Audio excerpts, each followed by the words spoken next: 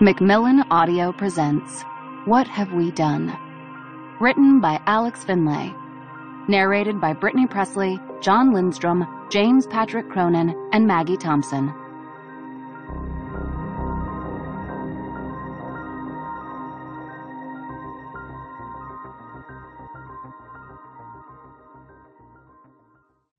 Prologue 25 years ago. At the top of a knoll through a break in the trees, five teenagers stand at the edge of a shallow grave. A light rain falls. Thunder rumbles in the night sky. One of the boys raises the gun. It was his idea, after all. He should go first. He aims into the hole, but the gun wobbles in the half-light. Do it, another boy says. But the kid with the gun just stands there, arm extended, the rain beating his face, matting his hair. At last, the only girl in the group reaches for the weapon, the 22 they bought for 22 bucks. She swallows, looks at the rest of them. We agreed, she says. We all have to. Her eyes return to the pit, and the gun clenched in her hand makes a noise like a firecracker a faint pop. The girl passes the weapon down the line, and one by one, they each take a shot until the gun reaches the last boy. Lightning brightens the sky for a nanosecond, long enough to see the tears streaming pale vertical lines down his dirty face. He's the only gentle soul at Savior House Group Home. He grips the firearm, his breaths ragged, as his best friend looms over him like the protector he is, laces his finger through the trigger guard on top of the gentle boy's, and another pop rends the night. They all then fall to their knees and drive the wet dirt into the void with their bare hands. In the dark, the gentle boy utters the words none of them will ever forget. What have we done? Part 1 The Targets Chapter 1 Jenna Present Day There's my girl, Simon says in his chipper morning voice. It's one of the things Jenna adores about her husband, his unrelenting cheerfulness. She's back from running her five miles and feeling every one of her 39 years.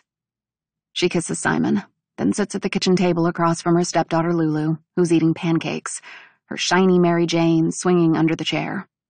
As usual, their Labrador peanut butter is at the five-year-old's feet, waiting for falling scraps. Simon stands at the stovetop pouring batter for more flapjacks, wearing the apron that has, I have no idea what I'm doing, inscribed on the front. I thought you have an early meeting, Jenna says, noticing that he's still in his pajamas. He wears the button-up style like a character from a 1950s sitcom. I have time. I need to make sure my girls get the most important meal of the day. He pushes his glasses up on his nose. For most women, the nerdy tax lawyer wouldn't elicit the rush of whatever chemical or emotion crowding Jenna's chest. But this boring numbers man, white bread as they come, fills that part of Jenna that was empty for so long. She knows they're an odd match she catches the looks, the whispers, that she must be in it for the money. The gossipers not realizing that Simon isn't exactly Bill Gates, even if he resembles him. In fact, Jenna's numbered Swiss account dwarfs their modest savings and Simon's 401k. Her older stepdaughter, Willow, bursts into the kitchen, backpack slung over her shoulder. She's wearing her high school uniform and customary scowl. The skirt looks shorter than regulation, Jenna's sure she's had it altered. But she's always walking a tightrope with Willow, so she doesn't say anything. Pick your battles. Good morning, Jenna says with exaggerated cheeriness that would give even Simon a run for his money. Willow mumbles something, opens the refrigerator, sighs at some unstated grocery store failure on Jenna's part. Pancakes? Simon asks earnestly. He's immune to the 17-year-old's morning gloom. Can't. Ride's here. Jenna says. I can get you some fruit or something for the road. Willow gives her a, you can't be serious look, before she leaves the kitchen with another mumble and the front door slams. Jenna gets it. Willow lost her mother. Jenna knows what that feels like. Maybe one day they'll be able to talk about it together. Simon sets a plate in front of Jenna, smiles. He doesn't ask her what's on her agenda today. He never does. They met on Match.com a year ago, three years after the girl's biological mother succumbed to cancer. They married six months later to the consternation of Simon's family and friends. To hell with them all, he always says, the rare times he curses. And Willow will come around, just give her time. Jenna's not so sure about that. After breakfast, she kisses Simon goodbye, does the dishes, gathers Lulu's backpack. At the bus stop, the little girl stays on the sidelines, still too shy to join the other kids huddled on the picturesque block of their affluent village outside Washington, D.C. Jenna understands. The other moms still haven't taken to Jenna either. Simon always jokes that they're intimidated by her looks. She doesn't think it's that, but she'll keep trying. She smiles at Karen, the perfectly named queen bee of the neighborhood moms. The gesture goes unrequited. Jenna joins the other parents waving to the tiny windows on the yellow school bus, all seeming part saddened, part elated at the departure of their children for a few precious hours. As the bus disappears in a trail of black exhaust, Jenna notices a woman across the street who seems to be staring at her. She's not one of the usual bus stop parents. She has a pretty, heart-shaped face, high cheekbones. Someone new in the neighborhood, maybe? Too young to be a mom. An au pair? Jenna raises her hand to wave, but the woman turns away. Not even fellow outcasts want to be friends. Jenna watches a long moment as the woman crosses the street to avoid the other parents chatting on the sidewalk. Back at the house, Jenna contemplates a shower. But it's Soul Cycle Day. She's already done her miles, so she could skip it, but they prepaid a fortune for the classes.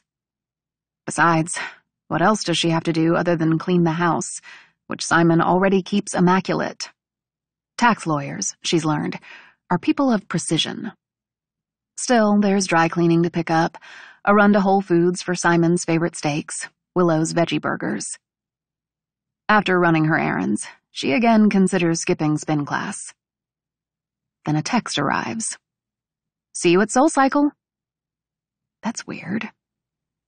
She's not meeting anyone at class. She doesn't really have any friends. The message is from an unfamiliar number. Maybe it's the next wave of advertising technology. They not only read your mind on your social media feed, now it's your texts. Maybe it's the person she met in class last week who was friendly to her. Though Jenna doesn't recall giving the woman her number. By noon, she's rushing into the lobby of the Soul Cycle on Massachusetts Avenue downtown. Though the studio is only seven miles from Jenna's house, it took 40 minutes to get there. DC traffic is brutal, but it's still nothing compared to Shanghai or Kabul. There's a Soul Cycle in Bethesda, much closer to home but old habits from her single days are hard to break, and Emma L. is her favorite instructor. She smiles at the receptionist, signs in. In the changing room, Jenna opens her locker. She's surprised. There's a cell phone inside. It's the cheap burner phone variety. She examines the locker's door to make sure she's opened the right one. But it's her monthly rental, and the combination on the lock worked. Dread courses through her. The phone pings. The text is three words. Bathroom, second stall. She scoops up the phone, shuts the tiny door to the locker, and heads to the restroom. Class is starting. She can hear music and the instructor's distorted voice coming from the studio. The restroom is empty. Lowering her head, she peers under the row of stalls. No feet. She faces the second stall, opens the door slowly, the pulsing beat of the music still vibrating through the walls. A jolt rips through her. Inside the stall is a woman. She's sitting on the toilet tank, her feet resting on the seat. Another lightning bolt to the chest. It's the young woman from the bus stop. The woman steps gracefully onto the floor and shoves a duffel bag into Jenna's hands. I said I was done with all this, Jenna tells her. They said I was free and they wouldn't. That's above my pay grade. Please, I can't. The woman shakes her head. You'd better. For Simon, Willow and Tallulah's sake. The woman steps past her calmly and disappears. Jenna's heart is banging in her chest, sweat forming on her forehead. She steadies herself, then unzips the duffel. Inside, there's a pair of movie starlet sunglasses, a wig of flowing black hair, a denim jacket, and a keycard that says Hamilton Hotel. Handwritten on the sleeve, a room number 1018. Five minutes later, Jenna slips out of the Soul Cycle studio and struts down the street in her disguise. The Hamilton's only a block away. Her gut is full of butterflies, but her training is coming back to her, like riding a bike. She's not this person anymore. She can't. She won't. But her family. Inside room 1018, she finds a rifle with a high end scope on a tripod positioned at the window. The phone pings again, and Jenna reads the instructions. The bald man at the Capital Grille's outdoor table won't be making it to dessert. Chapter 2 Donnie Donnie wakes to loud thuds on his cabin door. Each pound reverberates through his head like an explosion. He's on the floor of the tiny room in the belly of the cruise ship. Twenty years ago, he and the band would have been in the concierge suites. He pushes himself away from the vomit puddled on the floor. The ocean is choppy today, and it's making him feel even worse. The thumping continues, and he manages to climb to his feet. Wearing only tidy whities, he opens the door, and the light from the hallway sends another bullet through his skull. Donnie, what's going on? Pixie has a concerned look on her face. Rehearsal started half an hour ago. Tom is pissed. Before he responds, Pixie pushes her small frame inside. She makes a face at the stench, looks around, and before Donnie can conceal the evidence, sets her eyes on the empty bottle of Jägermeister.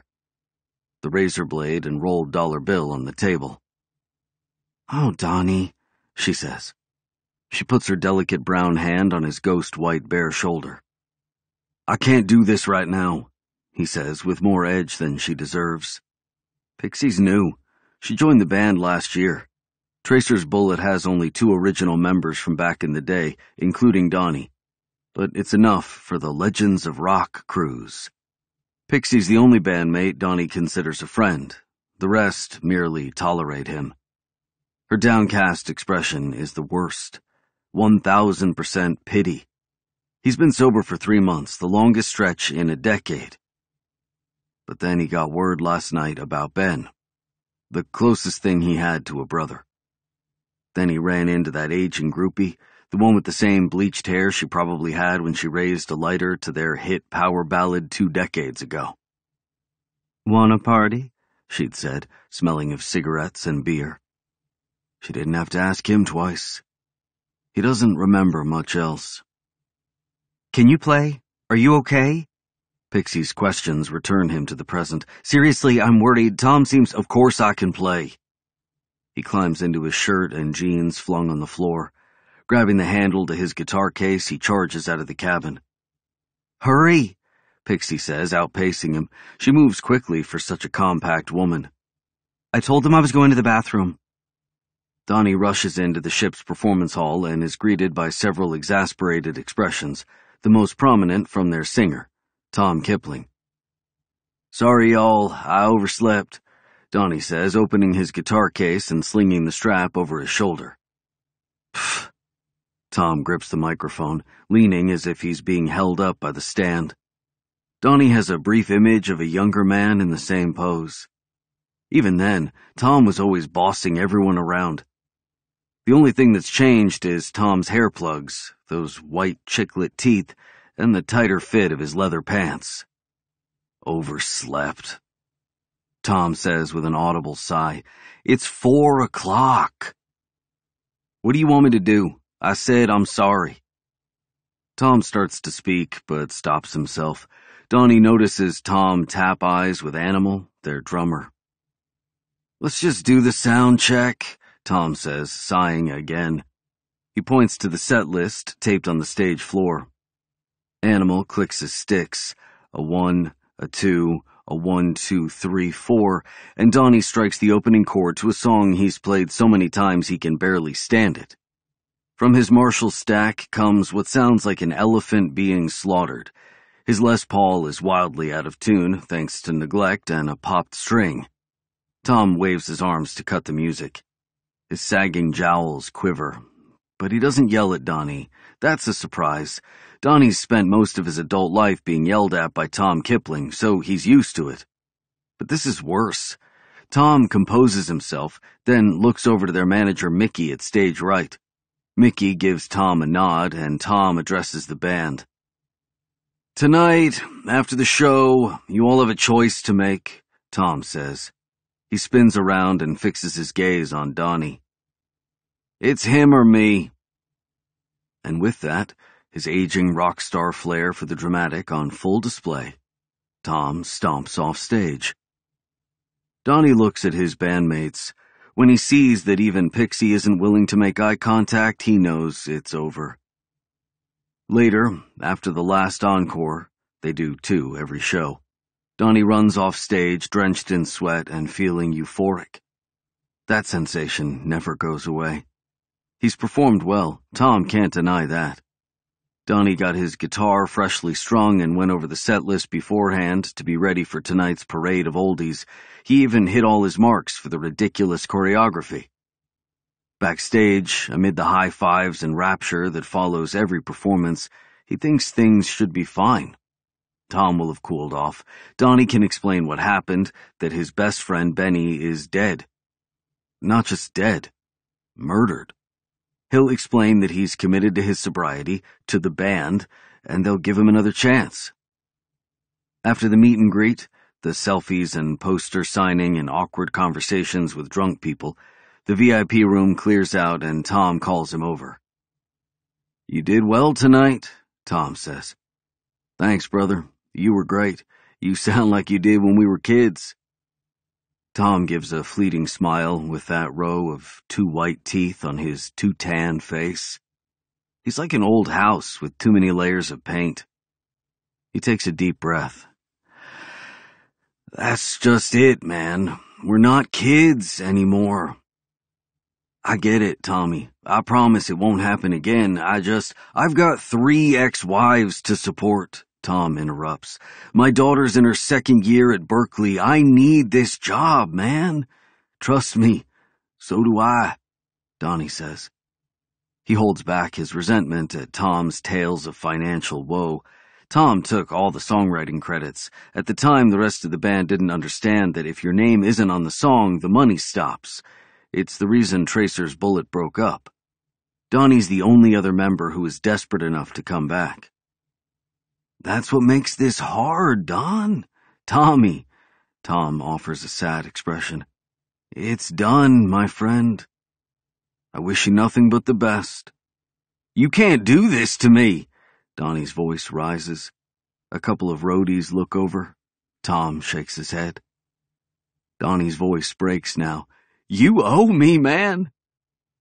I've gotta go. Tom turns. Donnie grabs his arm roughly and Tom twists around, his face dark now. I suggest you let go of my arm.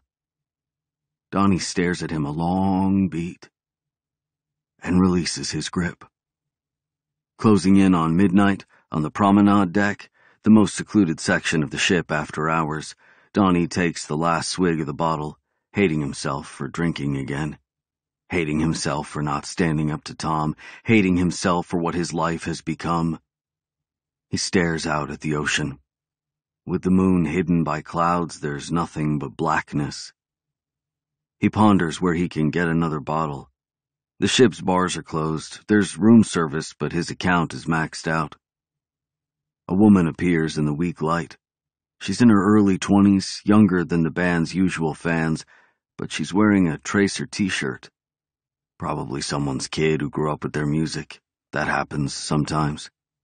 Her face brightens when she sees him. Oh my god. Are you Donnie Danger? She looks around as if she wants to confirm what she's seeing, but no one else is on the deck. The one and only, Donnie says. His southern drawl gets more pronounced when he's playing rock star, particularly when he's drinking. Will you sign an autograph for me? She asks. I'll do anything you want, sweetheart. She smiles, her teeth glowing in the dim light. Anything, she says seductively. She walks over next to him, leans against the protective railing. Your wish is my command, darling, Donnie says, trying to muster more southern boy charm, but it's half-assed and lazy. The woman reaches inside her shirt. He thinks she's going to pull it off, have him sign her breasts. It's been a while since he's done that, but it's part of the job. Who's he to complain? She doesn't remove her top, doesn't ask him to sign her ample cleavage. Instead, she's reached into her waistband and pulled out a handgun. Well, my wish, she says the word with derision, is that you jump. She motions the gun at the ocean below them, then trains it back on Donnie. He chuckles, like she's kidding. She's fucking crazy, but he's always been drawn to crazy women. The gun looks real, but surely it's a fake. She's only playing. Offering a rakish smile, he says, Look, sweetheart, I don't. He's cut off with a hard blow to his head with the butt of the gun. Donnie doubles over. After what feels like a long time but might be only a few seconds, he stands, his legs wobbly. He touches his head. There's red on his fingers. His eyes look into hers. She's definitely not playing. Jump! She puts the barrel of the gun to his forehead, its muzzle cool on his skin. I don't understand. Donnie's heartbeat swirls in his ears now. You don't need to understand. She holds up five fingers with the hand not clutching the gun. She begins ticking off her fingers. Five. All right, hold on. Wait. Four. Wait, hold up. Three. Okay. He raises his hands. She retracts the barrel and steps back motions her chin for him to get up on the rail. A chill races up Donnie's spine. He hops his ass up, feeling the cold metal through his jeans. He's no longer shit-faced drunk, but he's still unsteady from the terror. The woman gestures with the gun for him to swing his legs around, and he does, fear seizing him as he sits precariously on the ledge, his feet dangling. On this side of the ship, there are no decks below. A straight drop, into the ocean. His eyes search for life preservers but find none. Two, she says. He twists his head around. She's displaying an awful peace sign with her fingers. Please, what's. I don't understand. Before he pleads more, he hears her say, One, and feels the shove into the abyss. Chapter 3 Nico Nico clasps the flashlight and swings the ray around the coal mine. He's been the executive producer for the unexpected reality TV hit The Miners for a year now, but he still feels claustrophobic in the cavern. The low ceilings, the fog of coal dust, the rats. The coal company closed Mine B in the 1980s, and it's now only used as one of the show's sets. The cast always grumbles about shoots here, complaining that staging scenes in an inoperable mine takes away from the authenticity of the show. Nico listens patiently to their gripes, fights the urge to remind them that they're hardly living an authentic coal miner's life. The star of the show, Roger, who spent the better part of his life working in a godforsaken hole for 47k a year, drives a Bentley for fuck's sake. But for better or for worse, they're Nico's meal ticket. Like the cast, his income has skyrocketed with the success of the show. The most popular reality series on cable. Take that, housewives. Not to mention that Nico has become something of a sex symbol with his weekly live recap show, The Black, which has thrust him into the national conversation. His DMs from women would make even the Tinder crowd blush. It almost makes living in the boonies of West Virginia worth it. Almost makes being at the beck and call of Roger, who texted Nico to meet him at Mine B tonight for some bizarre reason, less annoying. And, best of all, the influx of cash keeps the bookies and loan sharks off Nico's ass, a refreshing change of pace. Why the hell did Roger want to meet here anyway? He probably wants to talk about getting more on camera time, complain about his co stars outside their small enclave where gossip and grievances are more abundant than meth, which is saying something in this town. Nico stares at the railroad tracks and the old handcar that looks like something out of an Indiana Jones movie. The cast complains about the hand car too, since it bears no resemblance to the man trips that real miners use to travel through the tunnels. But it makes for good television. In the cliffhanger for season one, they filmed a scene in which the brakes just so happened to go out. Nico's convinced that Davis, the network asshole who's been trying to muscle in on Nico's job, had someone grease the brakes. The cast had similar suspicions, but forgave Davis the moment the scene went viral on social media. Maybe Nico should be more like Davis. Yeah, he should have hidden a camera for this meeting with Roger tonight. A secret meeting that could stir up trouble with the others. Great content for a new episode, but Nico has his limits when it comes to orchestrating drama. It's the only area of his life where he has limits. He hears the noise of the elevator, the rickety pile of rusted metal. It's nearly ten o'clock, which means Roger, who insists on being called Maverick, coal miners live for their nicknames, will have several shots of Jim Beam in him. The doors to the elevator rattle open. Nico hates that contraption. It's going to be the death of someone, he's convinced. Oh, wouldn't Davis love that? The ratings would go through the roof. The figure moves toward him. Holding up the flashlight, Nico says, Geez, Roger, what's with all the cloak and dagger? Your text said. Nico stops when the figure clicks on the lamp of a miner's helmet. It's a blinding beam, stronger than a typical headlamp. Nico squints, holds up a hand to shield his eyes. He can make out that the figure is shorter than six-two Roger. His danger antenna starts sending signals, raising the hairs on the back of his neck. This is private property, Nico says in a firm tone, trying to keep the tremor out of his voice. I know the sheriff, so you'd best be on your way before. He stops when the figure's lamp turns off, leaving Nico's eyes spotted by the afterglow. He hears gravel crunching, the figure running at him. Then hears a strange sound like a hydraulic pump. Then there's a fire in his shoulder. He's on the ground. It's only a millisecond before he scrambles to his feet and hauls ass. After years of evading the leg breakers when he couldn't keep up with the VIG, he knows what's coming. Nico races down the tunnel and dives onto the handcar. The beam from the miner's helmet is on him again, his own shadow skittering ahead. He turns quickly and sees the figure walking slowly toward him. Jason from the horror movie, carrying something that looks like a baton or cylinder. What in the holy fuck? The light is getting closer as he settles into the handcar, his shirt damp with blood and sweat. Nico grabs the lever and tugs down with everything he has. His other arm feels like it's been branded by a cowpoke. The rail car pushes forward. He needs to get the fuck out of there, crank that lever harder. He ducks low, puts his weight on the lever, the ray from the assailant's helmet bathing him in light. Nico cranks harder, the rail car picking up pace. He uses his good arm and marshals all his strength to pump the crank.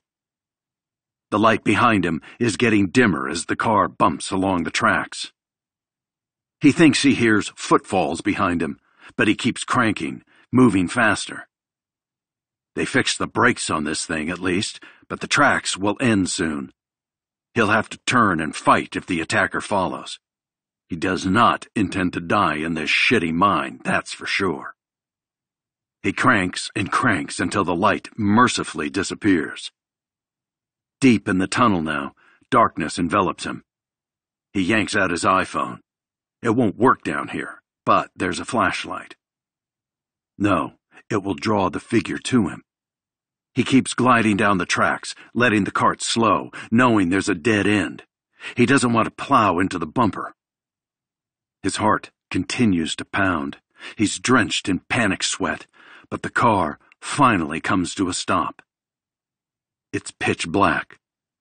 He listens, fear and blood loss making him tremble. More silence. Then, a joyous sound, the rattle of the elevator's motor. The attacker is leaving. Thank fucking God. He feels a wave of relief, but adrenaline still has him wired. He clicks on the phone's flashlight, gasps at his blood-soaked shirt. All is quiet. The elevator up top now. He needs to get out of there, get to a hospital. But he decides to wait a little longer to give the attacker time to leave the mine site. Then he hears it. A deep, loud boom. The railcar shakes and a snapping sound comes from above. In a split second, he realizes the grim reality. An explosive detonated. There's a loud rumble. A cloud of black dust fills the tunnel. And everything goes dark. Chapter 4 Jenna Jenna doesn't want to do this. But she has no choice. She knows. She prays the target is a bad guy. She used to tell herself that they were all bad guys. But the truth is, she had no idea. And the harder truth? The longer she was on the job, the more difficult it became to tell the bad guys from the good. Wealth and power can hide monsters in plain sight. This isn't happening. She was supposed to be out but it is happening. The woman's voice tackles her thoughts. You'd better. For Simon, Willow, and Tallulah's sake. If she ever meets that woman again, she will kill her. She separates the hotel room's drapes an inch and looks outside. It's a direct line of sight to the outdoor deck of the Capital Grille. The deck is empty, which is unusual for the power lunch hotspot.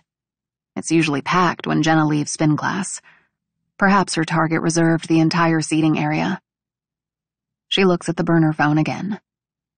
Cap grill. Outside table. Bald man.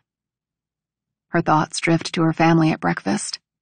To her wonderfully normal husband kissing her goodbye. To her wonderfully angsty teen slamming the door. To her wonderfully adorable five-year-old sneaking food to her wonderfully lovable dog. Then Jenna imagines losing them all by the time she returns home if she doesn't do this. She examines the rifle, checks the scope. The hotel window presents a problem. She usually would have a two-person team, one to shoot out the glass, the other to take out the mark. But she notices that someone has disabled the suicide deterrence mechanism that ordinarily would prevent the window from opening more than a few inches. She pulls the latch and the window opens far enough to avoid obstructing the shot. She looks for something to take a wind reading and sees that a flag planted on the roof of an office building is limp. She gets in position. It isn't long before the restaurant's host leads a small cluster of men to an outdoor table. The men are muscular and seem uncomfortable in their business suits. Ex-military. They examine the area, look up and down Massachusetts Avenue. The target is someone important. Important enough to have an advance team, anyway. But not so high value that he's forbidden from eating outside on a beautiful spring day. One of the advance guys says something into his sleeve. Then the target appears. Jenna can't see his face, but he's the only bald head. It might as well be painted with a bullseye. Still, it won't be an easy shot. The bald man sits with his back to her, the bodyguards surround the table. She'll need the perfect opening. Jenna hopes he'll need to use the restroom. She waits, still as a stone, like she was taught. She once waited 13 hours, frozen in place. She shudders, remembering the weight in her chest, and worse, peeling off the adult diaper. Its smell somehow shocking. A bottle of something expensive is brought to the table. She waits. Sweat slides down her side. Can she still do this? Physically, yes. She's rusty, but it's a skill that never goes away. Emotionally, though, can she do it? Yes, you have to. At last, the bald man stands, throws his napkin on the table. The guards change position, ready to escort him to the restroom. Through the scope, Jenna gets the first look at his face, and her heart plummets. She pulls back from the rifle scope. The face is familiar. One that's been on the covers of magazines, the nightly news, endless social media feeds one that still looks much the same as it did 25 years ago in the dining room of their group home. Something catches her eye. A reflection. A sharp glimmer from the rooftop of the building across from her, just past the restaurant. Then it hits her. It's the sun glittering off of another scope. She's not the only hitter. There's a backup team. This job felt off since the start. This is not how the corporation operates. Jenna's nerves are on fire. She needs to get out of here. She presses her eye back to the scope. In one fluid movement, she sets her aim, takes a breath, and pulls the trigger. Light as a feather. Chapter 5 The recoil slams into her shoulder. Through the sight, she sees that the bald man is already surrounded by his human shields, who quickly shuffle him inside the restaurant.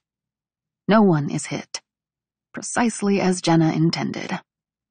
She wipes down the gun, leaves it where she found it. She's been careful not to touch anything else. Examining herself in the long mirror near the door, she straightens the wig, puts on the sunglasses, tucks the burner phone in her pocket. After one deep breath, she calmly steps out of the room into the hallway. Lowering her head in case there are cameras, she moves toward the elevator bank. It's quiet. No one has connected the shooting to the hotel. Yet. She senses another person in the hall and glances up. The woman's back is to her. She's searching her handbag for her room key. Something is off. Unnatural. Jenna turns and walks in the other direction. She takes a quick look over her shoulder and sees the guest the woman from the bus stop and from the SoulCycle bathroom, in a double-handed firing stance. Jenna dodges to the right, hears the cut of wind from the suppressor. She sprints, zagging left and right and left and around the corner. She spies the door to the emergency stairs and dashes through it, the woman running close behind. The stairwell spirals down all ten floors. She won't have time to outpace the woman. Jenna climbs over the railing and hangs, her arms outstretched, body a vertical line. Her chest is hammering. She needs to collect herself. Remember your training. Hanging there forever, she gets her bearings. And she releases her grip. She drops two floors, whiplashing to a stop when she catches the railing. She hears movement above. The woman's head appears over the ledge for an instant before it pulls back. The shooter tries the move again, from a different position, hoping to avoid a bullet to the forehead. She peers over once more and gets off a shot but Jenna's already dropping two more floors, where she again catches the railing. This time, one hand slips and leaves her hanging tenuously. With every ounce of strength she has, she reaches for the rail with her free hand, but now her other hand's losing its grip. There's the sound of the suppressor again, a ricochet of metal on metal as the bullet bounces around the stairwell. Jenna looks up and sees the woman pointing her gun straight at her. So she releases again, Jenna misses the railing on the next floor, then the next blurs past and she's not going to make it. But her hand slaps the metal on the next rail down and she lets out a primal roar as her body yanks to a stop when she maintains her grip. She looks up. The woman's head has vanished. She's going to try to beat Jenna to the ground floor. Jenna pulls herself up and over the railing, bursts through the door. It has the number three on it, and into the hallway. There's a luggage cart nearby.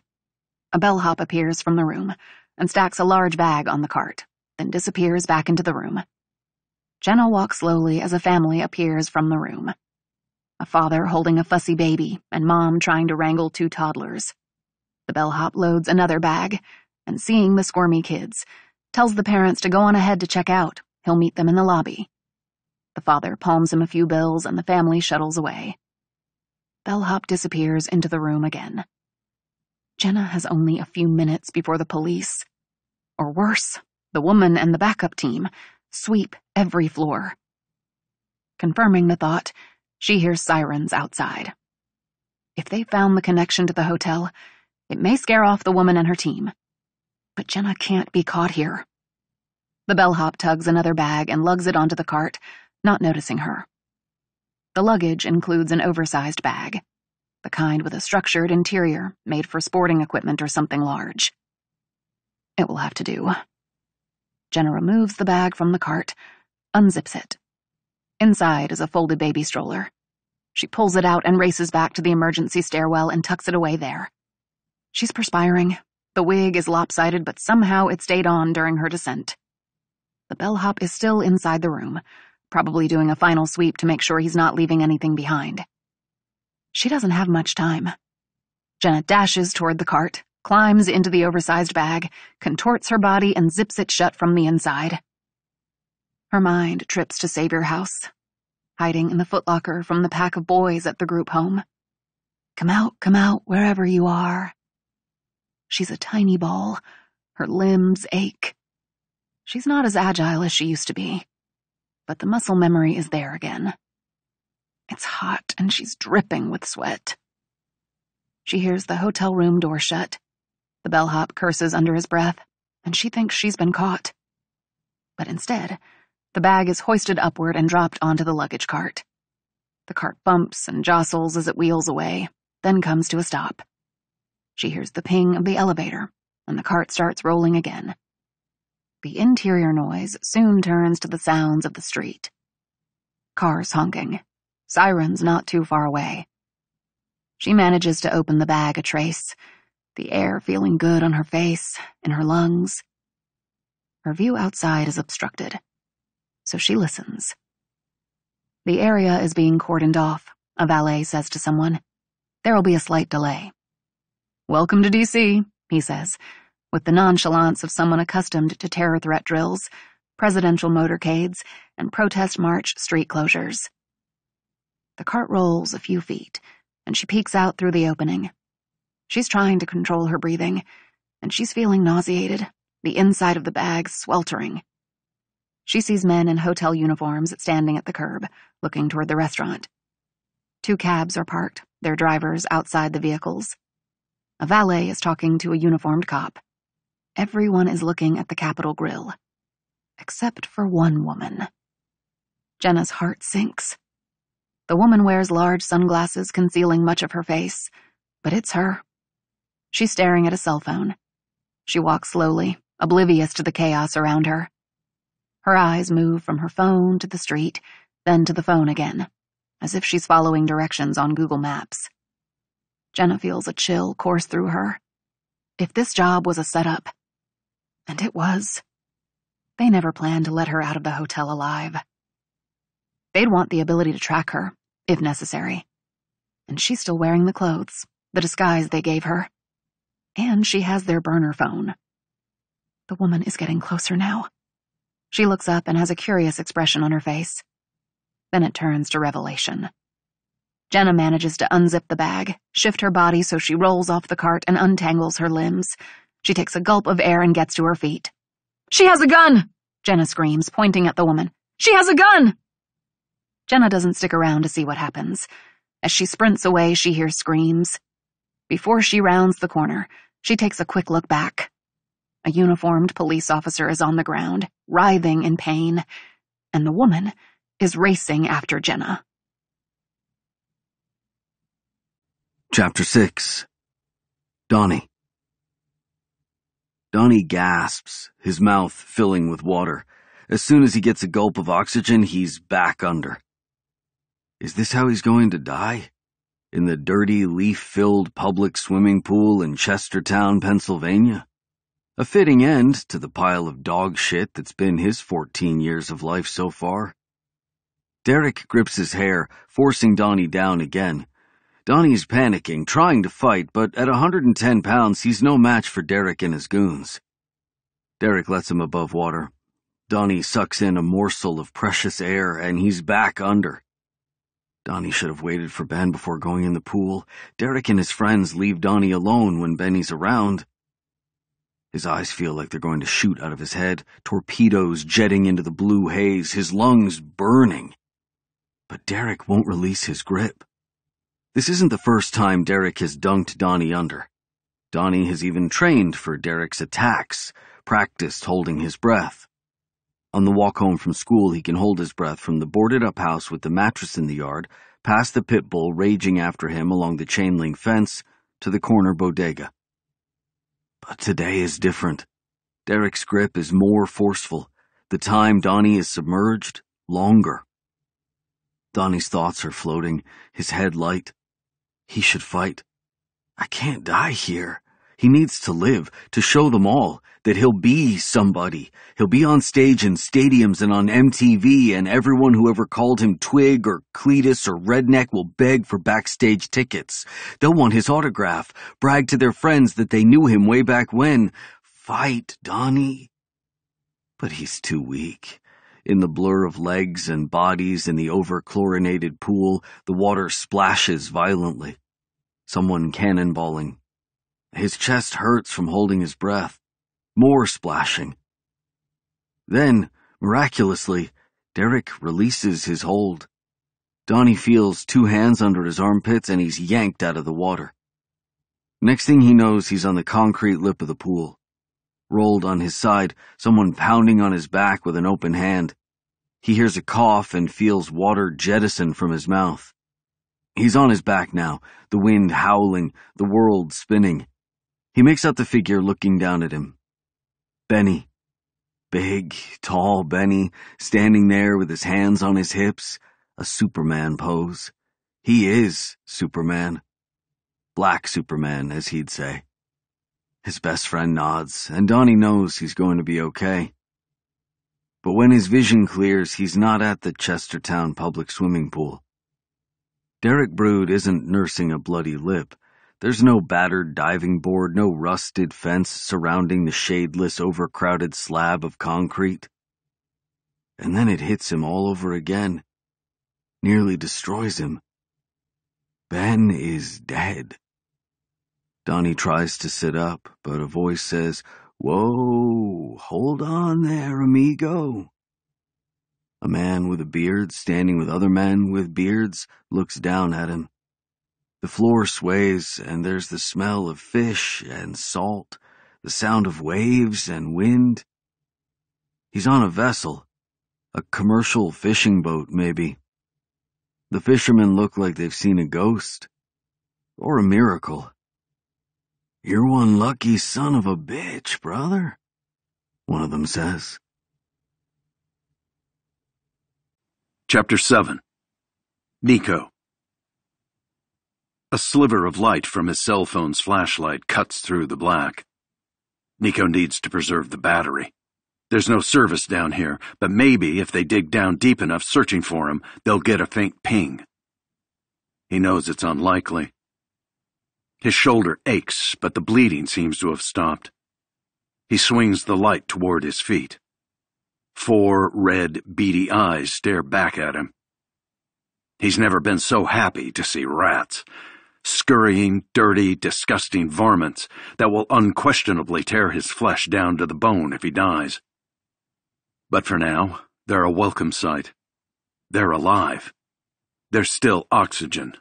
No deadly CO2 buildup in this cave of gloom. Yet, anyway. Nico thinks back to his mandatory mine safety training. He should have paid more attention. There's been a roof collapse. He's not buried alive, so the biggest risk now is running out of air. The explosion has likely sucked away most of the oxygen, but he's in a chamber. He needs to find a SCSR, the self-contained oxygen self-rescuers. They're stored in receptacles along the mine.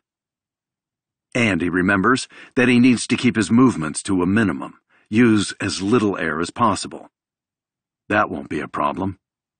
He's sore, groggy. One of the rats scurries onto his leg and he kicks it away, sending a searing pain through him. He wonders if anyone is searching for him or if they even know he's missing. They have to know about the mine collapse. The crew has sensors that detect problems underground. MSHA, WVOMHST, NIOSH, and the other alphabet soup of mine safety agencies are probably on site. The showrunner will make sure the cast and crew are accounted for. The cast. It was Roger who got Nico into this mess, asking him to meet at Mine B after hours. But it wasn't Roger who attacked him. Nico was sure of that. He never got a clear look, but if Nico has to guess, it was a woman. Who is she? And what in the hell was that weapon that pierced into him with such ease? He clicks off the phone's flashlight. It's frightening in the dark, but the iPhone is already on low power mode. His mouth is dry and his shoulder is screaming. He's supposed to bang on the roof bolts. They have equipment to listen for it. He wonders for a moment what the Vegas odds makers would set his chances of survival. He shakes his head. Even now, his thoughts return to gambling. He should make a promise, an oath that if he gets out of this jam, he'll never make another bet again. Maybe a 12 step program will stick this time. What were those 12 steps? Another instance when he should have paid better attention. In the disorienting darkness, his mind meanders. He's in a black hole, time relative, impossible to gauge. He resists the urge to check the phone again. With his good arm, he reaches into his front pocket. He feels the ridges of the old silver dollar. Some good luck charm it turned out to be. He should flip the coin. Heads he'll survive, tails. He decides against it. In the haze, the first of the twelve steps comes to him. Admit we are powerless over gambling, that our lives have become unmanageable. Nico has never been one to think he's powerless. He can stop gambling whenever he wants. But he's got to admit, things have become unmanageable. He's literally hit rock bottom, hundreds of feet down in a mine, no less.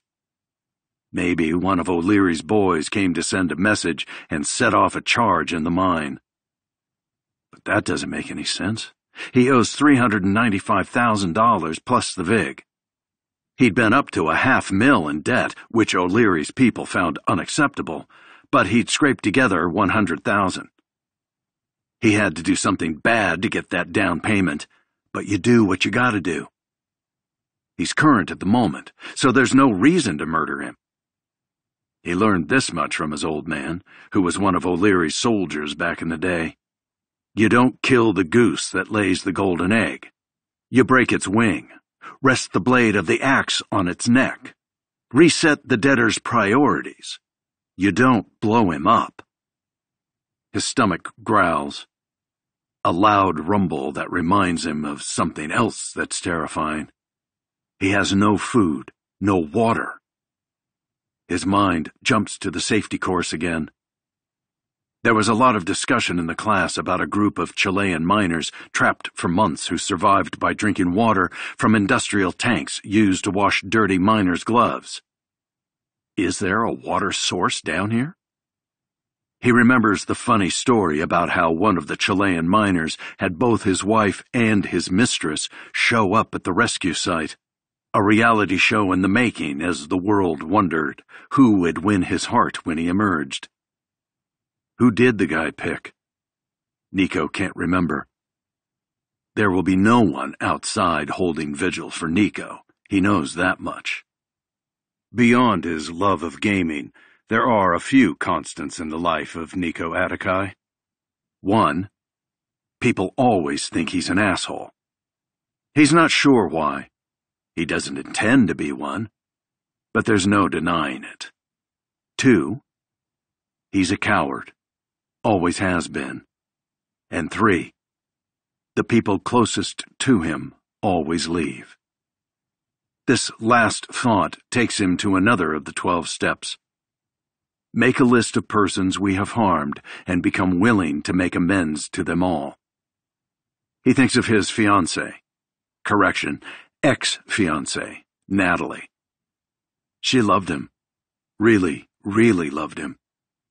She was willing to work things through, even after discovering the credit cards he'd opened in her name, the thousands in debt he racked up. You know, it's not the gambling, she'd said on that last day. You might be able to overcome that. Then what is it? You're incapable of loving anyone. That's not true, he said. You're always one foot out the door so you can beat the other person at leaving. Natalie is an elementary school teacher, not a psychologist. But she's watched enough Dr. Phil to be on to something. Nico made the mistake of telling Natalie about his mother leaving him behind to escape his abusive father, about his father then disappearing. And he told Natalie about Annie, his first love who vanished without a trace. In the fog of his thoughts, he must be in shock. His mind frolics to Annie. Raising her hand in ninth grade science, one of the only kids listening to the teacher drone on. Sitting on the top of the monkey bars at the seedy park watching the sunset. The way she smelled of bubble gum. Oh, and her laugh. It was high pitched, cute, and made her seem softer less damaged by her time in group homes. The way she'd get exasperated with Nico and the other boys about their endless, that's what she said jokes. They were stupid, but your mama jokes didn't play well in foster care. In his mind, he's walking home from school with the others. How'd you do on the math test? he asks Annie. Before she answers, Artemis chimes in. It wasn't hard at all. Donnie barks a laugh. That's what she said. Nico sleeps.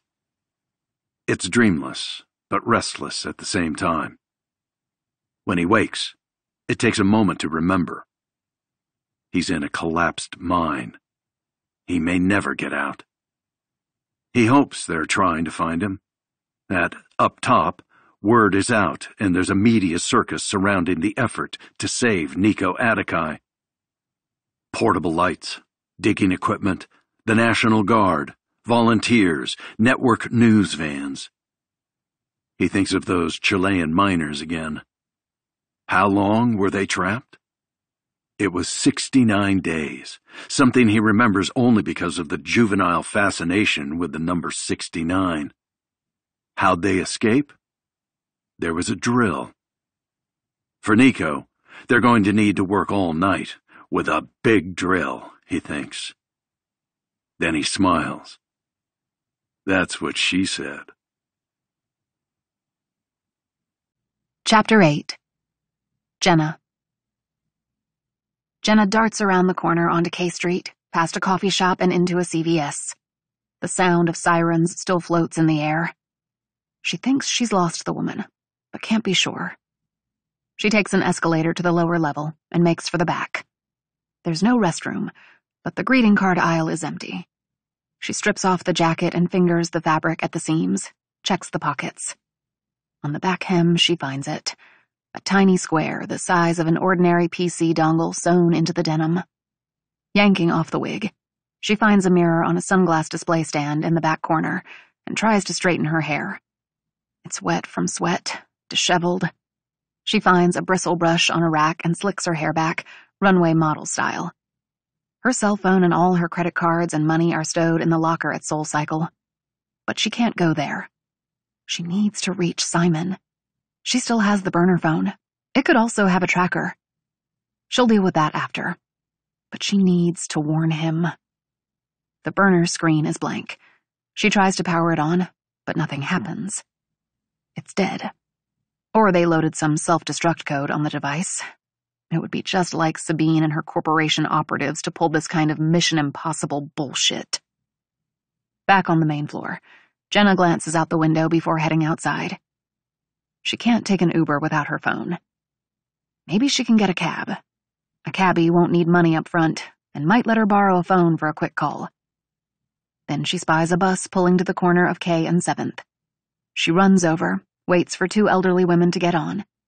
The driver is already moving before the old ladies have found and swiped their fare cards. Jenna steps past them and the driver says, You forgot to pay, ma'am. Sorry, Jenna says. I must have left my wallet at my exercise class. I can get off now or at the next stop. The driver sighs, shakes his head, but plows ahead. Jenna sits on the edge of the seat near the back door. She tucks the jacket with the tracker under the seat, the cell phone and wig stuffed inside. One problem solved. Let that woman follow the bus around for a while. The bus tugs to a stop, and Jenna jumps out at Ninth and I near the collection of high-end stores at City Center. She looks for a cab but doesn't see any, which isn't surprising since Uber and Lyft turned everyone into amateur taxi drivers. She spots a guy in a suit, riding one of those motorized scooters that are such a nuisance. He has a hipster beard and is gabbing on his phone, zipping along the sidewalk and around pedestrians too fast. Jenna decides to do it. As the scooter approaches, she trips forward, knocking into the man. The guy yelps, and they both topple onto the grassy strip separating the sidewalk from the street. The hipster's eyes are wide as he looks at Jenna, who has jumped to her feet and is brushing herself off. Oh my gosh, are you okay? she asks. A few people walking by watch, then continue on once they see that no one's hurt. He looks up at her slightly dazed. His suit pants have a hole in the knee, but he's all right. His head snaps back and forth as if he's making sure no one caught the scene on their phone, the ever-present risk of going viral for one of life's embarrassing moments. The guy says, You need to watch where you're... He stops, apparently computing what's happening as Jenna scoops up his phone and holds it up to his face, unlocking the device. What are you? Jenna doesn't answer as she darts to the scooter, pulls it from the pavement, and rides away. He yells after her, but his voice grows distant as she races along Ninth and cuts a sharp right on Mount Vernon Place and past the historic Carnegie Library building that's tragically been converted into an Apple store. She manages to dial Simon's number as she steers the scooter. It goes to voicemail. Of course, a call from an unfamiliar line. When she's a safe distance away, she skids to a stop and furiously thumbs a text. It says only two words, but Simon will understand. Alas, Babylon. Chapter 9 Donnie Donnie adjusts the angle of the hospital bed upward, laces his hands behind his head with his elbows sticking out. He got lucky. The fishermen were 1990s boys and fans of Tracer's bullet. They gave him some whiskey and a blanket to get his body temperature up, bandaged the gash on his head, and brought him ashore. Now he has a half circle of fans around his bed at the University of Miami Hospital. TMZ got wind that Donnie Danger survived a fall from a cruise ship, and it didn't take long before his room was filled with flowers and women with big hair. Tracer's Bullet had been one of the only hair bands to emerge and thrive during the grunge era, a novelty act that scratched the itch of early Gen Xers not swept away by Kurt Cobain, Pearl Jam, STP, and the rest. Could you sign my CD? A lady asks. She's in her 40s with an orange hue to her skin and prominent lines around the eyes from too many years in the sun. With her, a girl in her teens whose eyes are glued to a phone. Sure, sweetheart, he says, taking the Sharpie someone gave him. He's in the gown, his skinny white legs tucked under the sheets. What's your name? Crystal, she says. Like always, he writes, To beautiful Crystal, stay close to danger, DD. She examines the CD cover and cups it to her chest like a treasure. And who's this? He looks at the girl. My niece. The girl barely looks up from her phone. She was at my house when I heard. I'm so glad you're okay. You and me both, darling. How did it happen? I mean, your fall. She says it uncomfortably, like she shouldn't ask. That is the million dollar question, Donnie says as he signs a poster for a man with sleeved tattoos. And it is. The last thing he remembers is Tom firing him, and Donnie retrieving his emergency bottle of Jack from his cabin.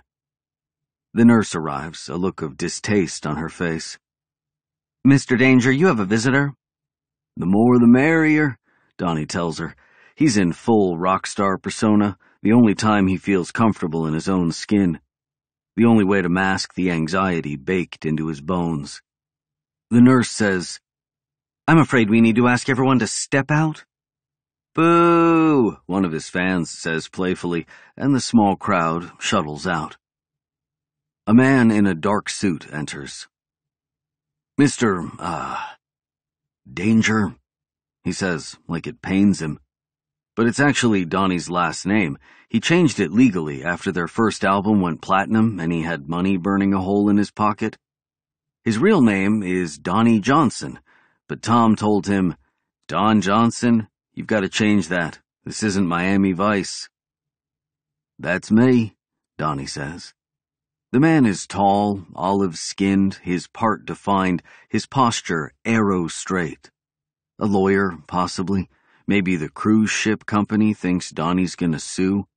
They've already sent over a giant bouquet of flowers, and a perky woman called and told him they'd set him up in a suite at the Fontainebleau Hotel so he can recover in style. He should fall out of a boat more often. I'm Special Agent Rodriguez with the Federal Bureau of Investigation. The FBI, Donnie says. No shit. The man nods, doesn't elaborate. I have a few questions, if you're up for it. Sure, boss, Donnie says, his accent thick and folksy when he's rock star Donnie. What happened? The agent asks, an open ended question if there ever was one. Afraid I can't tell you much. I hit my nugget on the way down, it seems. He knocks lightly on the side of his head. Last thing I remember is the show. We killed it. He remembers a little more, but doesn't want to get into Tom firing him, his solo pity party afterward with the bottle of Jack. But what came after remains a complete blank. You don't remember how you went over? Donnie shakes his head. The doc says it may come back to me, but right now, nothing. The FBI agent doesn't seem surprised. He's probably already spoken with the doctor, a pretty black lady immune to Donnie's charm. Donnie adds, There's cameras all over the boat. I imagine the cruise line can. We have the footage. The agent cuts him off. Mr. Danger? He pauses, cracks his neck. Is there anyone you can think of who'd want to hurt you? Donnie guffaws at that. Maybe one of my ex girlfriends. He smiles. Oh, you're serious? No, I can't think of anyone who'd want to hurt me. I mean, why would they? The agent doesn't respond. He pulls out his phone, displays a grainy video. It shows Donnie, his gait unsteady, a bottle clenched in his left hand as he pulls along the stair railing up to the promenade deck with his right. The agent says, this is the last footage of you they could find. We think you went over on deck four. Donnie nods. He has absolutely no recollection of it. They got cameras there, don't they? The agent nods. The two were disabled, vandalized. He studies Donnie like he's looking for a reaction. Maybe they think Donnie disabled the cameras himself. If they've talked to the band, they'd know he was fired. Maybe the FBI thinks he was trying to kill himself.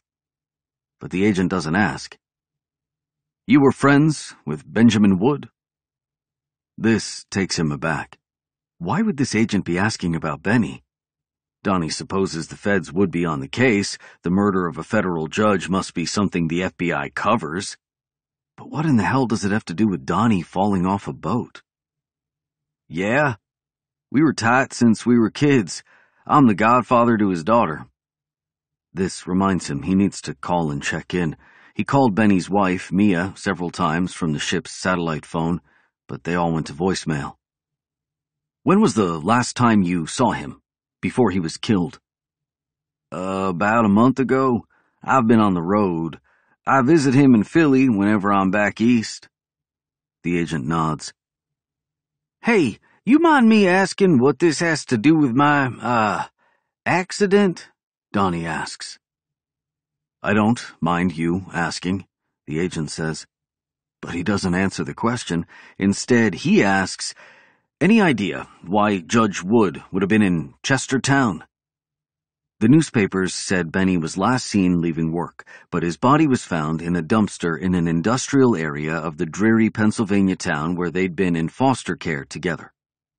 The reports speculated that he'd been the victim of a carjacking. Donnie shakes his head. He and Benny vowed to never go back to that wretched town. The agent displays the screen of his phone again. It's a photo of a woman. Grainy footage from a low-end surveillance camera. She's standing outside a marble building. You recognize this woman? Donnie shakes his head. Rodriguez says, Footage shows her outside the Eastern District of Pennsylvania courthouse building on multiple occasions, including three days ago. The last time anyone saw Judge Wood. I thought you caught the guy who did it, one of the criminals Benny put away. The agent sighs. Uh, an arrest has been made, but the investigation is ongoing. The woman is a person of interest, someone we want to speak to. She wasn't originally a high priority, but but what? Donnie grabs the word since there's obviously a reason the guy is asking about her. We got a facial recognition hit. The agent swipes his phone again. He pulls up a photo of a white woman. Could be the same woman from outside the courthouse, but it's hard to say. She's young, pronounced cheekbones, cat eyes, sultry. Who is she? We're not sure. We got a hit and tracked it to a passport database. Donnie doesn't understand. It's a fake passport, but we think it's the same woman. When it's clear Donnie still isn't getting it, the agent says, She was a passenger on your cruise. Chapter 10 Jenna Jenna ditched the scooter and is fast walking down 10th Street when the phone rings. It comes up as only a number, no name. It's not in the scooter guy's contacts. She answers. It's me, Simon says. You're sure? He's using a burner phone like they discussed when they made this contingency plan. Their marriage is nothing like the cliche in the movies, where the spouse is blindsided by their loved one's secret history. Before Jenna agreed to marry him, she told Simon everything. Well, nearly everything enough for him to be clear-eyed and understand the risks of living the rest of his life with her. Actually, there was some cliche to it. He proposed on the promenade outside the Eiffel Tower. She said, yes, but... Using his overly analytical mind, Simon had weighed the costs and benefits, probably made a spreadsheet of pros and cons. Like the movie Nikita? he asked. You were taken as a kid and trained to... Not as glamorous, but yes. After digesting it all, Simon figured she was safe, that her former employer, a government contractor with no name that its employees called the corporation, had no reason to come after her. But just in case, they developed an emergency plan. Simon is an inveterate planner, an occupational hazard. They agreed on a code, something only they would know. Simon chose Alas, Babylon, which is weird, but he said it was from a book he'd read when he was a kid. If either of them ever used the code, they would hightail it out to the Allegheny Mountains of Virginia. A cabin in Bath County that Simon purchased through a web of shell companies, a trail only a tax lawyer could untangle. Yes. I'm so sorry. There's a leaden silence. He's processing. Jenna says, You get Lulu. I'm on my way to get Willow. We need to be fast. Simon is still quiet. He's breathing heavily into the phone. Jenna hears the tapping of computer keys. He's at his desktop. Lulu's at school. I can see her on the webcam, he says. Lulu's kindergarten teacher has a live webcam parents can log on to. The high school teachers aren't so generous. But to Willow's consternation, she accepted their locator on her cell phone. And Willow's pinging at the school. Good. Don't bring your phone. It can be tracked. Use the burner. I'm sorry, I. I knew what I was getting into. He cuts her off. We'll meet you at the. Don't say it. This time she interrupts, not wanting him to reveal where they're headed. It's unnecessary. Both phones are untraceable to them, but there are laser microphones that can pick up conversations 400 meters away. And she's learned over the years that survival favors the cautious. I love you, she says, and hangs up, not wanting to hear the pain and fear, and possibly regret at ever meeting her, in his voice. She needs to get to Willow School. The scooter hipster's phone will probably work for another 15 minutes before he gets hold of his carrier and it's disabled. She thumbs the Uber app, orders the car. She's got no money, no credit cards, and soon she'll have no phone. But she and Willow are going to make it to the cabin. As she waits for the ride, Jenna surveys the area. 10th Street is like much of downtown DC. Glass office buildings filled with lawyers and lobbyists, amid a smattering of red brick old row houses converted into coffee shops alongside small roadside parks with benches occupied by the growing homeless population. No one is paying her any mind. Just another Washingtonian staring at her phone, waiting for an Uber or Lyft. She tries to control her breathing, harness the fear and adrenaline ripping through her. Some of her colleagues at the corporation loved feeling like this the high from the chase, the epinephrine from the mission. That's how they got you. The corporation taught you to crave that feeling. It meant that you were alive, that you had a purpose in this world. But for Jenna, it's always a Proustian moment, something that evokes a buried sensation, the deep sense of dread, rooted in the first time she ever ran for her life. What her stepdaughter Willow might call a trigger her first night at Savior House. At 15, Jenna's heard of scary Chestertown, which is about three burgs over from her modest home in Linwood, Pennsylvania, somewhere her parents and the other grown ups refer to only in whispers, a place you wouldn't want your car to break down at night. The social worker pulls to the curb. The group home looks like it was once a grand mansion from another era but now resembles a rundown haunted house from a black and white movie or Scooby Doo cartoon. The social worker introduces her to the man who runs the place, Mr. Brood, a hulking figure who wears a cardigan that gives him the appearance of Mr. Rogers on steroids. It's dinner time. Kids are shuffling to the dining room, but Mr. Brood says she can be excused from dinner, this one time.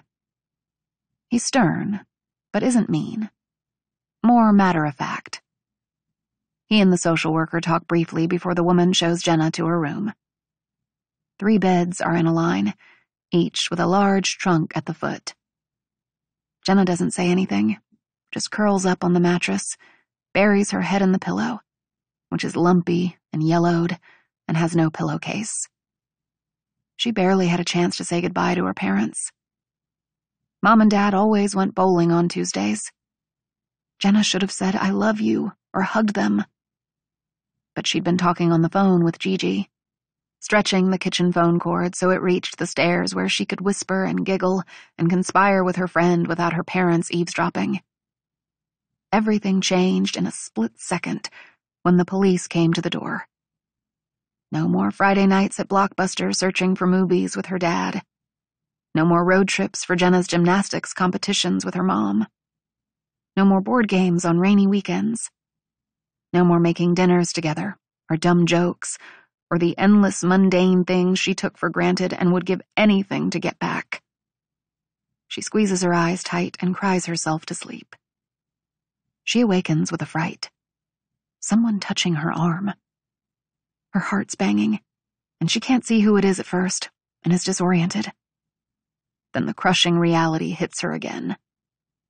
This isn't a nightmare. She's at the group home. Her parents killed in a car accident. She has no one. There's a girl crouched at her bedside. In a whisper, she says, We need to hide. Hide? Jenna doesn't understand. But then from outside the room, there's the sound of male voices. Laughing. Heavy footsteps. Come out, come out, wherever you are. The tone isn't playful like in hide and seek. It's creepy. She thinks he's imitating a line from a movie. Jenna jolts up. She looks around, but there's nowhere to go. The girl's already gone. Jenna jumps to her feet, opens the chest at the foot of the bed. It's small, but she's limber. She balls herself up, closes the lid on top of her, the inside hot from her breath, loud from the banging of her heart. But the lid juts open. The girl is back, shaking her head, silently telling Jenna that they'll find her there. The girl takes Jenna's hand, then guides her out of the bedroom. In the upstairs hallway, Jenna hears more noise from downstairs. She's not sure what time it is, but it's dark, and the place is otherwise still. The girl, she has dark black hair and brown skin. Puts a finger to her lips. Jenna is terrified now. What is happening? Why is this girl so afraid of them? Where is Mr. Brood? They step gingerly down the hallway, fear seizing Jenna with every creak of the floorboards. Come out, come out, wherever you are. The voice floats up the stairs. The girl stealthily moves into the other bedroom, Jenna following close behind. The room has three more beds in a line, three trunks in front of them. The girl goes to a closet at the far end. The voices grow louder. The girl opens the closet door. It's empty, save for a few clothes hanging on a mismatch of hangers. The girl sweeps aside the clothes and reaches inside. Jenna notices a small gap in the drywall about four feet long. The girl puts her small fingers inside the crevasse and pulls. A slice of drywall, a makeshift hidden door, comes off, and Jenna is startled by two round eyes looking back at them. The girl who led her there says, Shit. The girl in the hidden section of the closet says, You can fit, Marta. Both of you. She pushes herself back, as if willing herself to be smaller but Marta clearly knows better. Marta wedges the section of drywall back to its place and fans the clothes in front of it. She's starting to panic. Jenna can see. The voices are getting closer. Jenna needs to take control, take action. Her gymnastics coach always says, if you want to be a leader, lead. She runs to the window and looks outside. There's a small slice of roof covering the porch. But the drop is far. Jenna pries open the window. Marta is watching her. The voices grow louder, like a pack of wolves going room to room looking for food. Jenna gestures for Marta to come to the open window, but the girl's frozen. Jenna quietly races over, takes Marta's arm, and steers her to the opening. Marta ducks through the window and stands on the small section of roof looking terrified. Come out, come out! Jenna darts over to the bed, yanks a thin blanket from it, and climbs out the window, shutting it right as the bedroom light is slapped on. They move away from the light to the edge. Marta is visibly trembling now. Jenna hands her an end to the blanket, gestures for her to grip it tightly. I'll lower you down, she whispers. Marta shakes her head violently, but Jenna gives her a look that says, It will be okay. Voices are coming through the walls. Jenna peers over the ledge. The front lawn isn't overgrown, but it isn't well cared for either. Like someone whips through every few weeks with a mower without regard to what they're plowing over. She confirms it's too far down to jump. Still holding the blanket, the girl lowers herself so she's sitting on the ledge. She twists her body around so she's facing the house, balancing on her forearms as she grips the blanket. Jenna plants her feet and begins lowering Marta, the girl gripping the blanket for dear life. Jenna's foot slips, and she worries they'll both go down. But she regains her footing as Marta inches closer to the ground. The blanket is long enough that with outstretched arms, Marta will be able to drop without breaking a limb. Jenna feels a rush of panic as the window makes a loud noise as someone jams it open. The weight on the blanket releases. Jenna makes sure Marta is safely on the ground and then tosses the blanket over the ledge. A voice booms. She's outside! Jenna doesn't look back at the window, but instead runs across the roof and leaps to grab the gutter's downspout above, which is old and rusted. She prays it will hold. There's more voices, but they trail off. They're running downstairs, trying to catch the girls in the yard. Jenna shimmies down, sliding too fast, the aluminum burning her hands. Marta has waited for her. The two lace hands and run into the night. Are you Clark Stansbury? The voice jars Jenna back to the present. The driver of a car with an Uber sticker on the side window is looking at her. She remembers she's using the scooter guy's phone, nods and hurries into the vehicle. While they drive to Willow School, Jenna finds herself returning to that first night at the group home, to the dark haired girl thanking her for getting them out of the house. Those boys, she tells Marta. We need to tell Mr. Brood. Marta's response takes the wind out of her. It's not the boys we need to be afraid of. Chapter 11 Donnie Donnie, how's it hanging? It's Mickey, the manager of Tracer's Bullet. Donnie has the cord to the hospital room's phone pulled tight. He needs to get a new cell phone. His is at the bottom of the Atlantic Ocean. He favors the old flip phones, which are harder to find these days. He has considered getting a smartphone, but he doesn't use social media, doesn't watch television, doesn't surf the interwebs, and doesn't want to start. He's seen too many people addicted to their phones when there are so many better things to be addicted to. After some small talk, half-hearted concern, Mickey says, Look, I've got some good news. Yeah? Have you talked to Tom? Not since he kicked me out of my band, Donnie says. I've had a bunch of fans here, even the frickin' FBI, but nothing from Tom or any of them. Donnie thinks about the FBI agent, the curious image of the woman lingering outside the federal building where Benny worked. He's starting to think she looks familiar, but that's probably the power of suggestion. Still, something has him baffled. If she was on the cruise ship, how would she be outside Benny's office three days ago? They were at sea when Benny died. The agent asked him a lot of questions about whether anyone arrived via helicopter and when they went to port, but there's no way the same woman could be in Pennsylvania when Benny was murdered and on the cruise ship at the same time. Donnie asked the agent about that, but Rodriguez was tight-lipped. Mickey hesitates. Tom's probably having a hard time getting hold of you. I got bounced around till they connected me to your room, and what's the good news, Mickey? You said there's good news? Look, Tom feels terrible about what happened. He wants to talk. I'm sure he'll reach out today.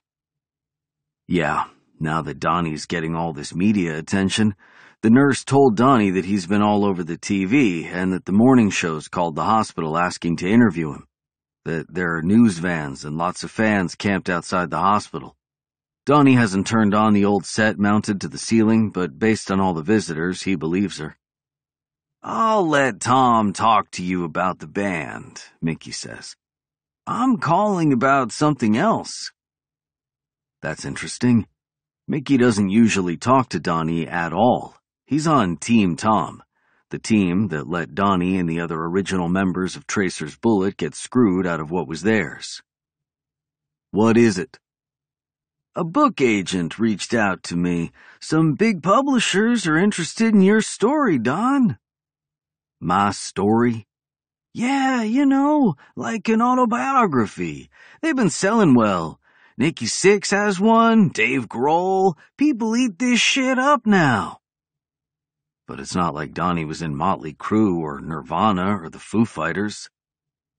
All 'cause I fell out of a boat? Mickey chuckles.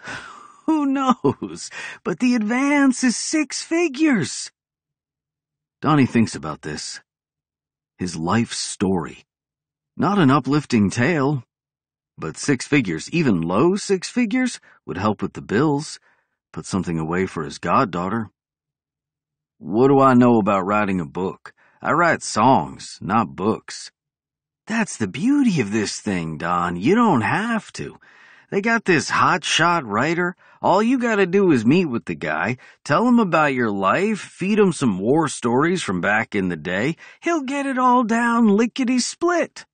I don't know. I, offers like this don't come along every day. You gotta strike while the iron's hot. Before his plunge off the Royal Voyager rotates out of the news cycle, Donnie is quiet. He thinks about his mom, the group home, terrain he doesn't want to revisit. You there? Mickey says. There's noise in the background, someone saying, check, into a PA system. Mickey's at rehearsal. Tom's probably there right now, so much for him not having the hospital room's phone number. I need to think about it. Now Mickey is quiet. He clearly thinks it's a no-brainer. How about this? Meet with the writer, see what you think. The agent already flew him down to Miami from New York. I'm checking out of the hospital today, so I won't be. Where are you staying? He can be at your hotel by dinner time. Donnie realizes that the wheels on this are already in motion. Nothing to lose, Don. They'll buy you an expensive meal. No commitment. Just talk to the guy. All right, but make it clear I'm not sure about this. I'm staying at the Fontainebleau. Nice. I love the Fontainebleau, Mickey says. Sinatra and the Rat Pack used to hang there. I'll tell them to meet you in the Hakkasan bar in the hotel at seven. Chapter 12 Nico Nico is burning up. He's in that space between consciousness and dream. Sweat rolls from his brow. His pits feel like a swamp. The wound on his shoulder may be infected. He's at the beach, the magical day with his mom when he was 11, the blissful ignorance of not knowing that this was her goodbye. She'd given him a necklace with a pendant. It's a St. Christopher, like mine. What's a St. Christopher? He keeps you safe on your journeys.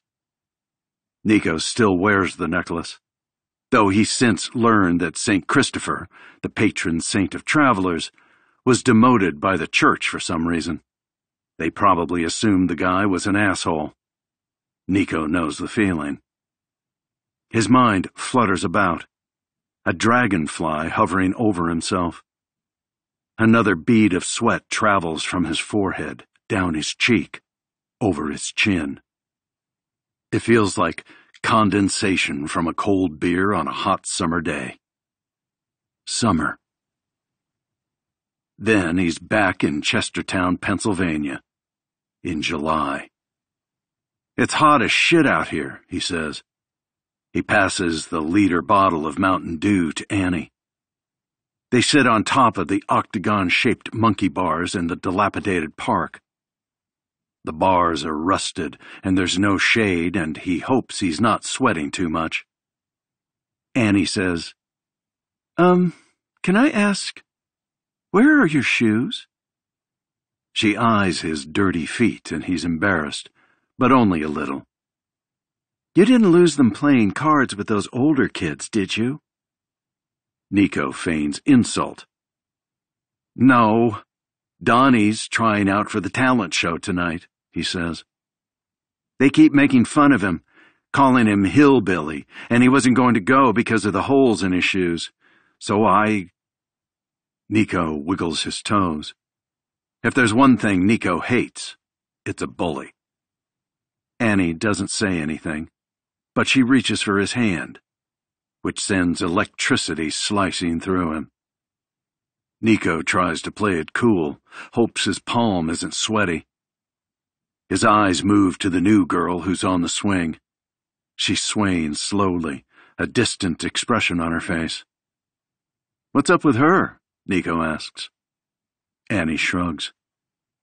I heard her parents died in a car crash.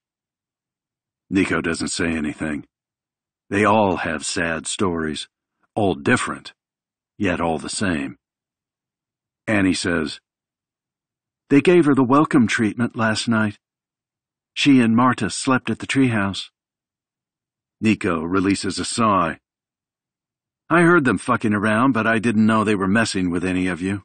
Where was Mr. Brood? Men's club. On Wednesday evenings, the businessmen of Chestertown get together to pretend they're big shots. They'll stay at the park until dark. It's better than the house, which is crowded and where Mr. Brood will put them to work cleaning the bathrooms or doing other made up chores. But once the sky dusks, it's not safe here. Annie takes a drink of pop and tosses him the candy. They pooled their money, the four dollars they got from the recycling center. She points across the park. There's Artie. Artemis Templeton, another one of the Savior House kids, pulls an old wagon, the wheel wobbling along the broken sidewalk on the perimeter of the park. Inside the wagon is a computer monitor and a tangle of cables and cords. Dumpster diving at the Radio Shack again. He says he's going to build the next Microsoft, but bigger. Artie's a strange dude. Probably will be a gazillionaire someday. But strange. The kids call him the robot because of his monotone inflection. Annie glances around. She sighs. There are no kids. No responsible adult would bring their children here to play on the blacktop strewn with broken bottles, used condoms, and even a needle or two. The seesaw is a broken plank. You think we'll ever get out of here? she asks. I'd bet on it, Nico tells her. You'll bet on anything, she says, smiling. A smile that lights up even this grim place. She's right, but gambling pays off sometimes. It was a gamble, after all, that Annie would like him. Nico isn't a visionary like Artie, isn't strong and smart like Ben, isn't good at guitar like Donnie, isn't good at anything really, except maybe being a smartass. Maybe that's why his mom didn't come back. He looks around to make sure nobody's watching. I am Got you something? He hands her the small box. She opens it and removes the necklace that has letters spelling out her name. Annie. That's so sweet. You didn't need to. I wanted to. They sit quietly as the sun goes down. As they're about to head to the house, Annie says, The lady's back. She's staring at the verge of the park. Artie must have seen the woman and gone the long way because he's on the other side now. Mr. Brood is standing with the mysterious woman in the fancy clothes, who shows up now and then in her fancy car. She's too stylish to be from the Department of Children's Services. In Nico's three years at Savior House, social workers appear only when they're dropping off a kid. Nico looks at them. Who is this lady? Maybe she's Derek's mom, Annie says as Derek Brood walks up to the lady and his father. No way this lady gave birth to that pile of ugly. We should go, Annie says, eyeing Derek, who's walking in their direction. He won't do anything with that lady watching, Nico says. Annie narrows her eyes, like she knows better. Nico's pulse quickens as Derek walks purposefully toward the monkey bars. Be brave. For once in your life, be brave. Derek glowers at them. I heard faggots hung out at this park, but I didn't know sluts did too. Nico swallows. Be brave. He feels for his silver dollar in his pocket. He pulls it out, eyes it in his palm. Tails. He should retreat. No, not in front of Annie. Quietly, in a barely discernible tone, Nico says, Douchebags say what? Derek scowls. What? This elicits a laugh from Annie. What you say, motherfucker? Derek says. Nico looks out at the lady and Mr. Brood. Derek won't do anything with them watching. There's always later tonight. Come out, come out, wherever you are. But not now. And Ben and Donnie and Artie will be home later, and there's safety in numbers. You got something to say? Come down here and say it. Derek's angry. They're laughing at him. Nico drains the Mountain Dew bottle. Why don't you come up here instead? Annie laughs again. She stops when Derek runs over, jumps up, and wraps his arms around Nico's legs. He tugs Nico off the cage of metal, and Nico hits the ground hard, knocking the wind out of him. Stop! Annie shouts as Derek kicks Nico in the stomach. Nico feels like he's suffocating as he flops around on the ground. He looks out at Mr. Brood and the woman, expecting them to run over to break it up. But they just watch. Derek kicks him again. Nico balls up, caging his head with his hands. After years in group homes, he knows you should always protect your head. As he gasps for air, his eyes snag on the woman. She's shaking her head but doing nothing. Annie is screaming, but Derek isn't stopping.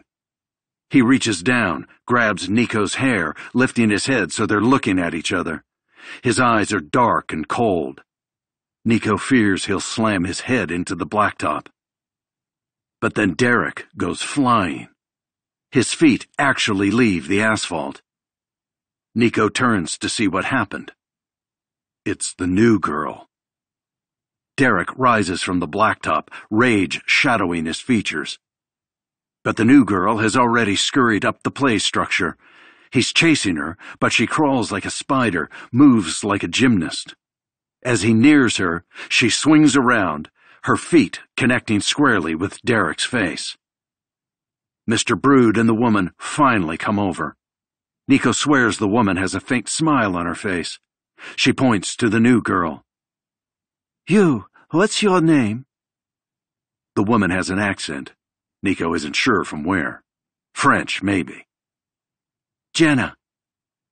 The woman nods to Mr. Brood, turns, and disappears. Nico comes to, still in the mine. His body is radiating heat. He's disoriented. He manages to turn on his cell phone, click on the flashlight. That's when he sees them. Two dead rats. Chapter 13 Jenna The Uber drops Jenna on Wisconsin, a block from Sidwell Friends School, to avoid the scooter guy tracing her to Willow. She makes it to the front of the building. Two girls wearing the school's uniform bound out the doors. They're smiling and nearly vibrating with teen energy. Jenna studies the area. She sees nothing suspicious. But this makes her more anxious. The corporation always makes sure nothing looks suspicious. Jenna escaped. The corporation doesn't screw up like this. She straightens herself as she awaits the iris scanner to unlock the school's front doors. Sidwell Friends is an obnoxiously expensive private school, one filled with the spawn of Washington's elite. The parents are generally put together. They have nannies and personal assistants and housekeepers for the hard stuff in life. And the moms are usually dressed to the nines. And they certainly don't show up looking sweaty and disheveled. Jenna agreed to send Willow to Sidwell for the simple reason that the president's daughter and the children of no fewer than five cabinet officials are students here. It ensures that the school is under heavy Secret Service protection, and her former employer would know that. A stranger caught casing the school would be shoved into a government van before they knew what hit them. But Jenna isn't a stranger. She's a parent. So, disheveled or not, a second scanner this one for the main office buzzes her in. The woman working the front desk says, Can I help you? She peers over her glasses pinched on her nose. No smile. Between the overbearing parents and entitled teenagers, Jenna suspects the woman's customer is always right instincts were extinguished long ago. Hi, I'm Willow Rains' mom. If Willow had been present, she would have quickly corrected her by saying, stepmom. But no need to complicate things now.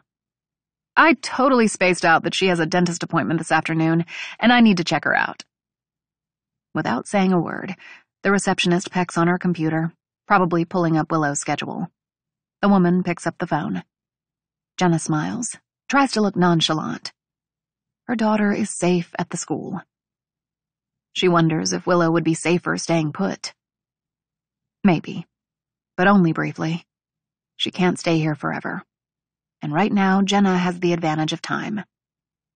The receptionist's brow furrows. She murmurs something into the line, then hangs up. Willow has AP Lit sixth period, but her teacher says she didn't come to class. She also missed fourth and fifth periods. Jenna's heart races.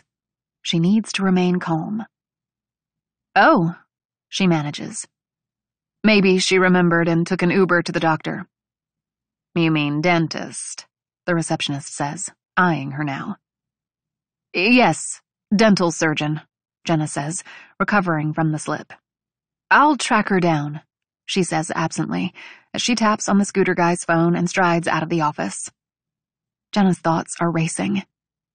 Do they have her? If not, where the hell is she? The receptionist said she missed the two periods before lunch, before Jenna botched the job. And Simon said her phone is pinging at the school. The bell rings and the hall fills with students. Jenna remembers from parents' night that Willow's locker is near the auditorium. She maneuvers through the kids and finds it. She doesn't see Willow, but she spots a familiar face. Willow's best friend, Lily. Lily Hurtado usually exudes enthusiasm. But when she notices Jenna, her expression turns from curiosity to concern. Jenna rushes up to her. Hi, Ms. Rains, she says sheepishly. Hi, Lily. Do you know where Willow is? There has been an emergency, and the office says she's missed her last few classes. Lily looks at her shoes. Worn sneakers with hearts drawn on them with an ink pen. She's not in trouble. But if you know where she is, you need to tell me. She's not answering my texts. She, um, told me that she and, um, Billy were, like, gonna skip with some kids. Billy? Who's Billy? It doesn't matter right now. Where, Lily? It's important. I don't know. Has she done this before? Lily looks at her shoes again. Where does she usually go? Jenna's voice must sound angry, because the girl is tearing up. Last time it was the 7-Eleven on Wisconsin. Jenna doesn't understand. Lily shrugs, embarrassed. Kids hang out in the back. Chapter 14 A few blocks from one of the most exclusive private high schools in the country stands a 7-Eleven, which is next to a Popeye's chicken and across the street from a liquor store. Such is the unpredictable landscape of even the affluent sections of Washington, D.C. Jenna paces quickly past a homeless man sitting on the sidewalk eating fried chicken out of a cardboard container and heads down the alley toward the back of the strip of businesses. There, on a cinder block wall near a large blue dumpster, sits a group of kids. One of the teenagers, a boy with floppy hair and the necktie from his school uniform loosened, takes a drink from a brown paper bag and passes it to you guessed it, Jenna's stepdaughter. Jenna charges over and faces the group. Willow pauses, makes an exaggerated expression, mouth in a round O, as if unable to believe what she's seeing. We need to go, is all Jenna says. The lecture can come later. Jenna? Oh my god, this isn't happening. The other kids Dart looks at one another, not sure how to proceed. Let's go, Jenna says. But Willow doesn't move. Instead, she sets her jaw. After a brief stare down with Jenna, she says, I'm not going anywhere. The other kids look uncomfortable now. A boy, the one who handed her the brown paper bag, says something to Willow that Jenna can't make out. Screw that, Willow says to him. She's not my mom. We don't have time for this, Jenna says. There's an emergency. You need to come with me. The other kids have already jumped down from the wall. They gesture for Willow to join them, but she's not budging.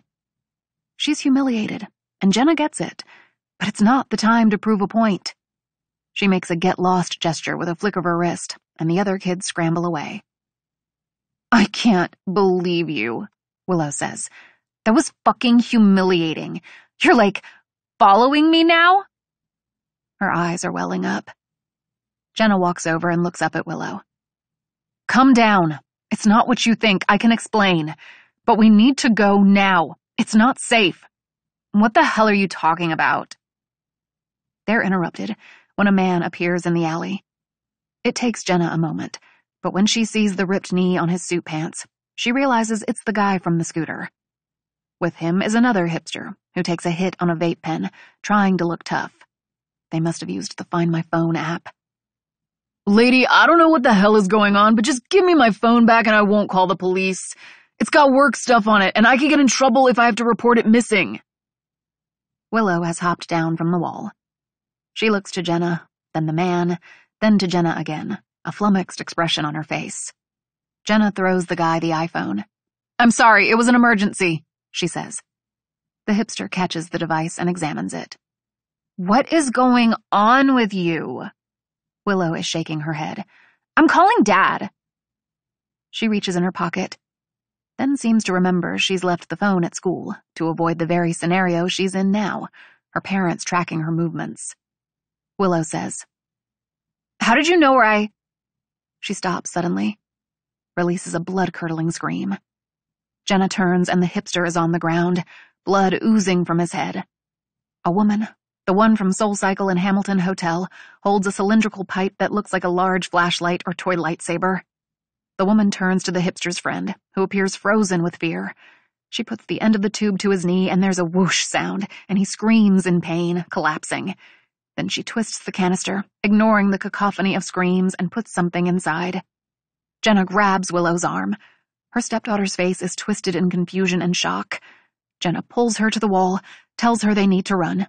Willow's survival instincts kick in as she grasps the ledge and pulls herself up. Jenna pushes Willow's bottom up and Jenna vaults over the wall after her. On the other side, Jenna hears a plea. No, please, no. There's another whoosh sound, then silence. They run. Up Wisconsin, full speed past Z-Burger, a mattress warehouse, a Chinese food restaurant, and not stopping until Jenna spots a safe place. A bank. The woman with the weird weapon won't risk the armed guards and security cameras. In the lobby of the Chase Bank, Willow's face is depleted of all color. She's shaking, her breaths coming out in rasps. Deep breaths, Jenna says, demonstrating in through the nose, out through the mouth several times. The guard is eyeing them.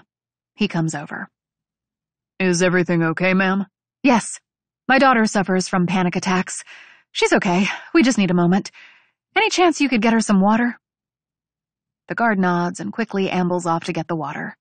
Don't leave me, Willow blurts, grasping Jenna's forearm. I won't, Jenna says. Everything's going to be okay. Here's what we're going to do. We're going to calm down. It's a busy street and the metro is only a block away. We're going to walk there together. I'll be right by your side. Can you do that? Willow's eyes are large, but she nods.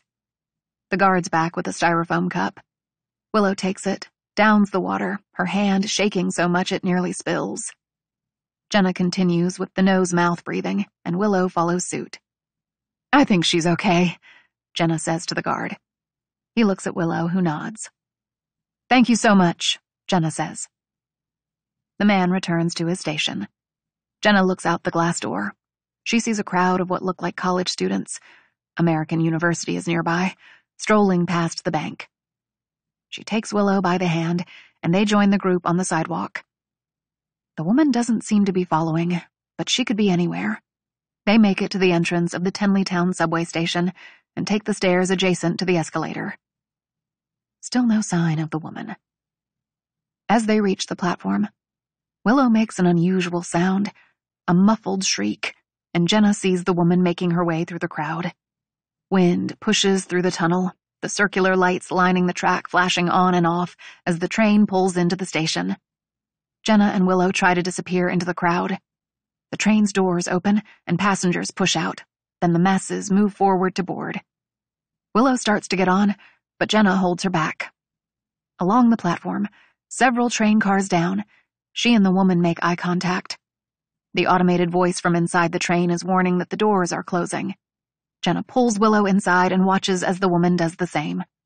Right before the doors close, Jenna pushes Willow through the opening, sliding out after her as the doors shut. As the train lurches forward, Jenna sees the woman inside. She looks more amused than angry and gives a sarcastic wave as she blurs by. Chapter 15 Jenna and Willow walk quickly to the parking garage of a Whole Foods that's near the metro station. From the second floor, Jenna can see down Wisconsin. District squad cars have clustered in the 7 Eleven small front lot. Someone found the hipsters. Jenna feels a pang of guilt. If it weren't for her. But she needs to push that down, to focus, to think. Jenna starts trying door handles on parked cars, seeing if any are unlocked. Willow still looks like she's in shock, punch drunk.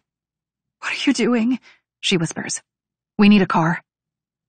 It's been years since she's hot-wired a car, and she's worried she's forgotten how. Worse, they'll have to pick something older, unreliable, since newer cars are virtually hot-wire proof. Who are you? Willow says, walking away from Jenna, palms facing out, distancing herself. Jenna frowns then realizes that this is a lot. We need a car. We need to get to your dad and Lulu. Willow replies, I'm applying to college, and I'm not going to get caught in a stolen car. Jenna is almost amused. Tracked by a woman with some type of death tube weapon, her stepmother's gone crazy, and Willow's mind is on her college applications. Willow says, I can ask Billy for his car. It's not a bad idea. It won't be completely untraceable, but it's unlikely anyone would be tracking the boy's vehicle. Hell, even Jenna didn't know about this boy. They head back to the school. Out front, Willow says, Wait here. Before Jenna can protest, Willow strolls inside. A few excruciating minutes later, she reappears. She leads Jenna to the garage, which is underground. It's filled with luxury sedans, but Willow stops in front of a Jeep Wrangler. He'll be here in a minute. How'd you? I got my phone from my locker and texted him. But don't worry. I put it in airplane mode and left it there. Jenna feels weirdly proud for a moment. A few minutes later, the boy with floppy hair, the same kid from the 7 Eleven, appears. He looks nervous when he sees Jenna, but is soon distracted by Willow. She races over, throws her arms around him, Willow says something Jenna can't hear. The boy, his name is Billy, Jenna reminds herself, hands over his keys. Just like that, with no questions. They must be close. That's confirmed when Willow gives him a kiss. And it's a kiss, not a friendly peck. After, the boy makes eye contact with Jenna, blushes, then offers a small wave and heads back to class. Willow comes over, swinging the keys on a lanyard. She looks like she's going to say she's driving, but thinks better of it. They climb inside. Jenna lets out a breath, collecting herself. It's going to be three hours to the cabin. She needs to get there, get Willow to her father and Lulu where it is safe, then figure out what the hell is going on. Who is the woman with the death tube? And why is she after Jenna? And why now? Chapter 16 Donnie Donnie eyes the food tray on the hospital room table. The spinach and sweet potato curry looks like someone sneezed on a pile of mushed carrots. He needs to get the hell out of this place. He takes a pee, then examines himself in the mirror.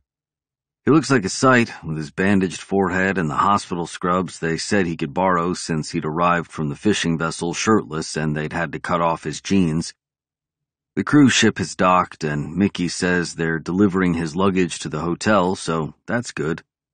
He's not so sure about meeting with this writer, but it's a free meal and drinks, and he's ready as hell to be out of this place. And who doesn't love Miami Beach? Palm trees, beautiful girls, perfect weather. The doctor comes by again, ignores his charm offensive, and advises him to stay in the hospital one more night. When he declines, she shakes her head but says someone will come by with the waivers and forms to sign. As he sits on the bed, his eyes go to the food tray again. He stares at it a long time, trying not to think of Benny. But the memories are everywhere. They're in line at the school cafeteria as the lunch lady plops a scoop of mush on Donnie's tray. No one's seen Marta since yesterday, Donnie says. She wasn't in homeroom this morning. Benny listens as they shuffle down the line, he plucks a bruised apple from the pile, the only fruit option to go with today's mystery meat, and takes a bite. Maybe she finally ran off, Benny says with a mouthful. She's been talking about it. Donnie makes a face. Without saying goodbye, man? No. They make their way into the lunchroom. It's loud, as always, the sound of barely supervised teens. There's only one attendant, a lady so old that she probably worked here when the area was a thriving factory town, and she's no match for the heathens of Chestertown High. They weave through the tables. Benny stops, looks to the far corner. I'm not in the damn mood for this today. Donnie follows his line of sight. At the table in the back for the outcasts, Derek Brood and two of his friends are looming over Artemis. Derek is moving in slow, jerking movements, imitating a robot. When Artemis doesn't seem to respond, Derek puts a finger on Artie's tray and digs up some mashed potatoes and flicks it, a glob of white sticking to Artie's face. Artie completely ignores him and looks ahead, continues eating. Annie appears to be telling Derek off when one of Derek's friends makes a V with his fingers, puts it to his lips, and waggles his tongue through the gap. Benny walks over at a quick pace, when he reaches the table, he stumbles like he's tripped over his own feet, and his food tray lands flat on Derek's chest. Derek jumps back, his shirt covered in slop and spilled milk. What the fuck? Sorry, Benny says, looking down at Derek. I tripped. Benny sits at the table next to Artemis, his back to Derek, not a worry in the world. Donnie grips his tray, ready to swing it at Derek and his friends if they go after Benny, but instead they leave in a hurry. Donnie smiles at that, puffs out his chest, then sits on the other side of the table next to Annie, across from Artemis and Benny. Artie sits calmly, the dollop of mashed potatoes still stuck to his cheek. He doesn't react to things like other people. Donnie slides his tray to the center of the table, signaling to Benny that they can share Donnie's lunch since Derek's now wearing Benny's. They sit in silence for a while, like they're all wondering when life will take a turn for them, when they won't be the outcasts, when they won't have to face the indignities of the lunchroom, when they won't have to go to bed worried about closing their eyes, when they'll have families again. Nico shows up at the table, no lunch tray in hand. I went to the office. They said Marta was called in sick. Sick? She wasn't in her room this morning, Annie says. Who would call? She lets the question die. Nico says, How many is that now, Artie? What do you mean? Artie says. How many girls gone since we've been at the house? Nico and Artemis are the longest tenants at Savior House, and Artie's the obvious mathematician of the pair. Artie thinks about this. Six. Six damn runaways in three years? Donnie asks. Annie says, How do we know they're runaways? It's the most logical answer, Artie says. I talked to Mr. Jones and he called the foster care office and was told they looked into everything. Mr. Jones is a retired computer company executive who's helping Artie with his coding projects, probably the only nice grown up in any of their lives. Not that they repay him for the kindness. The kids all call him Ned Flanders because of his resemblance to the character on The Simpsons. Nobody ever talked to me, Ben says. What kind of investigation is it if no one ever asked us any questions? While Artie may be a genius, the next Thomas Edison or something, Benny's the truly smart one, book and street smart, like that OJ lawyer he admires, or the bald lawyer on the practice. You sure we can trust Flanders? Benny asks. He and Mr. Brood are friends. Artemis says, They're not friends. Mr. Jones says that the state should shut down Savior House, that Mr. Brood only has the job because of his family. Everyone knows that the Broods are what passes for a political dynasty in corrupt small town Chestertown. Mr. Brood's father was its longtime mayor, a position now held by Brood's brother. Artie continues. Mr. Jones is in men's club with the Broods, but he's not friends with Mr. Brood. What about that French lady? Annie says. Artie, you said one of the others disappeared after the lady met with Mr. Brood. She was here the other day. We saw her. Annie looks at Nico, who nods. Artie finally wipes away the mashed potatoes with a paper napkin. It's unusual, he concedes. It's all BS, is what it is, the voice says. It's the new girl, Jenna. She's at the far end of the table. Donnie didn't even see her there. She has a way of blending in that's strange. Ben sits up straight, tightens his jaw. We gotta figure this shit out. You think? Nico says in that way of his. Donnie is about to ask, how? What could they possibly do? They're just kids. Artie says, I'll ask Mr. Jones to call the foster care people again. We need to do it soon, Jenna says. Before another one of us disappears. By late afternoon, Donnie checks into his room at the Fontainebleau, pleased to find his luggage already in the suite. He riffles through his suitcase for something to wear. He's meeting with a writer, not something he does every day. He considers wearing his one shirt with a collar, but opts instead for a concert tee, denim jacket, and ripped jeans. The guy might as well know what he's getting into. He needs to shake off thinking about Savior House, about Benny, about all of it. At a stand-up table at the Hakkasan Bar and Lounge, looking out of place amid the tanned, beautiful people of Miami Beach, is a pasty guy in a button-up shirt. Maybe Donnie should have worn the collar. The man looks timidly at Donnie and raises a hand. Stands. On closer inspection, he looks less like a writer than a figure skater or ballroom dancer. He has a thin frame, hair that touches his shoulders, and a handsome, angular face. Mr. Danger, he says, sticking out his hand. First the FBI, now this guy. Donnie hasn't been called Mr. this much in years. Or ever. Mr. Danger's my dad, Donnie says, instinctively carting out the rock star persona. Not that I ever met that son of a bitch. He barks a laugh. Call me Donnie. Hi, Donnie. I'm Reeves Rothschild. Reeves Rothschild, Donnie repeats, amused. Sounds like royalty. I feel like I should bow or something. A handshake works, Reeves says. They shake and sit. A waitress with a tight blouse and piercings crawling up her ear asks if they want anything to drink. Donnie thinks on it. Maybe just one. It's been a hell of a week after all. I'll have a car bomb. The waitress looks confused, then realizes it must be a drink. She nods, looks to Reeves. He hesitates. I'll have the same. This makes Donnie smile. Thanks for meeting with me, Reeves says. It's amazing you're already out of the hospital. Are you feeling better? I've got a nasty bump on the head, but otherwise, good as new. There's an awkward silence. Donnie finally says, So, they say you want to write my story. I do. The kid says it like he almost means it. Now, why in the hell would you want to do that? Donnie asks with a crooked smile.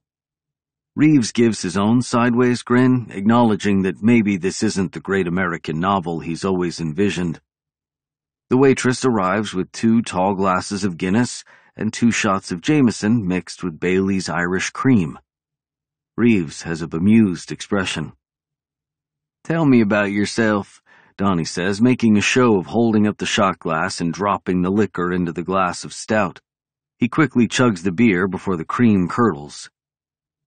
Where are you from, Reeves? Westport, Connecticut.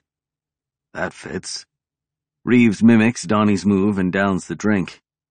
I live in New York now, he says, wiping foam from his mouth. How long you been a writer? Reeves smiles. My first novel was published five years ago. I was actually in law school. Both parents and my two siblings are all lawyers, but I dropped out. That's one point for the kid. He's passionate, breaking away from what was expected of him. It still doesn't explain why he'd agree to write a book about some washed up rocker, but still. Picking up on Donnie's thought, Reeves says, Look, I know I'm not an obvious choice. What? Were your parents big fans or something? Donnie asks. This amuses Reeves for some reason. I wouldn't say that. Then what? I had this dream, you know? Everyone thought I was crazy dropping out of law school. My father's still furious. And while my first novel received starred reviews and literary awards, it sold fewer than 5,000 copies. My publisher dropped me. I'm the joke of my family. And you need the money? Reeves smiles. Well, there's that. Now that's something I can relate to, Donnie says. He downs the remnants of the drink, raises a hand to catch the waitress's attention. But it's more than that, Reeves says. When my agent called, I thought she was kidding. But then I did some research. On you. The writer makes eye contact with Donnie now. And I think I can do your story justice. I think I understand what it's like to be a joke, Reeves mercifully doesn't say. Donnie examines the kid. Against his better judgment, he asks, How would this work? However you want. I suggest we get to know one another and perhaps you can tell me about your life. I can identify the parts that I think would make for a good story and write an outline. We can discuss the outline and then I'll write a first draft and get your feedback. That's it, Donnie asks. That's it? Though we'll need to spend at least a week together. Donnie thinks about this. Mickey consulted with one of his contacts in the publishing world, and the terms for the deal are a bit unusual, he said, but so is falling off a cruise ship into the Atlantic, and the money is right. Seven days in my life. Donnie laughs, motions to the next round of drinks the waitress sets on the table. Think you can handle that, Reeves? It'll be like Hemingway in Paris. Donnie has no idea what that means, but he likes this kid. They drink more car bombs, talk some more. That leads to dinner. 16 ounce dry aged bone in ribeye at one of the hotel's fancy restaurants called Strip Steak. A woman approaches their table and asks Donnie for a selfie. He hasn't gotten so much attention outside the cruise ship or second rate venues in years. He offers a crocodile smile for the photo and she scuttles off. By midnight, Donnie is feeling sloppy but he's made a decision and he thinks he'll be okay with it when he sobers up. He and Reeves stumble into the hotel lobby. Donnie looks at the writer. Hemingway, my boy, let's do it. Reeves's eyes are bloodshot. With slurred speech, he says, You sure? We could talk tomorrow if you need to think about. I don't need to think, but I got two conditions. Reeves waits. One, you make me sound smarter than I am. Reeves hesitates. I want to tell your real story, not some, I'm just fucking with you. Donnie cackles. Even a smart guy like you can only do so much. Donnie holds up two fingers. Looking at them, he has a strange sensation of panic, but he shakes it off. Two, though, and I'm not kidding on this. Reeves nods for him to continue. We start the story when I'm 15, after I was on my own and joined the band. I don't want to get into stuff before then. Reeves ponders this. I think we can make that work. Good. The last thing Donnie needs is for anyone to start digging into what happened at Savior House. Chapter 17 Jenna. Jenna and Willow drive for a long while in silence. Unsatisfied with Jenna's vague answers to her barrage of questions, Willow has resorted to an old standby the silent treatment. Willow stares out the window, as Jenna races through the questions playing in her mind on a loop. Why would someone want to kill Artemis Templeton? He's famous, one of those tech billionaires people love to hate. But is that it? Why was I assigned for the hit? Is it because Artie and I were both wards of Savior House 25 years ago? Was it the corporation? If not, how did they know I had been part of the organization? How did they know about my new life? My family? Her head is spinning. She needs to get it together. Get Willow safe and then focus on the who. The why. Billy seems nice, Jenna says, if only to distract herself, break the quiet. She's not so sure he is nice. Rendezvous at the back of 7-Elevens might speak to the contrary. But he gave Willow his Jeep without question and the way he looked at her in dopey awe. Willow ignores her. Jenna stares at red taillights and heavy traffic on I-81. Once they reach 42 South, it will open up. Look, I know this is a lot. Willow glances at her with heavy lids, telling her off in a way that only a teenager can. She reaches for the radio, turns it up. She's usually glued to her phone, so this is the best she can do to avoid communicating with Jenna. Jenna decides to keep trying. She lowers the volume, says, I know it was scary. What happened? Once I get you safe to your dad, we can all talk about it. The radio's volume goes up again, and Jenna decides to let it go for now. Forty minutes later, she merges onto the Woodrow Wilson Parkway. At last, she sees it mile marker 21, and she pulls to the shoulder. Willow's head leans against the passenger window, her eyes closed. Jenna checks the mirrors. Only a few stray cars, plenty of distance between the headlights. She searches the glove box, then the center console, but doesn't find what she needs. She gets out and opens the Jeep's back. There's an ice scraper stored there from the winter. It will have to do. She walks down a small ravine filled with weeds that borders the asphalt shoulder. On the other side of a steel highway guardrail is a handmade cross that has a teddy bear and streamers from balloons that have long since deflated. One of those grim markers. A spot where wayward teens probably were driving too fast and lost control, or where a drunk driver plowed into unsuspecting motorists. Like Jenna's parents. Jenna looks around and waits for a car to pass. Then she falls to her knees and starts digging with the ice scraper. It takes a minute or two before Willow notices. She comes out of the Jeep, standing a few feet away. What the hell are you doing? Willow swivels her head back and forth, as if she's looking for someone to tell her this is all an awful joke.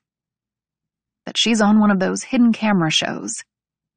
She watches as Jenna tugs out a lockbox from the hole which she carries back to the vehicle like a giant lunchbox. Willow's mouth is agape. Jenna looks at her stepdaughter, exhales. You're just going to have to trust me. Fifteen minutes later, they sit in the Jeep at a Sunoco gas station. It's dark now, and Willow has the lockbox on her lap. Dirt still cakes the box, and it's all over Willow's legs and part of her skirt. But she doesn't seem to notice. Willow keeps flipping through the items that came from a document pouch stored in the box. The two passports, one blue, one maroon, both with Jenna's photo on them, both with different names. Then similar counterfeits for Simon, Lulu, and Willow herself. Jenna managed to slip the small handgun out of the box without Willow seeing.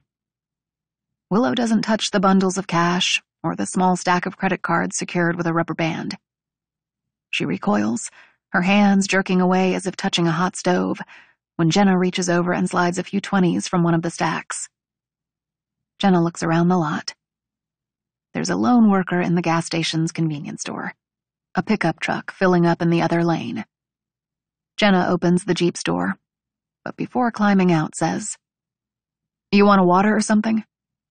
Willow shakes her head. Jenna heads inside, pays for the gas. After she fills the tank, eyeing Willow in the front seat.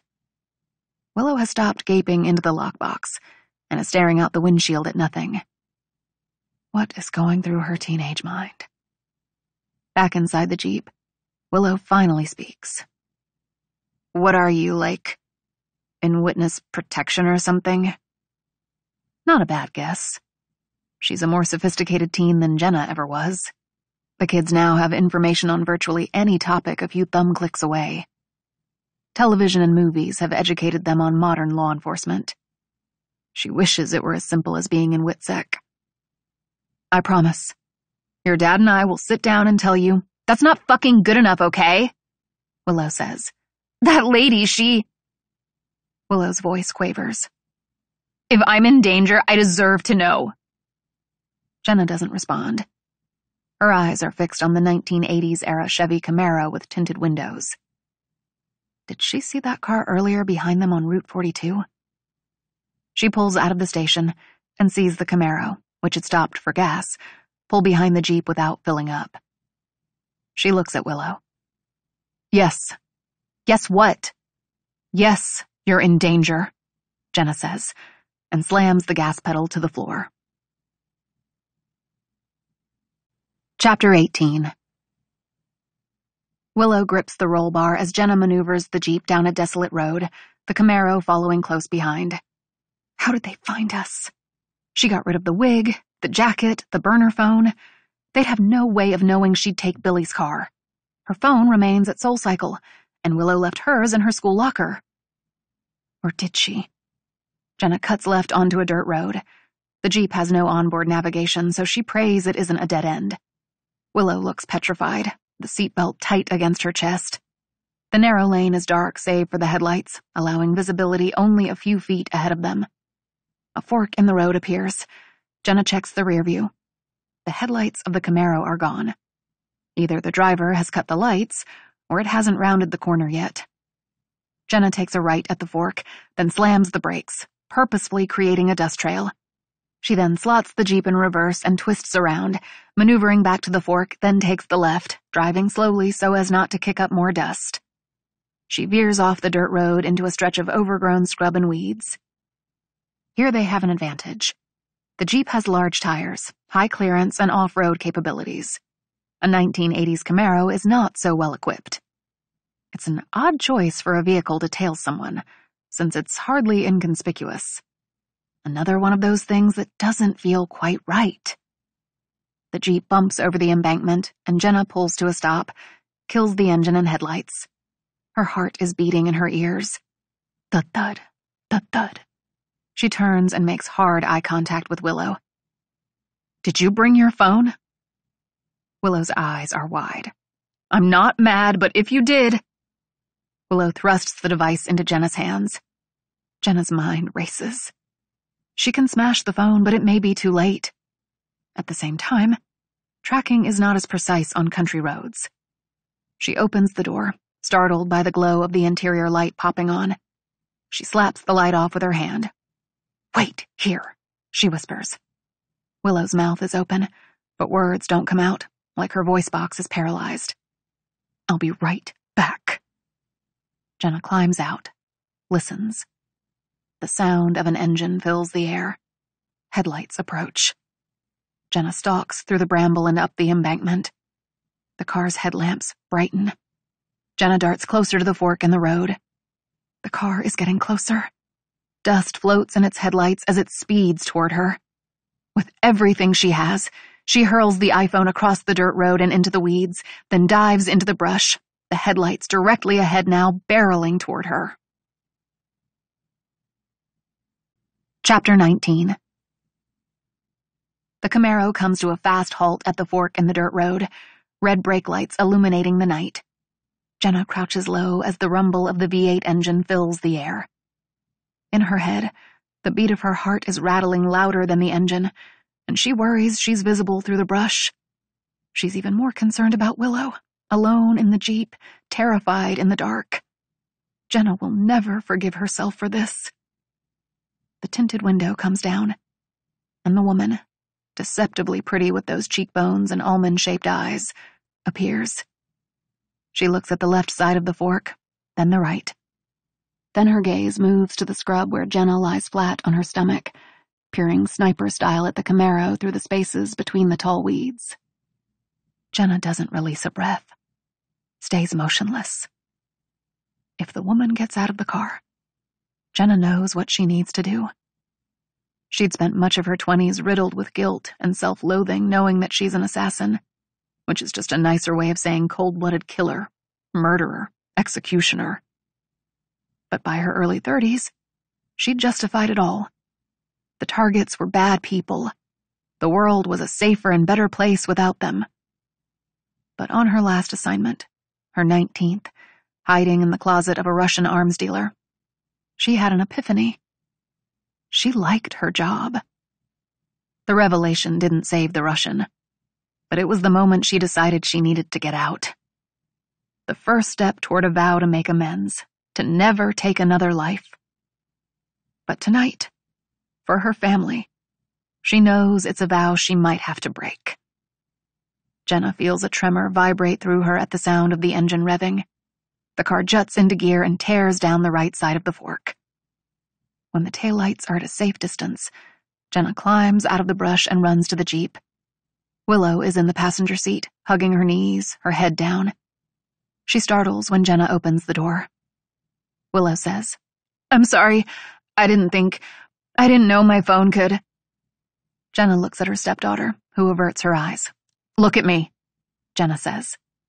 Willow's eyes, red and watery, peer into Jenna's. You have nothing to be sorry for. None of this is your fault. Jenna opens the driver's side window, listens. Nothing. You're buckled up? She asks. Willow checks the strap, nods. With that, Jenna takes in a deep breath, turns the key, and starts the engine. It sounds to Jenna like a volcano erupting on the desolate road. She drives through the tall weeds, turning the vehicle around and climbing up the embankment and back onto the dirt road. She doesn't know if the Camaro is long gone or dangerously nearby, but she has no time to worry about it. She needs to get to the cabin and protect her family. Chapter 20 Nico The sound, a sequence of pops, startles Nico. The sky brightens in a flash, revealing the five of them surrounding the dirt pit. But when his thoughts clear, Nico isn't on that knoll, and the sound isn't from a cheap handgun. It's louder, from up top, outside the mine. There are more bangs, like someone's setting off dynamite on the surface. Is this another fever dream? No, he's convinced it's not. He hears five charges in all. His mind jumps to that safety training again. The instructor telling them to look at the sticker inside their helmets. What did the sticker say? If you hear three shots, they know you're alive. If you hear five, they know where you are and are on the way. Is that right? He listens. It is now as silent as it is dark. He clicks on his iPhone flashlight and sees the dead rats again, a sight that sends a rush of fear from his asshole up his spine to the base of his neck. Oxygen is dangerously low. He knows he's supposed to stay still, but if the rats are dying, he's not far behind. He needs to find an SCSR. They're stored in receptacles running along the mine, but the roof collapse has blocked access to the tunnels. A thought, one of those realizations that can save your life, comes to him. The handcar. Doesn't it have emergency SCSRs in the compartment? He tries to stand, but he's weak. His thoughts are jumbled, another sign of carbon monoxide poisoning. He drags himself to the handcar, which is half submerged in a pile of rocks and debris. The front end is exposed. He uses his uninjured arm to haul himself into the contraption. Holding the iPhone light ahead of him, he scans inside. The open half of the cart is covered in coal dust, but he sees a side panel with an emergency symbol on it. He's confused again. Where is he? What's happening? But it comes back to him, and he opens the side panel, and inside there's the most glorious thing he's ever seen an SCSR. Now the challenge, remembering how to use the goddamn thing. He holds the iPhone light to the device, which looks like an oversized aluminum canteen. That's when he sees the red indicator that he's only got 2% battery life left on his phone. The hits keep coming. He's feeling confused, light-headed again. He should write a goodbye note. But to whom? He thinks of running in the sand on that beach again, the joyous shriek as he raced away from the waves, his mom watching him. He pops the latch off the top of the SCSR and struggles with removing the protective cover. It's wedged on like a giant cap to a martini shaker. It finally comes off, and he yanks off the bottom cover. He puts the strap around his neck, and the SCSR hangs at his midsection like a tourist's Nikon camera. He remembers something about a breathing bag at the bottom. He feels for the bag, and his hand grips an orange tag, which it seems is meant to activate the bag. It's so complicated. His mind flashes to Maverick going off on one of his rants about mine safety and how the protective gear is no better than when his daddy's daddy's daddy was bringing up the black rock that powered the world. Nico thinks of the cast of the show Headboard, the best of the nicknames, and Kermit, for his frog face, and Doc because of all the pills, and Bloody Joe. Don't ask. He has the mouthpiece clenched between his teeth now, but his mind floats. He thinks he hears noise from above, but he's probably imagining it. He pictures the indignity. No, the embarrassment of them finding his body with this thing strapped on him like a giant sleep apnea machine. Breathing into the tube, he becomes strangely at ease, like he's in a morphine fog. He closes his eyes. At least he thinks they're closed, because his phone has died and it's so dark he honestly can't tell. He clasps his St. Christopher pendant in his fingers. He sees a funnel of light. It's true what they say about when you die. There is a light a calm, a peace, and he waits for his body to float away. The light gets closer, brighter. Then the voice rips him back to consciousness. We've got our man! We've got our man! Chapter 21 Donnie More. That's what Donnie always craves after the first taste. More. From that first swig he took in the treehouse they'd built in those creepy woods near the freeway in Chestertown, to the first line he did backstage at the Whiskey A Go Go in L.A. He needed more. For him, booze, drugs, sex, you name it, were like potato chips. He could never stop at one. Once he started, Donnie Danger would keep going until he was passed out or arrested. And so it is tonight as he wanders the Florida beach after midnight, a dangerous endeavor, looking for someone to sell him what he needs. The hotel's concierge was off duty at this hour, so his usual source for party favors wasn't available. He'd looked about the hotel, but there were no men with the unmistakable look of a dealer. So, after wandering up and down the street, after asking a cabbie where he could score and being told to fuck off, he found his way to the beach. The moon is big and full, and he walks in his chucks, sinking in the sand. He should go to the room, get some shut eye, call it a night, like the writer did. But he wants more. There's a bonfire up ahead. He stumbles over.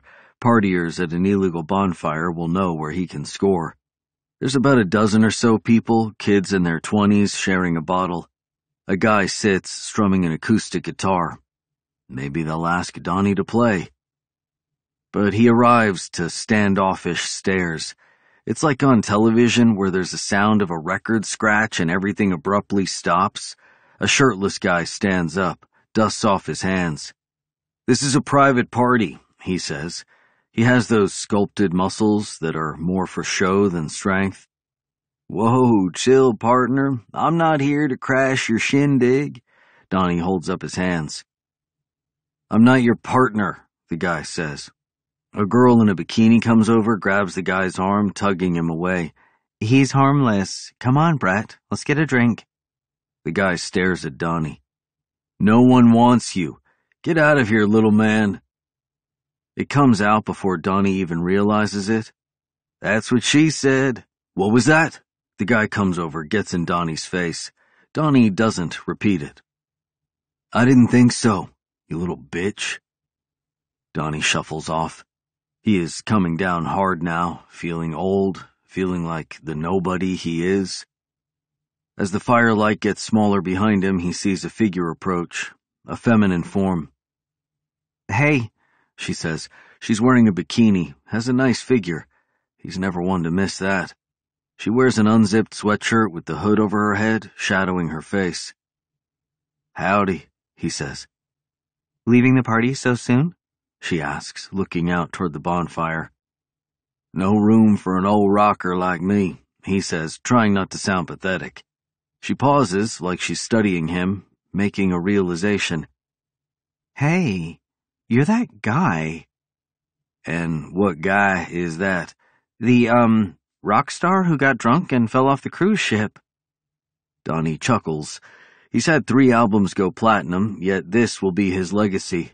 A trivia question for Stump the Trunk, a story in Metal Edge. Have a good night, he says, giving her a mock tip of the hat. He's had enough humiliation for one day. Wait, she says, reaching for his arm. Don't go, she says. It's a nice night for a swim. Before Donnie replies, she's pulled off the sweatshirt and untied the suit top and is running toward the water. She dives in and comes up, pulling her hair back, her bare breasts shimmering in the moonlight. Come on in, she calls out to him. He ponders this. He's no fan of swimming, but he's also not one to run from a beautiful naked woman. He kicks off his shoes and tugs down his jeans. He decides to leave on the underwear. It's a little cold out, so who knows what's going on down there. He approaches the water, incoming waves lapping at his feet. That's when he gets the first good look at her face in the silver light. And before he can form a conscious thought, a streak of terror races through his body. And he turns and runs like hell. Chapter 22 Jenna They arrive at the cabin at 11:30. There are no neighbors for 5 miles on either side. The structure, a classic log cabin with a rustic facade that masks a luxurious interior, is dark. No car out front. But Simon would have pulled it into the barn. Jenna looks at Willow, who's managed to fall asleep, either from exhaustion or as a coping mechanism. She puts a gentle hand on Willow's shoulder, and her stepdaughter jerks awake. Willow seems to be out of it for a minute, as if asking herself whether the last 11 hours were an awful dream. A weird nightmare where the stepmom she can't stand turns out to be some type of criminal or Jason Bourne. Willow's expression turns crestfallen, with the realization it was not a Wizard of Oz fever dream. She won't wake up with her family, Toto, and her life back to normal. Jenna opens the Jeep's door. But before she gets out, Willow grabs her by the arm. You're not gonna, like, tell Dad about me skipping and, uh, drinking at the 7 Eleven? Teenagers. After everything that's happened tonight, she's worried she'll get grounded. I think it can wait, don't you? Jenna will tell Simon when the time is right. She won't lie to him. He deserves to know. Not tonight, though. Out of nowhere, a silhouette appears from the side of the house. Simon, carrying a shotgun. He leans the gun carefully against the cabin and scoops his older daughter in his arms as she races into his embrace. He whispers something to her. She nods, hugs him again, and goes inside. Jenna feels her heart shatter a fragment when Willow doesn't say goodbye. Jenna approaches. The sky out here is so clear. The stars brighter. In the half-light, Simon looks tired, like he's aged ten years in a single day. She swears there's more gray hair. I'm so sorry, Jenna says. Simon doesn't say anything for a long moment. Finally, I thought you said you were done. That they said you were out. Free. She doesn't like the accusation in his tone. I told you everything. He thinks about this. It was never real before, she understands now.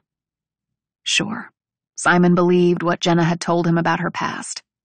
He understood that she'd worked for a shadow outfit that did contract work for the government. But it was an abstraction, a construct that seemed more out of a spy movie or thriller novel, too far fetched to ever happen. But that was before he saw the fear in his daughter's eyes, before he'd had to slink away and hide like a fugitive, before he truly understood that Jenna has done awful things that could come back to haunt her. What now? Simon asks. Jenna almost smiles. The taxman always wants a plan. I go figure out who's behind this. And when you do? Then I kill them. Each and every one of them. Then I try to get our lives back. He looks at her skeptically, but doesn't say that he knows that will never happen. If anyone comes, you go to the safe room they built a hidden panic room on the main floor. The entrance is a secret panel in the back of the kitchen pantry that leads to a room armored with Kevlar panels. Simon nods. I'll call when it's safe. The cabin has no internet, but the burner phone is untraceable, as long as no one used it to call any line connected in any way to Jenna. Simon nods again. And if I don't hear from you? You will. But if I don't? Jenna tilts her head to the side. Then go to the FBI and give them this. She puts the manila envelope in his hand. The insurance policy she created when she got out of the corporation, long buried in that lockbox. And make clear that you had no idea until today when I told you. She goes inside, finds Lulu sleeping in her room, decides not to wake her. She leans over and kisses her on the head. She stops by Willow's room to say goodbye, but the door is shut. She puts her hand on the door, but turns and leaves. Downstairs, Simon hands her a travel cup of coffee for the road. He gestures to the Glock on the kitchen table. You keep it, Jenna says. She has the gun from the lockbox. It's all she needs. At the doorway, she looks at him and says, I love you for the first time in their marriage. Simon breaks Jenna in two when he says nothing in response. Chapter 23 The Twins He's pissed, Casey says into the phone. She's ditched the Camaro and is driving a stolen Nissan on I 95. Expected, Haley says. And I mean, he's got a point. Casey laughs. Mocking their client's voice, she says, He was like, dumping a guy in the ocean? Blowing up a coal mine? I know I said make it look like accidents, but haven't you ever heard of a car accident? Or drug overdose? Haley laughs too. Wait till he finds out about you using that cattle killer on those douchebags at the 7 Eleven. They have always been on the same page, Casey and Haley. They met in college. On Casey's first day on campus, people kept waving at her, saying hey like they knew her. This is the fucking friendliest place on earth, she concluded. Then a girl in a sorority shirt came up and hugged her, referring to her as Haley, not Casey. Casey had shoved the girl away. My name isn't Haley. After a few minutes of convincing, the sorority girl pulled out her phone, took a picture of Casey, sent a text. Pings came back and she shook her head. Are you adopted? she asked. Casey didn't answer, but she didn't need to. You need to come with me. That's how she met Haley, who'd come to campus and rushed a sorority before the other freshmen. Looking at Haley was like looking into a mirror, except that Haley hadn't been adopted by a poor couple on a farm in Adair, Nebraska, but instead by a hedge fund manager in Greenwich, Connecticut. They were identical twins, except Haley's lowlights were expensive, her clothes designer, her teeth straighter. Turns out they both love horror movies, both eat too much candy, both favoring Mike and Ike's, both scored 1545 on the SAT, and both applied to a small liberal arts college in Vermont, mostly for the skiing. And they learned that the similarities didn't stop there. After a night of drinking, both being partial to gin, Haley confessed that she had an empty hole inside her that made her care about no one but herself, that she'd been disciplined in school for hurting other kids, that she liked doing it. That's when Casey admitted that she'd worked at a slaughterhouse, that killing cattle, using a device called a penetrating captive bolt, was one of the few things that comforted her. The whoosh of the device driving a retracting steel bolt into their brains was pure white noise comfort. After Casey got expelled for breaking a frat boy's nose when he got handsy, they decided to take Haley's father's advice. The secret to life is to find something you love and get them to pay you to do it. How's Miami? Casey asks, the white lines on the highway a blur ahead on the dark night. Peachy. The sound of the wind blows into the receiver. It's late, but Haley's still outdoors. Where are you? Casey asks. The beach. No fair. You get a Caribbean cruise then a beach in Miami, and I get Chestertown, Pennsylvania, and a coal mine in West Virginia. I'll make it up to you, Haley says. So, what's he want us to do? Clean up the mess? He said there's too much heat right now. The media's all over it. He said he needs to think about next steps. Is that his way of firing us? Probably. it's funny. What's that? He thinks it's his choice. She smiles. They always think alike. I'll see you in Philly. This isn't over yet. City of brotherly love. Watch out. Part 2 The Reunion. Chapter 24 Jenna. On the drive back to DC, Jenna's mind blazes. More questions. She's been out for five years, so why now? Is the corporation cleaning house, closing shop, and tying up loose ends? Is it about a past job? One of her target's kids, like in those shows where a son comes back decades later to avenge the murder of his father. Best served on a cold plate and all that. But her jobs had been clean. Well, mostly clean. Her mind flashes to the target at the Capital Grille. Artemis Templeton, a fellow resident of Savior House. Was that a coincidence? Or are they both targets? And if so, why? It doesn't make sense. She hasn't seen Artie since they were kids. He's a famous businessman now, a tech visionary who's constantly trying to outdo whatever Bezos, Branson, Musk, and the rest of the bored billionaires are wasting their money on, the only reason she recognized the adult version of him.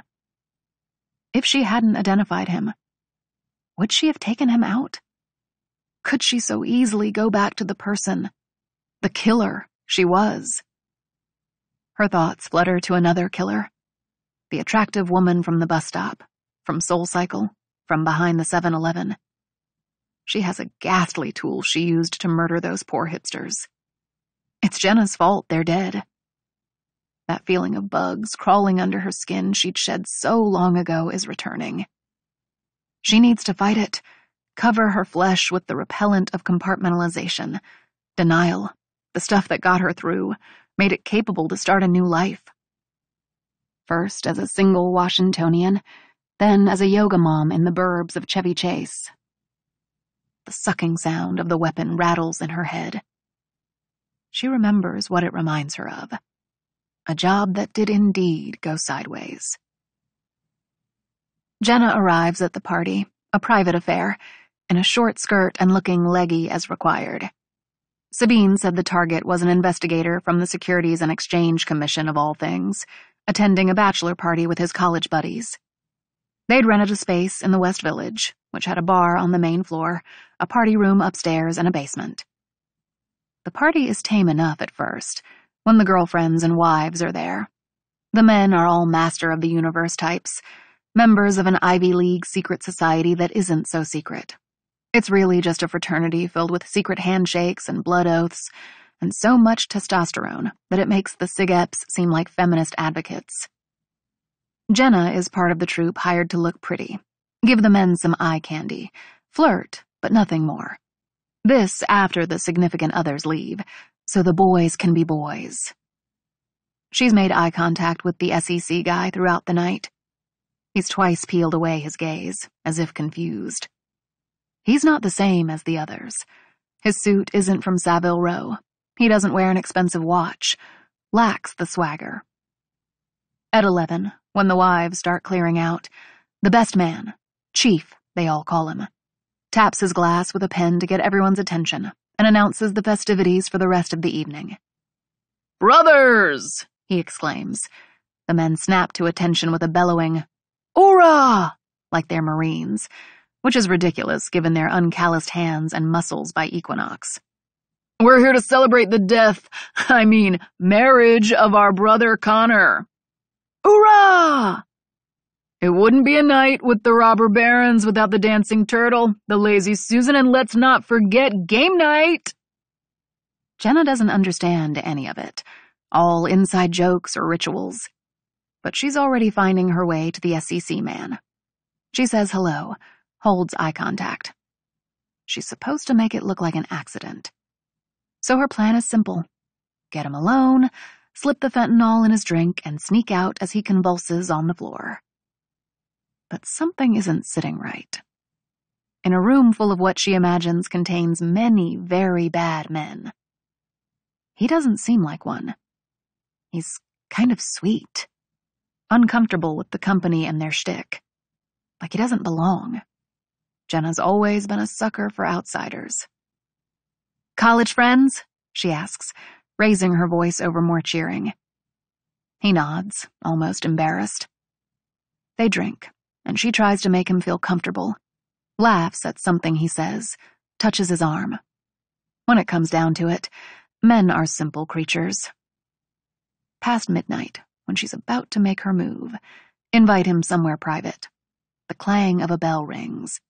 The leader, Chief, slicks back his Gordon Gekko hair with a hand and proclaims, The flowers have arrived, gentlemen! The room erupts. What's going on? Jenna asks. Her target gives a look of disapproval. Maybe we should get out of here, he says. No, this is the perfect distraction. She watches as about eight or nine girls, if they're 18, it's by a day, are escorted into the room. They wear heavy makeup, the way you do when you think it will make you look older, but their scared eyes and rolled shoulders tell the story. They're ushered into the basement. Chief starts up the chant. Game night! Game night! Game night! It starts as a rumble, but builds to a crescendo as the men start pounding on the bar, stomping their feet. Game night? Jenna asks. Before the SEC guy answers, she overhears one of his frat brothers say, Remember that townie at the vineyard? She didn't walk for a week. Jenna doesn't like the sound of this. Let's get out of here, the mark says. Let's stay a while. I like games. In the basement, a group of four men and four girls are playing cards. Strip poker by the looks of their state of dress. Two girls down to bras, a guy in his boxers, another with no shirt, his hairy chest glistening with sweat. There's a round of beer pong at a table in the back.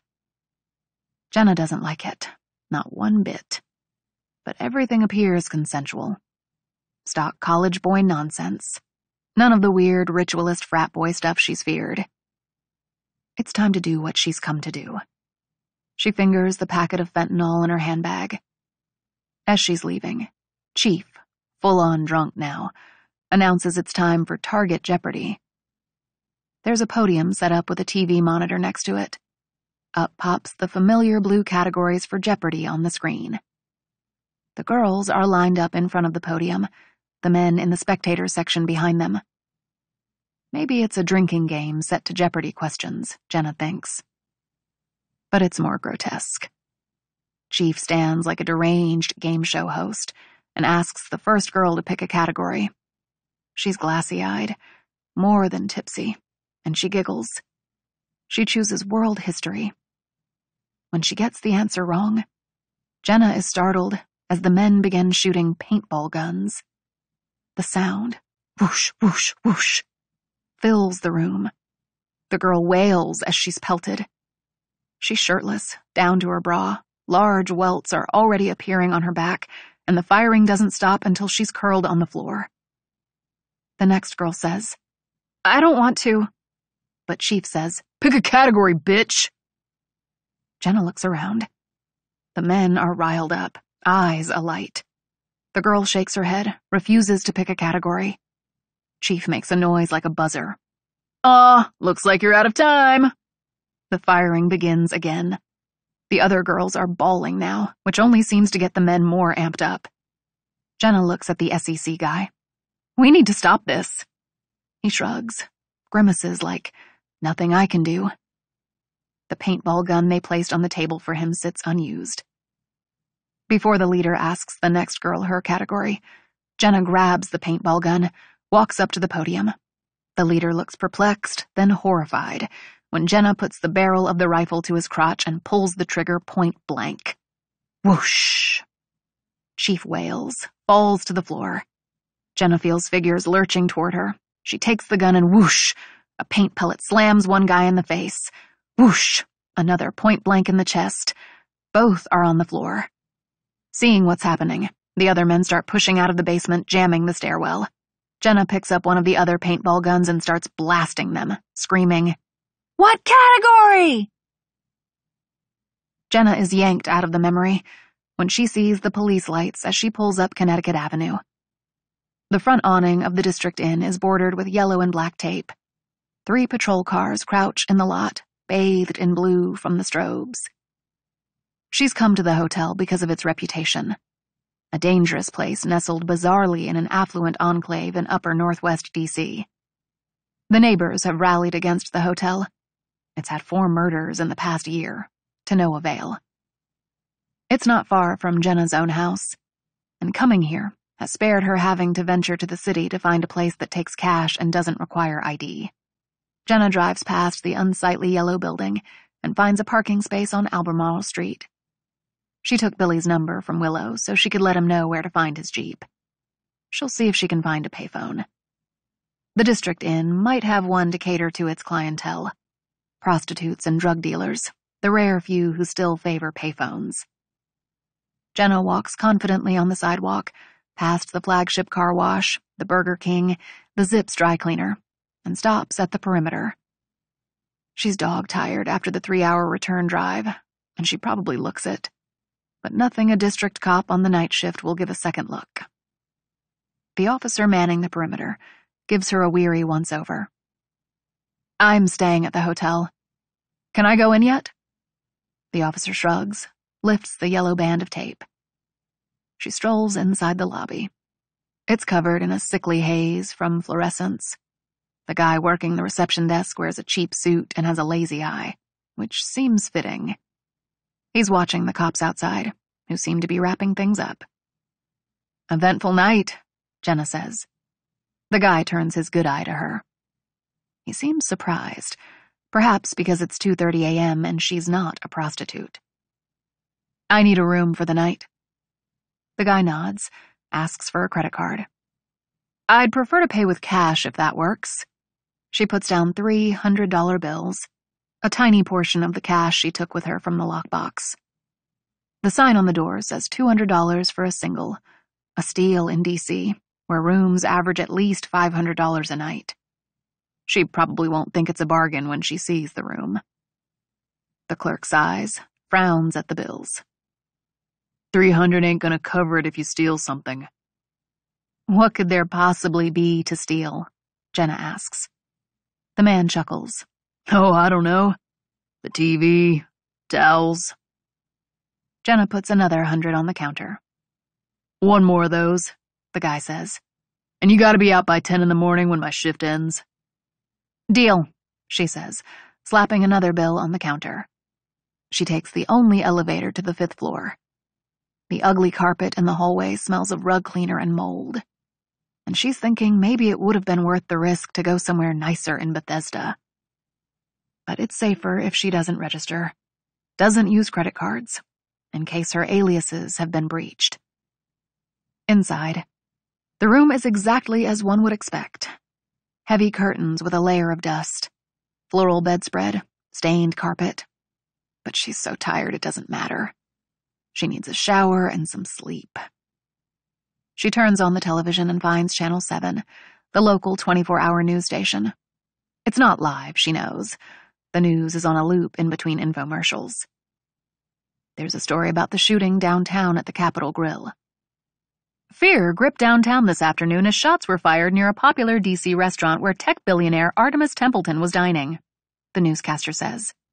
An image of Artemis's bald head appears on the screen.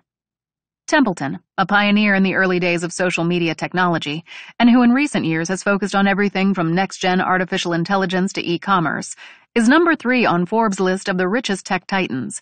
It's unclear whether Templeton was a target of the shooter, both police and Templeton have declined to comment. The report goes on. An officer has a nasty leg wound after being injured by some type of weapon. Police are looking for two white females who are persons of interest. Jenna presses mute on the remote, then strips down. The shower is hot and feels wonderful. The water pressure is surprisingly good in the shower tub combo, and she doesn't even mind the smell of the cheap mini bar of soap. She breathes in the steam, her mind jumping about to a thousand variations of the same questions. Who wants Artemis Templeton dead, and why? And more important, does Jenna also have a target on her back, or was she merely considered collateral damage to the hit on Artie? She breaks unexpectedly into a crying jag, thinking about her family. She needs to stop. Get it together. She can't help them if she isn't focused. Sabine's voice comes to her. Focus on nothing but the mission. That's what she'll do. Tomorrow will be a big day. After the shower, she gets between the sheets, careful not to touch the bedspread, imagining the horrors a blacklight would reveal. Pounding music seeps through the walls, the guests next door partying. Why not? The murder victim's likely at the morgue by now. She unmutes the television. The news has moved to footage of a mining accident in West Virginia. A local reporter holds a microphone to a man's face. We have sensors that picked up a problem. The pressure in the mine changed consistent with an explosion. An explosion? Yes. Mines often capture methane gas, and that can be extremely dangerous if there's any kind of ignition or spark. It's odd here because the mine isn't operational. It's refurbished and mostly used for the television show The Miners, so it's surprising, but still possible there was a buildup of gas. Jenna half listens. A TV producer evidently was in the mine at the time of the explosion. A rescue team miraculously found him alive.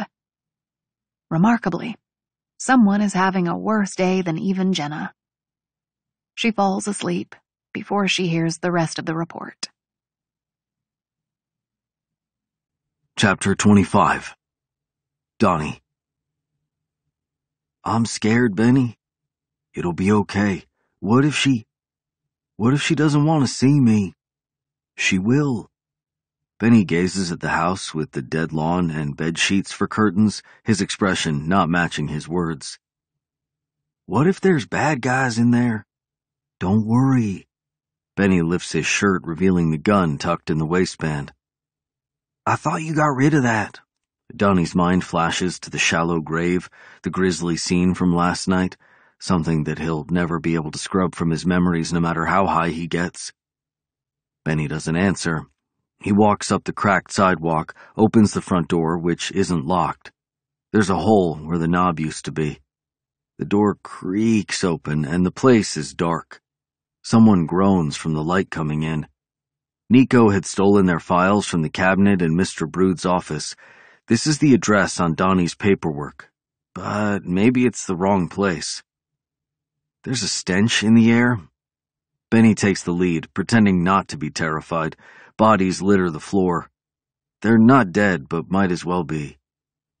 Why would his mom live in such squalor? He knows why, but wants to pretend he doesn't.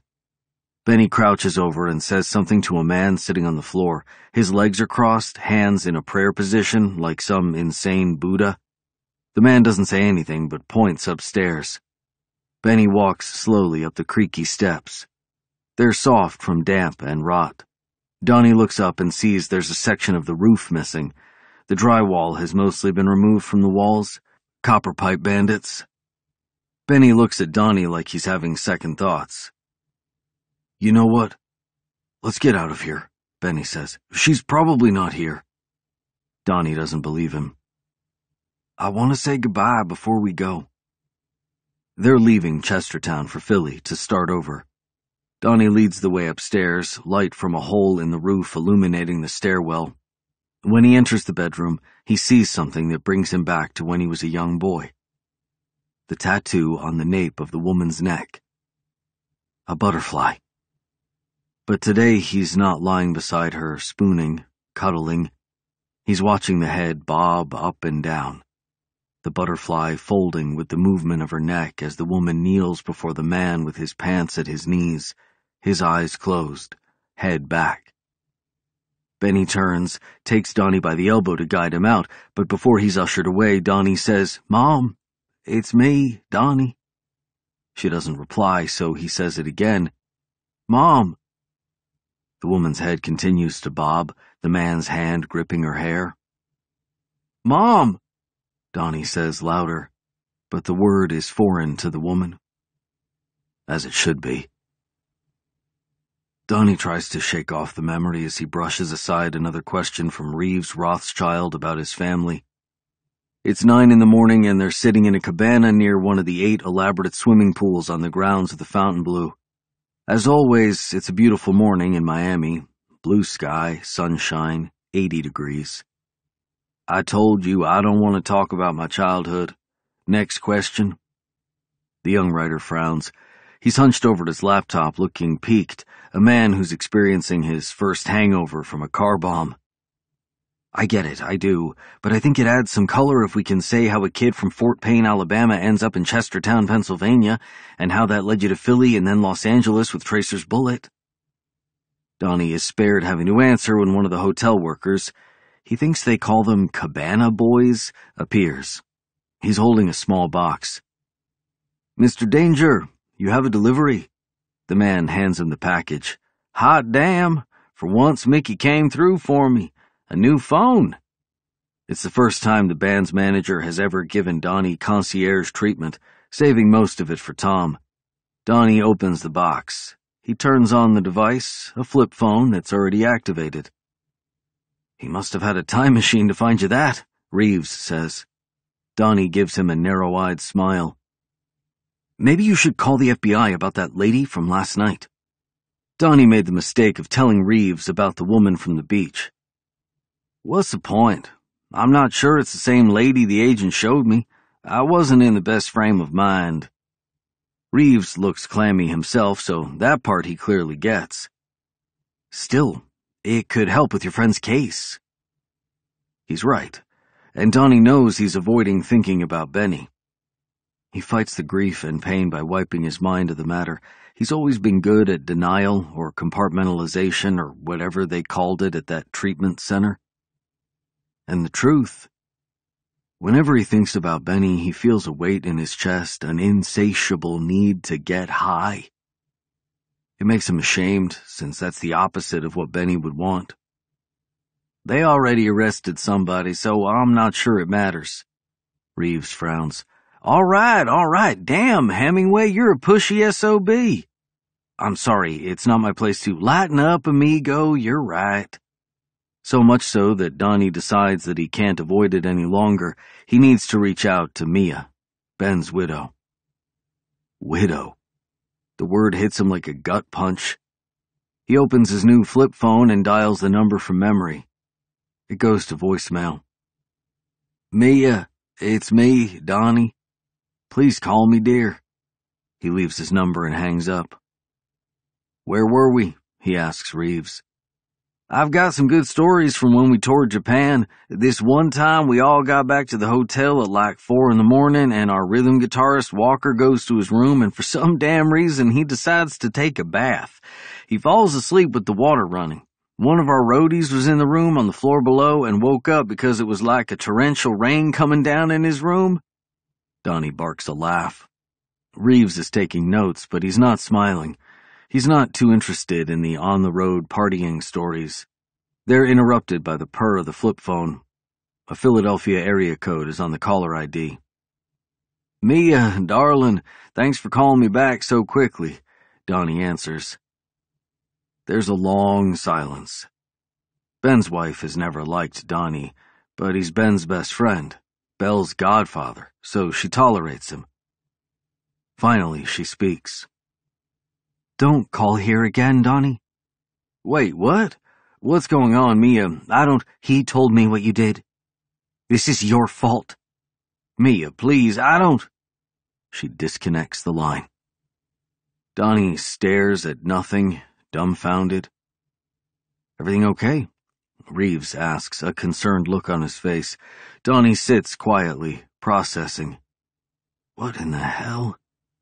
He can't ignore the ache in his chest over Ben's death anymore, can't pretend that he can pick up the phone and the Honorable Robert Benjamin Wood will drop everything if Donnie needs something.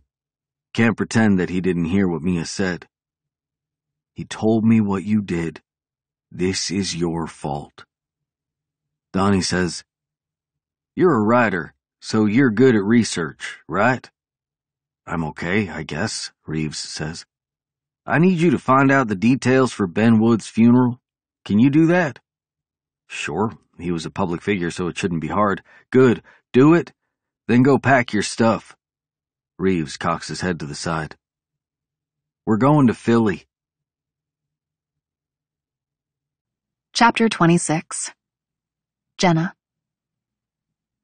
Jenna is out of the district inn by 10 as promised. Behind the hotel, there's an off-brand rental car place, so she decides to risk using one of the credit cards. If any of her other identities are compromised and someone is tracking her cards, at least she'll be mobile in the rental car and not a sitting duck in a hotel room. She rents a Toyota Corolla. You can't get more ubiquitous than that. And heads to DC's Kalorama neighborhood.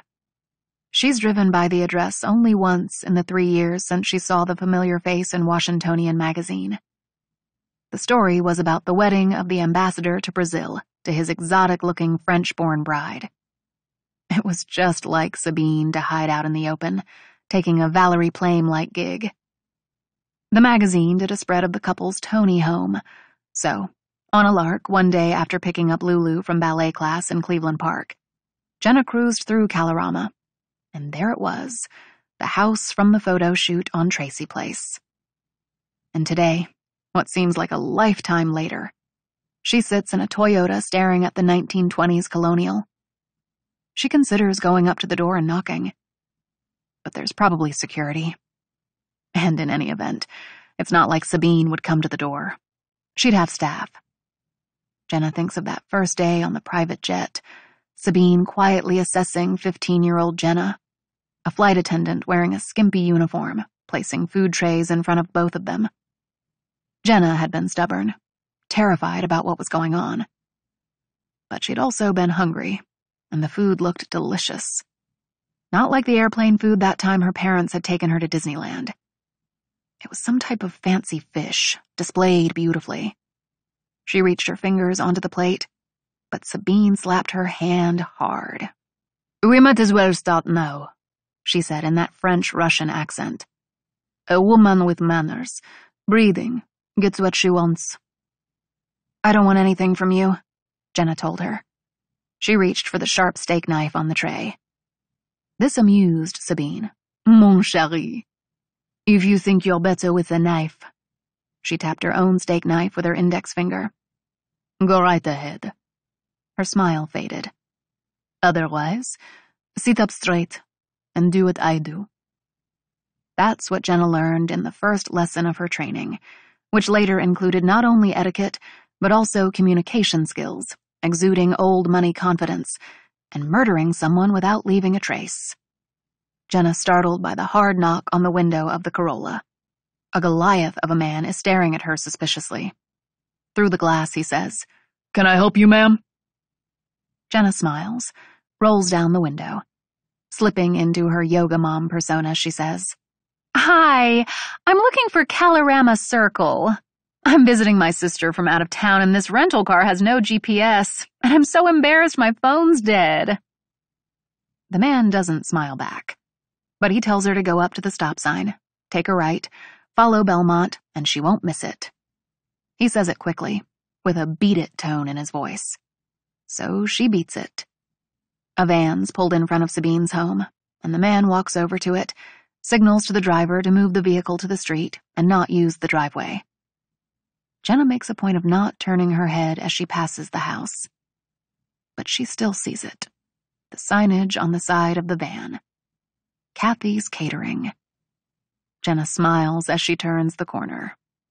Of course, it's Friday night in Washington, D.C. Sabine is having a dinner party. Chapter 27 Nico Nico's in his trailer. Shannon stands with her iPad clutched in her hand, like always. Shannon is a capable showrunner. She's been doing reality shows for a decade and should be the one filling in as EP while Nico takes some time off. But she likes being behind the scenes. She and her wife keep a low profile generally. Rural West Virginia isn't always the most enlightened place. And Davis, the fuckstick from the network, keeps insisting that he should host the Black after show while Nico recovers. The guy is such a douche. Shannon waits for Nico to finish tapping on his phone, his seventh sports bet since he was pulled to the surface. He looks up at her. She says, The kid with cancer is scheduled to be on set today. Given everything that's happened, Davis wants me to reschedule with the organization that set it up. He knows this kid is dying, right? Shannon doesn't say anything. She's not keen on getting in the middle. You can tell Davis I said we're not canceling and let the cast know that they'd better be there. The teenager's last wish, to meet the cast of The Miners, wouldn't be on Nico's own bucket list but he sure as hell isn't going to cancel. Shannon walks him through other show issues, and Nico pretends to listen. He wants to make a few more bets before the day gets away from him. When Shannon wraps up, he says, I need to tell you something. What's that? The mine. It wasn't an accident. Someone tried to kill me. She chuckles. I suppose it was only a matter of time. There with that asshole thing again. Studying him now, Shannon says, Oh shit, you're serious. Someone pretending to be Roger sent me a text to meet him at Mine B. I thought it was the usual maverick nonsense, but I called him this morning and he swears he didn't send me a text. And someone what? Set off an Nico nods, cutting her off. After they impaled me with some weird weapon. He gestures to his shoulder, which is in a sling. She eyes him skeptically, and he gets it. Getting stabbed or shot might make sense, but pierced by a rod of steel projected through a weird weapon that looks like a maglite? Nearly buried alive by an explosion? It's all gonna leak soon, Nico says. The sheriff says he'll give me time to duck out of town to avoid the circus, but he can't wait too long. NIOSH and the other government agencies will figure out this wasn't methane buildup, that the explosion was intentional. Is that why you checked out of the hospital so fast? He nods again. Who? She pauses. Why? I have no idea. Shannon gives him another skeptical look. She's one of the few people who know about Nico's gambling. She says, The feds have asked for any footage we have from security cameras, so maybe that will identify who it was. Nico doubts it. He doesn't think there are any cameras outside the mine, and he doesn't mention that Maverick told him he'd met a woman that night, a hot tamale from out of town, that she'd gone home with him, and he doesn't remember jack shit from the moment they had a drink at his place. Nothing was stolen, so he didn't think much of it. But Nico wonders if she used Maverick's phone to lure Nico to the mine. Have you told the network? Shannon asks. Nope, you're it. Once the news breaks, they can expect a media onslaught. There'd been an accidental shooting on a movie set in New Mexico a couple years ago, and it stayed headline news for months. Are you okay? she asks. I'm fine, he lies. He thinks of those rats with their red eyes. You know everyone loves you. You may not remember, but there was a massive crowd at the rescue site. Maverick, Elmo, the lot of them were there. I swear Headboard had tears in his eyes. And there's been an outpouring on Twitter. He shrugs. The cast was there for the cameras. The rest are keyboard junkies who don't even know Nico. He's checked his messages, mostly reporters. His ex, Natalie, hasn't called. I'm going to be off the grid for a few days. Decline interview requests. Request privacy as I recover. I'll draft a statement. Nico nods. Where will you go? He flips his lucky silver dollar, which he isn't so sure is that lucky, and looks at its face. Somewhere I hoped to never return. Chapter 28 Donnie Donnie and Reeves sit next to each other on the United flight. It has been a long time since Donnie has flown first class, and it's nice to have some legroom. Though somewhere along the way, the airlines have managed to screw up first class. Back in the day, they'd be in mini cabin-like pods where the seats would recline flat and a divider would make it so you didn't even have to look at the person seated next to you. Now, at least on the flight from Miami to Philadelphia International, it's basically a bigger seat, free wine from a box, and tepid beer. Thanks for buying the tickets, Donnie says to Reeves. You'll get reimbursed, I hope. Me too, Reeves says. The trip was last minute, so he probably didn't anticipate the expense. But don't worry about the money. This gives us a little extra private time so we can work on the book. Donnie nods. The flight attendant offers him a beer and he gladly obliges. Better to make sure whoever pays for their tickets gets their money's worth. So I thought we might step back, take things from the beginning, when you learned how to play guitar. Donnie rests his head back, a smile involuntarily spreading on his face. I was in foster care in Chestertown the first time I ever touched a guitar. Reeves has his laptop out now. On the home screen, there's a photo of a woman. She's in a hospital bed, tubes in her nose with monitors behind her, but she's smiling. A haunting, beautiful smile. Before Donnie asks who she is, Reeves says, You're originally from Fort Payne, Alabama? He's already typing. With an emphasis on the pain, Donnie says, grinning. Reeves doesn't seem amused. How'd you end up so far from home, in Chestertown? Donnie's already told him to drop the questions about his childhood, but Donnie supposes he can throw the guy a bone. You mean, how'd my mom get the idea to move from one of the poorest towns in the south to one of the poorest towns in the northeast? Reeves doesn't push.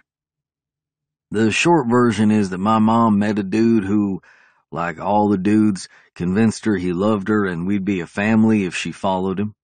She did. We weren't and next thing I know, I'm in foster care and my mom's been arrested. That should be enough red meat for the writer. Reeves types on his laptop, eyes on the screen. Anywho, my first foster family, they were a nice elderly couple, the Jensens. Mr. J played guitar and still noodled around with the church band, and he taught me to play. Gave me my first guitar. I named her Susie. I've still got her. Susie, like the name of your second album. You've done your research, Hemingway. Hot damn, Donnie says, smiling. Reeves keeps typing. Not looking up, he asks, How long were you with the Jensens? Donnie swallows down a lump in his throat. Not long enough. A year? They were a sweet couple, but not in good health. Mr. J had a heart attack and they couldn't take care of me anymore, so I got sent to a group home.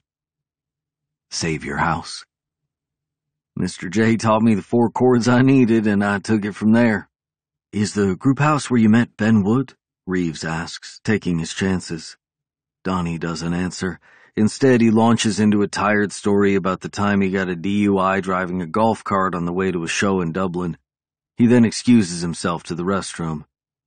As he tries to target the stream of urine into the small bowl, he's startled by a memory. The four of them at the bank of the river, on their knees, the gun barrel put to the back of Donnie's head. Ben's voice echoes in his head. You don't have to be scared anymore, Donnie. A tear rolls down Donnie's cheek. I'm not so sure about that, Benny. I'm not so sure. Chapter 29 Jenna Are you Tabitha?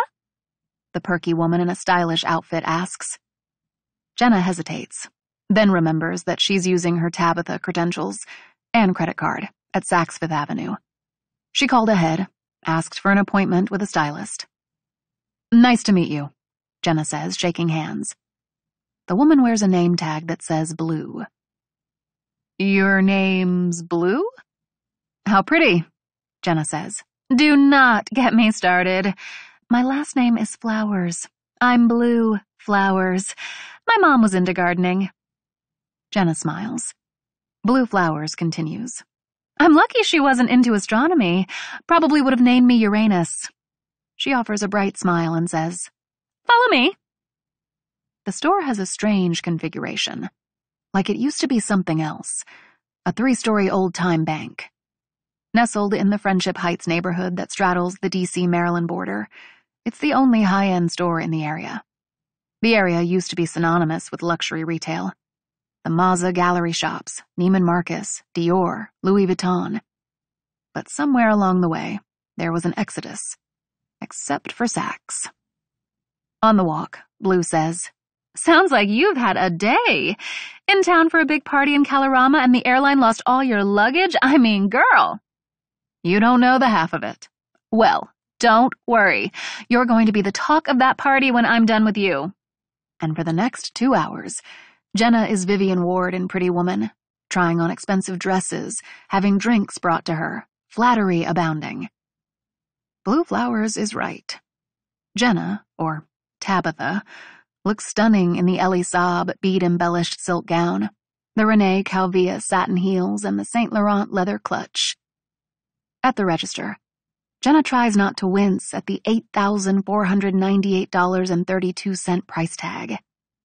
The cards have high limits, and it's no time to be frugal. As Sabine taught her all those years ago, beauty is a skeleton key that opens almost any door. Don't take my word for it. Studies show beautiful people make more money than smarter people, get better jobs and promotions than more qualified people, and get lighter sentences than other criminals. Throw in some confidence and manners, and there's no place you can't go invited or not. Tonight, Jenna will test that theory on Sabine herself. With the Saks garment bag hanging in the rental car, Jenna drives up Wisconsin and into Bethesda. There, she stops at Lululemon, where she buys some athletic wear. Black leggings, black tank, and black hooded jacket. A cat burglar couldn't find a better outfit to disappear into the night. Then she walks over to Bethesda Sports on Elm and buys some running shoes. She's been there many times. Willow runs track. The manager is a notorious crank, but today he's distracted by his phone. She's ready now. She'll go back to the district inn, take an afternoon nap, get her hair and makeup done at Inari, then get dressed for what promises to be an interesting night out. Chapter 30 Nico by early afternoon, Nico arrives at O'Leary's Tavern on Erie Avenue in Nicetown, Philadelphia. The bartender, a beefy man in his forties with dark crescents under his eyes and undoubtedly a baseball bat under the counter, is in deep conversation with a couple of younger guys at the bar. They appear to be discussing cancel culture. Your generation is so sensitive, the barman says. Someone says anything that offends you and you've got to go to your safe space. Then all these keyboard twits, overeducated white ladies, the lot of them, try to get you fired from your job. The young guys, a stylishly dressed black man and a white guy with orange stubble that looks like a chin strap, exchange a glance. It's unclear to Nico if they work for O'Leary or are customers. It's a little more complicated, the stylish guy says. He obviously disagrees with the bartender, but his tone is cautious, respectful. Yeah, these are O'Leary's boys. The bartender goes on with his monologue. Everybody's talking about discrimination, but they never mention the Irish and how we get treated. The guy notices Nico, narrows his eyes, but finishes the thought. If you miss a day at work because you're hung over, they call it the Irish flu. If you put booze in your coffee, it's an Irish coffee. You have kids close in age, it's Irish twins. Can you imagine if we said stuff like that for your people? He looks at the customers, who both appear to be suppressing eye rolls. Don't forget the Irish goodbye, Nico chimes in, referring to the practice of slipping out of a party without saying goodbye something Nico's mastered himself. The bartender eyes Nico. What can I get you, friend? I was hoping to talk with Shane. He used to take meetings on Fridays. Nico points to the back room.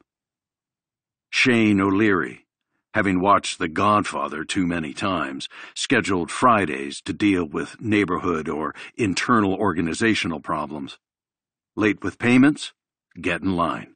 Trouble with somebody in the neighborhood? Take a number. Don Corleone, he's not. But there's an efficiency about his operation. The bartender regards Nico like he recognizes him, but isn't sure. Who do I say is asking? Nico Atakai. Atakai? Why do I know that name? Nico shrugs. Back in the day, Nico's father worked for Shane O'Leary's father running book. But Nico wasn't going to get into it with this buffoon. The Atakai name may also be familiar because Nico's father disappeared under mysterious circumstances when Nico was a kid. Rumors were he got sideways with O'Leary Sr., which didn't lend itself to an extended lifespan. Interesting name, the bartender says, not taking the hint. What is that? Mexican or something? Nico's mother told him his grandfather was Native American, but his father didn't give one shit about his ancestry, so who knows? Besides, that's what everybody seems to tell their kids. You've got Native American blood. Nico knows nothing of Native Americans other than that they got royally fucked. He shrugs again. The bartender frowns like he doesn't like Nico's attitude. But he nods at the red-headed guy with the stupid beard, who saunters off to the back room. The barkeep starts up about cancel culture again, and Nico escapes being drawn into the conversation as the red-headed guy reemerges and gestures for Nico to come back. Straight out of a B movie, O'Leary sits at a table draped in white linen eating his lunch, shepherd's pie by the looks of it, as if to complete the cliche. And there's a line ahead of Nico. The man standing at the table in front of O'Leary is thanking him profusely, and O'Leary's looking bored and waving him away. One of the toughs sitting on stools nearby shows the guy out. The next guy approaches. He's wearing a leather jacket and looks like one of the toughs himself. You know why you're here? O'Leary asks him. The kid is in his twenties and has large biceps, a gold chain hanging outside his tight t-shirt. My dad said you wanted to see me about the weeklies. Is that what your dad, my brother, said? O'Leary flicks a glance to an older guy perched on a stool. The kid nods. His jaw pulses. Here's the thing, Brendan. Your weeklies keep coming up short. Not Vince's, not Sam's, not Toby's. Only yours. I didn't skim, Uncle Shane. I promise I. O'Leary raises a hand to quiet him. I talked to the boys, to your dad, and everyone says the same thing. Not Brendan. He's a stand-up guy. Gotta be a mistake. He says this in a mocking tone. The kid nods. Your family. So I give you the benefit of the doubt. But your aunt, when your cousin was little, she read all these parenting books. And you know what she always said? Brendan shakes his head. Trust, but verify. Brendan doesn't respond. So, on your last pickups, we marked the bills. O'Leary puts down his fork and knife and pulls out a small penlight from his pocket. Click, click, click, click. A blue light goes on and off. I'll make you a deal, Brendan.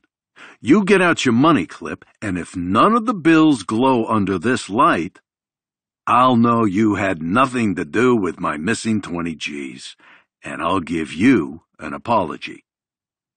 Brendan's face is bloodless now. His father shifts on his stool.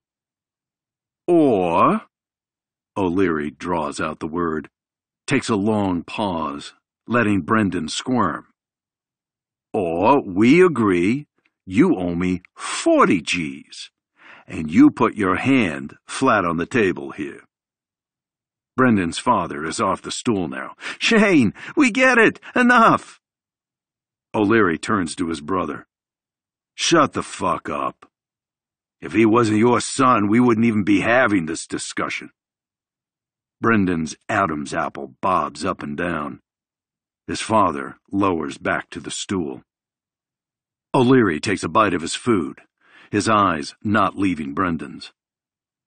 Brendan walks to the table, lays his hand flat on it. Nico thinks he might wet himself. Without warning, O'Leary grips the steak knife and stabs it hard through the top of Brendan's hand so it pins it to the table.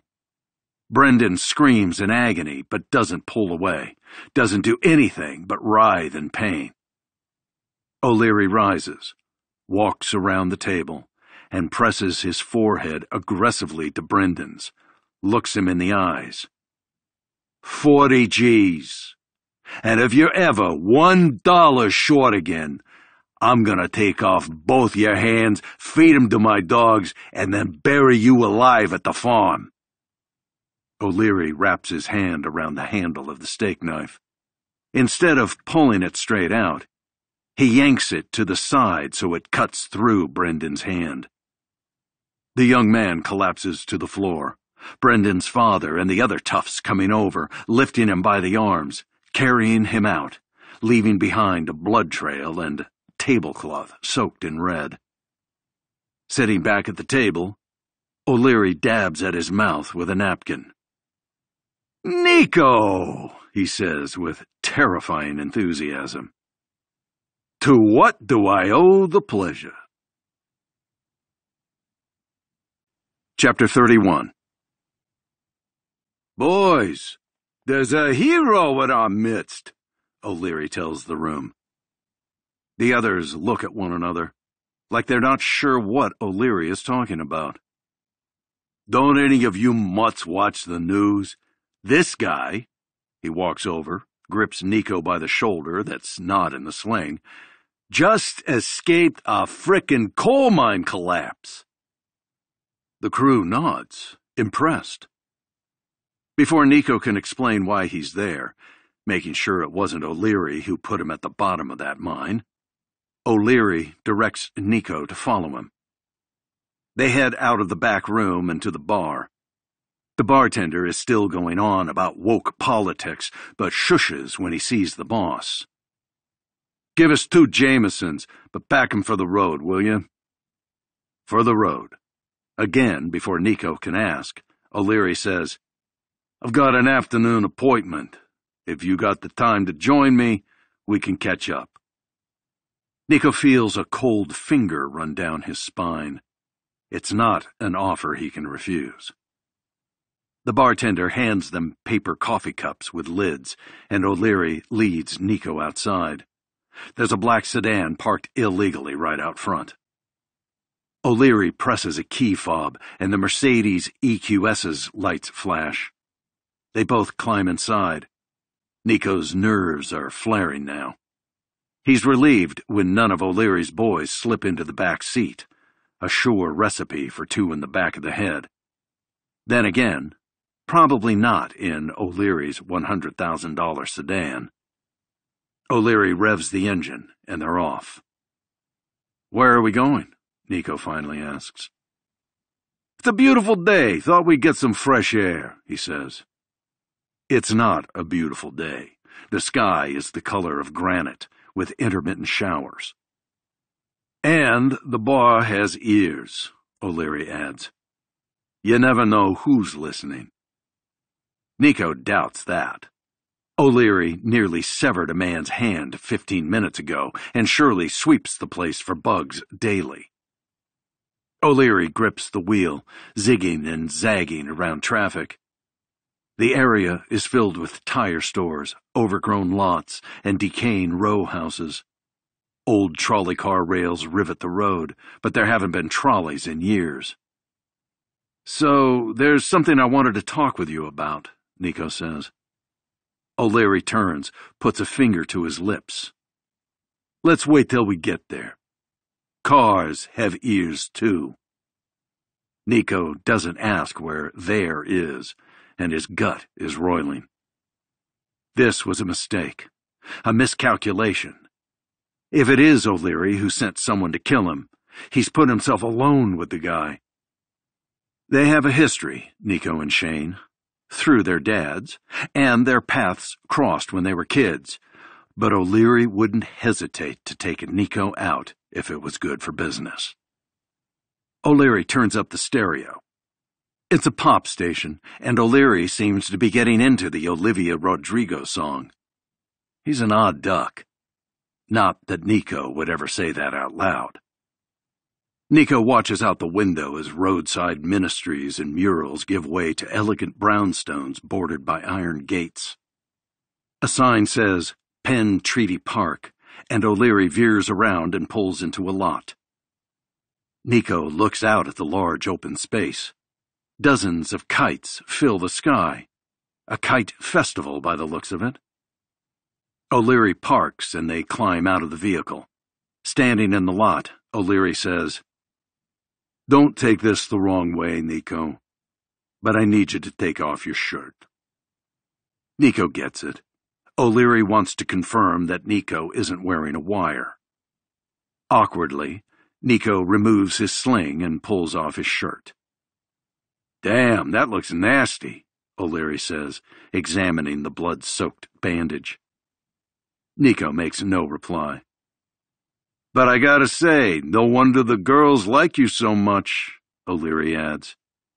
Don't worry, I'm not a homosexual, he accentuates each syllable. But a guy can admire another man's abs, am I right? He nods that Nico can put his shirt back on. O'Leary moves to the rear of the car, fishes out the key fob. This could be it where Nico finds himself in another dark hole, the trunk of a Mercedes. O'Leary opens the hatch, and Nico breathes a sigh of relief. The face of a large red dragon stares up at them. O'Leary removes the kite, unfolds it carefully, and they head out to an open space on the field. Soon the dragon's wings are outstretched and it's darting through the air. I didn't know you were an enthusiast, Nico says, making small talk now. This day keeps getting stranger. When I was a kid, it was the only good day I remember with my old man, O'Leary says. I come to the kite festival every year. If it wasn't for my numb nuts nephew skimming from me, I would have been here all morning. Nico nods. No matter how bad the person, we all cling to the days of innocence we remember from our youth. You and your dad ever? Not quite, Nico says. O'Leary nods. It's odd talking about their fathers, since Shane's might be the reason Nico's father disappeared. It remains a mystery Nico has no interest in solving, although there is one aspect to it he never understood. Once Dad was gone, no longer a threat. Why didn't his mother come back for Nico? Shane carefully hands the reins of the kite to Nico. It's then Nico realizes that his hands, his only means of defense, are occupied. But there are too many witnesses for that. No question, Nico could still end up in that trunk with a kite string wrapped around his neck. But not here. Nico navigates the dragon as it tugs the line. He's still in the sling, so it's awkward, but he does not want to crash O'Leary's toy. So, about my, uh, accident. Nico keeps his eyes on the kite, the bright red dragon like a drop of blood staining the clouds, the Benjamin Franklin Bridge in the distance. Yeah, you gonna sue that show? Seems like you could make a pile of cash. I mean, how long were you down there? I suspect you have some back pain and PTSD and other stuff that's tricky to diagnose. Nico smiled. Always an angle. What they haven't reported on the news yet is that it wasn't an accident. He pauses, watches for O'Leary's reaction. No shit. Like someone set off a small explosive device. O'Leary chuckles. Who'd you piss off?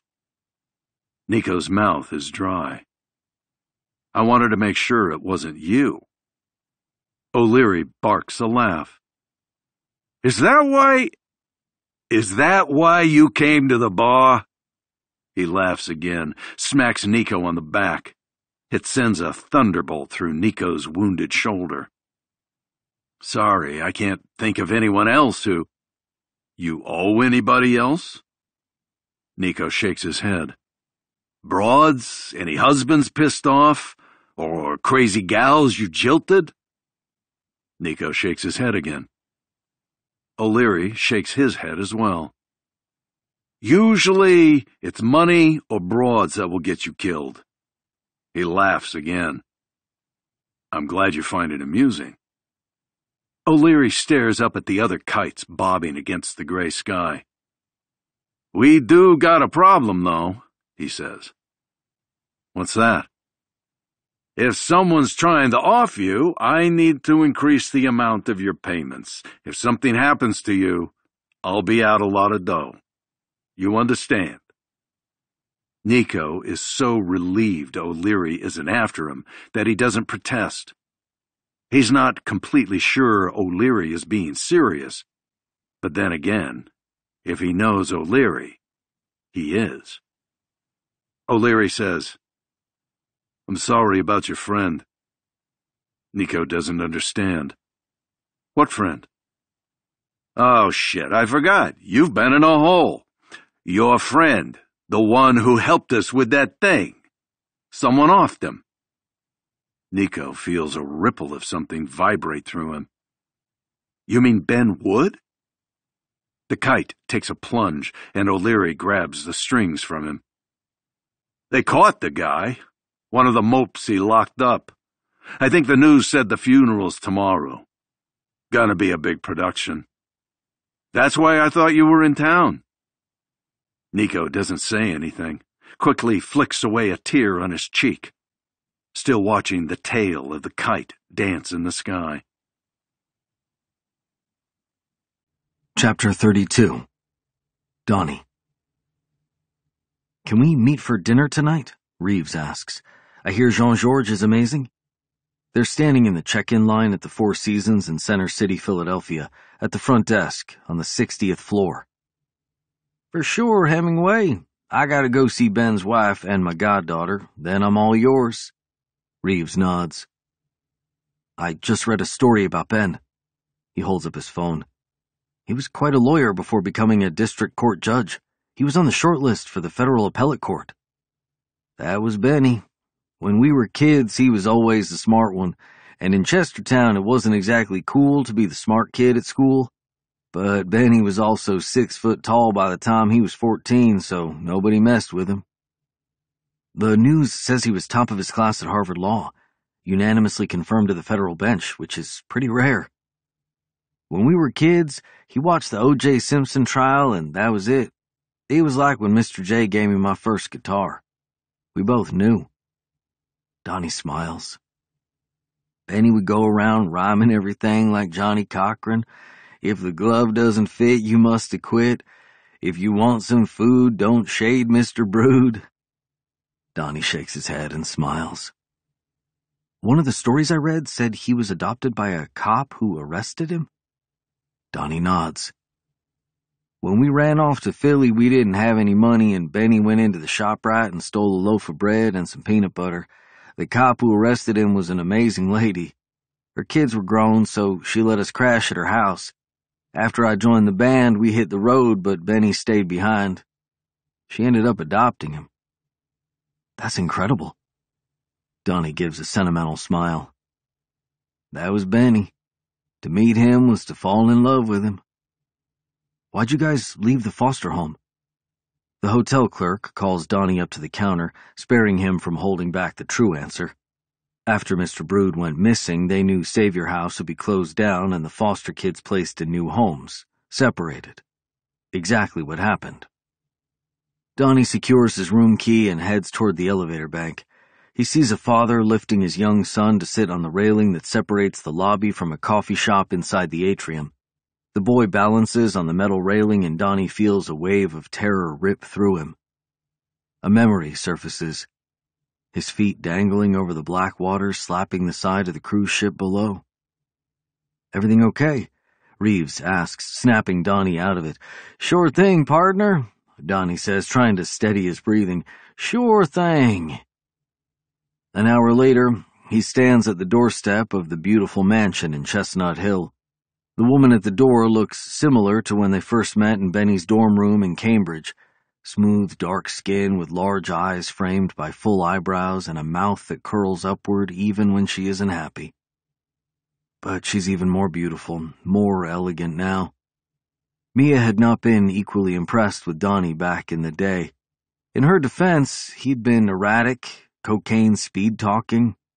Benny, then president of the Harvard Law Review, didn't seem to mind and from that first day forward to when she'd wagged her finger in his face about the bachelor party, to her head shake at his best man's speech at the wedding, to her grudging agreement that Donnie be godfather to Belle, Mia tolerated rather than liked Donnie.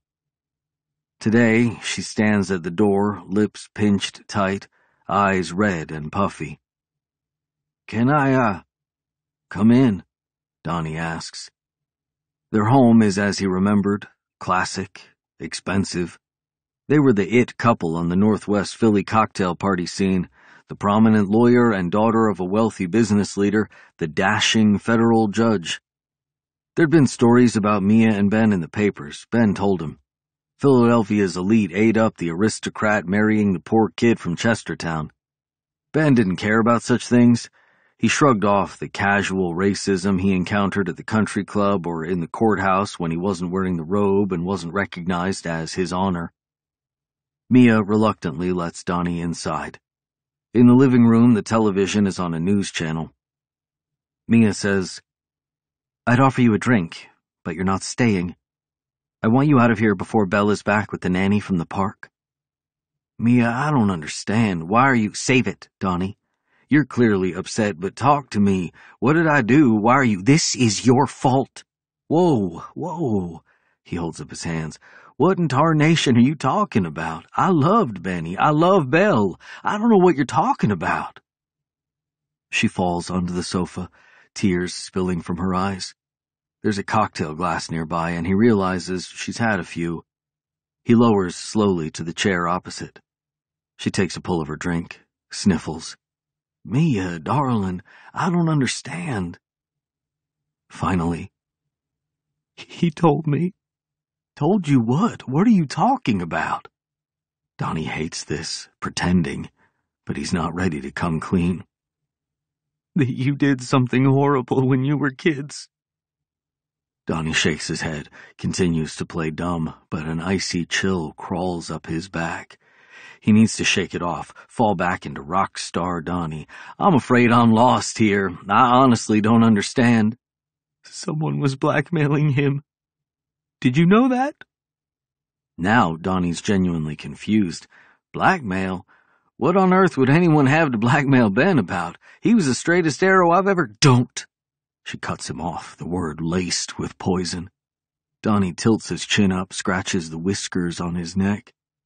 Um, I need you to back up. Who was blackmailing Benny? Why would I don't know who, she says. He told me some bad people knew something about him, about when you were kids. Something you all did. Donnie's mind jumps to a dark, rainy night, the patch of misery surrounded by woodland. What did they want? Money? If it was just about money, it wouldn't have eaten him up so much, she says. Donnie flashes back to their last phone call. Ben didn't seem like himself, said work was stressful, but he didn't say anything else. Or did Donnie simply miss it? Perhaps Ben hadn't trusted his on-again, off-again sober friend with a secret. His heart sinks at the thought of Ben needing to talk but not wanting to risk telling something important to a fuck-up like Donnie. Mia continues.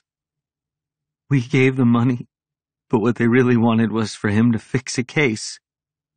Donnie understands now. Some criminal got dirt on a prominent judge. A get-out-of-jail-free card. Do you think that's why he was in Chestertown? Why he was, you tell me. She stares at him with something worse than hate in her eyes. Did you tell the police? Donnie asks. She scoffs. And let that be how he's remembered. The nanny appears at the door and Mia snaps to attention. You need to go. Out the back. I don't want Belle seeing you. Mia, please. I just want to see her and go now and I never want to see you again. Please, I go.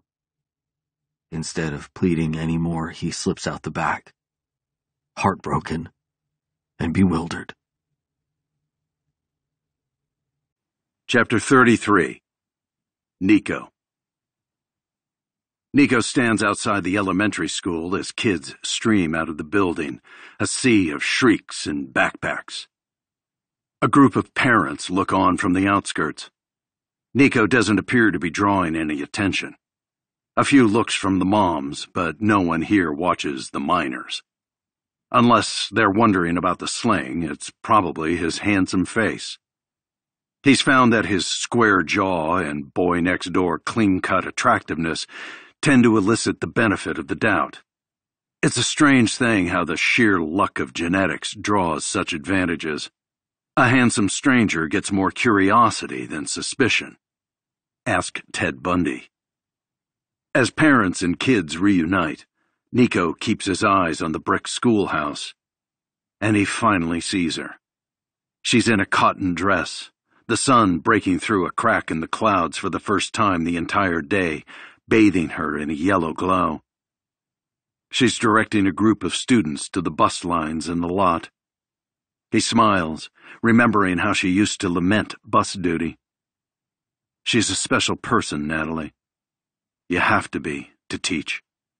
Between the overbearing parents who all think their spawn are gifted, the administrators who've never spent a day in the classroom yet constantly change the curriculum, the politicians obsessed with what you can't teach, and having a master's degree but being micromanaged like teenage hourlies at McDonald's. Natalie takes a little boy by the hand and guides him to the bus. Step 9.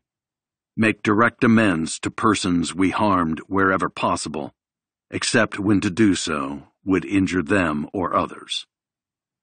But what can he possibly do? He stole from her, opened credit cards in her name, lied repeatedly. When she broke off the engagement, the first thing he did was pawn the ring and bet it all on an Eagles game. But his real offense, as she'd put it, was always having one foot out the door.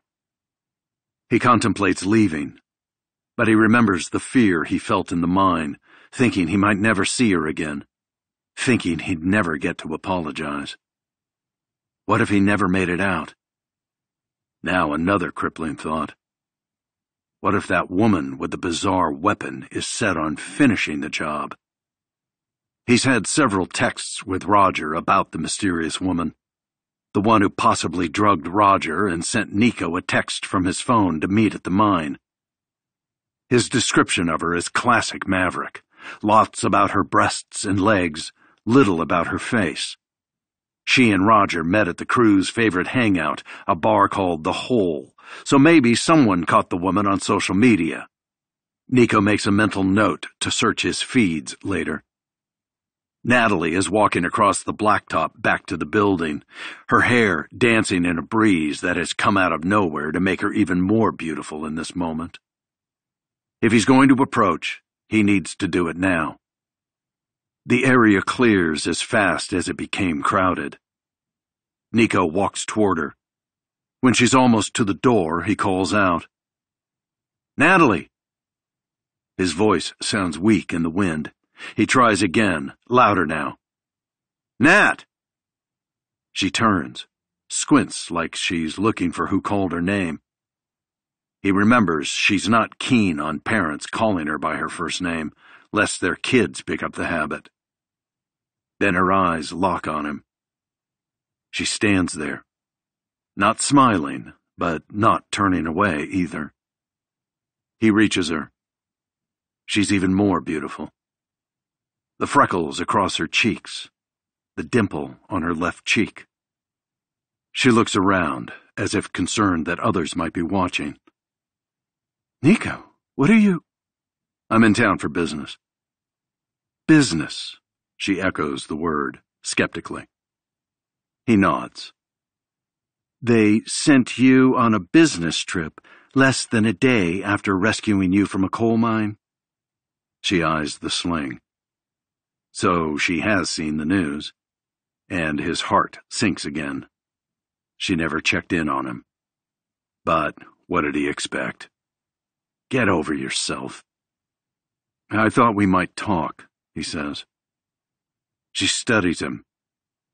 I'm not sure there's anything to say. Look, I know this is weird, but I nearly died and. And what? She cuts in. Now you want to talk? Make it up to me? Let's save each other the time. I'm over it. I forgive you, or whatever it is you need to hear. Her features are hard now. Tears threaten to fill her eyes. Nat, please, just give me a. What? Give you a chance? That ought to be the tagline for your stupid TV show. For your life. Did you get the money I sent? I got it. Not before my credit score hit 400. Not before all the stress and sleepless nights worrying I'd be evicted from the apartment. He wants to say sorry, but says nothing. I'm in a good place now, Nico. I'm glad you're okay and survived, but I can't do this again. If we could just talk, let me. She cuts him off with a shake of the head. I've changed, he says. She guffaws at that collects herself. You've changed, have you? She glowers at him. The FBI was just here asking about you, but you've changed? She turns, opens the door to the school. Before she disappears inside, she turns back to him. Goodbye, Nico. Don't ever come here again. Chapter 34 Jenna an evening breeze at her back, Jenna slinks through the majestic doors of Sabine's elegant home in Kalorama, the security detail not giving her a second look in the outrageously expensive silk gown. The party is filled with portly men in black tie, looking decidedly unlike James Bond, and their more attractive spouses. A server carrying a silver tray offers Jenna a filet mignon bite, That's when she realizes she hasn't eaten in more than 24 hours. She takes the toothpick and tiny napkin and forces herself not to devour it like Cookie Monster. Her mind trips to Lulu, a stab of despair cutting into her. But she fights it. She needs to focus. The sound of a cello fills the room. In the back corner, a woman moves the bow skillfully, eyes closed, lost in the music. Jenna looks around the room. It's definitely an ambassador's party. Even in the tuxes, the men wear those obnoxious flag pins on their lapels, like all the politicos in D.C. No fashion-forward pretty boys here. Jenna plucks a champagne flute from another server and takes a sip. A small one. Her stomach is nearly empty, and she needs to be sharp. She maneuvers through the crowd, her dress flowing as she walks. Then she hears it. The familiar laugh, the French accent with its hints of Russian. Sabine is leaning into a tall man, likely saying something cheeky. He bellows a laugh. Jenna watches for a long moment. More partygoers approach Sabine and exchange air kisses. It will be like this all night. Jenna knows. Sabine is a magnet, and she has aged like an expensive whiskey. Jenna takes a deep breath and sets the glass on a tray as she joins the half circle of people surrounding Sabine. She hits Sabine with a piercing stare, and Sabine doesn't miss a beat. Genevieve, she says warmly. I'm so glad you made it, mon chéri. More cheek air kisses. Jenna gives a thousand watt smile, then says to the group, Would you all mind if I borrow Sabine? The others assent, and Sabine gives a tight smile of her own, the first break in the facade. But she recovers quickly. Yes, darling, she says. I must show you the piece I told you about. It's in the master suite. She excuses herself and leads Jenna through the crowd and past a burly man guarding the foot of a grand staircase. Sabine glides up the stairs, not a care in the world. They pass through two imposing doors and into a master suite that seems to have come out of an interior design magazine. Sabine shuts the doors, and when she turns around, her eyes flash at the sight of Jenna's handgun. Sabine lets out a sound of amusement from her throat. Why? Jenna asks. You're going to have to give me more than that, love. She's giving Jenna a lazy glance, a look Jenna remembers too well from her teen years. You said I was out. Clean. But someone tried to.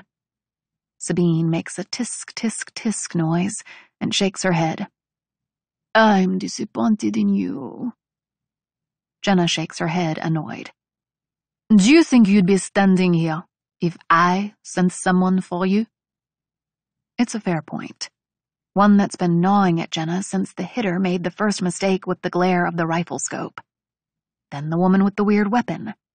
The mode of execution is too flashy for Sabine's taste, too unreliable for the corporation. Let me guess, Sabine says. You were part of that mess downtown yesterday, with Artemis Templeton. If she's lying, she's damned good. But the problem is, she is. I'm no fan of that bold savant, but I have no reason to kill him, Sabine says. Put the gun down, darling. Jenna doesn't acquiesce. And honestly, I thought you better than this. The safety is on. Jenna doesn't fall for it. Her eyes remain set on Sabine. One look away could be the last thing she ever does. Nice try. Sabine smiles.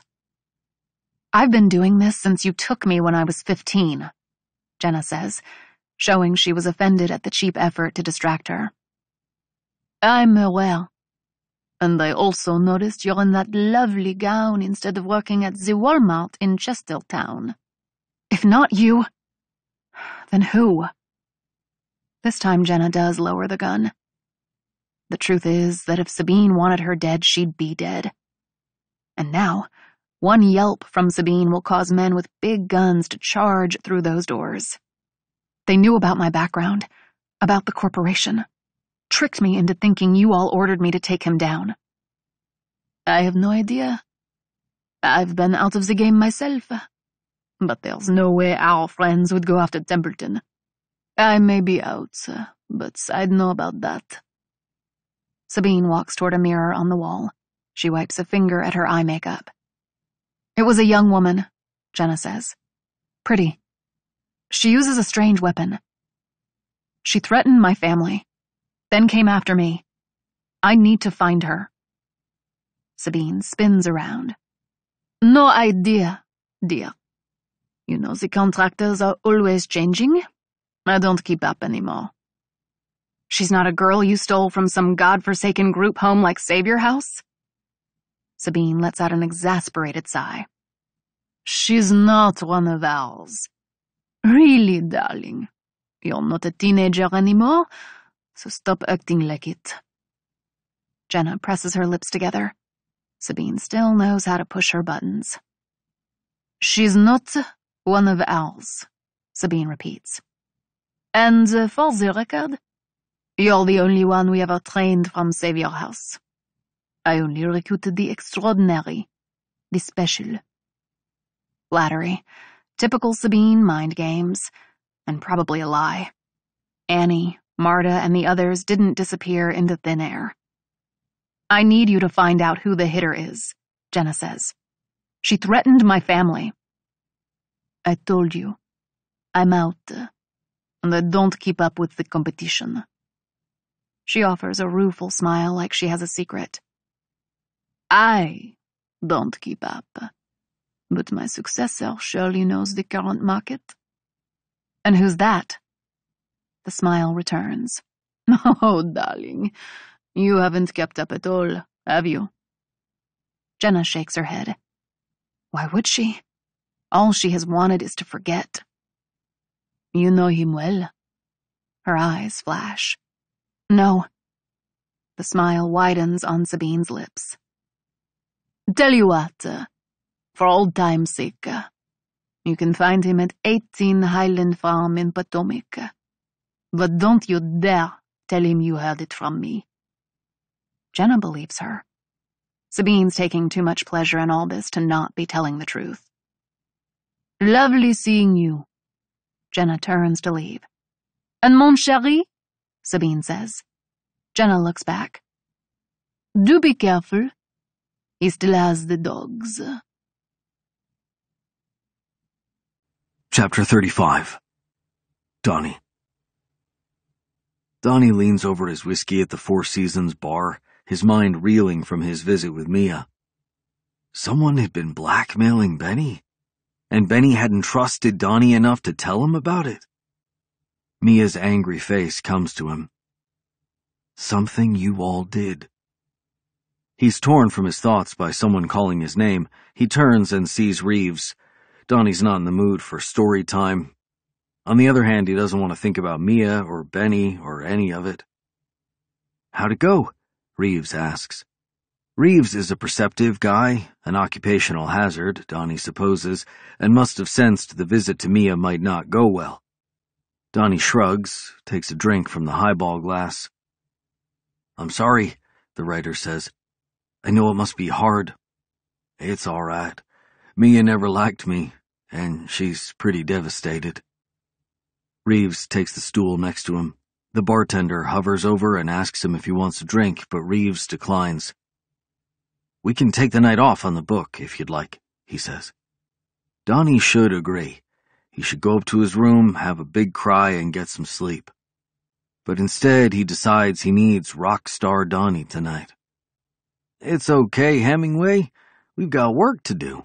He stands, signals to the bartender to charge the drinks to his room, and presses out of the place. Where are we going? Reeves asks, trailing behind. As the bellhop holds open a cab door, Donnie says, To where it all began for Tracer's bullet. Inside the cab, Reeves looks like he still hasn't recovered from the night before. They make their way through downtown Philadelphia traffic to Chinatown. The cabbie pulls in front of a worn opera house looking building. Above the arched entrance is a red neon sign that reads, The New Trocadero. There are posters plastered on the doors with the name of a band Donnie has never heard of, The club used to be called the Trocadero, but has since changed hands. Seems like the only thing updated since the 90s is adding the word new to the name. At the ticket counter, a woman with raccoon makeup pushes his cash back through the slot. No cash, cards only. No cash? Times have changed, Donnie says. When I used to play here, Phil only took cash, helped with the tax man. He winks at the woman. She doesn't take the bait and ask when he played there or seem to have any idea who he is. They take a seat at the bar. Donnie revels in the familiar pound reverberating in his chest from the bass drum, the distortion pedal on the guitar tingling his fingers and toes. Reeves asks him a question, but it's impossible to have a conversation amid 100 decibels. Let's talk at a break in their set, Donnie says, cupping his hand near Reeves's ear. They have a couple beers, look around. It's a small crowd for a Friday night, a smattering of people at tables. The band is doing originals, which never goes over well when you're starting out. Donnie drinks some more, then heads to the bathroom. He smiles when he sees that the urinals still have giant photos hanging over them of women laughing hysterically as they point down. Back at the bar, they watch the band some more. Donnie should have brought his earplugs, since the doctor has warned him he can't afford much more damage to his hearing. But no way he was showing up to the troc like some old man. Finally, Reeves says when the band takes five. Donnie smiles. This used to be my life at the beginning, going club to club, often with only a few people in the crowd. This is where we played our first show. Reeves nods. He's not taking notes, but he's always on the clock, Donnie realizes. This is only backstory, a feel for his subject's life. The bartender comes over, asks if they want another round. Donnie nods, says, Hey, you see that picture? The bartender turns, looks at a black and white on the back wall. That's me, back when Phil owned the place. With zero enthusiasm, the bartender says, Cool. It's going to be one of those nights when Donnie's reminded of a truism in life. No one cares. How old were you when you played here? Reeves asks. Donnie doesn't need to think on it. It was a few months after leaving Savior House. Fourteen. No one cared you were underage? Back then? Shoot, they didn't care about anything. You were on your own. I mean, you'd left Savior House by then. How the hell does Reeves know the name of the group home? The guy definitely does his research. Yep, we crashed in the van or with girls we met on the road, or sometimes the house bands would put us up. Why'd you take the leap and leave the group home? Donnie shrugs. It was time, he replies vaguely. Funny story. When you open for other bands, the drummers often share their kits to avoid having to set up and sound check and all that, since drums are tricky. He takes a drink, grins. So, the second time we played here, our drummer left his kit in the van, and when we came out after the show, the windows were smashed and it was gone. But there was this guy sitting on the curb, and we asked if he saw who took them. He said he thought so and might be able to get them back for us. Reeves seems uninterested, but Donnie keeps going.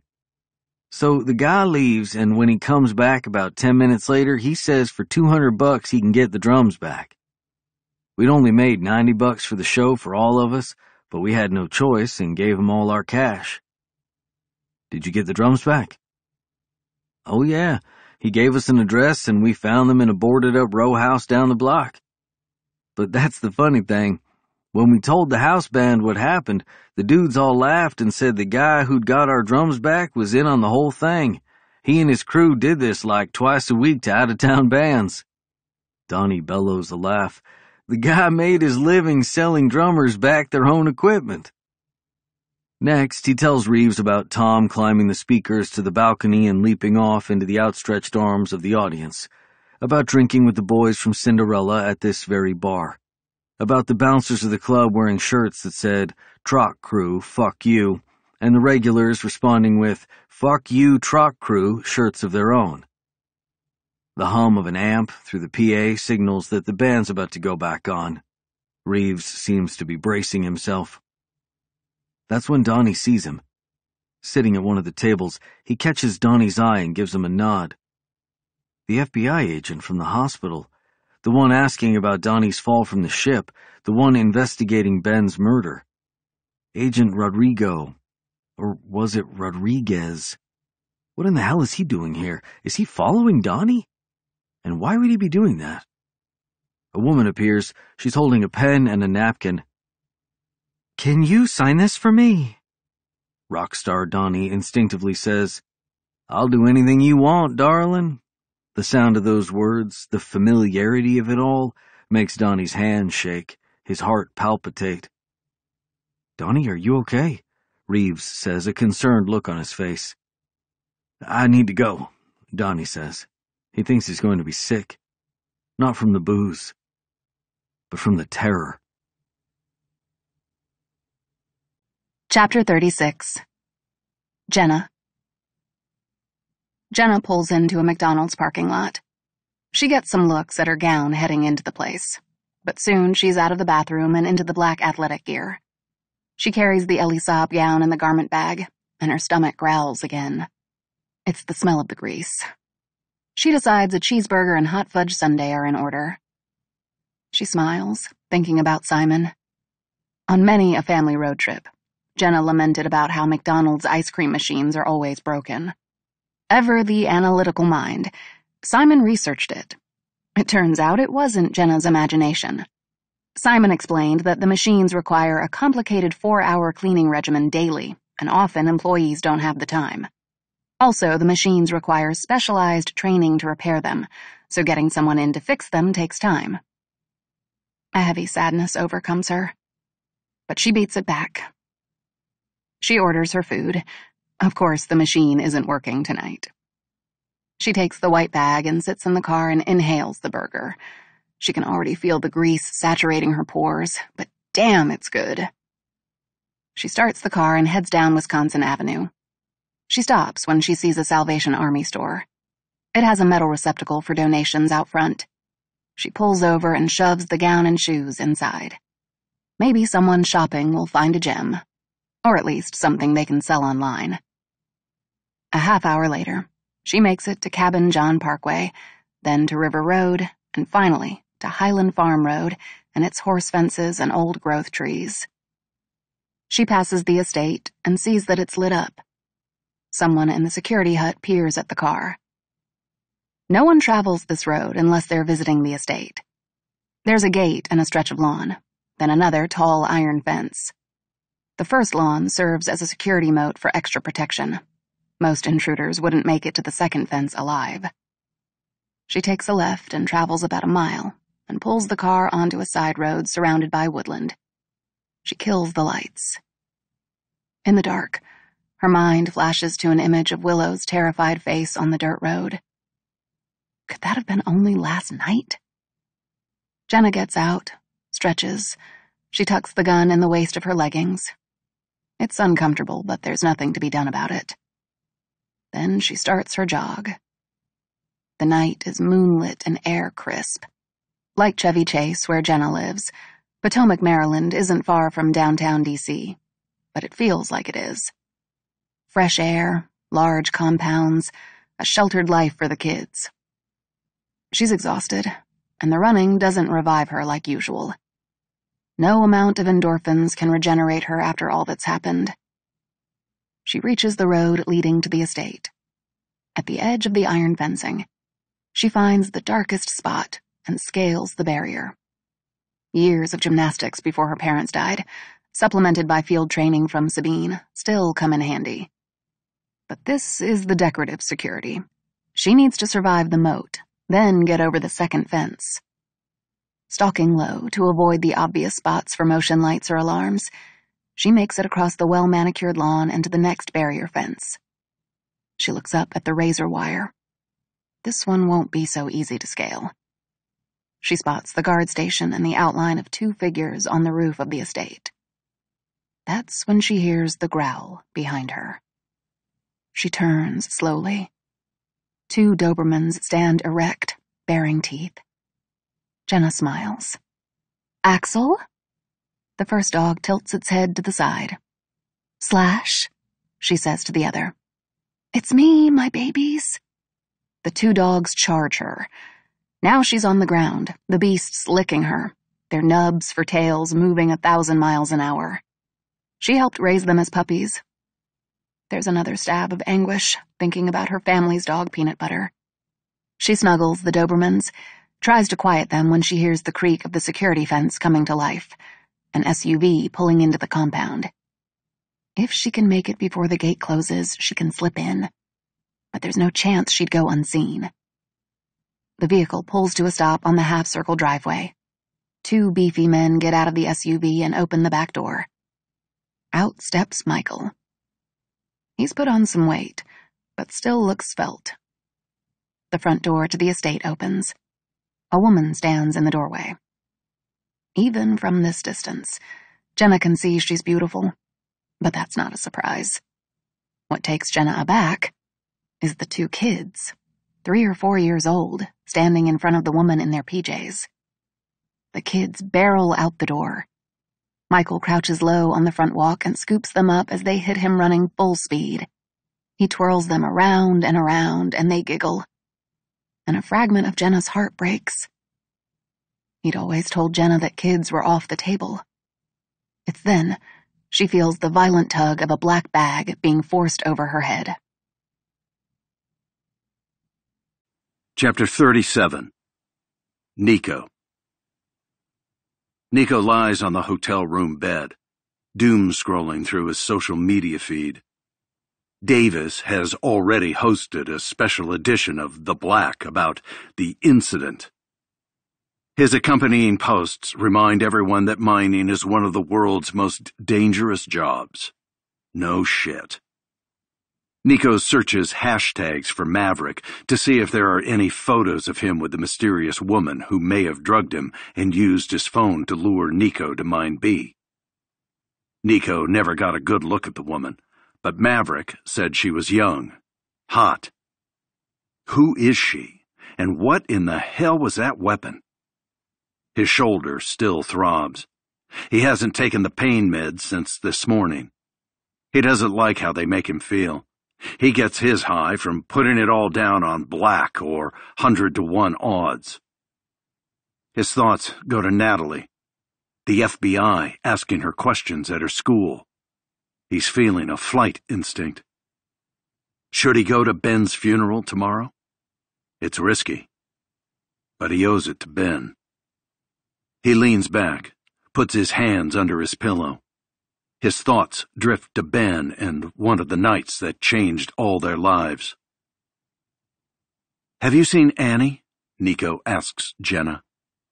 She's washing dishes, finishing her chores, which are on the schedule Mr. Brood tacks up on a bulletin board every Friday to ruin their weekends. Jenna shakes her head, suds crawling up her arms from dinner duty for the younger kids. Nico thought he'd blown it with Annie after the park incident. Watching a guy get a beatdown isn't exactly catnip for the ladies.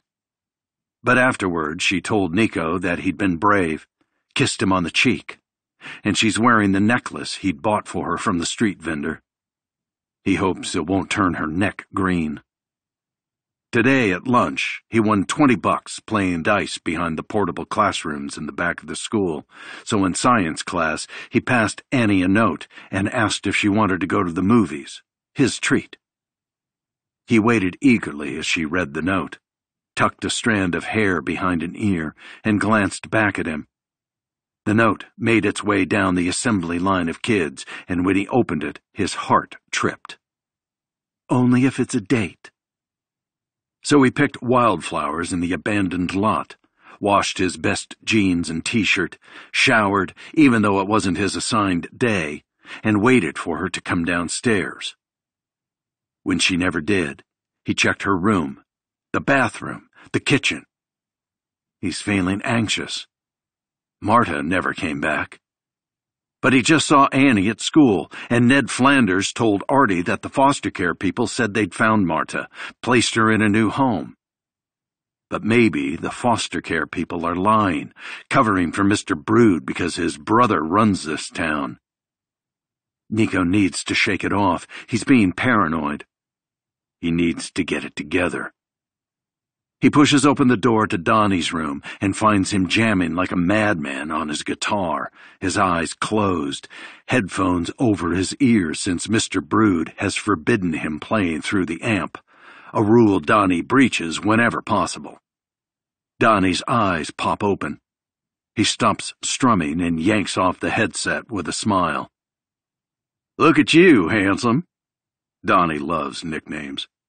Eyeing the flowers, he says, Holy crap, you clean up nice. You finally got the nerve to ask, huh? Nico nods. Have you seen her?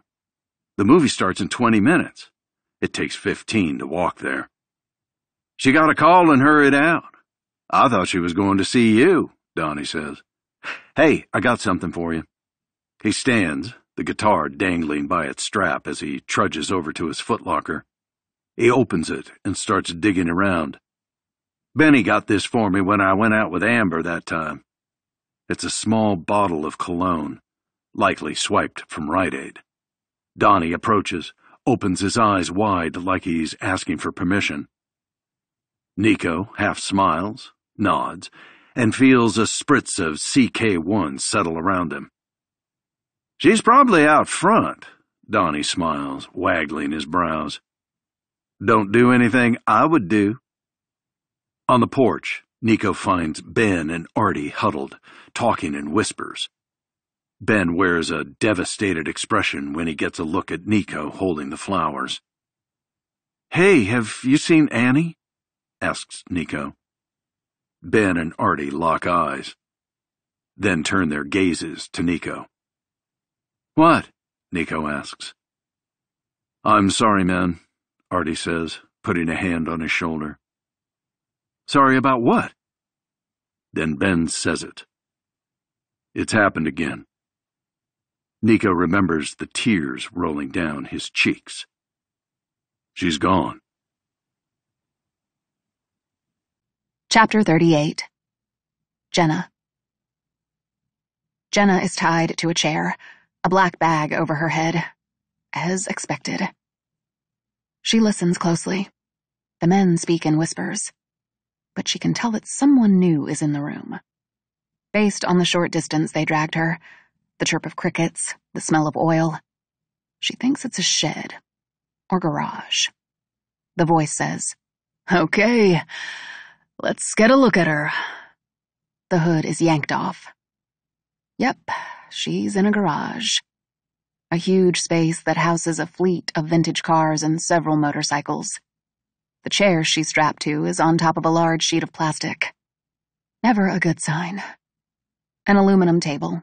It looks like something you'd see in an operating room.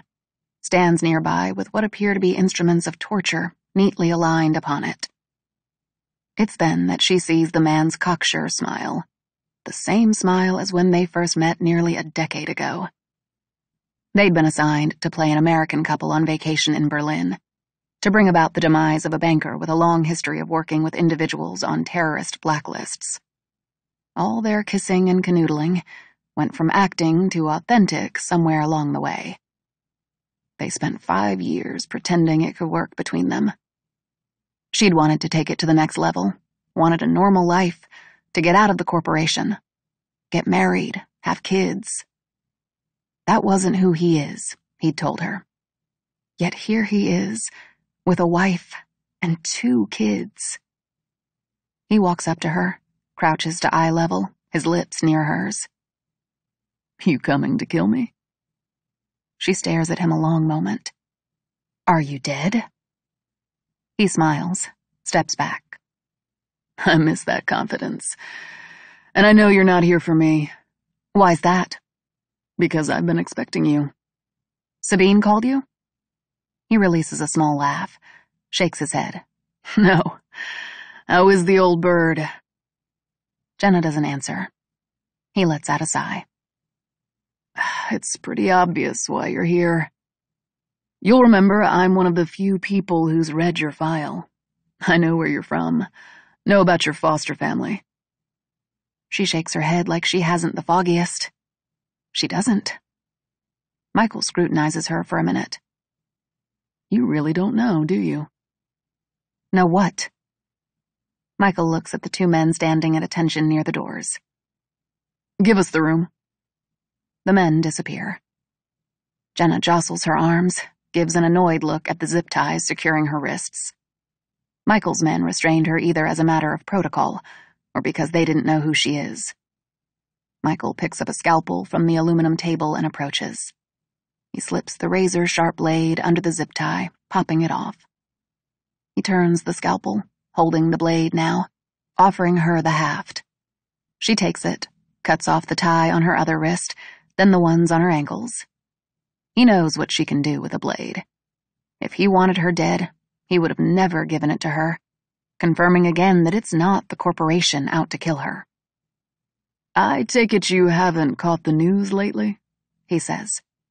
I've been a little preoccupied, running for my life, protecting my family.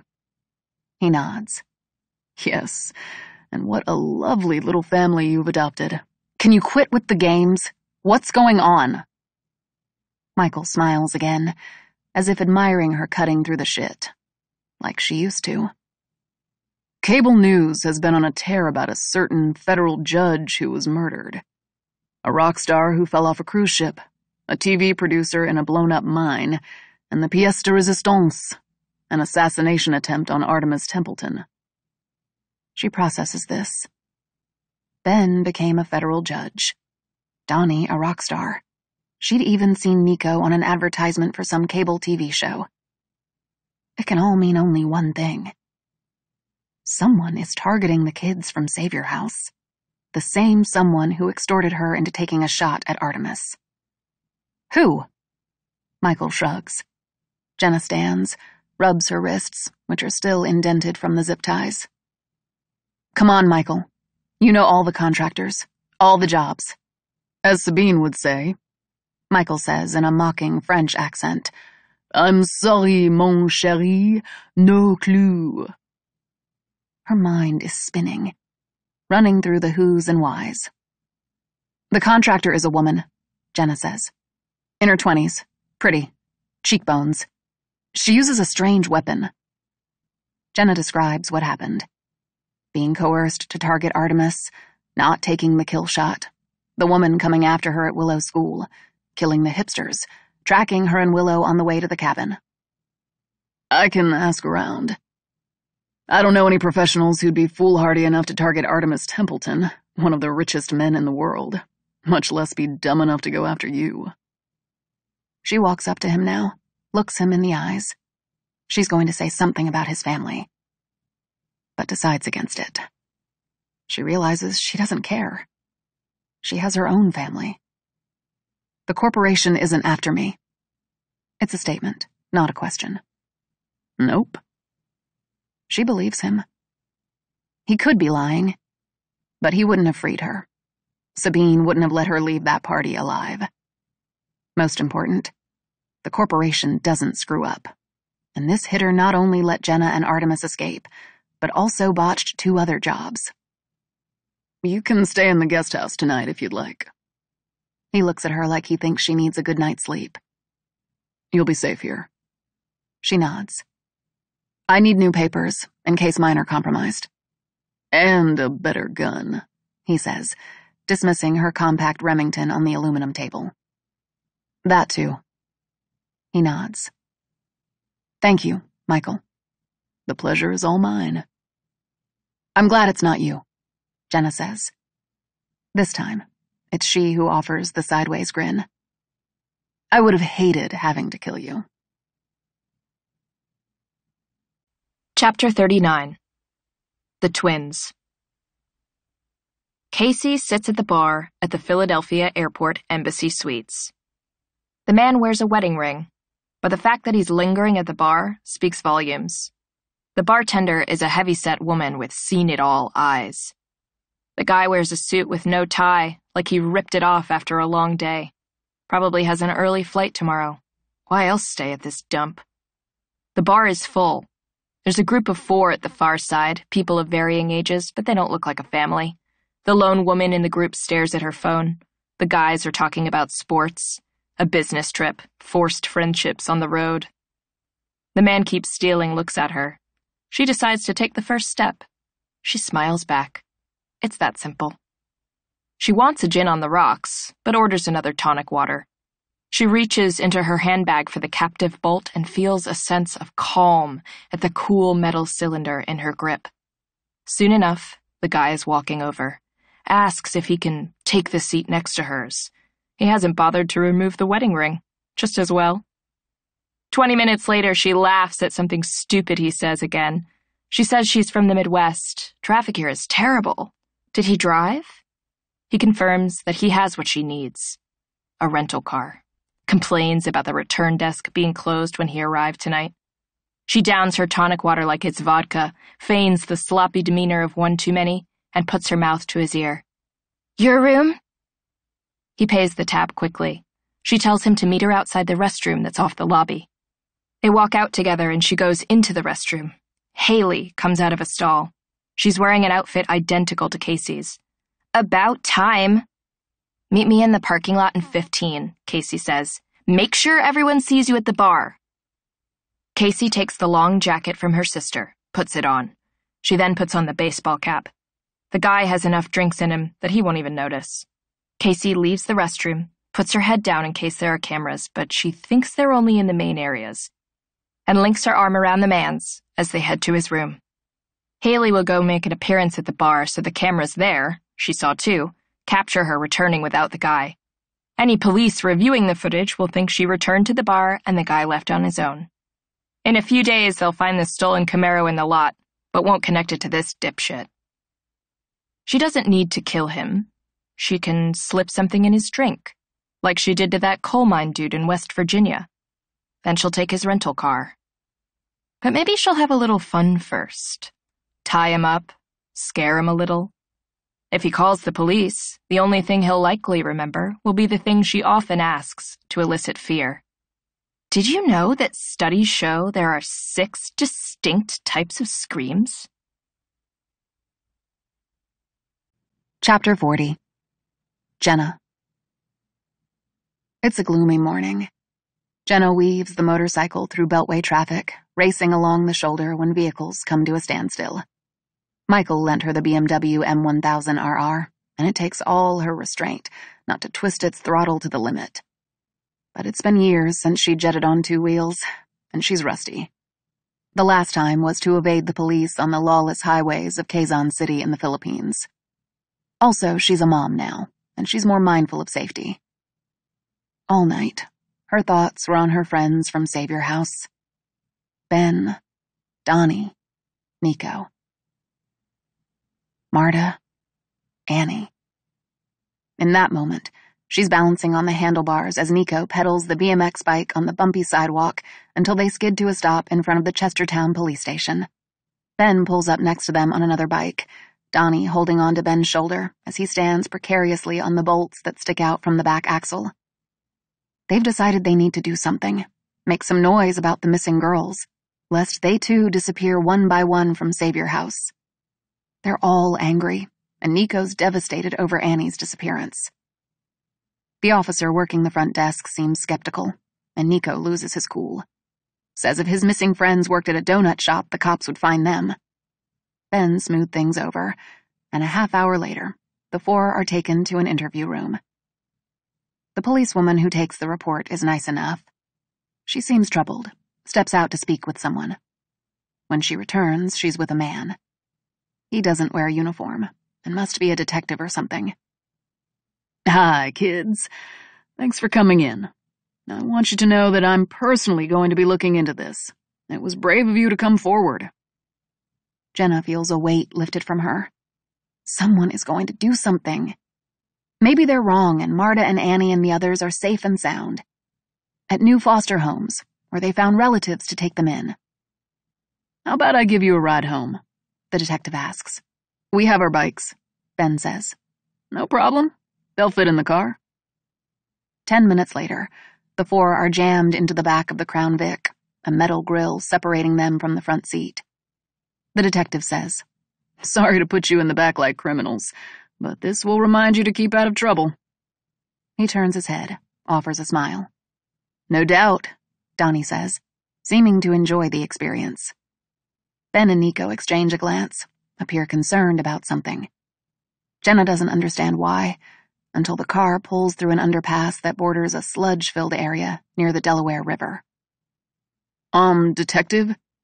Ben says, as the area turns darker, shaded from the underpass.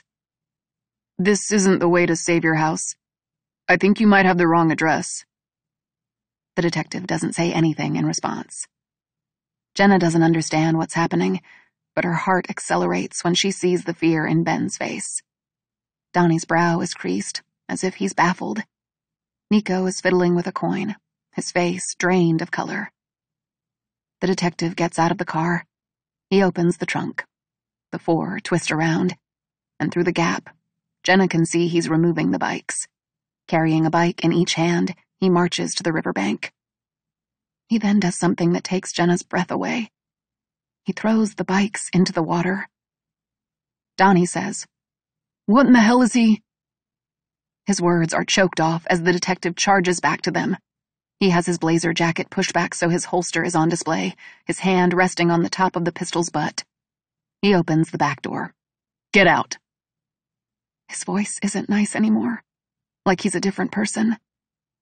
Donnie climbs out first, Jenna sliding over after him. Ben and Nico don't emerge immediately. Don't make me ask again, the detective says. Ben finally steps his long legs out of the vehicle and stands, Nico right behind him. The detective still has his hand resting on his holster. Walk, he says, looking toward the river. They don't move. Walk, goddammit, he says. Fear cloaks every part of Jenna. She and the boys walk slowly toward the river. She should run. They should all jet off in different directions. He can't get all of them. But it's an isolated area, grim and barren, and there's nowhere to run. They reach the river's edge, near where the detective threw the bikes in the water. On your knees, all of you. Sir, Ben says, fear in his voice. We don't know anything. We don't have a problem. You don't have to. Shut up. They lower to their knees. Jenna's heart is in her throat. She has never experienced so much fear in her life. You want to end up like your missing friends, the detective says. No, sir, Ben says. Jenna shakes her head, unable to speak. A whimper comes from Donnie. Nico's eyes are closed. You think anyone's gonna miss a junkie whore's kid? A kid whose father's in prison for killing his mom? A kid whose only relatives died in a car wreck. The kid of one of O'Leary's rejects. They don't respond. Fear commandeering every part of them. Then you drop this. You understand? Jenna manages a nod. She thinks she hears Ben say something. Another yes, sir, maybe. Or the next time. It won't only be the bikes going in the water. Do you understand me? When there's silence, he yells, do you understand me? All four manage some form of affirmation. Jenna hears the sound of steps on soft ground, then the sound of a car engine. Soon she feels Ben's arms around all of them. Jenna is torn from the memory by the chime of the smartphone Michael gave her through the speakers in her motorcycle helmet. She reaches a gloved hand into the leather jacket, another gift from her ex, and manages to answer in time. He also gave her a messenger bag, which he called a bag of goodies. She can only imagine what's inside. You in Philly yet? Michael's voice says, sounding crystal clear in the helmet's expensive Bluetooth system. Michael always loved his toys. Still about an hour out. Huh, the way you drive, I thought you'd be there already. She doesn't reply. She doesn't need any more nostalgic trips back to her days in the corporation. Her days with him. My guy's got some intel on your hitter. He says. Who is she? No one knows much. She came out of nowhere. Basically put out a shingle on the dark web. Billed herself as a low-cost, lower ethics provider. An amateur. That explains the screw-ups, Jenna says. Wet work is much more than pulling a trigger. It requires skill, professionalism, and experience. Your contacts know how to find her? No such luck. So your plan seems to be the best one. Let her find you. Jenna thinks her foster brothers will attend Ben Wood's funeral in Philly. That's probably the best bait she can hope for, if the hitter is still after them. She careens around a semi too fast. Glancing at the speedometer, she realizes she's going 90. The thought of the woman who threatened her family causes her blood to run hot. She slows the bike. Thank you, she says. You can thank me by taking care of your problem without it taking care of you. Oh, don't you worry about me. Well, I will. Because here's the thing. My people all heard the same thing about this chick. It's not like Michael to refer to women in such a way. Jenna listens. That she isn't doing jobs for the money, or ideology, or the usual reasons. He pauses. She's doing it for the sport. Chapter 41 Donnie A commotion at the front of Philadelphia's Old Pine Street Church that morning causes mourners to spin around in their pews and the reporters stationed by news vans in the makeshift media village outside to perk up. Donnie feels the eyes of them all as he's being forcibly removed by two men in plain clothes identifying themselves as U.S. Marshals. Chill one of them keeps saying to Donnie, who's jerking around, shouting, making a spectacle of himself. This is not how to respect your friend's memory, the other marshal says. They're holding his arms tight, but there's no menace in their faces. They're trying to de-escalate. Maybe it's because they know cameras are filming them, but he senses that they're decent dudes and don't want to arrest him. He's already made a fool of himself, so he considers doubling down and fighting more. The hotel minibar had mostly whiskey, which always makes him aggressive for some weird reason. But he releases the tension in his arms, extinguishes any fight left in him. It's the sadness that ravages him, not being able to say his piece, his tribute to the best friend he's ever had. Not being able to say goodbye to the kid who saved him over and over and over again. From the abuse. From himself. He'll never forget Mia's face, twisted with anger, when she called the marshals over. Worse, Belle's confused expression, unsure why Uncle Donnie was acting this way. The two marshals escort him through the massive doors and down the steps of the porticoed entrance. They release him on the brick sidewalk on Pine Street and make clear they're watching to make sure he doesn't do anything stupid. Donnie retreats. He needs another drink needs something to stop this pain in his heart. He walks down Pine and into the cemetery. It's an old one, with headstones so ancient they're covered in moss, the inscriptions worn off. When he and Benny were kids, they'd play kick the can at the old cemetery in Chestertown. They'd hide behind the tombs and in the overgrown weeds. The graveyard was nothing like this one, with its well-maintained grounds. A good number of the Chestertown tombstones were kicked over or covered with graffiti. He remembers that Annie was superstitious and wouldn't play there. She'd do this funny thing where she'd hold her breath when they'd walk past the cemetery, as if a spirit might get inside her if she breathed in. Why does everything remind him of that time in his life? Of Benny and the kids at Savior House? It starts to rain, which is about right. Donnie hears someone call his name. More with the Mr. Danger nonsense. The rain is matting his hair on his face and he brushes it aside with his hand. An unfamiliar young woman with a large black umbrella approaches. She's dressed in matching black with a strand of pearls laced around her delicate neck and seems to have followed him out of the church. She looks him directly in the eyes, projecting what seems to be empathy. I'm sorry about what happened at the service.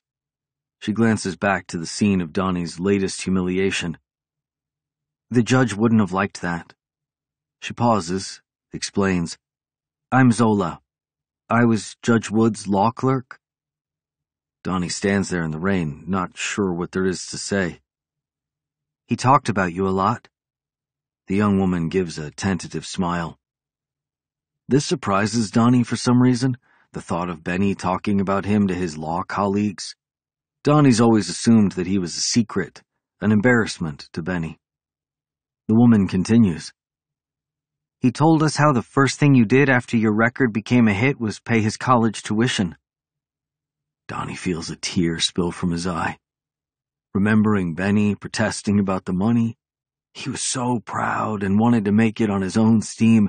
Donnie insisted, saying, Better the money goes to your education than up my nose. He was only half kidding, but he thinks it's the reason Benny accepted the gift. He had your first album framed in Chambers, a photo of you both when you were boys, Zola says. This nearly levels him. Now Zola's eyes well up. He called me that day. Donnie studies her. What day, he wonders. The day Ben was killed? He made me promise that if anything happened to him, I'd tell you something. I told the FBI about it, but I don't know if they told you, so I wanted to. Her voice trails off. The hairs rise on Donnie's arms and the back of his neck. His eyes tell her to continue. He said to say you're the bravest person he's ever met. His brother from another mother, Donnie says, finishing the familiar sentence. Zola offers a sad smile. Donnie's chest shudders, tears mix freely with the rain on his face. And he said, and I didn't understand this part, but he said you would. Donnie's eyes lock on Zola's as the wind dimples her umbrella. He said to tell you that you all had it wrong. The proof is with Boo Radley. Chapter 42 Jenna From the street, behind the shield of her motorcycle helmet, Jenna watches the man at the cemetery. He was hard to miss, given the spectacle he created outside the church. Her heart aches, remembering the boy he was. So sweet, so fragile. She wasn't at Savior House for long, but long enough to succumb to Donnie's charm. The rain's coming down in a mist, and she wipes the helmet's shield with her hand. A woman holding an umbrella is speaking to him. He seems devastated. Even from this distance, she can see it on his face. A similar expression she remembers from a rainy night 25 years ago on a patch of misery in Chestertown. She watches as the two finish their conversation and head in different directions. The woman with the umbrella returns to the service. Donnie plods through the tombstones, lost in his head, in despair. There's no sight of the killer, the young woman who should be in college and going to parties, cheering on the football team, cramming for finals, but has chosen a life of murder for hire.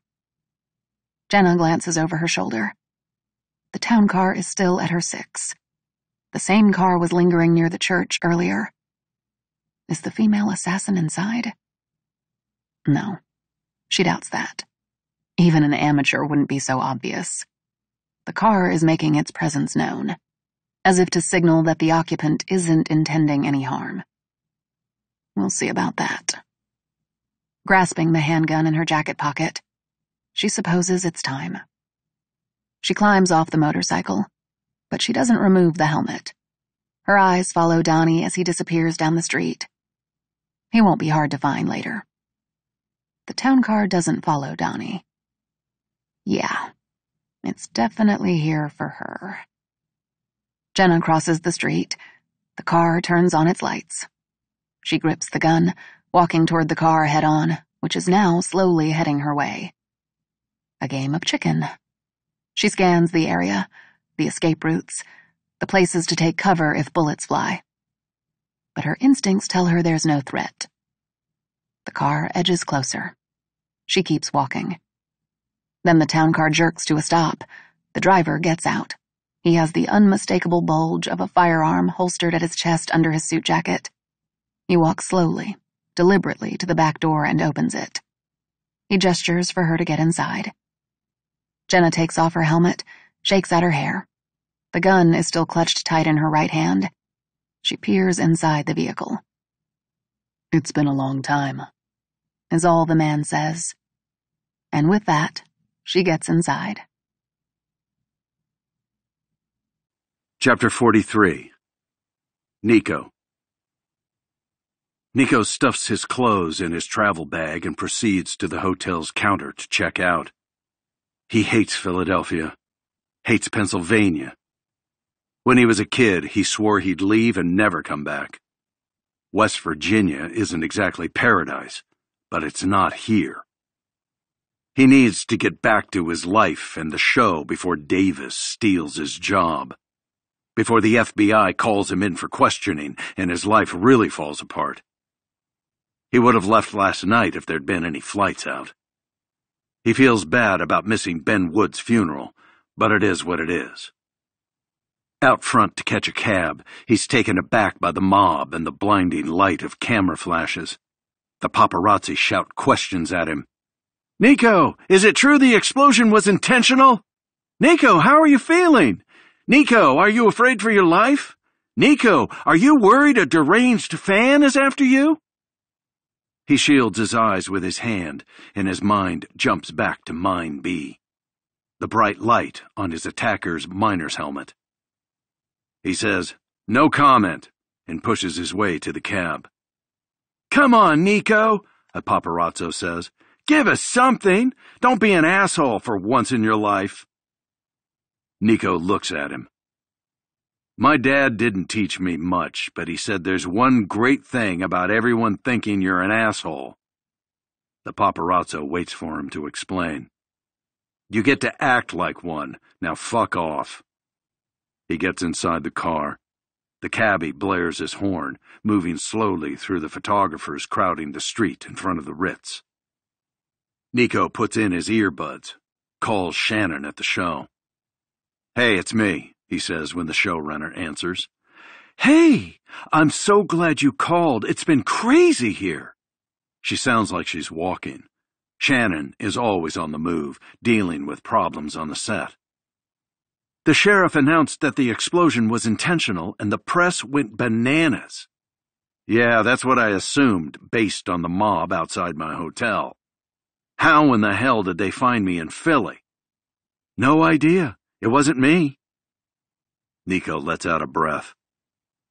It'll calm down. The news cycle will turn to something else. I don't know about that, she says. Nico shakes his head. No point in debating it. I'm headed back. You should start thinking about some shows or special episodes about the mine collapse that we can milk for.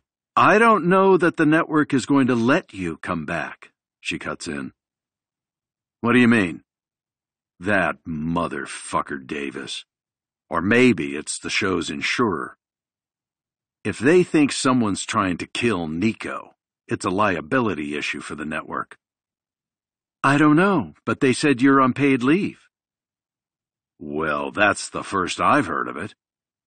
I'll try to find out more, but that's all I know. And that the FBI served a warrant for the records on your company cell phone. For my phone? Nico's heart rate accelerates. Yeah, and an agent interviewed me. Asked all kinds of weird questions. Something about some judge in Philly you knew when you were a kid. Also, they asked about Donnie Danger. You remember him from Tracer's Bullet? Donnie. That's a name he hasn't heard in years. His mind ventures to the bank of the Delaware River, Ben hugging them all after the crooked detective terrorized them. What about him? You haven't seen the news? He fell off a cruise ship, was lost at sea, and somehow survived. The FBI agent asked if I knew about your friends from when you were a kid. You knew Donnie Danger? She says this with humor in her voice. She continues. They asked about your vacation last month, where you went, and what I knew about your childhood. Nico's heart is in free fall. You don't have to watch many TV cop shows to know that if they have your phone records, they know more about you than your parents, your spouse, or your closest friends. They know your search history, your photos, your social media posts, your dating life, your diet, your music preferences. And they know with GPS precision the coordinates of every place you've traveled. That causes an electrical current of fear to prickle every one of Nico's nerves. He ends the call and gets the cabbie's attention. Change of plans. Can you take me to Chestertown? Where? It's in Delaware County, about an hour away. The guy is tapping the GPS on the phone mounted to his windshield as he drives. Then he says, It'll cost two hundred. It's a long way and I won't get any fares on the way home. That's fine. Nico needs to get there before the feds.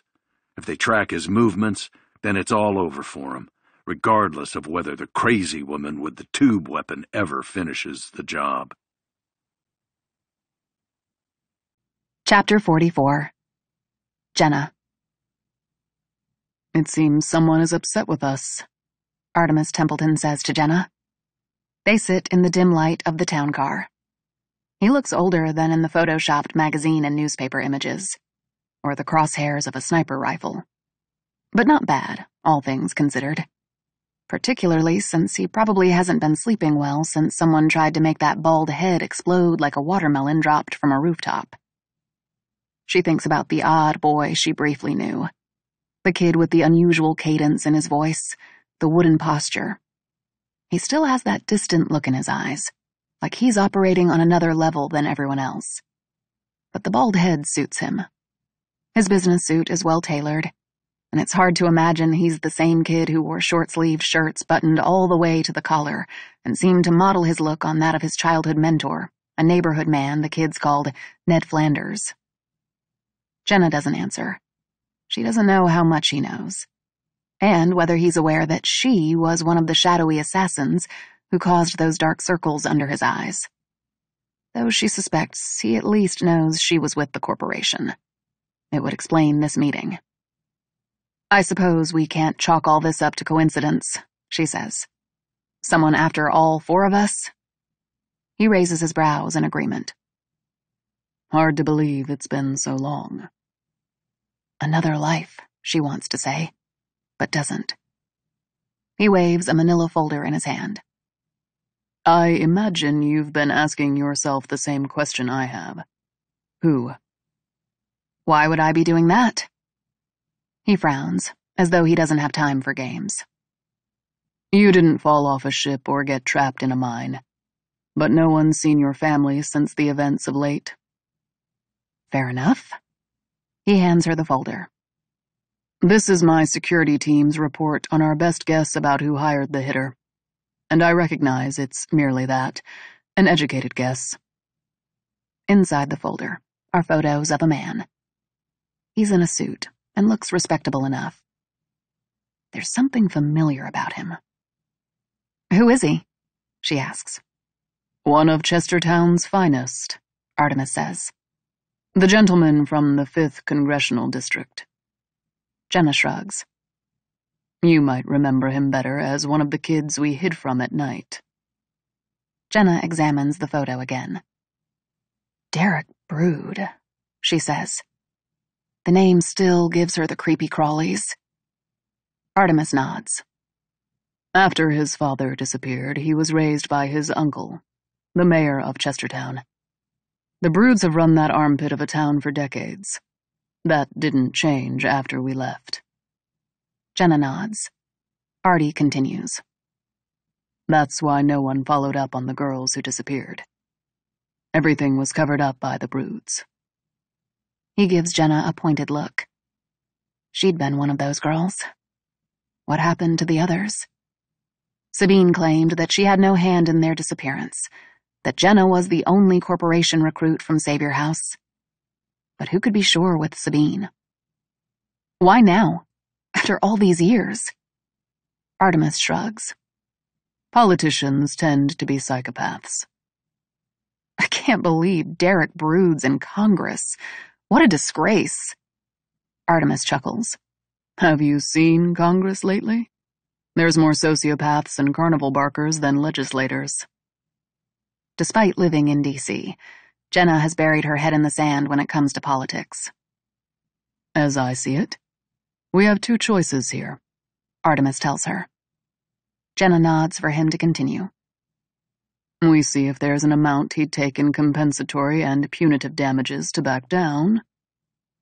Or, Jenna knows where this is going. Or, I give that same money to someone like you who knows how to deal with these types of problems. This confirms he knows about her time with the corporation. It's unsettling. But he's a billionaire and likely has unparalleled access to intel. An entire squad of former spooks and other shadowy special operators on his payroll. It's unclear why he doesn't use his own people for such work. But maybe he can't. Can't tell them the reason for the hit. Or he wants to ensure it's not traceable to him. He leans back in the leather seat of the sedan, waits for her response. If this is about Derek taking revenge, money won't matter to him.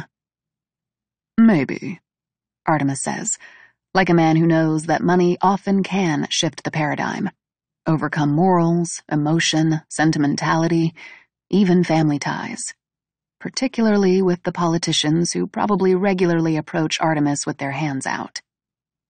He glances at the folder. It should have what you need. Jenna doesn't look at the dossier. She'll study it later. She reaches for the door handle. There's something else, Artemis says. Jenna sits back, waits for him to continue. We need to be concerned about the FBI.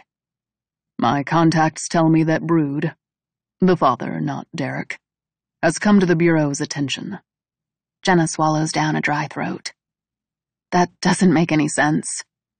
If Derek Brood wants us dead, why would he go to the feds about what happened to his father? He'd be the obvious suspect if we're all killed. That's the question, isn't it? Artemis releases a breath. But maybe it's not Derek Brood talking to the feds. Then who? Only five people were there that night.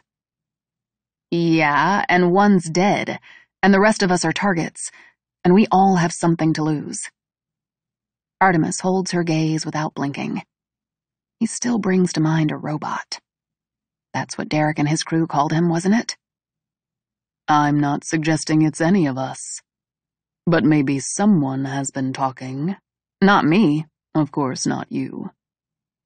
He could be right about the others. She hasn't kept up with them. But it's possible one of them told someone. A girlfriend, a priest, an AA sponsor, someone. We need to talk to Donnie and Nico, he says. Find out if they slipped. We? Jenna says. Artemis's face remains expressionless. I don't think we want me running around playing detective. It will only draw attention. He's right, of course. What about your security team? I'd have to tell them things we wouldn't want me to. Besides, Donnie and Nico adored you. They'll trust you. I saw Donnie at the funeral. He was hard to miss, Artemis says. He's staying at the Four Seasons. He has a friend with him. My guys put a tracker on his rental car this morning. He hands her a smartphone. She glances at the screen and it shows a map with a blue dot. You have one of those for Nico, too? No. But he's here, too, staying at the Ritz. Jenna nods. Just as she thought. Both of her foster home siblings came. For Ben. Look, Artemis says. I think Derek Brood is behind this. If we can convince him to back off, we can make this problem go away. Jenna thinks about this. If you won't take the money, and I have to take care of things, you can donate that money to charity. Artemis cocks his head to the side, not computing. He threatened my family. This one's on the house. Chapter 45 Donnie Reeves handles the driving on I 95 South. Donnie hasn't told him why they're going to Chestertown. He's not sure himself, but Ben's law clerk's words continue to echo through his head. He said to tell you that you all had it wrong. The proof is with Boo Radley. The problem? Donnie doesn't have a damn clue what that means. He has huge gaps in his memory, most caused by whiskey, vodka, tequila, and white powder, not necessarily in that order. For the life of him, nothing's ringing a bell. Maybe seeing the old haunts will jog it loose. He's not keen on traveling down memory lane, but this is for Ben. and to get the money for the book, he agreed to spend one full week with Reeves. The literary agent wants a draft by month's end, no doubt concerned that the clock is ticking on Donnie's 15 minutes of fame. A white work van speeds past. Donnie points at it. When we first started touring, there'd be eight of us living in a van like that, playing dive bars across the country. We'd each get seven dollars a day for food. By the end, Tom had his own tour bus. There were two for the crew and one for the rest of the band. Reeves looks ahead at the road. How was that, living on the road? Nothing else like it, Hemingway. I loved it. Did you all have, like, homes or? Yeah. After we went platinum the first time, everybody had a home base. I had a crib in L.A., the rest were spread out. Donnie doesn't mention that he had to sell the L.A. property and currently rents a studio apartment in North Hollywood. Three of the guys were married, had kids, but we were on the road about 200 days a year. What's it like, living on a bus most of the year? It's kind of like you never grow up. Other than getting from one show to the next, we didn't have any real responsibilities. Our manager would take care of paying the bills for everybody's home base.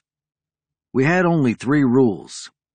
Reeves turns his head, like this might be something he can use for the book. Donnie ticks them off. One, if you bring a girl on the bus, there's an ID check and an NDA gets signed. That was the result of an unfortunate incident when our bass player met a 17 year old who lied about her age after a show in Phoenix. That was a mess. Reeves's eyes widen. Maybe don't put that part in the book, Donnie smiles. Rule two, no number twos on the bus. The smell gets in the vents and it's a big hassle to clean out the septic tanks. Reeves scrunches his face. I think I'll leave that out too. Understandable.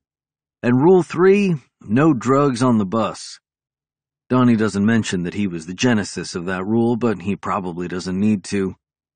Other than all that, you live for the show, then the after party, then you're on to the next town. You watch a crapload of movies. Reeves follows the GPS's voice and veers off the exit for Chestertown. Donnie feels acid crawl up his throat. It's been 25 years. Where to? Reeves asks. I suppose to where it started. Fifteen minutes later, the rental car pulls to the curb on the south side of Chestertown. Reeves seems to be in awe at the urban decay. A neighborhood of boarded up homes. Unbelievably, things have gotten worse. Twenty-five years ago, the neighborhood was on the decline, but there were still people left from before the steel, automotive, and paper factories closed. Old couples who mowed their lawns, planted flowers, maintained the exterior of their homes, fought the losing battle of their neighborhood being taken over by drugs and crime. They get out of the rental car and Donnie gestures to a boarded up mansion that has a lopsided porch.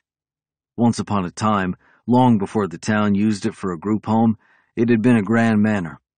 But once the factories all closed, the place, like the town, went to shit. For some reason, a memory from the tour bus comes to mind. Watching the movie Forrest Gump, the scene where Jenny throws stones at the home where she'd been abused as a kid. No rock is big enough for this place. So, this is it? Where you grew up? Reeves asks.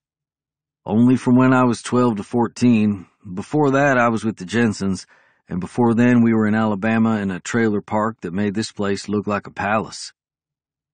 Reeves has a pad and pen and takes notes as they walk. He spins around, taking it all in. It's amazing you made it out.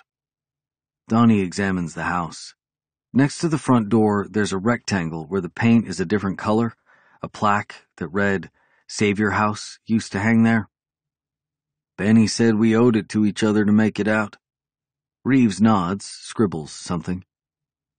About Ben, Donnie says, his law clerk told me something that I can't figure out. He clues Reeves in on the cryptic message she relayed to him. Nothing's coming to Donnie. Maybe the writer will have some ideas. He leaves out the part about Ben being blackmailed. That could lead Reeves down a path Donnie doesn't want him to venture. Reeves thinks on it. Did Ben think he was in danger? Is that why he asked her to give you a message? No idea. The law clerk said she told the FBI what he said, so I'm sure they're on it. He said to tell you that you all had it wrong. What could you have gotten wrong? Donnie isn't sure about this either. And Boo Radley, Reeves says, did you all read To Kill a Mockingbird or something? Donnie shakes his head. Benny loved to read, but I've never read it. Why? Boo Radley's a character from the book. He was a mysterious neighbor of the kids in the story. They treated him like the boogeyman, but that's because they didn't understand him. Donnie thinks about this. He's racking his brain. Benny loved books, used to spend hours at the public library. Next to the tree fort they built that summer, it was his sanctuary. But Donnie doesn't remember Benny reading To Kill a Mockingbird or talking about it. Was there anyone who terrorized you when you were kids? Reeves asks. For a split second, Donnie can't breathe. He's being held underwater at the neighborhood pool. Then he's at the edge of a shallow grave. He doesn't say it, but one name comes to mind. Brood. Chapter 46 Nico If they track his movements, they'll find the duffel bag, and if they find the bag, he doesn't want to think about that. The proof is in the bag. The cabbie drives slowly down Patterson Street in Chestertown. It looks like a scene out of a zombie movie. Cars stripped to their frames, houses sprayed with graffiti over plywood covered windows, litter blowing on the streets, figures ducking into the shadows. The cabbie seems nervous. He should be. Look, I was fine taking you this far from Philly, but I don't have a death wish. Friend of mine was killed on the job, and no fare's worth that. Nico says, It's just a little more up the road. Looks like the cops are tailing us. I don't want no trouble. The cabbie's eyes jump to the rear view, then back to the road. Nico twists around. There's a dark sedan that sure looks like the kind law enforcement drive. He already paid the driver. The guy insisted on collecting the fare up front. So he just needs to lose whoever's tailing them. Nico's mind goes to Natalie. The FBI was just here asking about you. To his showrunner, Shannon. The FBI served a warrant for the records on your company cell phone. That reminds him. He pulls out his phone, powers it down. Is that enough to stop the tracking? He decides to pop out the SIM card. Okay, here's what I'd like you to do, he says to the cabbie. There's an alley right up there. Pull in and I'll get out. Not a chance, pal. No way. Nico sighs. He looks around. He's back in the old neighborhood. He still knows the terrain. All right, let me out at the corner. He looks back again at the sedan crawling behind them. The cabbie stops at the intersection. Thanks for the ride. Nico jumps out and sprints toward the alley.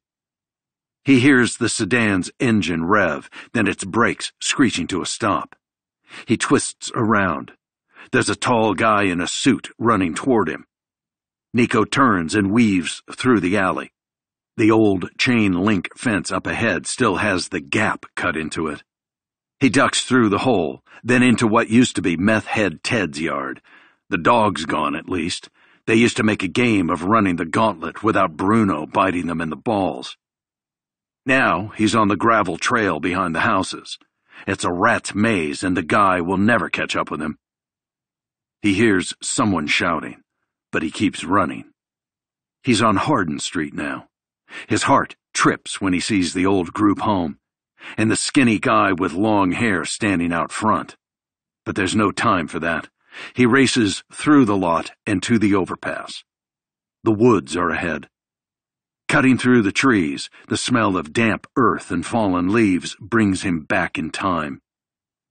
He thinks he's lost the guy. He better have.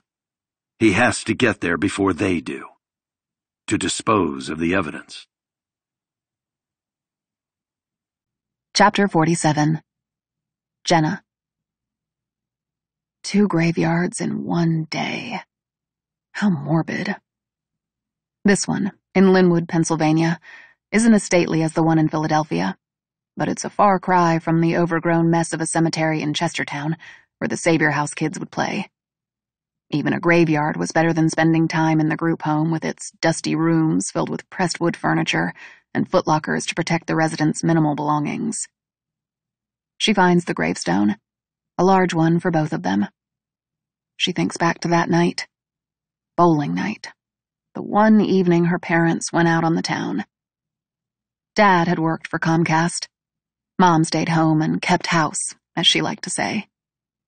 It also allowed her to shuttle Jenna to her gymnastics competitions all around the Commonwealth. Dad's job didn't pay much, but they somehow scraped together the money for the classes, the leotards, the tournament entry fees.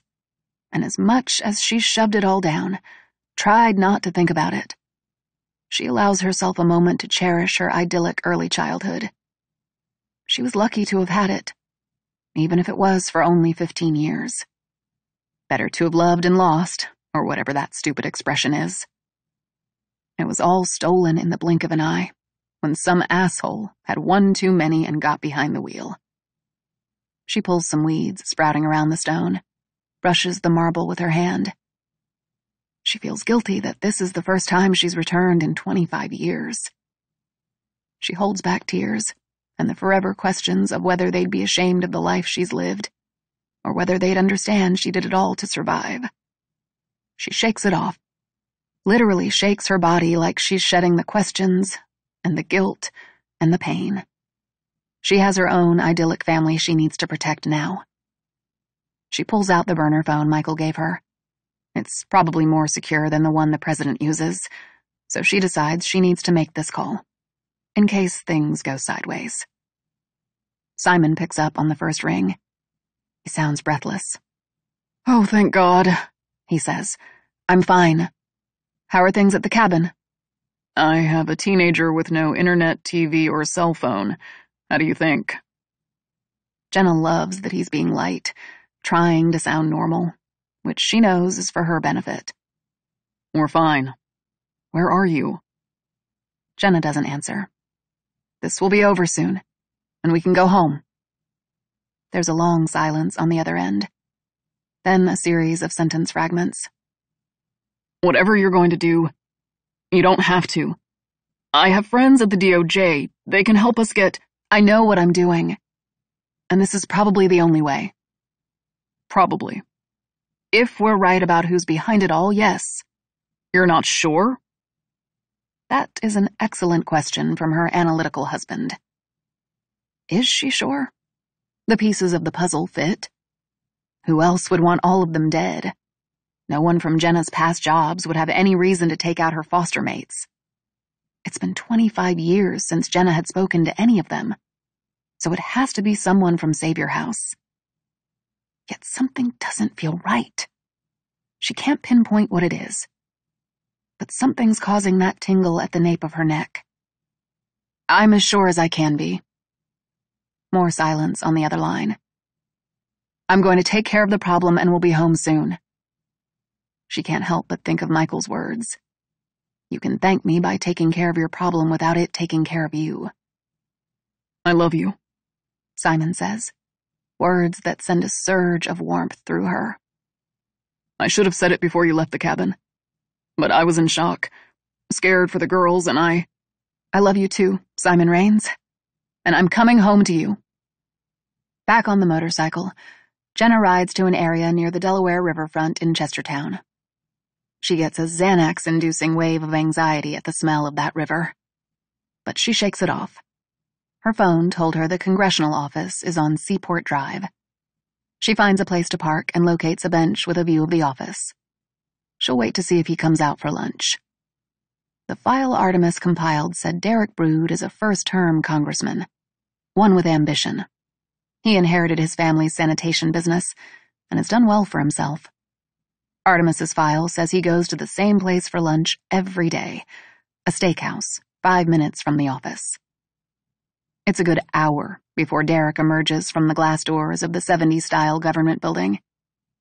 The sight of him takes her breath away. In the photo, she noticed the resemblance to his father, but in person, it's more startling. He has the girth, the gait of the head of Savior House. Derek was always clean cut like his father, which was helpful in hiding their menace. He has an entourage walking with him an Asian woman, a younger white guy in a suit, and two body men walking behind him. Why would a Pennsylvania congressman from a poor district need muscle? It's uncanny how much he looks like his father. He was a mean spirited kid, a bully. Could he have changed after being raised by someone else? She thinks back to a day at the park when she'd intervened when Derek was beating up Nico. Nico. She smiles, thinking of how love struck he was with Annie, following her around like a puppy. Annie didn't act like she was into him, but she was. She proudly wore that cheap necklace Nico bought for her, talked about how sweet he was. Annie had been in the system so long that she simply didn't know how to show love. And then Annie was gone. Vanished. Jenna remembers the feeling of helplessness. Only one of them didn't lose hope after that day on the riverbank. Their knees still dirty from kneeling in the muck, thinking they were going to be executed. Ben had marched them to the public library. The incident had only hardened his resolve. The law is how you dealt with bullies like the detective, he told them. Jenna watches Ben as he scribbles notes on the scratch paper, his eyes glued to a law book he's yanked from one of the library's shelves. Donnie has slipped out to the convenience store to swipe a bottle. He's not made for more trauma. None of them is. But it's the sweethearted who it hits the hardest. But even Nico holds a vacant stare now going to the bathroom every few minutes, probably to empty his guts. The detective warned them in no uncertain terms to back off. Jenna's instincts tell her that's what they should be doing. Not stopping at the library trying to find out how to go after the very man who threatened to kill them. But Ben is on a mission. Can I help? Jenna asks Ben. Yeah, go get me this book. He hands her a scrap of paper that's been folded like a star. She's noticed that he has the unusual habit of folding paper. There are three stars, and two scraps folded to look like flowers near where he's been reading. She looks at the star he handed her, sees he's written a library call number on it, and heads off to find the book. On the way, she sees Donnie stumble into the library. His lips are blue from that Mad Dog 2020 wine he drinks. We gotta let this go, Donnie says. We gotta go to the house, pack our shit, and go. His words are slurred and tinged with fear and hurt. Come sit. She leads him to a lounge chair that has frayed arms and cushions. I know Benny, Donnie says. He's gonna need to go after them. Get justice. He exaggerates the word. He said his dad went to prison for something he didn't do. He never forgave himself for not being able to stop it. Jenna understands Donnie's fear but she thinks of Marta's eyes the night she woke up Jenna to get her safe. Annie telling off Derek at the lunchroom. They wouldn't walk away if Jenna disappeared. She watches across the library as Nico comes out of the bathroom. He says something to Ben, grabs a handful of the papers, the folded stars, then throws them on the floor and charges outside. Ben comes over to them. Jenna says, Sorry, I didn't get the book. I needed to, it's all right. I found what we need. We gotta get the feds interested. It's the only way to deal with corrupt local cops and officials. Jenna nods. Is Nico okay? Ben looks at the floor. He's. Ben searches for the word. Devastated. He should be, Donnie says. We need to drop this. His eyes are red and watering. Ben crouches low. Look at me, you redneck. Donnie raises his glance to Ben's. You want them to get any more of our friends? Donnie shakes his head. You trust me? Donnie nods this time. Brothers from another mother. Ben nods. That's right. And you know what else? Jenna watches as Donnie stares in admiration at his best friend. They're not going to get away with this. Chapter 48 Nico Nico traipses through the forest, branches smacking his face, the hum of insects in his ears. The old path through the weeds, the one they'd worn down trudging back and forth, isn't visible. But he knows he's headed in the right direction. He remembers the summer they built the tree fort, the sticky heat and fatigue of carrying lumber stolen from a construction site. Ben hauling more wood than all of them on his strong shoulders. And he remembers laying on the planks up high, watching the stars. Today the woods are dreary, the tree canopy making the day an even darker shade of gray. He hears a snap of twigs up ahead. Probably a deer, one of the Chestertown woods variety, thin and malnourished. There's a brief quiet from the insects, but they start up again. Whoever was chasing Nico didn't track him here, that's for sure. These woodlands are difficult to navigate, tangled and unkempt. He's on a fool's errand right now, he fears. If the FBI is running a cell tower report tracking his movements from the last time he was in Chestertown, it probably wouldn't ping out here. But he doesn't know that.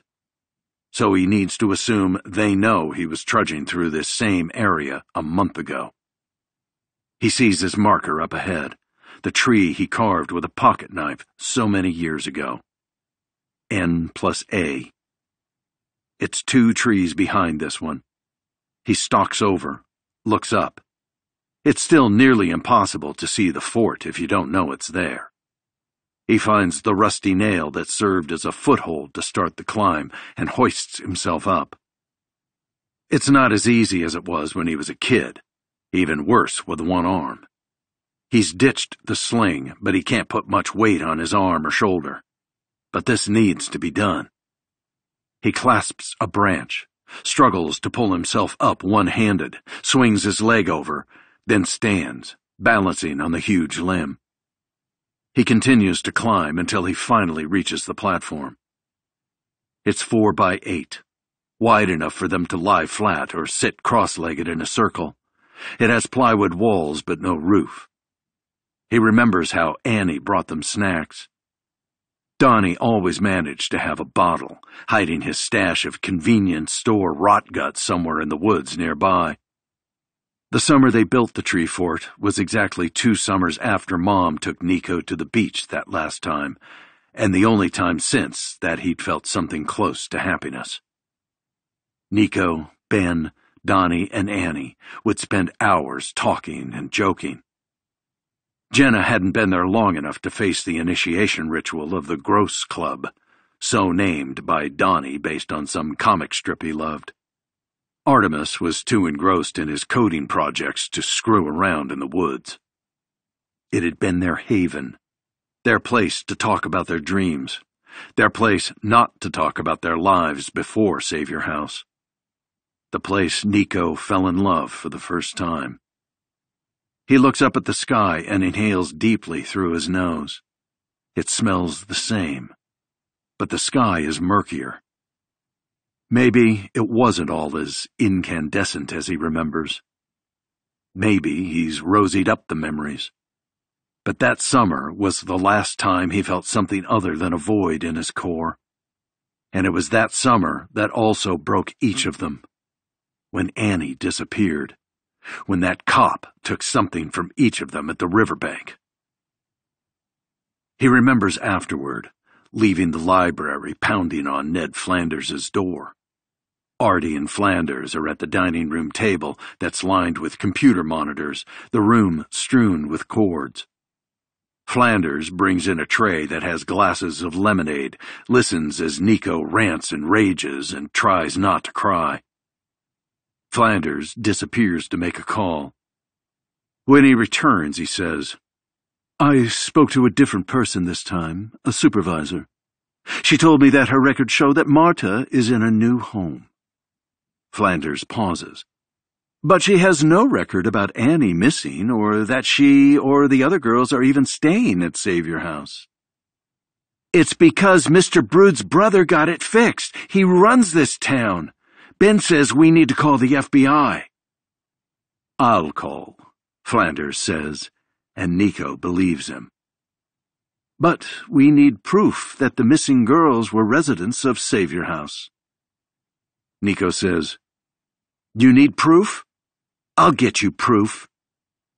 Back at Savior House, Nico ventures into forbidden territory. Mr. Brood's office. He was going to kick down the door if he needed to, but he's in luck. The door is open an inch, the lights on like Brood had just been there. He needs to be fast. He rushes to the metal file cabinet and riffles through the files. He finds a file for each of them. Nico, Ben, Donnie, but none for the girls. He goes through each drawer, but he's sure of it. There are none. His heart jumps to his throat when he hears voices.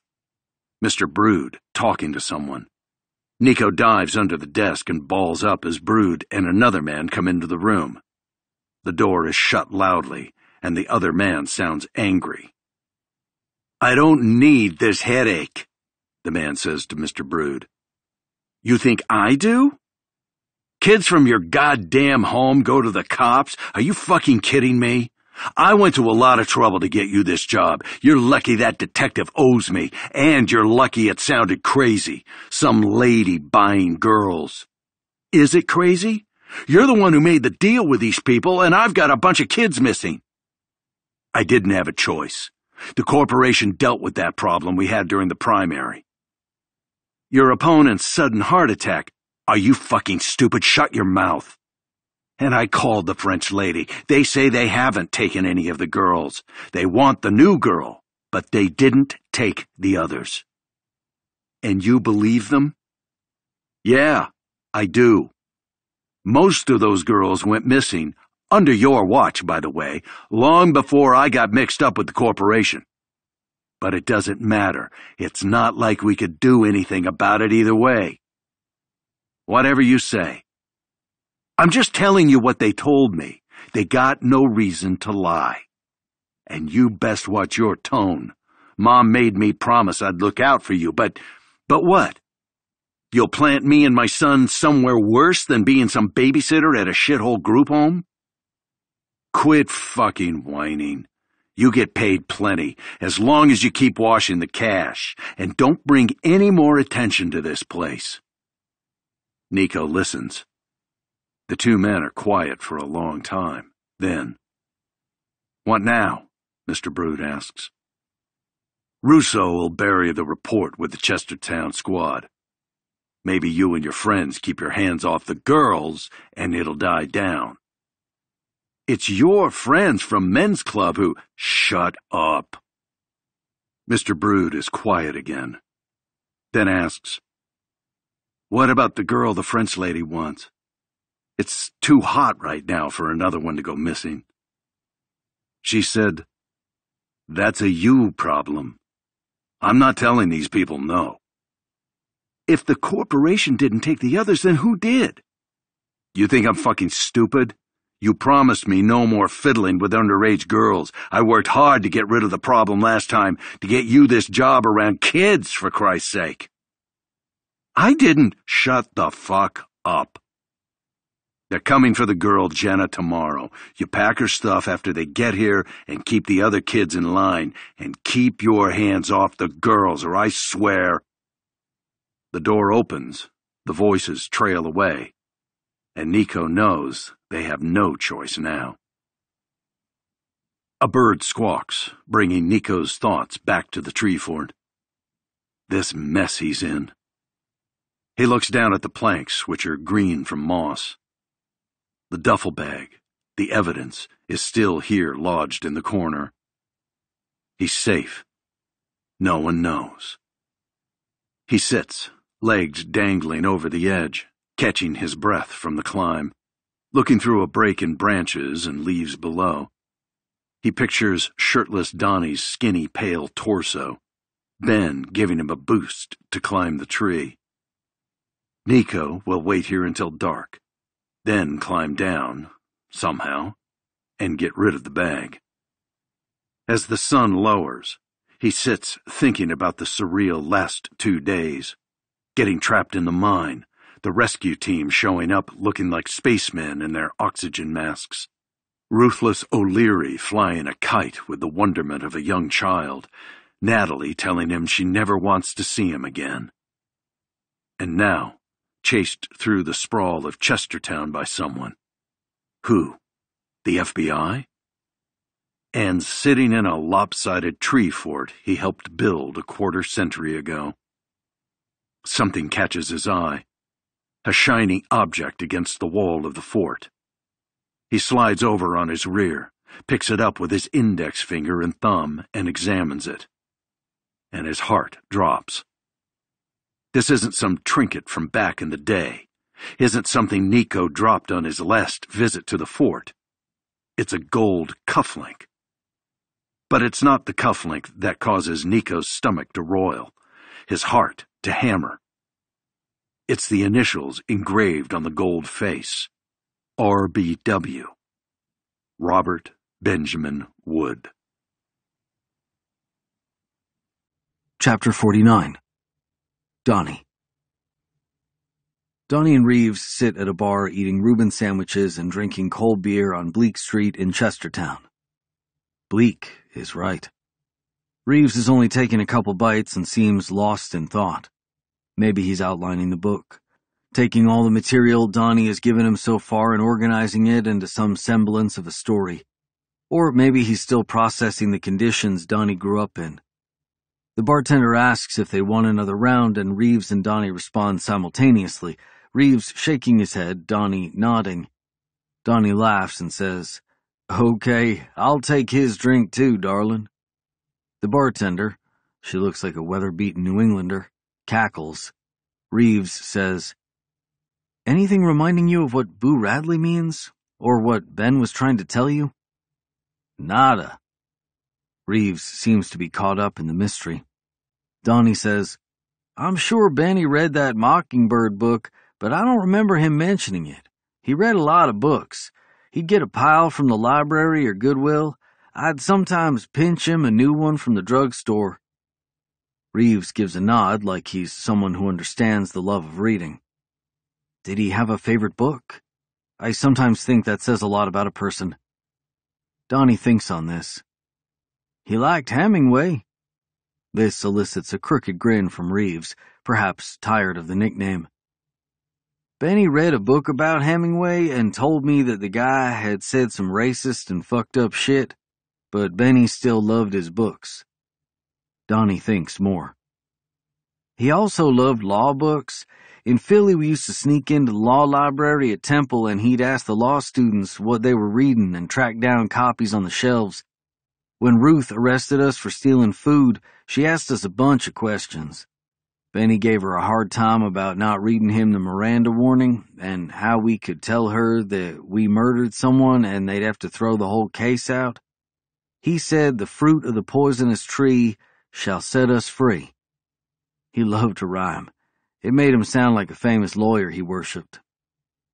Ruth was the cop who ended up adopting him? Donnie nods. She passed a few years ago. How about you, Donnie? How about me what? You have a favorite book?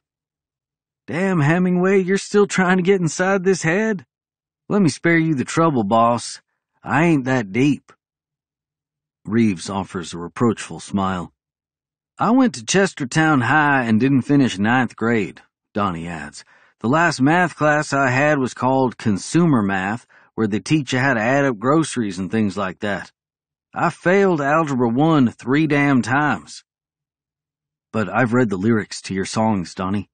Some of them, Reeves smiles, and I mean some of them, are like poetry. Why, thank you. Donnie says with a hint of sarcasm combined with genuine appreciation at the remark. I'm being serious.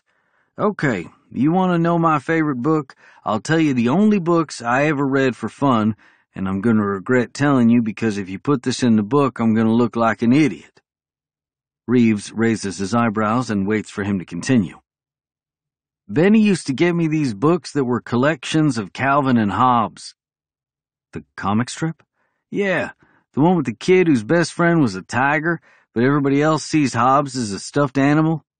I loved those. I get it. How's that? Donnie asks, thinking Reeves may be patronizing him. There's something about seeing the absurdity of the world through the eyes of a mischievous six-year-old that's appealing. Donnie is impressed that Reeves didn't turn up his nose. Reeves continues.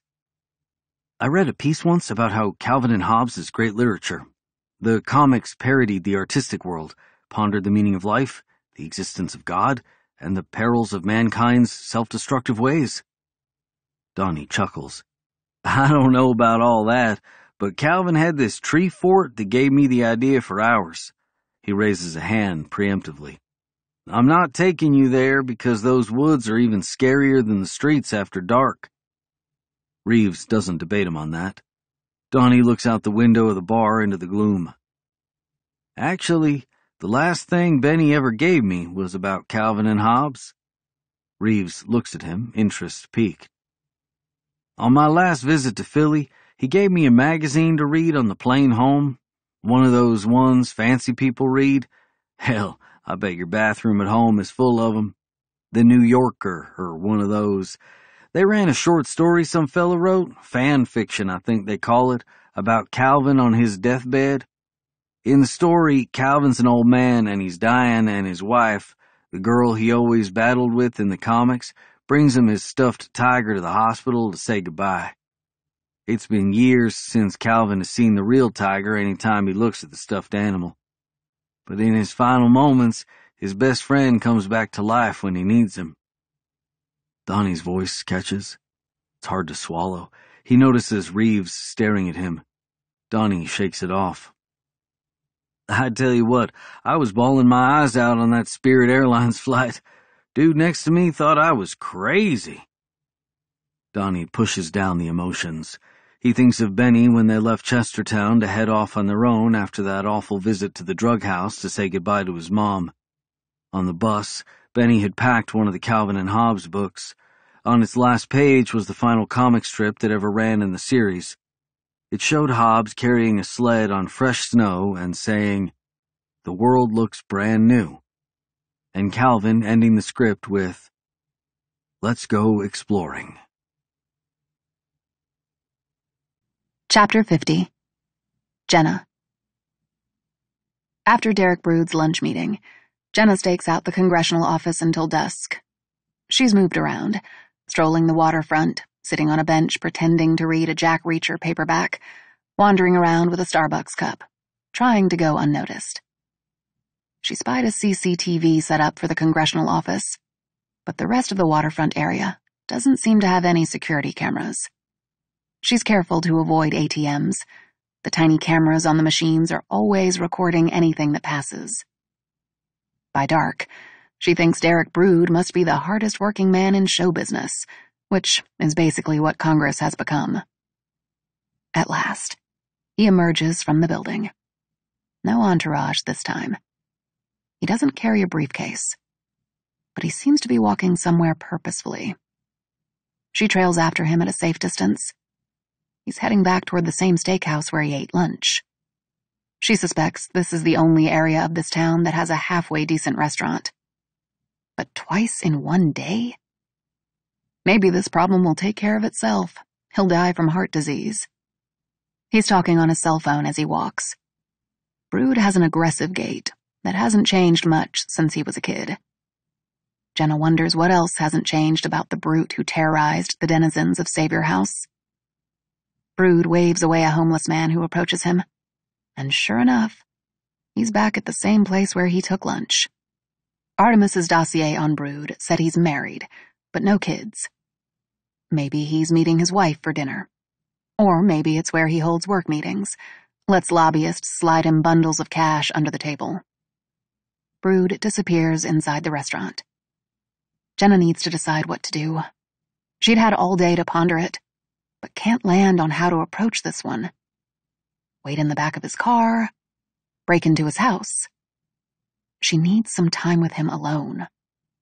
The bag of goodies from Michael contains everything she needs. Ski mask, hood, zip ties, duct tape, waterboarding cloth, bottle of water, pliers. Then something grabs her attention. A young woman approaching the restaurant. The young woman. Jenna's grip on the gun in her front jacket pocket tightens. She thinks maybe she should don the mask, walk into the steakhouse, and shoot them both. Often simple is better, one of Sabine's guiding principles. She watches as the woman enters the restaurant. Without thinking, she starts fast walking toward the entrance. She's going to do it. For her family. She keeps her head down, crosses the plaza. Her old self, along with the resignation that this is what needs to be done, has returned. She pulls out the mask as she walks. But she slows, then halts at the sight of the man in the suit who's obviously trailing the hit woman. He has the buttoned up look of a G man. She remembers Artie's words. We need to be concerned about the FBI. With that, she aborts. She shoves the mask back in the bag, turns, and walks casually away. It's Derek Brood's lucky day. But not for long. Chapter 51 Donnie I'll tell you what, Hemingway. I'll make a deal with you. They're back in the rental car, driving nowhere in particular. It's dark outside now, and Reeves still seems shell-shocked by the state of the neighborhood. Donnie imagines Reeves as a kid, playing tennis at a country club, going on fancy vacations, attending an Ivy League college, then hanging with the elites at book parties on the Upper West Side. Sure, Donnie. What is it? I'll take you somewhere important from my childhood tonight, but then I head out in the morning. I know I promised a full week, and I'll give you the full time, but it's been a rough week, so I'd like to take a little break. Think the publishing people will be cool with that? I think that will be just fine. Reeves looks at him with something that resembles pity. Maybe the town's getting to Reeves. Lord knows it got to the rest of them. Groovy, I'll take you to the spot where Benny saved my life. Reeves tilts his head to the side, like he's not sure if Donnie's kidding. A half hour later, they've parked the car and are crawling through the gap in the temporary chain link fence that surrounds the grounds. I'm not so sure about this. This is trespassing and I. It'll be fine, Donnie says. Cops around here have better things to do than guard a shuttered public swimming pool. Reeves seems reluctant, but he follows Donnie to the lip of a swimming pool that is empty except for a puddle of brown sludge at the bottom. Graffiti covers the building that used to sell ice cream and popsicles that Donnie and the other Savior House kids couldn't afford. We used to come here every Saturday in the summer. Donnie's mind returns to the blazing sun, the waft of chlorine, the cut-off jeans he bought at Goodwill that he used as trunks. I almost drowned in the deep end. He leaves out the part about Derek Brood holding him under. Reeves pulls out a pen and his small notepad and flips it open. I love the idea of starting the book with this. There's symbolism in starting and ending the book with you nearly drowning but surviving. He stops, looks at Donnie. Are you okay? Donnie doesn't realize that his cheeks are wet. He wipes his face with his hand. I'm fine, Hemingway, he says in rock star Donnie's voice. Reeves is studying him, not buying it. Donnie has the sudden urge for another drink. He lowers himself and sits on the ledge of the empty swimming pool. Reeves sits beside him. The sky is black, the area lit by only a bulb on a lamp post that must be set on timer. I gotta tell you something, Reeves. Reeves turns to him. He puts a hand on Donnie's shoulder. What is it? Can we go, what do you call it, off the record? Reeves ponders this. Sure, I won't write about anything you tell me unless you agree. On the ship, I remember what happened now. Reeves gives him a quizzical look. There was a woman, I think the same woman from the photo the FBI showed me about Benny, the same one from the beach. Reeves doesn't say anything, lets Donnie talk. She forced me to jump. Reeves's eyes flash. Wait, what? Donnie nods. She had a gun and... He trails off. You need to tell the authorities. You need to. I know. He says it without conviction. If the woman who forced him off the ship is somehow the same woman who was following Benny, maybe she's the blackmailer. And if so, that means she knows what they did to Mr. Brood. If the FBI catches up with her, he lets the thought die. Reeves's phone lights up and he checks the text, swipes it away. Donnie catches the wallpaper photo on the device. Like Reeves's laptop, it's a picture of a woman in a hospital bed. We keep talking about me, but I still don't know much about you, Donnie says, trying to change the subject. No one's writing a book about me. Hell, maybe they should be, Hemingway. Reeves shakes his head. Do you mind if I ask who that is on your phone? Donnie eyes Reeves's iPhone. Reeves looks at his phone, clicks it so the screen goes black. My best friend. She has Huntington's, an awful neurodegenerative disease. There's no cure yet, but there are some clinical trials that are showing promise. I'm sorry, man. I hope she'll be okay. If we can get her in one of the trials, they have this new technology where they inject viruses that attack and kill the bad DNA that causes the disease. If she was rich, she could go to another country where they're way ahead with DNA splicing. That ain't right. I'll never understand it. What's that? These rich dudes who have more money than they'll ever need, but wasted on flying into space or buying more companies or mansions, they could be Batman, like a real life superhero, going around finding people in need and changing people's lives. I don't get it. Donnie thinks about Benny. Black Superman. Reeves looks at him. If I had the cash, man, I'd give it to your friend. You know what, Donnie? I think you really would. Chapter 52 Jenna Jenna's going to have to approach this differently. If the guy following the hitter is with the FBI, it means one of three things. One, the FBI agent knows the hitter killed Ben Wood, or tried to kill Nico Aretakis or Donnie Danger or Artemis Templeton. Or two, he knows that Derek Brood hired the killer to take out the residents of Savior House. Or three, Derek Brood and the hitter are the FBI's informants about what happened to Derek's father all those years ago, and the FBI has no idea that its confidential informants have also set out to kill everyone. Three seems the least likely. There'd be no need to include the contract killer in informing to the FBI. It would be too risky. And the agent seems to be trailing the woman surreptitiously, not coming to the restaurant to meet her. Jenna needs to think, get her head on straight. She thinks of Artie in the back of the town car. We need to talk to Donnie and Nico. Find out if they slipped. Donnie and Nico adored you. They'll trust you. She needs to know what, if anything, Donnie and Nico have said to the FBI. She unzips the bag of goodies and retrieves the cell phone Artemis gave her that monitors the tracker on Donnie's rental car. Powering on the device, she waits until the blue dot appears. The car's about ten minutes from here, parked somewhere off the interstate. She pushes the ignition button on the motorcycle and roars away.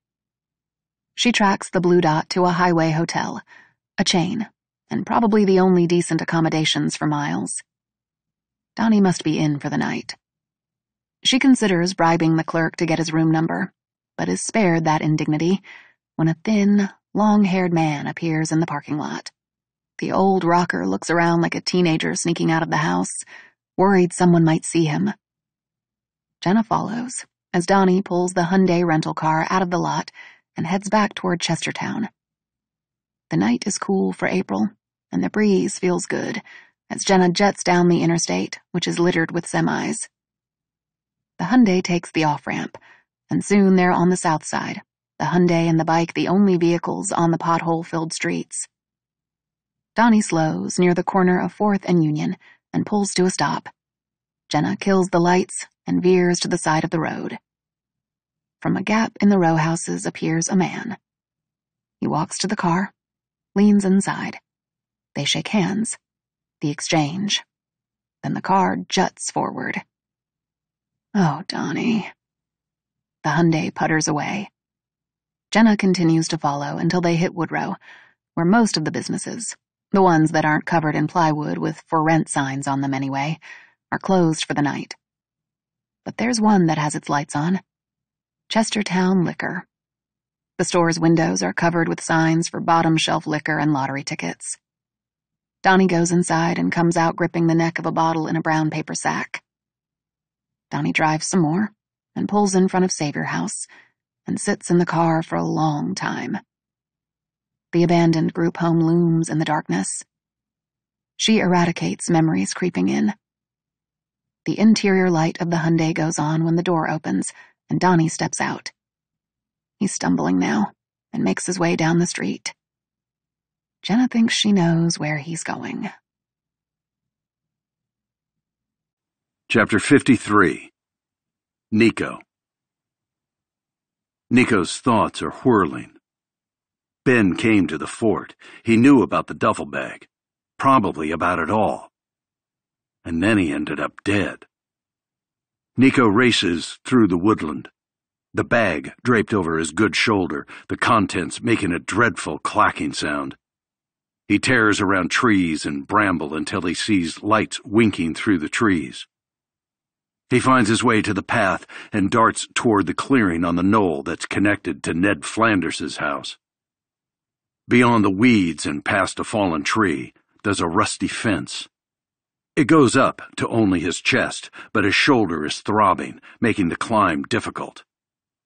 The grass is slick from dew, and his sneakers slide as he climbs to the top of the hill.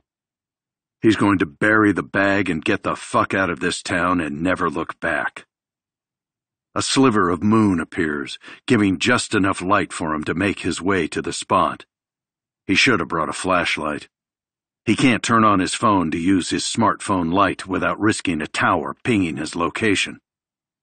He reaches the top, and his breath is stripped from him. The knoll, a small break in the trees between Ned Flanders's house and the woods, is pitted with holes, six or seven of them, each a few feet deep like someone was looking for buried treasure. He doesn't have time to process or understand. He needs to move. He looks at the hole in front of him, on the same spot he'd helped dig 25 years ago, and throws the bag into the void. He falls to his knees and starts pushing dirt in to fill it. Later, he's filthy and sweaty and exhausted, but it's done. He needs a shower but that will have to wait. For now, he's getting out of Chestertown. The street is pitch black. He's walked far enough away from the knoll, so he puts the SIM card back in his phone, powers it on, thumbs the Uber app. Unsurprisingly, no cars are available. A side hustle for Uber isn't worth venturing into this neighborhood after dark. He'll have to walk to Industrial Highway and stick out his thumb or maybe the bus station. The area is familiar, and in his head he's on the way home from school with his friends. Annie's chewing bubblegum, skipping ahead of them. He sees the park up ahead. It was a disaster and dangerous even back then. He can only imagine what it's like now. The sight of his famous beatdown from Derek in front of Annie. All the streetlights surrounding the park are smashed out. He probably should steer clear. There could be danger in the shadows. But he keeps walking, the memories pulling him ahead like a casino calling his name. The blacktop is strewn with litter. The basketball stands and hoops, forever netless when they were kids, lie on the ground like fallen trees ripped from their roots. He stops. He can make out the monkey bars, the octagon cage where they would sit until sundown. He swears there's the outline of a figure on top, but it's just his mind playing tricks on him. He should go, but he keeps walking into the park. You don't want to come over here, boss, a voice says in a southern drawl. I've got a gun. The warning is a bluff, he knows. He also knows that voice. Donnie? Nico asks. Nico turns on his iPhone's flashlight, shines it on his own face. Handsome? Is that you? It is, Donnie. It is. Chapter 54 Nico's sitting on top of the monkey bars next to Donnie, the two passing a bottle back and forth. They skip the small talk, and mercifully it's too dark for Donnie to notice the dirt all over Nico's hands and probably smearing his face. Or Donnie's too plastered, but it's always been hard to tell with Donnie. I'm sorry about Ben, Nico says. Donnie nods, takes a swig. You two keep in touch over the years? Donnie nods again. He doesn't seem to want to talk about it. Nico doesn't mention finding the cufflink. Doesn't mention being at the tree fort. What are you doing back here? Donnie asks at last. I've been asking myself the same question. I hear you, brother. Nico says, I don't know if you've been keeping up with the news, but what happened to me, it wasn't, wasn't an accident, Donnie says, passing him the bottle. Same, he says, referring to his fall from the cruise ship without elaboration. Do you have any idea who, who's trying to kill you? A female voice cuts in. I know, she says. They twist around. Who's there? Donnie calls out. The woman emerges from the shadows. What the hell are you doing back there? asks Nico. Jenna replies, That's what she said. Chapter 55 Jenna She's been watching them in the shadows, listening. Artie's fears appear to be unwarranted. Donnie and Nico haven't told anyone, much less the FBI, about Savior House, about anything. From what she's made out, they haven't spoken to each other in years, perhaps since the last time they were all together, 25 years ago. She emerges from the darkness, makes that stupid joke they used to love so much. Donnie appears ambivalent. She remembers him from that night. He seemed broken. He had gone along with Artie's plan only because of Ben. And it doesn't escape Jenna that if it weren't for her, the boys trying to prevent her from being taken, all of their lives would have been different.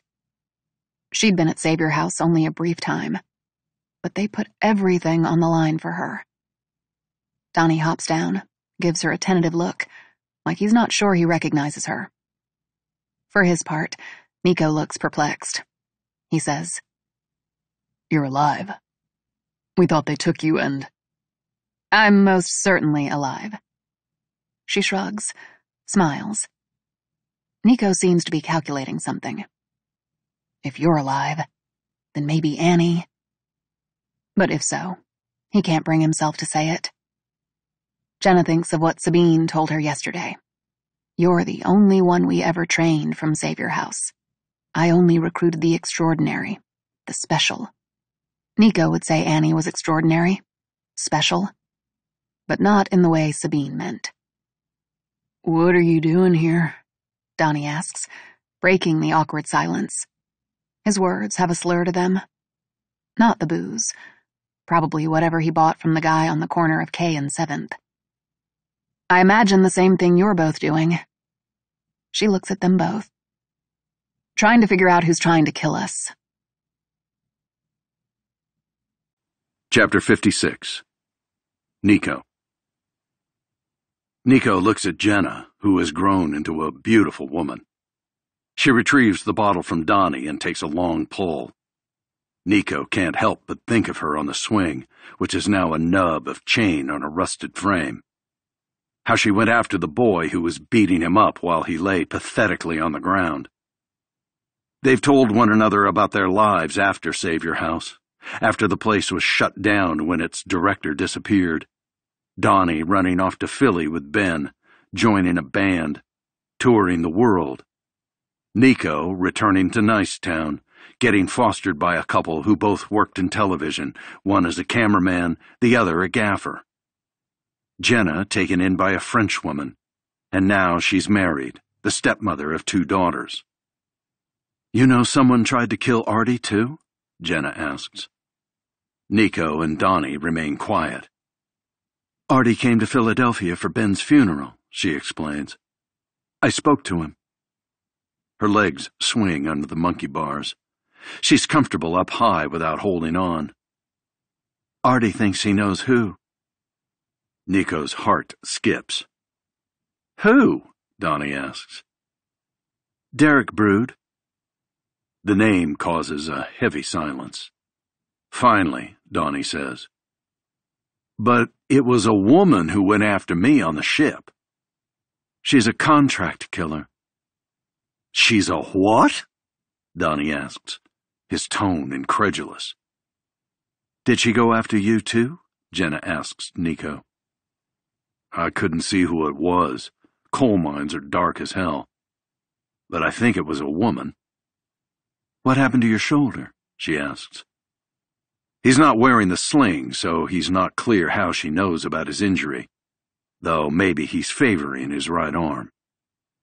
Let me guess, Jenna says before he responds. It was some type of pressurized puncture weapon that looks like a tube. Nico considers her. How'd you? It's the same woman. Donnie says, We should, like, go to the police or talk to the FBI guy who's investigating Benny's murder. Nico and Jenna exchange looks, as if they both know they can't go to the FBI. An agent showed me a picture and said it's the same woman who was after me on the ship, Donnie continues. I saw her again in Florida at the beach. Did you call the FBI? Jenna asks. No, they just showed up at the hospital. What did you tell them? Nothing. I didn't know anything to tell. Couldn't remember what happened. It's only just come back to me. They speak to you? She asks, looking at Nico. He shakes his head. He doesn't mention the FBI subpoenaing his phone records, possibly chasing him a few short hours ago. In the weak light, Jenna has a perplexed look on her face. She says, if she was on your ship, how could she have been in a West Virginia coal mine at the same time? Donnie says, The FBI guy was asking the same thing since we were out to sea when Benny was killed. It can't be the same lady. Another long silence passes. What are we going to do? Nico says. Can you both meet me tomorrow? Jenna asks. Neither answers. Donnie's looking at the ground like he's lost in thought. Nico hesitates. He wants out of this shithole forever. You have a plan? Nico asks. Jenna doesn't answer. They're all thinking of the last time they executed a plan. Chapter 57 Jenna 25 years ago. Jenna puts on makeup, which she rarely wears. She's also borrowed a lower cut shirt from one of the other girls, who's more boy crazy. She looks at herself in the mirror, purses her lips, and heads downstairs to the chime of the dinner bell. There are two long school cafeteria style tables in the dining room. Derek Brood and his crew of assholes catcall when they see Jenna. Mr. Brood, who always sits at the head of one of the tables, calls for quiet. They say grace and pass around bowls of whatever slop the kids on kitchen duty have come up with. Jenna sits across from Ben and asks him a question with her eyes. Did you get the gun? He nods. Next to him, Donnie stares absently at his plate, but doesn't eat. He's been drinking during the day again. They've all noticed. His breath smelling of grapes, the cheap wine he swipes from the convenience store and stashes near the tree fort in those scary woods. There's an empty chair where Annie usually sits. Nico looks destroyed. His face has dirt on it, and his fingernails are dark with grit. Mr. Brood tells him to go get cleaned up. Nico stands, the chair scraping on the floor. Where is she? He demands of Mr. Brood. This isn't part of the plan. Ben tells Nico to calm down, but he's staring daggers at Brood. Where's who? Derek says. That slut girlfriend of yours? She ran off, probably at the bus station sucking. Nico lunges for Derek, but is held back by Ben and Donnie. Enough, Mr. Brood says. Nico, I know you're upset. I've reported Annie missing to the agency and the police. I'm sure she just needed a break and will come back. It happens sometimes. Nico's expression has hardened now. His gaze turns to Ben, and he nods, then walks upstairs to clean up. Artie appears in the doorway to the dining room. He usually doesn't eat with them. He spends most evenings a couple blocks away at Ned Flanders' house. Derek takes notice. I didn't know robots need to eat.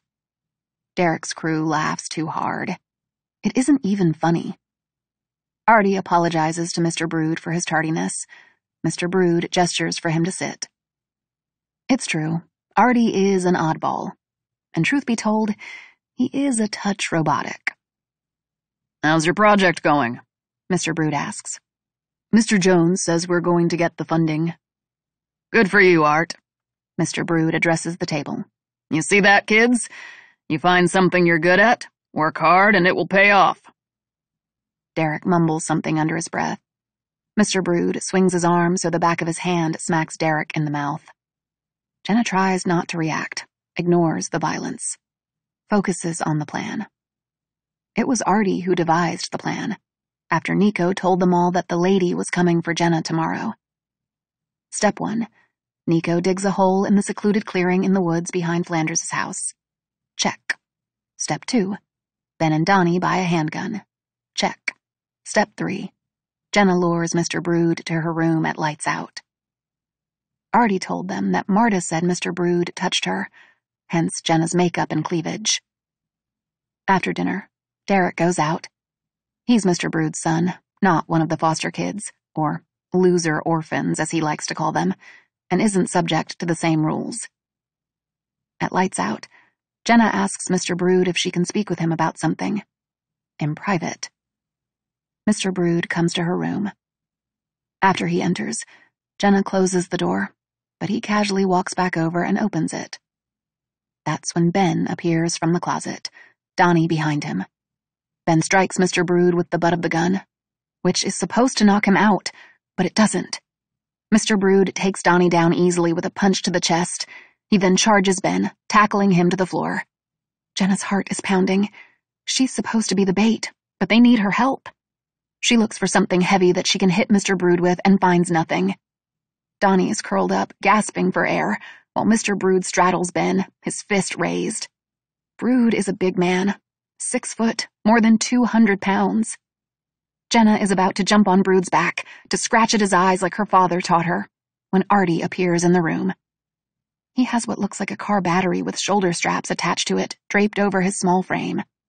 In each hand, battery cables. He walks over to Mr. Brood, who's still on top of Ben, and jams both ends of the cables on either side of Mr. Brood's ribs. Both Brood and Ben scream. Artie pulls back the cables and Ben manages to push Brood off of him. And Artie shocks Brood again. But Brood doesn't go down. He's so damned big. He grabs Artie by the neck and begins squeezing. Artie doesn't dare shock Brood now, because the current will run through both of them. Jenna comes from behind and kicks Mr. Brood between the legs, which causes him to buck forward. He claws at Artie, then bites Artie on the shoulder, eliciting a wail. Brood manages to stand up, his mouth red with blood. He makes the mistake of no longer being in physical contact with Artie, who takes the opportunity to touch the ends of the battery cables to Brood's neck. Brood vibrates and makes an unusual sound like a scream that's choked off. Artie removes the cables, and that's when Ben hits Brood with the butt of the gun again, taking him down. Minutes later, Mr. Brood is in a wheelbarrow, ranting at them through his gag as they roll him into the woods. Part 3 The Truth Chapter 58 The Twins Present Day We need to take care of him, Casey says into the burner phone. She's at an Airbnb in what passes for the nice side of Chestertown. Her sister Haley is sprawled out on the bed watching a show on her laptop. Are you crazy? The client snaps. An FBI agent? The feds will throw every resource they have at it. I'm not seeing much of a choice. He followed me into the restaurant. He knows. She glances out the window, watches bugs bounce against the porch light. Are you sure? I told you, the benefit of hiring us is two sets of eyes. And yeah, he followed me all the way there and waited outside until we left. Casey wrinkles her nose, thinking of the low quality beef at the steakhouse where Derek Brood took her for dinner. She adds, That Lara Croft wannabe bitch was also following and backed off when she saw him. It's not going to take long for the agent to put everything together. Casey snaps her finger at Haley to pause the show on the laptop. She cups the receiver and says, Don't watch the rose ceremony without me. They both love The Bachelor. An audible breath blows into Casey's ear over the phone line. This has all gotten out of hand. She makes no reply. She catches Haley's glance and rolls her eyes at the client's whining. She waits as he wrings his hands. You know where to find him? he asks. Yeppers, she says. Haley followed the agent after he left the restaurant. He's staying in a hotel off the interstate. It's only two mile markers down from the hotel where the old rock star is staying with the writer. Okay, he says. Casey disconnects the line, falls onto the bed next to Haley. The laptop bounces and Haley catches it before it tumbles to the floor. Casey looks at the screen. One of the contestants, a thirsty bitch named Dallas, is frozen, her face distorted. If he gives her the rose, I'm going to lose it. Before they resume the show, Casey says, We need to be careful with this one. We'll need some space. Somewhere secluded. Find out what the agent knows. Haley thinks about it. They face each other and simultaneously say, Semi truck. They're two peas in a pod. Haley says, I want to play the runaway teen hooker. Casey replies, You got to last time. And we need you to play the corporate executive. Though they are so much alike, their divergent upbringings suit them for certain roles. Haley hits play and the show resumes. They both swear at the screen as Dallas, wearing a slinky sequin dress, totters down from the group of girls and accepts her rose. Chapter 59 Donnie Donnie wakes up in the Holiday Inn Express. The room has two single beds and a sofa sleeper. The bed next to his is empty, but it's been slept in. And there's a sound coming from the sofa. A male form under a blanket. Nico. It's coming back to him. The playground with Nico and Jenna. The decision to stay together, safety in numbers. The bed spins before he passed out. He rises, stumbles to the bathroom, and relieves his bladder. He wonders where Jenna is. She's the one who insisted they all cram into Donnie's small room at the Interstate Hotel. He's still wearing his clothes from yesterday. Raising his arm, he smells his armpit. Whoa, he needs a shower, but first he needs to regroup. He's feeling unusually restless today. Not the anxiety or booze boozanoia you get sometimes when you drink too much, but a genuine sense of impending doom. He supposes that's understandable. Jenna said that Derek Brood hired the crazy lady who forced him off the boat and probably whoever tried to blow up Nico in the coal mine and whoever tried to assassinate Artemis Templeton. Did Brood also have Benny killed? The news said they'd made an arrest of some dude Benny had put away but that FBI agent seemed skeptical about that. Donnie opens the curtains a crack. The room is on the ground floor and faces the parking lot. Jenna is pacing outside as she talks on her phone. You got any aspirin? Nico says, sitting up, his eyes squinting from the light. Sure, Hollywood. Donnie digs into his travel bag. The bottle of Advil rattles as he tosses it to Nico, who misses the catch. Nico downs the pills without water. He looks around the room. Where's Jenna? On a call outside? Donnie gestures to the window. Nico looks pale, clammy. There's a knock on the door, sending a wave of panic through him. But it can't be the crazy hit lady. Jenna's outside and would warn them. Donnie peers through the peephole. It's Reeves. Donnie opens the door, steps outside. He doesn't want Reeves to see Nico. It will invite more questions. Donnie sees Jenna eyeing them from across the lot, phone still pressed to her ear. I'm headed out, Reeves says. I wanted to say goodbye before the Uber gets here.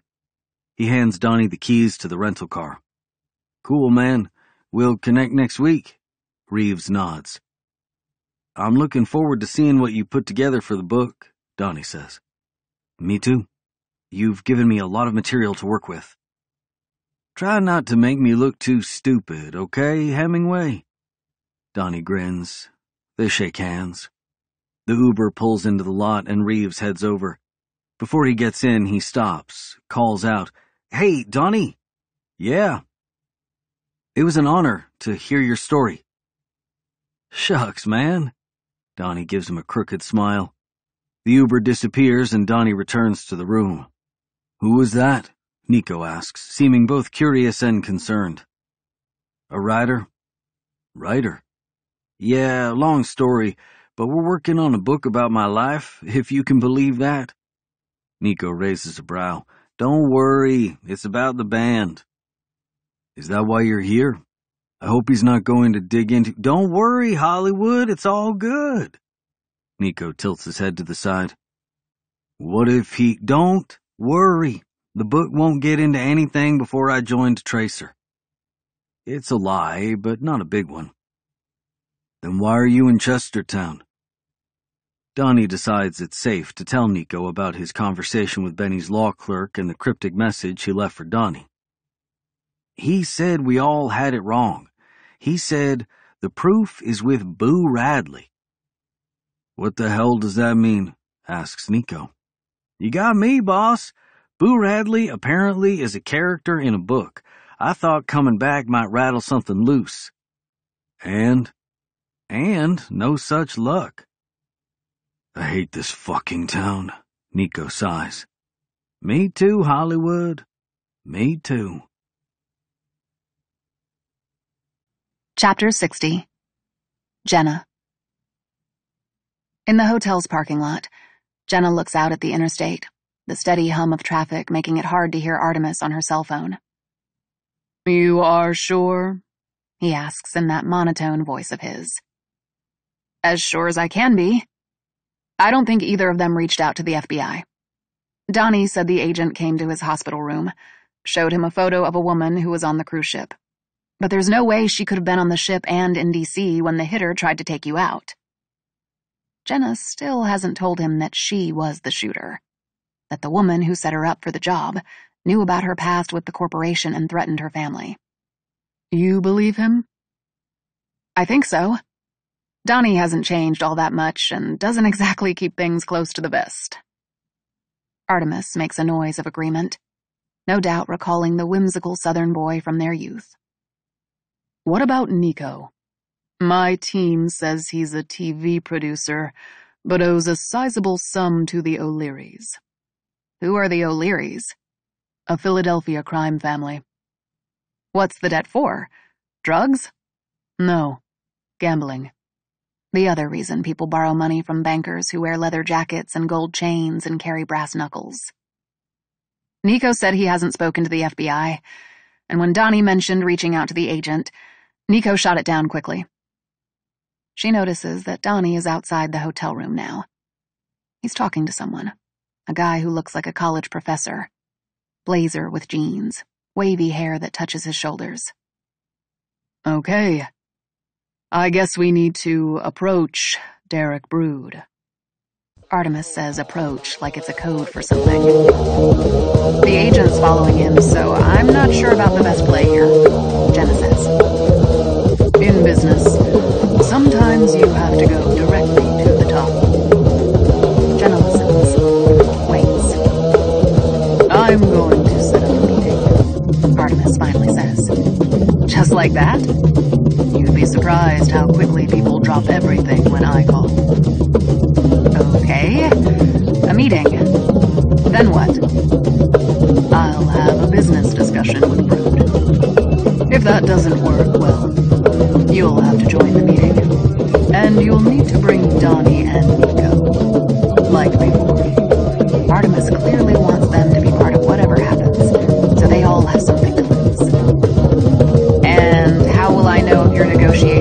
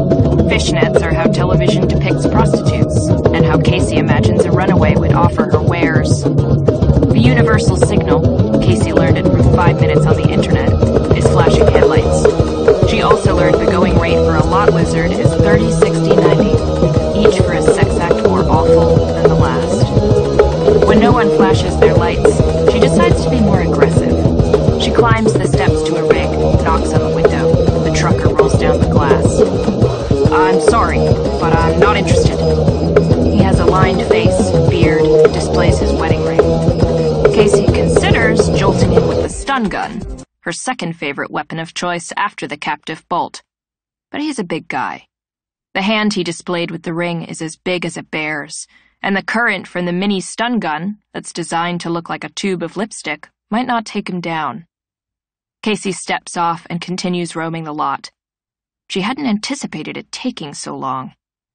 It's lunchtime. Maybe that's the problem. She might just have to steal a truck. She's driven a rig. Her uncle is a long hauler, but she doesn't know how to hotwire one. She goes inside the diner, finds a spot where she's hard to miss. She looks like she's been on the streets for a time, but with her curves and face, she's not your average lot lizard. Someone will bite at the hook. She orders a water and gets a frown from the waitress. You can't sit in here unless you order food. Bitch. Casey isn't hungry, so she decides she'll head back to the lot. But a voice from one of the booths says, You hungry? Go ahead and order. I'll take care of it. A man in his late twenties, a clean cut white trucker with a friendly smile, waves at her. The waitress seems like she may say something to Casey, warn her, perhaps, but instead asks impatiently what Casey wants. She orders pancakes. Pancakes! In the afternoon, the guy says. Casey shrugs. He smiles. I like breakfast all day, too. Casey minds her own business, plays hard to get. The food arrives and Casey eats like she's starving, uses her fingers. Where are you headed? The man asks. She shrugs. Strong, silent type. I get it. She eats, her eyes rising to catch his. He wears a vest and jeans, and it's hard to tell if he's a creep or good Samaritan. I'm going to New York, she says. He nods. What's in New York? She shrugs again. He pulls out a wad of bills, puts the money on the table for his check, and walks over, drops a 20 for hers. This ought to cover it. Safe travels, he says, and heads to the door. She almost calls out to him, but patience is the key. The man makes it to the door, stops. I'm headed north, he says. And there it is. She keeps eating. I can, uh, drop you in Newark, if that helps?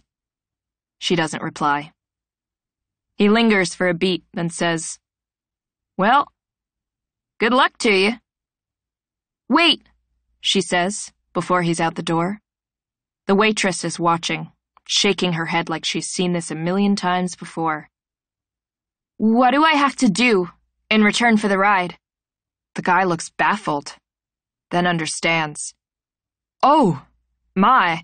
You don't have to do anything. I'm. It's not like that. Casey nods, pays the check, then follows him out. On the way, he tells her his name is Chet. Still in character, she doesn't offer her name. His rig is parked next to about ten others side by side in the lot. He climbs the steps to the cabin, gestures for her to go to the other side. Ten minutes later, they're on I 95. Breaking the quiet, she asks, What are you hauling? I just dropped off a load in Wilmington, and I'm heading to New Jersey for another. Casey nods. That's what she needs an empty trailer. She feels for the lipstick stun gun tucked into the pocket on her skirt. You have family in New York? he asks. Something like that. I hear you. I've got a lot of something like that in my life, too. He smiles. It's a nice smile. He's handsome in a plain, almost dopey way. Want me to turn on some music or something? He asks. Whatever you'd like. He says, I like the quiet. Out here on the road, you turn off the radio and it's like you're on a deserted island. No bosses, no parents, no TV, no social media. It's peaceful. He looks ahead at the interstate like he's taking it in, like it's a scenic villa in Italy or some kind of long hauler's pilgrimage trail. Does it get lonely? She asks. Casey spent the first 18 years of her life on the farm feeling a deep sense of loneliness until she found Haley, reunited after the twins had been so cruelly separated at birth. She's learned that it's common, twins separated at birth. Great for social scientists who do nature versus nurture research, but not so much for the twins themselves. Lonely? He thinks about this. Not really. I pick up hitchhikers sometimes, and we have the CB, but I'm fine on my own. It sounds nice. He's nice. She contemplates getting out at the next truck stop, finding a different rig. Then she imagines Haley mocking her for going soft on this dude. Oh, crap, she says. She digs through her backpack. What is it? I left my wallet at the diner. It's got my ID. Oh, no, he looks at his watch. I can take you back. No. I can get back there. Pull over at the next stop and I'll figure it out. He thinks more, then acquiesces. No idea how lucky he is. At the exit for the next truck stop, he veers off the interstate, slows to a stop in the lot. He smiles again, looks at her. I really don't mind taking you back. No, you have a job to get to. I can handle it. You be careful out there. She nods, then turns to open the door. In an instant, she experiences a wave of panic as she feels an arm clenched around her neck, chokehold style, and a cloth clamped against her face. She feels a burning sensation on her cheeks, nose, and lips, and before she can fight him off, her world goes black. Chapter 62 Jenna Back in the hotel room, Jenna sits cross legged on the bed. Nico sits on the sofa, and Donnie shuffles on his feet, emanating nervous energy. She can't help but flash back to Savior House, the kids sitting at the long dining room table as Mr. Brood held court. I spoke to Artie, she tells them. They say nothing. He has a plan. Both men look down, no doubt remembering the last time Artemis Templeton had a plan. He's going to set up a meeting with Derek. Offer him money to drop this. Nico raises his eyes.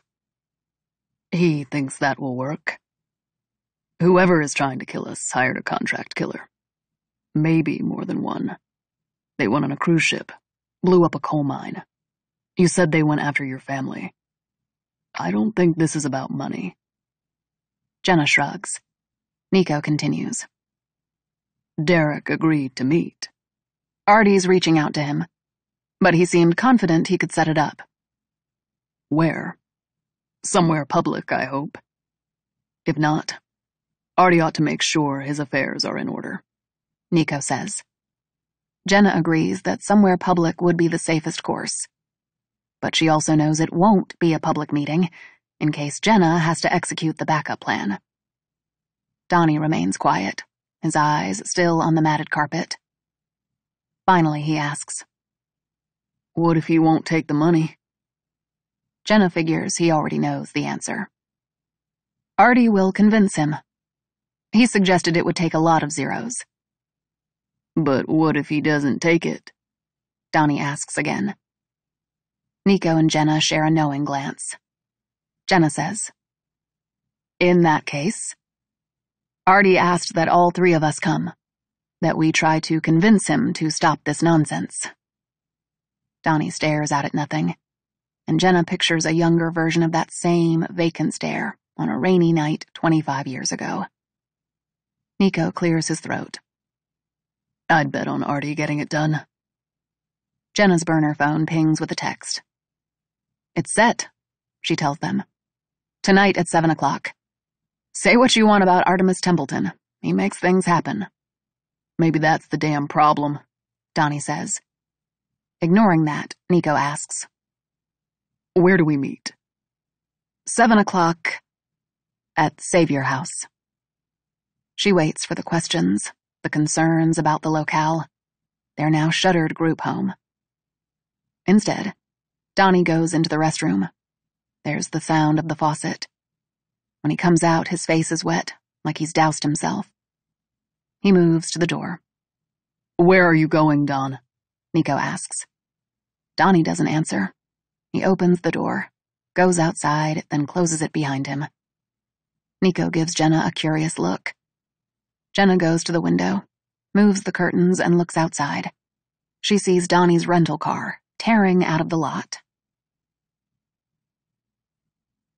Chapter 63 The Twins Casey opens her eyes. Everything is blurry, and she's disoriented. Before she comprehends what's going on, she feels hands around her neck. When she sees the trucker's face, it all comes back to her like a knife to the chest. The trucker pulling over to let her out, the chloroformed rag over her nose and mouth. The rig isn't moving. Maybe she's only been out for a few seconds. She has no idea. The trucker looks her deep in the eyes, squeezes her neck hard enough to show he's serious. It's strange how his face has changed morphed from the aw shucks guy next door into a dead eyed killer. Still holding her neck, he says, You're going to get in the back and do what I say. Casey nods. She sees her skirt is hiked up, but the fishnets are still on, like she regained consciousness sooner than the trucker expected. He releases his hold on her neck, shows her a large hunting knife. I'll do whatever you want.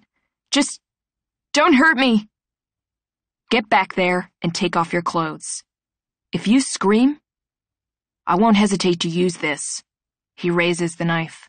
The long blade is smudged with dirt, or maybe blood that's gone brown. Casey's heart is beating, adrenaline flowing. Her face feels sunburned, tender. She climbs into the cabin behind the front seats, which is separated by a curtain. In the back, there's a mattress. Then she notices the handcuffs, the jug of lubricant, the sex toys. She takes off her tank top, baring her breasts. The trucker appears excited, but he makes himself look out the windshield, checking the lot before climbing in back with her. He grabs her by the neck with one hand again, looks her in the eyes. She gently puts a hand on his. You don't have to be rough. Slow down. Let's do this right. But his grip doesn't loosen. He doesn't have to be rough. He wants to be rough. He removes his hand and starts unbuttoning his pants. It's then that Casey removes her skirt, taking the lipstick stun gun from the pocket and putting it on top of her pile of clothes as if it fell out. Chet's about to pounce. Casey pushes herself back against the wall, spreads her legs. While he's distracted by that, she palms the lipstick, untwists the cap with one hand. He's crawling toward her, breathing heavily. She startles when he jumps on top of her. As he's about to violate her, she jams the stun into his neck.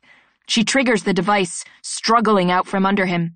She holds it against his neck as Chet sputters, spasms, and collapses, incapacitated now. Casey's eyes land on the hunting knife that he left within easy reach. She scolds herself for being fooled, for thinking of letting him go. Lesson learned. Show no mercy. He's motionless, but she gives him another three million volts, just to be sure. He vibrates like a man on the electric chair, then goes still again. Naked from the waist down, he moans, drool bubbling at the corner of his mouth. Still naked herself, Casey places the stun gun directly on his cock. I know you didn't want me to make any noise, she says, looking him straight in his widening eyes. But I'm fine if you want to scream. Chapter 64 Nico Nico shushes Jenna as he watches the local newscast on the hotel room's television. On the screen is a photo of Ben Wood in his black robe, looking dashing and distinguished. There have been new developments in the murder of a prominent Philadelphia federal judge. The primary suspect in the murder, Damon Angelos, was released due to insufficient evidence. Angelos, who had threatened Judge Wood during his sentencing in an unrelated case nearly a decade ago, was arrested shortly after Judge Wood's body was found in Delaware County. A spokesperson for the Philadelphia Police Department has declined to comment other than to say that Mr. Angelos is no longer a suspect. Jenna says, The hit woman's frame up apparently didn't stick. The newscaster continues. Angelos's release comes on the heels of another development in the case. Police released video footage of Judge Wood the day before his body was found in an industrial area of Chestertown. An image of Ben paying for gas and a bottled water at a gas station appears on the screen. The judge was caught on the security camera at a gas station in Chestertown, ending speculation that he had been carjacked and taken there. The screen flips to another image of Ben, this time in a building lined with bookshelves. That same afternoon, the judge was captured on video at the Chestertown Community Library. Police are asking anyone who may have seen Judge Wood that day or has any additional information to contact them at the number on your screen. Nico considers this. Why the library? Ben used to spend a lot of time there, but why now? He pictures Ben lugging an armful of books into his room at Savior House. Then it hits him. Boo Radley, he says aloud. Jenna gives him a quizzical look. Ben's law clerk gave Donnie a message from him. Nico stops. Ben referenced a character from a book. She said, The proof is with Boo Radley. From To Kill a Mockingbird? Jenna says. Nico thinks so, nods. He gives a message about some book after he was at a library. Maybe he left something hidden in the book or something? Jenna says, as if thinking aloud. It can't hurt to check it out. Jenna doesn't answer, but instead grabs the motorcycle helmet and charges outside, Nico on her heels. Chapter 65 Nico's holding on to Jenna's waist as she races the motorcycle through the streets of Chestertown.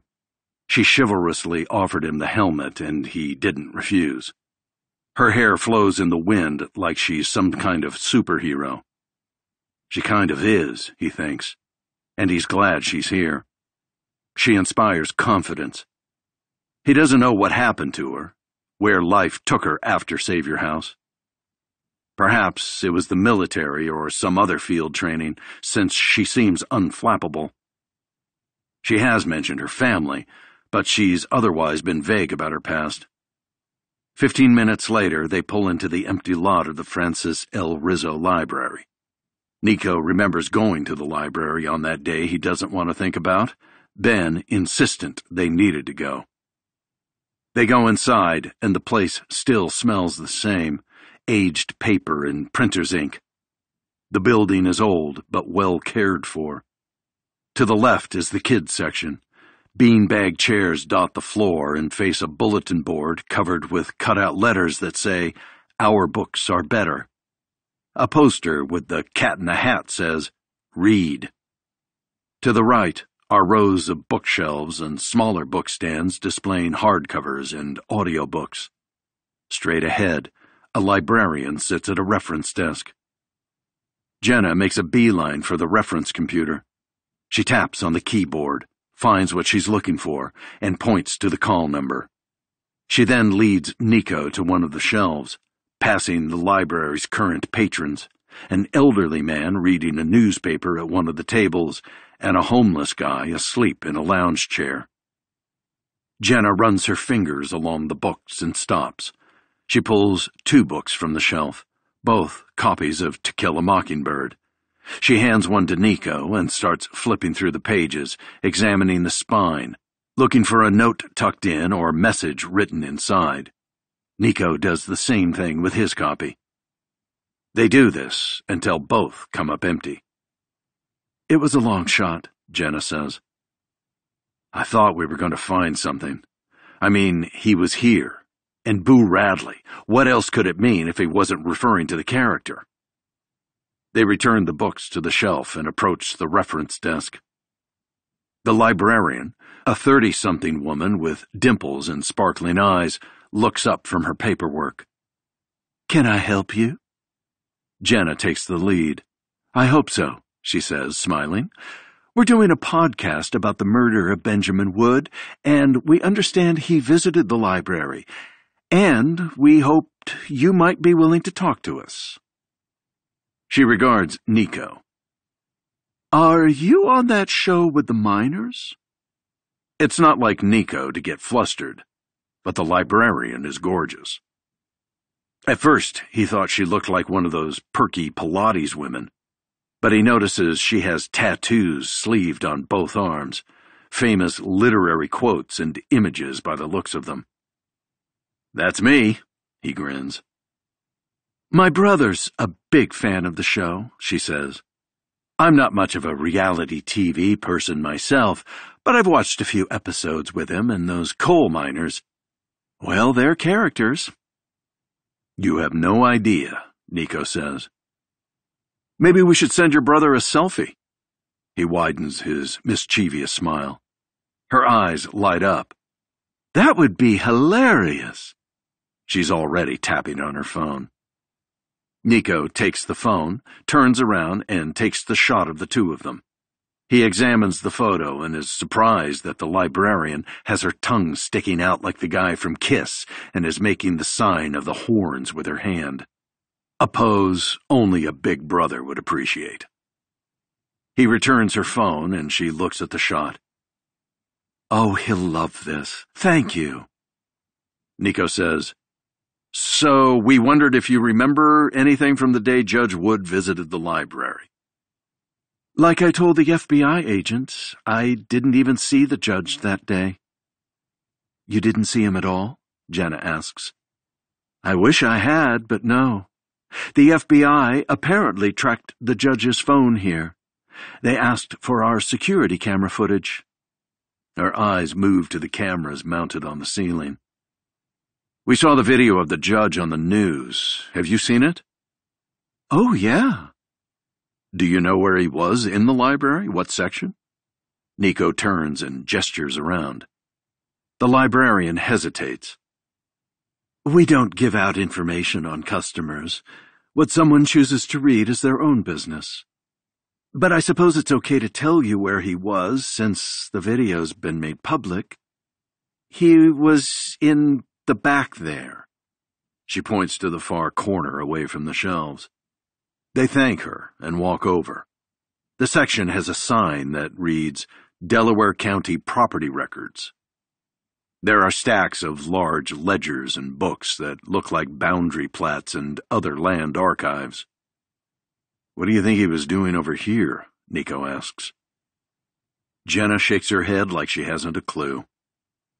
I mean, how often would anyone be looking through this stuff? Most records are probably available online. She walks over to a large bound volume that's on top of a reference table. She opens it and flips the pages absently. It seems like a complicated dead end. Still, she flips through the volume slowly, stopping at a page that's bookmarked. The makeshift bookmark is a scrap of paper someone has folded into a five pointed star. This is Carver Street. That's two blocks from Savior House. Nico stands next to her. He picks up the bookmark. Jenna has a flash of a memory of Ben at the library, a group of folded stars on the table where he was reading. The memory is confirmed when Nico puts his finger on some writing on the star. Brood Robot LLC, Fagan Jones. You think Ben wrote this? Nico asks. Before Jenna answers, he adds, What's it mean? I have no idea, Jenna says. But it lists an LLC, and I know someone who's an expert at tracking companies and identifying people. Who's that? Nico asks. An adorable tax lawyer. Chapter 66 Donnie The rental car is vibrating. Donnie's foot is to the floor and he hasn't slowed since he peeled out of the hotel parking lot. His thoughts are swimming, his chest having a hard time capturing air, his knuckles white on the steering wheel. He needs to slow down. Breathe. He takes controlled breaths, trying to level himself off, trying to stem the panic attack or whatever this is. He can't do this anymore. It's all too much. Benny is gone and nothing he does is going to change that. If Derek Brood wants Donnie dead for what they did, so be it. He's survived Derek before and he'll do it again, but he's spent more than half his life trying to escape what they did that night, and he'll be damned if he's going to do it again. He needs a drink. He eyes the landscape. There's a billboard for a strip club off exit 43. He's always been popular at the clubs. One of Tracer's Bullets songs is a staple for pole dancers. It's no pour some sugar on me, but a close second. He decides against it. The dancers love social media, and he doesn't need attention right now. He's still in the afterglow of his fall, correction, push off the cruise ship, so there's a risk paparazzi would notice the posts and show up. He sees a sign for Lester. There's gotta be a hole in the wall bar there. Every forgettable drive over town has a dank bar where patrons mind their own business. He takes the exit and follows the signs into town. Sure enough, there it is, a bar called Drink. If you insist, he thinks. He parks the car on the street and heads inside. At the overglossed bar, Donnie orders a maker's mark from the bearded barman. The customers include a barfly who wears too much eyeliner, an old timer with a face like an old leather shoe, a tattooed guy crouching over his drink like he's in the prison mess hall. If any of them recognize Donnie, they don't show it. Donnie takes his drink to a table in the back. The familiar sting of the whiskey reaches his sinuses and warms his insides. He doesn't want to think about it all, but he can't turn off the questions in his head. Will Jenna and Nico and Artie kill another brood? What about that gal trying to kill them? Will they off her too? Where does it stop? His mind floats to Benny again. It's okay. I'm here. But you're not here. I'm scared, Benny.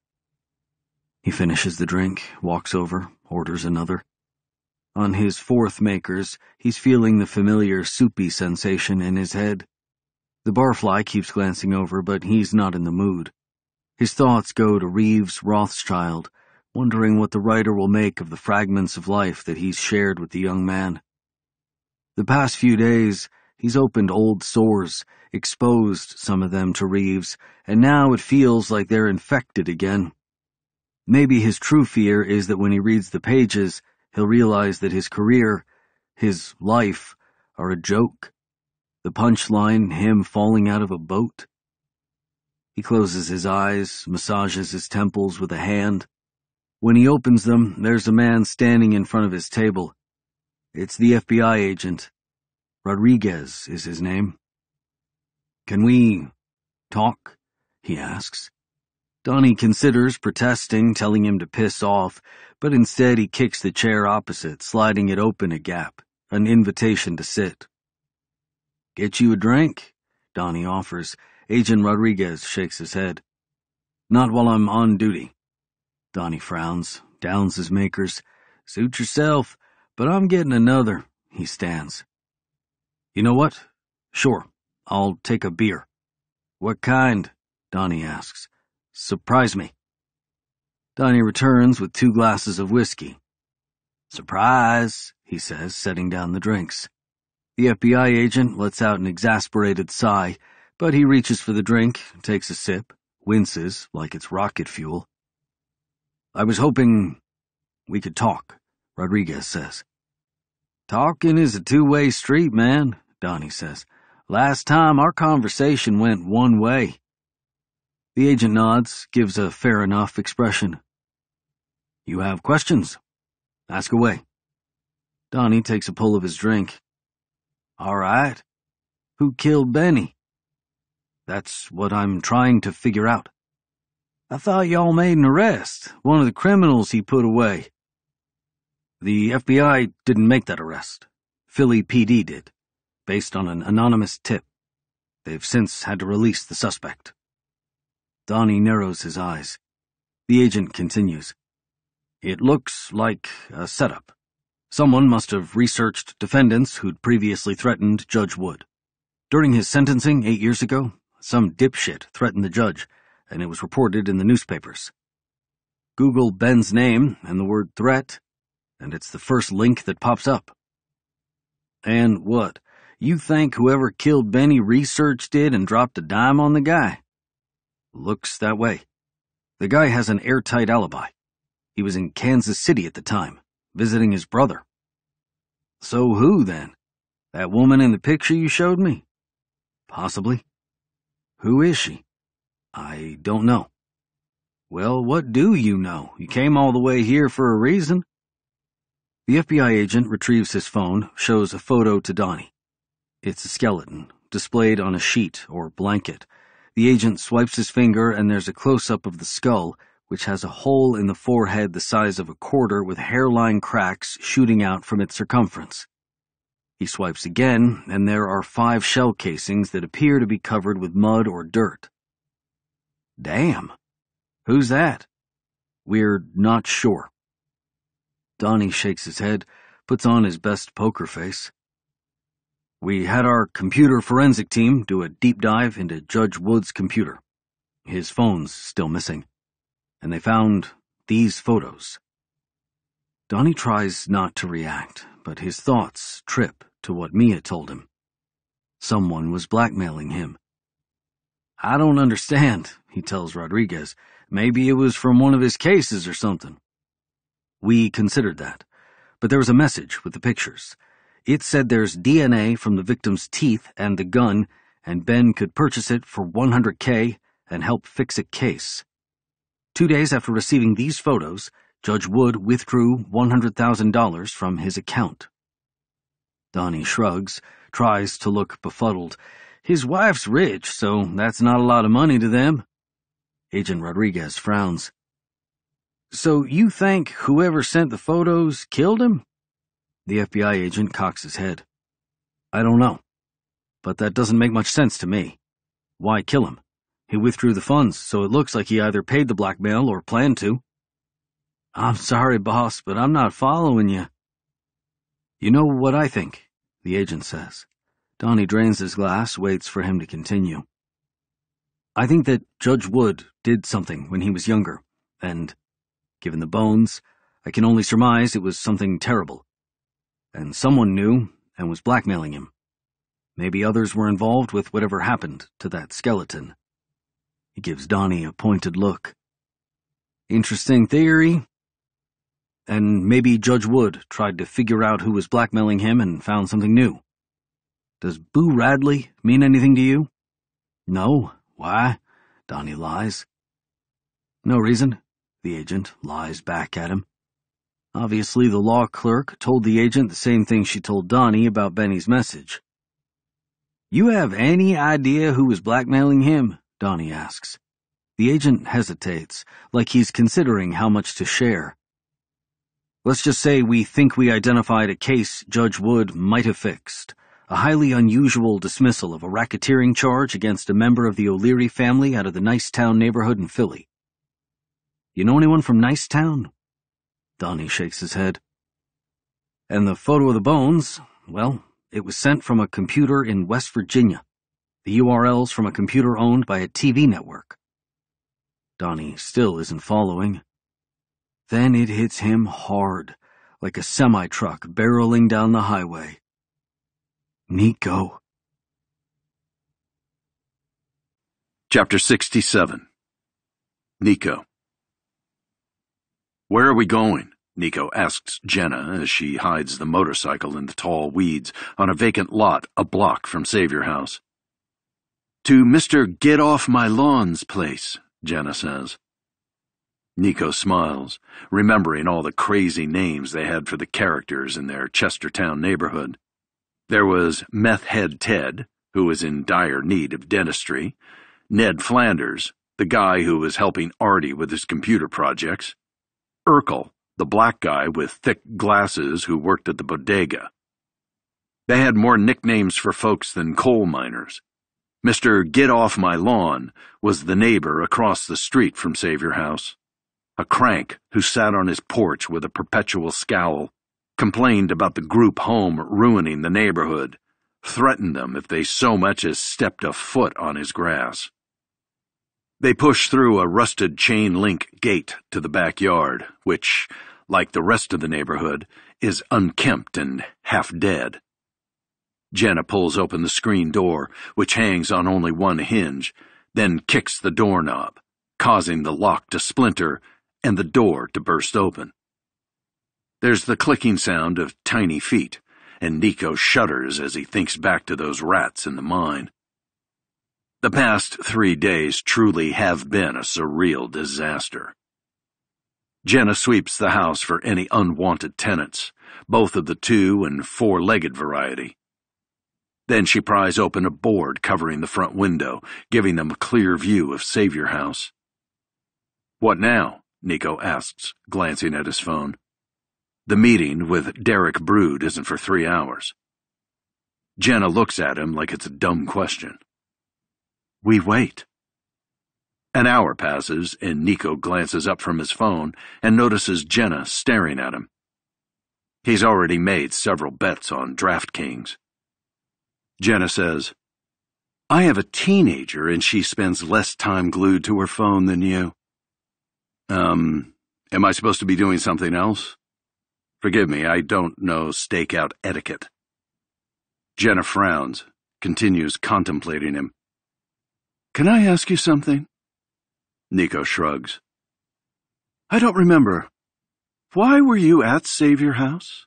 I mean, what happened to your parents? Nico doesn't know why she's asking. It's an odd question, all things considered. What does it matter? My old man, he was, for lack of a better word, a fiend. He abused you? Nico isn't much for therapy hour, but there's nothing else to do. Not so much me, mostly my mom. She took it for years, but finally she had to escape.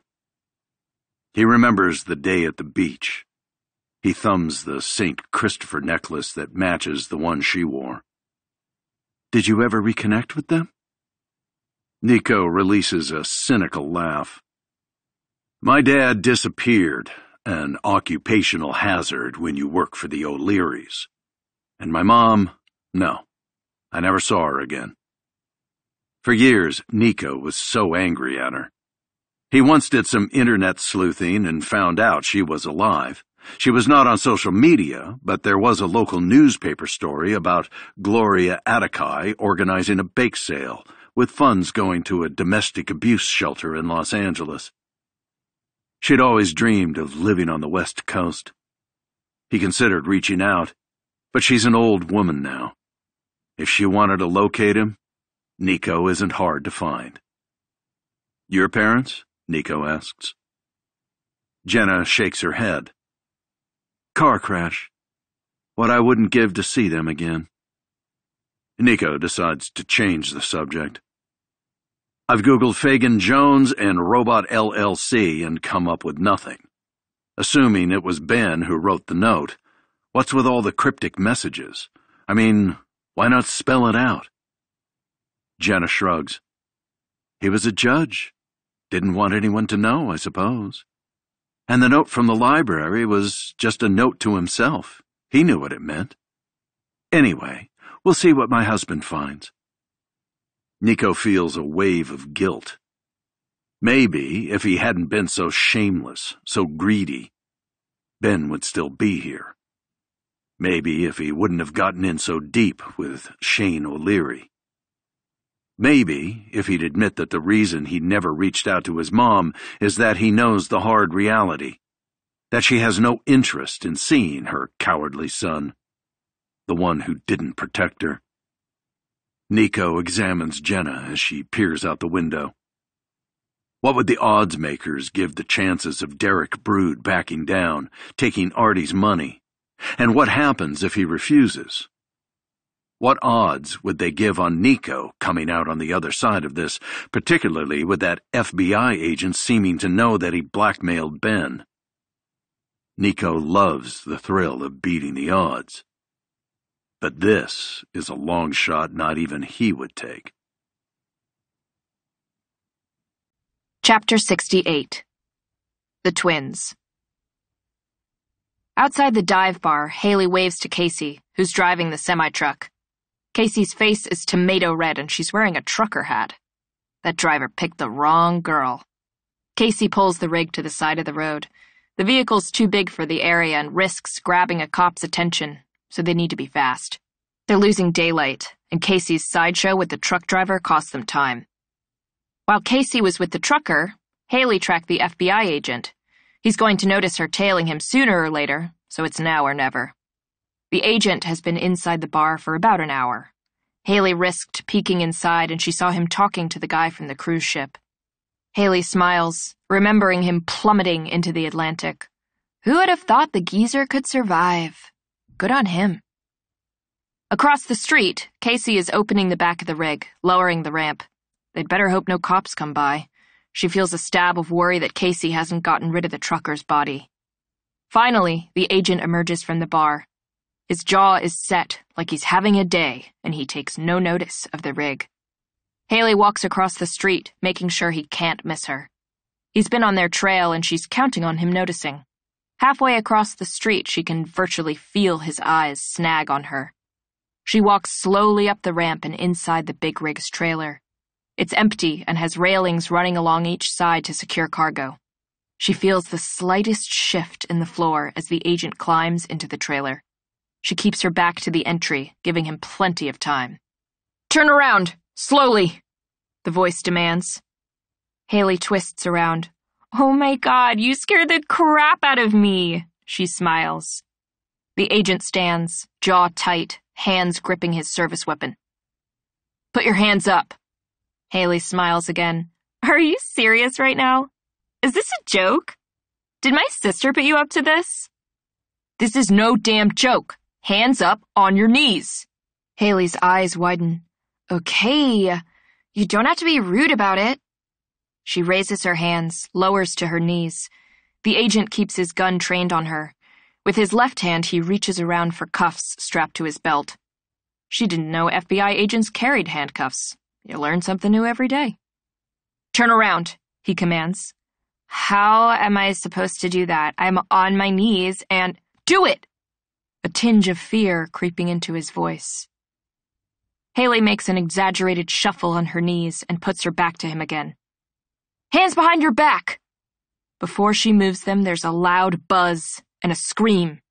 Haley turns her head and the agent is sprawled on the bed of the trailer. Casey's holding the stun gun and still pressing it against the nape of the agent's neck. Careful with that thing, Haley says. You hit the metal and you could zap us all. Wouldn't that be something? Your face! What the hell? Haley says, examining her sister. Chloroform burn. The agent groans. They drag him to the side, use his own handcuffs to secure him to the rail. Standing before him, Haley says, You ever watched that Spider Man movie where three Spideys from different multiverses meet? She asks the agent. He doesn't respond. Yeah, well, Haley points to her sister, then herself. Here's the bad news. Both versions of us are evil. Chapter 69 Donnie Donnie doesn't recall the last time he's been this angry, when his blood has been so hot that he wanted to punch something, someone, in this case, Nico Aretakis. The betrayal nearly demolishes him. Nico and Benny were friends. They all looked out for one another. They loved one another. How could he? And blackmail? Nico would be risking himself if he ever told what Benny, what they all did on that rainy night. He's going to drive back to the hotel to kick the shit out of Nico, then get the hell out of Pennsylvania. But after the half dozen drinks, he can't get behind the wheel, something he damn well should have thought about before stopping at a bar named Drink. He needs to think more, grow up, stop acting like some stupid kid who can drink himself into a stupor and sleep it off in the car. Agent Rodriguez rattled him. The FBI man knows there's a skeleton with a bullet hole in the skull, knows that someone, Nico, was blackmailing Ben with those photos. You don't have to be frickin' Sherlock Holmes to figure out what happened 25 years ago on that knoll. The agent's so close. Why would Nico do such a thing? Donnie doesn't know or care.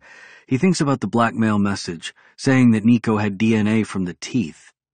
Mr. Brood did bite Artemis in the struggle. Is that possible? Extracting DNA from teeth buried for a quarter century? The message also said that the blackmailer had the gun. That doesn't make sense. Ben hid the gun near the tree fort in Donnie's secret spot. Holy shit. Donnie remembers the day. It was after they went to find his mom, before they caught the bus to Philly, that Ben hid the 22 in his spot in the woods. Benny knew about the place because it's where Donnie hid his booze and anything else he didn't want Mr. Brood to find or Derek and his goons to steal. The first time Donnie showed the secret spot to his friend, Benny said, That's some Boo Radley shit. Donnie had no idea what Ben was referencing, which wasn't all that unusual, and it's probably why he didn't remember it until now. Donnie's wrenched from the thought by a woman's voice. Are you Donnie Danger? The barfly is standing at his table now. That's me, darling. Even now, he carts out rock star Donnie. He's so pathetic. Can I buy you a drink? She bats her bloodshot eyes. Sure, beautiful. She sits, asks for a selfie with him, and he obliges. After he says, Can I ask you a favor? Of course. You have Uber? he asks. Pardon? You got a ride app on that thing? He gestures to her phone. Yeah? Tell you what, you get me a car and I'll give you cash for the fare and get you backstage passes next time we play in Pennsylvania. Can I come with you wherever you're going? I'm sorry, beautiful, but you don't want to go where I'm going. Chapter 70 Jenna Jenna and Nico have been inside the ramshackle property across the street from Savior House for nearly three hours, and the smell is starting to get to her. The sun is coming down, and the entire neighborhood has an eerie end of the world feel. She studies Nico. He's predictably grown into a handsome man, with broad shoulders and chiseled features, the archetype of modern beauty standards. But she can't help seeing the boy he was, the sadness in his eyes, which she finally understands. He notices that she's gazing at him. Can I ask you a question? He says, then looks back outside through a crack in the boarded window. Sure. Do you think there's any chance she's still alive? Jenna looks at him and knows he means Annie. His features are those of a teenager again. A love-struck, heartbroken kid. Abandoned a third time in his life.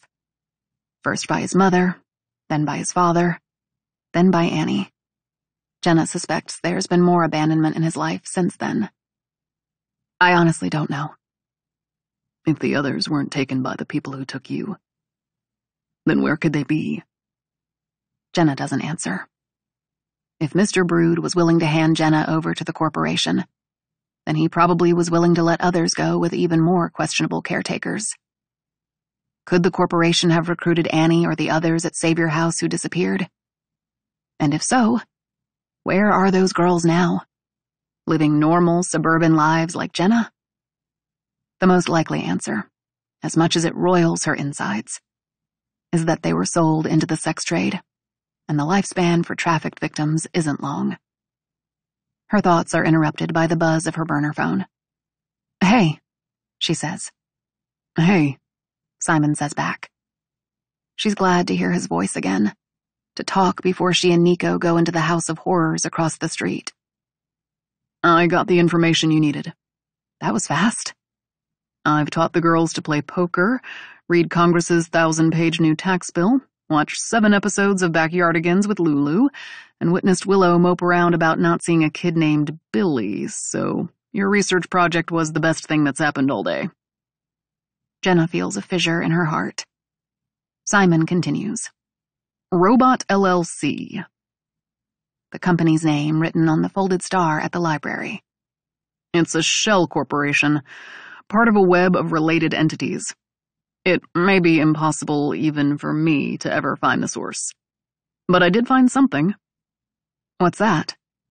It's a single purpose company, meaning it was created for only one purpose. And what was that? To buy a parcel of property. Jenna hears Lulu's voice in the background, asking him something. Can I talk to her? She says. Never mind. I'll see her tomorrow. Jenna's superstitions are kicking in. Simon continues. The buyer was the corporation itself, but it does list the seller. His name is Park Jones. Jenna doesn't recognize the name. Never heard of him. I ran a search. The guy's dead, but was a major creep.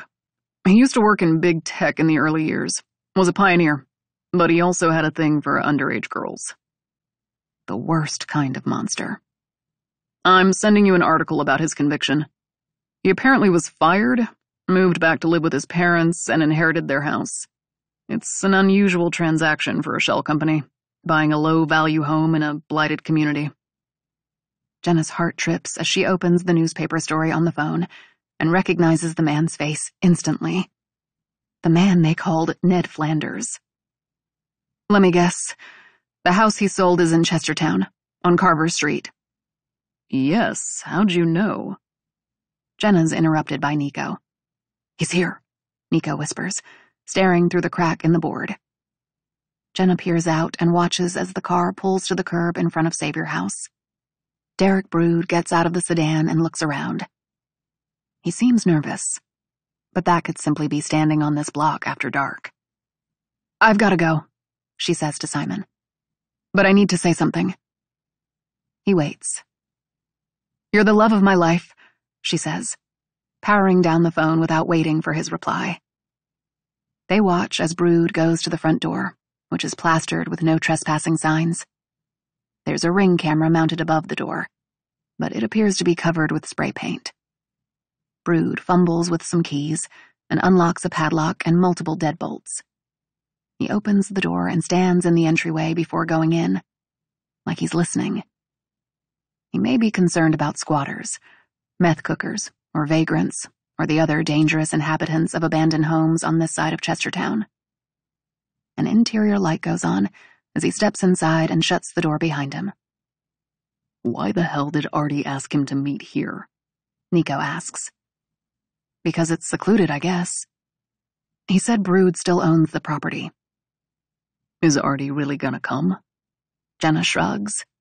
She's realizing how little she knows, and it's making her nervous. And Nico's question is a good one. Will Artie dare make an appearance? He was reluctant to show his face at the funeral for Ben, and he's kept material details about Savior House from his own security team. Would he come on his own without his body men and protection? If Jenna were on his detail, she'd advise against it. But even as a kid, Artie didn't follow conventional thinking. The thought is answered when a black town car pulls to the curb. A tall man in a black suit gets out of the driver's side and opens a back passenger door. Jenna can't see on the other side of the vehicle. She can hear voices, but not what's being said. The driver comes back around the vehicle, his gait reluctant, shaking his head. The town car pulls away, leaving Artemis Templeton, who walks inside Savior House. Unlike Derek Brood, he isn't timid about it. He opens the door like he owns the place and strides in. What now? Should we go in? Nico says. Jenna shakes her head. Now? We wait. For what? Jenna's eyes fix on the figure appearing from nowhere in front of Savior House. Every time Jenna sees the woman, bolts of rage flow to her extremities. For her. Chapter 71 The pretty hit woman strolls into Savior House almost as casually as Artie did a few minutes before. She's not carrying a gun or the bizarre weapon. And she's not dressed in tactical gear, but a blouse and slacks. Business casual attire. Cool as a cucumber. Jenna encountered some eccentrics in her time with the corporation, but this woman is by far the most unique. She and Nico watch as the woman disappears inside Savior House. Jenna feels for the pistol in her pocket. You okay with the gun? She asks Nico. He reluctantly took the handgun Jenna pulled out of her ex, Michael's, bag of goodies. She's still digesting what Simon told her about Ned Flanders, real name Park Jones, the man who used to live down the street, the man who owned the stretch of land where they took Mr. Brood, the scientifically minded man who'd mentored young Artemis. I've only fired a gun once in my life, Nico says. They both pause, silently acknowledging the long ago event. Just stay near me, Jenna says. They walk quickly and quietly to Savior House, and the front door creaks open, but not loudly. There are voices coming from what used to be the dining room. Jenna points to the hallway that leads to the kitchen, which provides another entry into the dining room. Nico nods. He remembers too. They sidle down the hallway, through the kitchen, and stop out of sight. Listen. A panicked voice says, Susan, my God, what in the hell are you doing? That's Derek Brood's voice, and it sounds like his father's. Sit, the woman's voice says. Jenna isn't clear what's going on. We can talk about this, Brood says. Put the gun down. Jenna stealthily makes it to the entryway, peers inside. Derek Brood, walking slowly, hands in the air, takes a chair, the only piece of furniture in the room, in the center of the dining hall. The hit woman has her back to Jenna and hasn't seen her yet. Jenna's breath is taken away when she realizes that the woman, who's a foot taller than Artie, stands behind him and has her forearm around Artie's neck, a gun to his temple. Jenna steps quietly behind the woman and puts the handgun to the back of her head. The woman stiffens. Slowly, Jenna warns, as the woman lowers the gun from Artemis's head, and Jenna gestures for Nico to grab it. He scurries over and takes the gun gingerly, like he's picking up a spider. The woman releases her grip on Artemis's neck, and he pushes away from her. What the hell is going on? Derek Brood says, standing again. Susan said she was your real estate rep, he tells Artie. That you wanted to buy Savior House and rejuvenate the entire area. What the? I can explain, Artemis says. Please, sit. Jenna's mind is reeling. Derek Brood seems sincerely mystified by the turn of events. Jenna and Nico lock eyes. Her old friend looks equally confused. Jenna still holds the muzzle of the pistol to the hit woman's head. Artemis looks at them both, like he's pondering what to do as the ones and zeros come together in that computer of a brain. We all need to talk this out, Artie says. He looks at Jenna. You can let her go. I'm not letting anyone go until you tell me what the hell is going on. Artemis offers a disappointed look. He moves toward her. Jenna moves the gun from the woman to Artie's center mass. Don't fucking move! Finally, she understands. It wasn't Brood who hired the hit woman. It was Artemis. That's when Jenna feels the blow to the back of her head and she hits the floor. Chapter 72 Donnie The Uber pulls up to the area where the street ends and woods begin. The driver says, Here? Yeah, this is great, Donnie says, still feeling the booze. It's getting dark, a few minutes past seven. He wonders if Jenna and Nico went through with the meeting at Savior House. Donnie gets out of the car and heads into the thick vines and weeds and trees. It's been so long since he's been to this patch of gloom, but there's an immediate familiarity. He stumbles on some bushes. He needs to get himself straight. He smacks himself in the face, which works sometimes, and continues navigating through the branches and scrub. Could the gun still be here after all these years? Is that why Benny was back in Chestertown? To see if the blackmailer was bluffing? Lying that he had evidence of what they had done? And did Benny hide something else in the spot? It has to be what he meant by Boo Radley. Donnie spies the tree, the one Nico carved with the N plus A. Nico was such a sap back then. Now he's a Benedict Arnold who deserves an ass kicking. Two trees down, Donnie sees the familiar base of the giant maple tree. He gazes up and is taken momentarily back to hot summers with the Gross Club. Get rid of slimy girls. A name he'd stolen from Calvin and Hobbes. He didn't think girls were slimy. He quite liked them, even at 14, but the tree fort was inspired by the comics, so it was fitting. He travels past the tree fort and four trees to the right, and there it is, the knot hole about three feet from the ground in the old tree. The Boo Radley hole. Donnie swallows, his mouth dry. A headache is creeping at the back of his skull. He thrusts his hand inside. He feels the metal and retrieves the small handgun he and Benny secreted there more than two decades before. For a moment, he's back on the knoll. Artie is peering into the shallow grave like he's going to do it, but only stands there, arm extended, the light rain beating his face. Jenna takes the gun from him, says, We agreed, we all have to.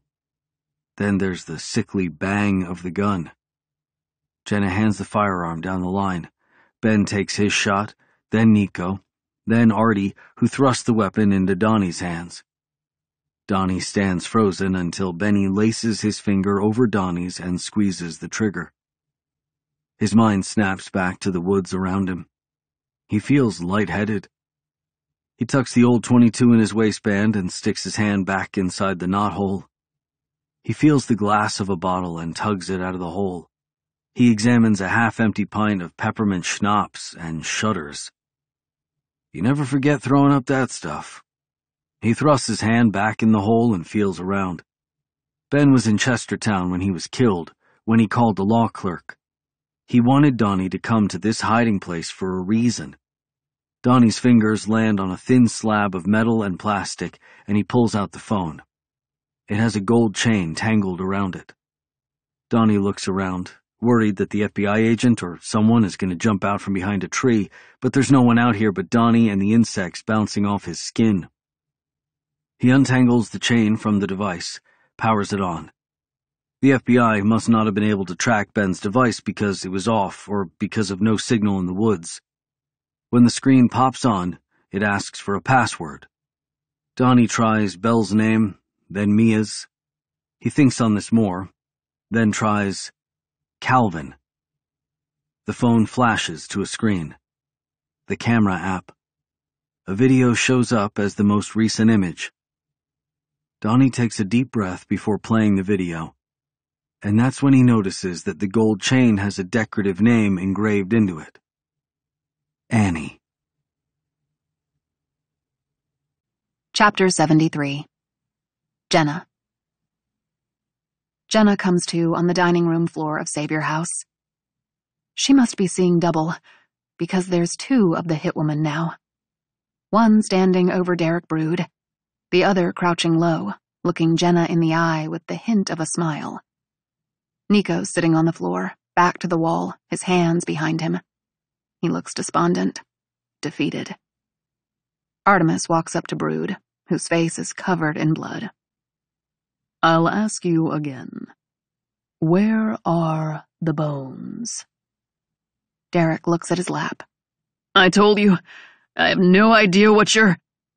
He's cut off by his own deafening scream as the hit woman's weapon makes a whoosh, and there's the sound of cracking bone as she removes it from Derek's thigh. You know what, Derek? Artemis crouches in front of their old nemesis, who appears to be losing consciousness. I think I believe you. Derek's chest is shuddering. He's blubbering now. You know what else? Derek dares to look up into Artemis's eyes. As she watches, Jenna is trying to clear her head, to formulate an escape plan. Artie raises his voice. I said, do you know what else, Derek? Derek shakes his head timidly. Your father was a buffoon, which is the only reason he got stuck babysitting a bunch of kids. Your uncle was probably relieved when he disappeared, except that he was stuck raising another buffoon. Artie stands straight. But at least your dad wasn't a bully. Please, Derek moans as the hitwoman raises the tube weapon. No compute, no compute, Artie says in a mechanical voice. That's how robots talk, right? I was just a kid, and so was I. Artemis says it again. Where are the bones? I don't know. Artemis looks at the hit woman, nods. The other woman, she must be the hit woman's identical twin, has eyes on Jenna, watching for any sudden moves. Again, in a robot voice, Artemis says, Terminate! The hit woman puts the cylinder weapon to Derek's temple, and whoosh! Derek slouches lifeless in the chair. As the woman pushes Derek onto the floor, Artemis's gaze goes from Jenna to Nico. Which one of you is next? He touches his chin. Bring her to the chair. One of the ghastly twins drags Jenna off the floor and onto the chair. Jenna's head is still pounding. She's concussed. But the adrenaline has heightened her senses, her fear, as the hit woman jams the tube weapon at the center of her chest.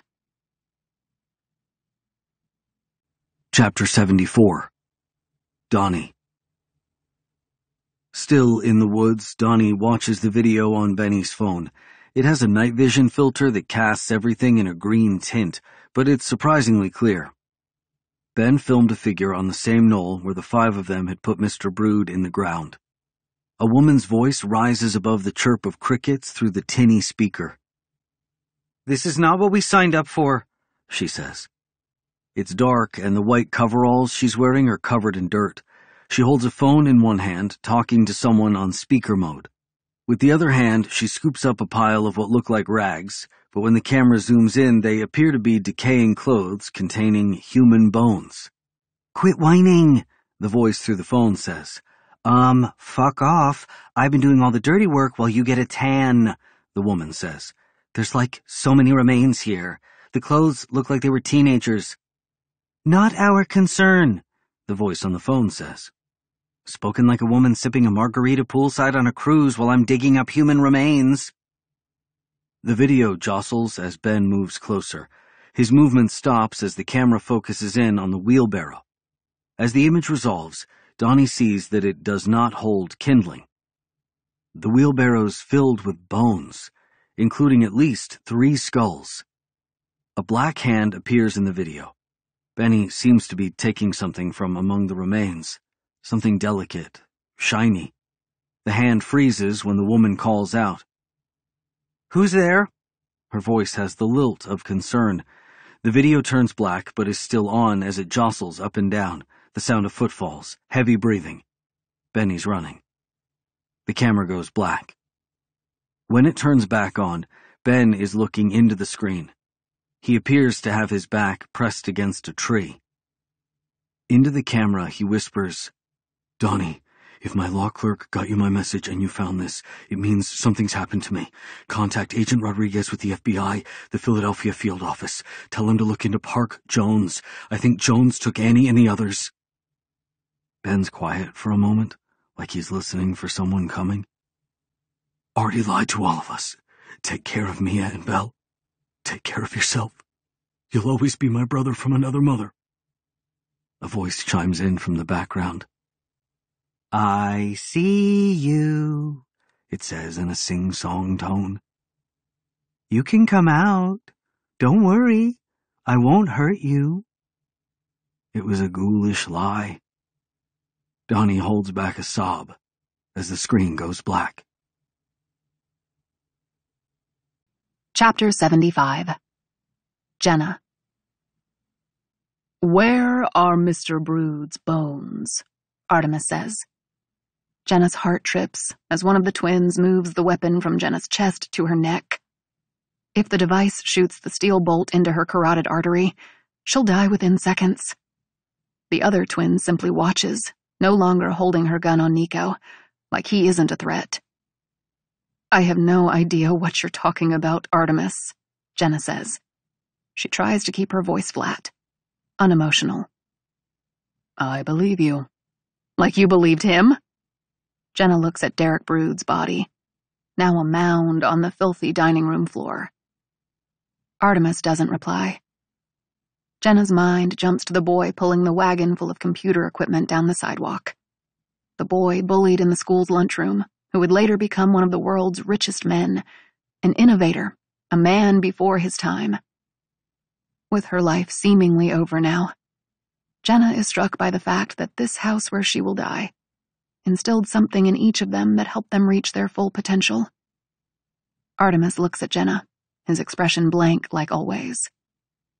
I believe you, because you don't need the money, Artemis says. And because you didn't take the shot. Jenna says. I have no clue what you're. Who do you think coerced you into taking the hit on the bald man at the restaurant? Jenna understands now. Artemis set up a fake assassination, both to divert any suspicion away from him and to draw Jenna out into the open. I was worried that with all your training, you'd see that the bullets were blanks, that you'd realize the glare from the other scope was too obvious, that you'd realize the hit was designed to draw you out. I guess you're rusty. Jenna gives Artemis a lazy glance. Honestly, she says, if you wanted to take me out, you could have done better than hiring these half-wits. She takes a sideways glance at the woman holding the weapon to her neck, then at the other twin. The woman with the weapon at Jenna's neck tenses, like she's going to pull the trigger. Artemis looks at the twin holding the cylinder weapon, shakes his head with a firm no. Jenna barely flinches. So let me guess. The bones. Someone dug them up from where we left him and didn't blackmail only Ben but you as well? Artemis shrugs. And what? You decided it had to be one of us? And you decide to take us all out? It was the most logical solution. For such a smart guy, it's pretty fucking stupid. On reflection, maybe you're right. But 2020 hindsight. Artemis nods to the woman, who places the weapon at Jenna's temple. Jenna has the sudden sense that this is where it will end for her. She swallows a sob realizing that she'll never see Simon or Willow or Lulu again. Realizing she'll never get to eat those pancakes. Never get to help Willow through the pain of losing her mom. Never get to watch Lulu wave goodbye from the school bus. She needs to fight. For them. Where are the bones? Artemis asks her again. Jenna is about to leap from the chair, risk the bolt penetrating into her skull but then a voice breaks the brief silence. Stop! Nico bellows. I'll take you to them. Please just stop. Chapter 76 Nico Artemis stares at Nico. I should have known that the simplest explanation was the correct one. The degenerate gambler needed money and blackmailed me. He looks at Jenna, who's still on the chair with the tube weapon, the hydraulic bolt gun that had pierced Nico's shoulder in the mine, pressed to Jenna's head. Jenna's gaze, which Nico can only describe as part heartbreak, part betrayal, turns to Nico. Shame envelops him. Artemis nods at the woman with the weapon, who presses it hard into Jenna's head. Where are the bones, Nico? Artemis says. I swear I will put a bolt through her brain if you don't tell me in the next three seconds. The hit woman looks amped, the anticipation, the glee vibrating from her. When Nico doesn't answer, Artemis turns to the twin. Jenna closes her eyes. All right, stop, Nico yells. I'll take you to the site, but you have to promise to let her go. This is on me, and so we're clear. I was never going to tell anyone. How brave of you, Nico, Artemis says. It only took 25 years. Nico feels like the miserable person he is. Promise me. Artemis smiles again, but Jenna looks disappointed, as if suddenly understanding there's no promise Artemis will keep. Artemis gestures at the other twin to help Nico to his feet. Without releasing the zip ties, she hoists him up. She comes too, or I swear I won't take you there, Nico tells Artemis. And if I don't call someone by midnight, there's an automatic email that will go out to the FBI that tells them everything. Artemis appears skeptical of that. And rightly so. There is no email, and if Nico dies, everything will likely remain hidden forever. I can take you there right now, but you have to promise. Scout's honor, Artemis says dryly. With that, he gestures to the door, and the twins march Nico and Jenna out of the house. Chapter 77 Jenna Nico leads the way through the back alley, around the park, and down a dirt path to a meadow behind a dilapidated house. Artemis stops, stares at the house where the man they all called Ned Flanders lived. The man who recognized Artie's brilliance and mentored him. The closest thing Artie had to a father figure. And ultimately, a relationship that fostered the technology that supported the then newly emerging social media sites. Technology that made Artemis a rich man by his mid 20s. The pixels are now coming together for Jenna. Ben Wood was being blackmailed, and it prompted him to revisit the events of that night, and he uncovered something none of them had known at the time. Ned Flanders' real name was Park Jones. He was a child molester who'd befriended a boy who had easy access to young girls. She thinks of Ben's handwritten note at the library. Brood, Robot, LLC, Fagin Jones. Ben loved to read. He'd referenced Boo Radley. And Fagin is an infamous character from a Dickens novel. A despicable man who used children to commit his crimes. Flanders used Artemis to lure girls. And Artemis must have agreed since he needed Park Jones. So Marta, Annie, the others. It's so awful Jenna can't finish the thought. But the theory is confirmed when she sees the holes dotting the knoll. The final resting place of the missing girls, no doubt. Artie created a shell company to buy the property to ensure no one ever discovered the bodies, the crimes he had been party to. But when Nico blackmailed him with photos of Mr. Brood's bones, Artie needed to remove all the remains on the property and destroy all possible evidence linking him to the murders. Something she can only describe as blind rage is consuming Jenna now. Nico leads the group not to one of the holes, but instead to a mound of freshly tilled soil. The spot from all those years ago. Nico looks down at the dirt. Here, he says. Here, Artemis lets out a wooden laugh. You dug up Mr. Brood and what? Then brought him back to the original gravesite and reburied him? One of the twins walks to a shed near the house and returns with a shovel. She jabs it into the dirt so it stands upright. The other twin removes Nico's zip ties. Artemis gestures to the shovel. Get to it, then. The other twin still has the tube weapon pressed against Jenna's spine. She watches, shaking her head, knowing that Nico is not only retrieving the bones Artemis is after, but also digging his own grave. The woman whispers in Jenna's ear. I'm going to enjoy burying you alive. Jenna feels a rivulet of sweat drip down her side. Her mind is racing, teasing out how she can attack without that bolt driving through her vertebrae, without Nico being torn to shreds by the other hit woman's gun. Artemis looks out at the other holes. A field of weeds, now pockmarked by tilled soil, bordered on one side by Flanders's ramshackle house through the brush, bleak woodland on the other side. You should have filled in those holes, he says to the hit woman with Jenna. We kinda got tied up with the judge and didn't think returning was a good idea, she says like a snarky teenager. Don't worry. No one will ever find what was left of the others. Still, Artemis says, but drops it.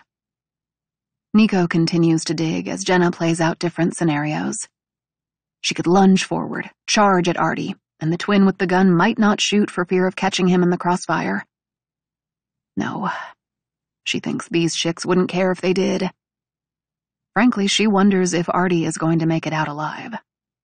Alternatively, she could do a backward headbutt, crush the other hit woman's nose, and dart away. But the woman would likely instinctively set off the weapon, which would send Jenna to the ground with a severed spinal cord.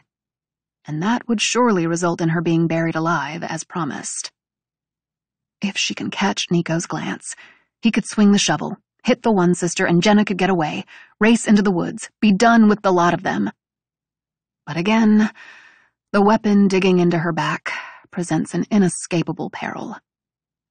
Then, she spies something that may give her a way out a man with scraggly hair hiding behind one of the trees. Chapter 78 Donnie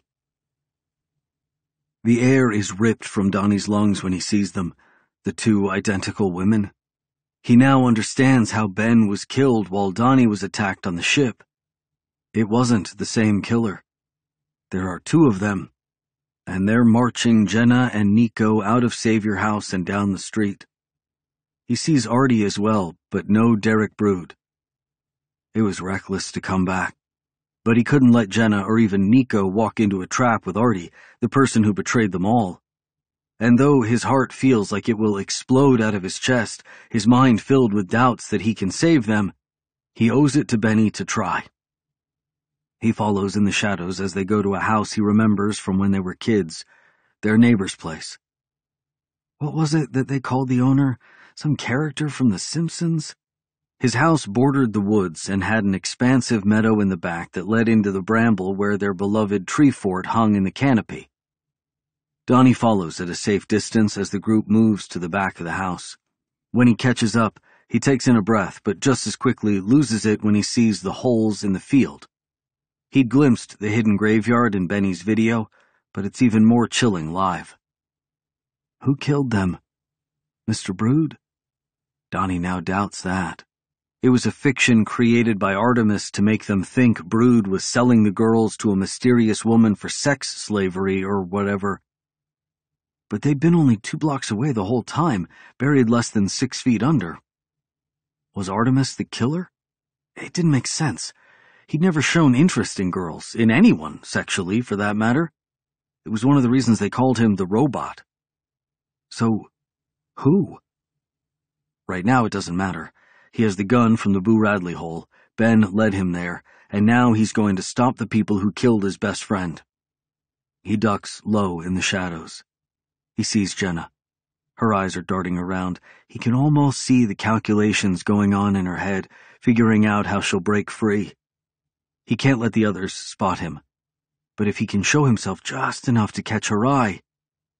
He sees Artemis directing Nico, who's pulling a duffel bag out of a freshly dug hole. Donnie stares at Jenna and she locks eyes with him. All attention is on the duffel as Artemis unzips the top and peers inside. This is their chance. Jenna nods at Donnie, who fires the gun in the air and charges the knoll. Chapter 79 Jenna The gunshot echoes in the night. The next seconds are a whirlwind. Jenna simultaneously arches her back and thrusts her head into a reverse headbutt, Her skull connects hard, and she hears the crunch of cartilage at the same time as the deadly whoosh of the cattle gun. The steel rod connects with her back, but she's managed to put enough distance from the device that it sends a shock wave of pain through her without piercing flesh or bone. At the same time, Nico swings the shovel, connecting with the other twin, who fires off a shot that doesn't seem to hit anyone. Nico scrambles out of the hole and onto the twin who still got the gun.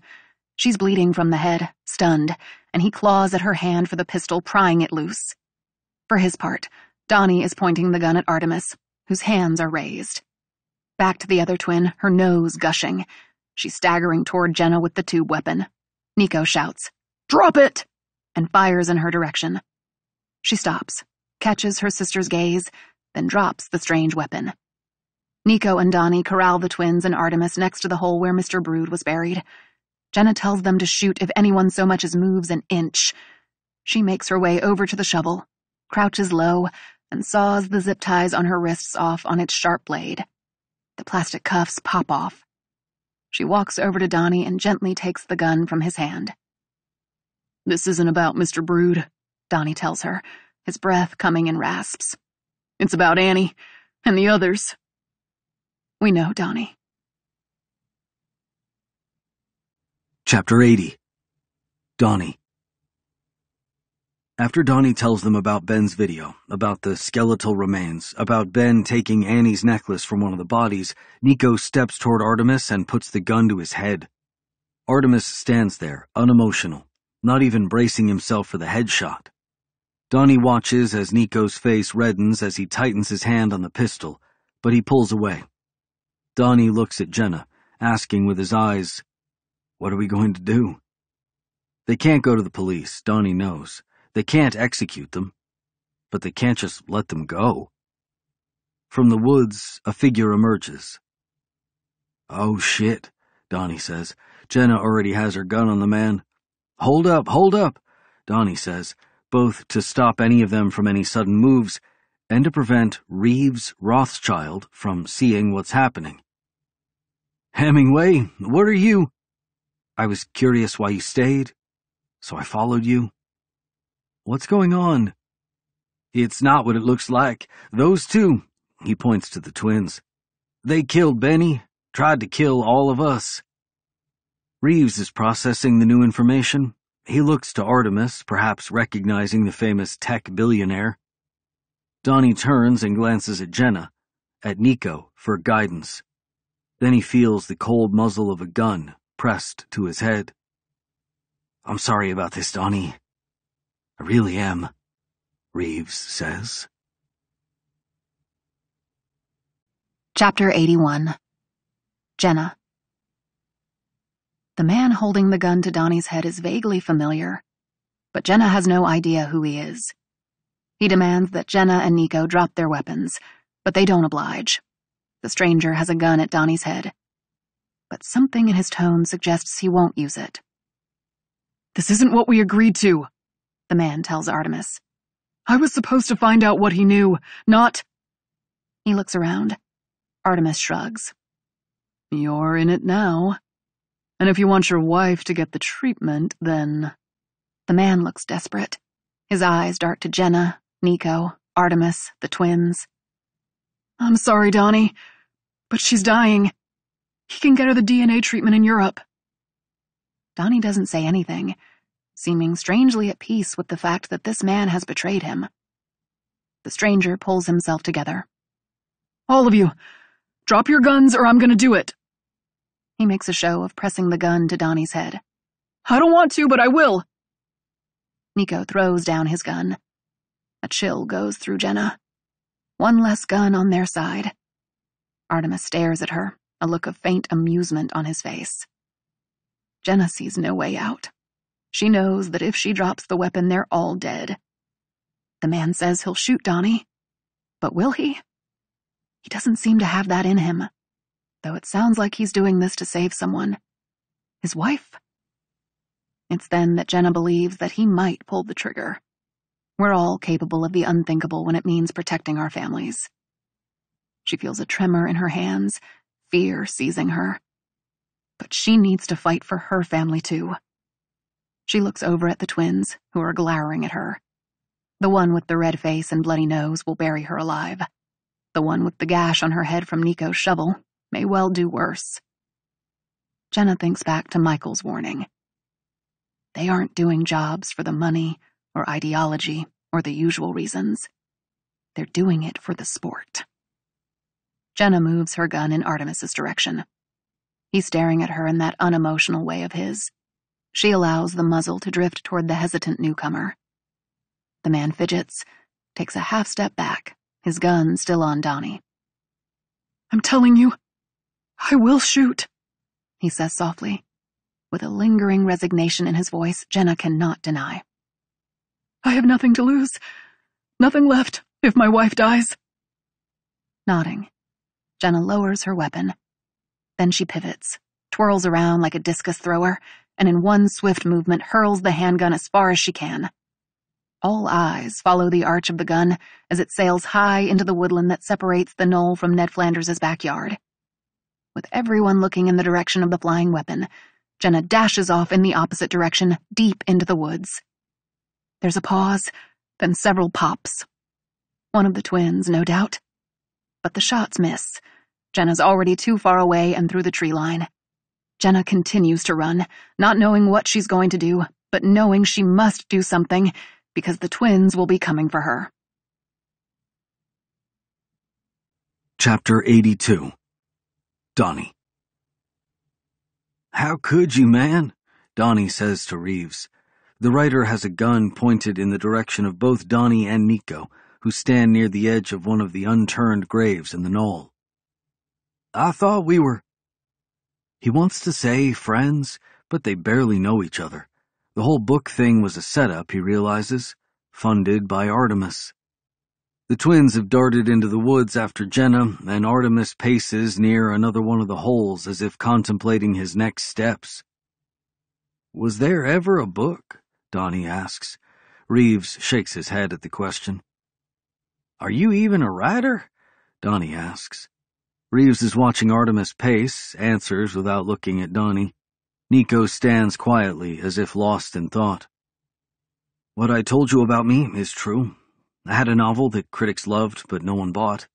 I took a gig ghostwriting a business book for Artemis Templeton. Then my wife got sick. I asked for his help. He said he could pull some strings.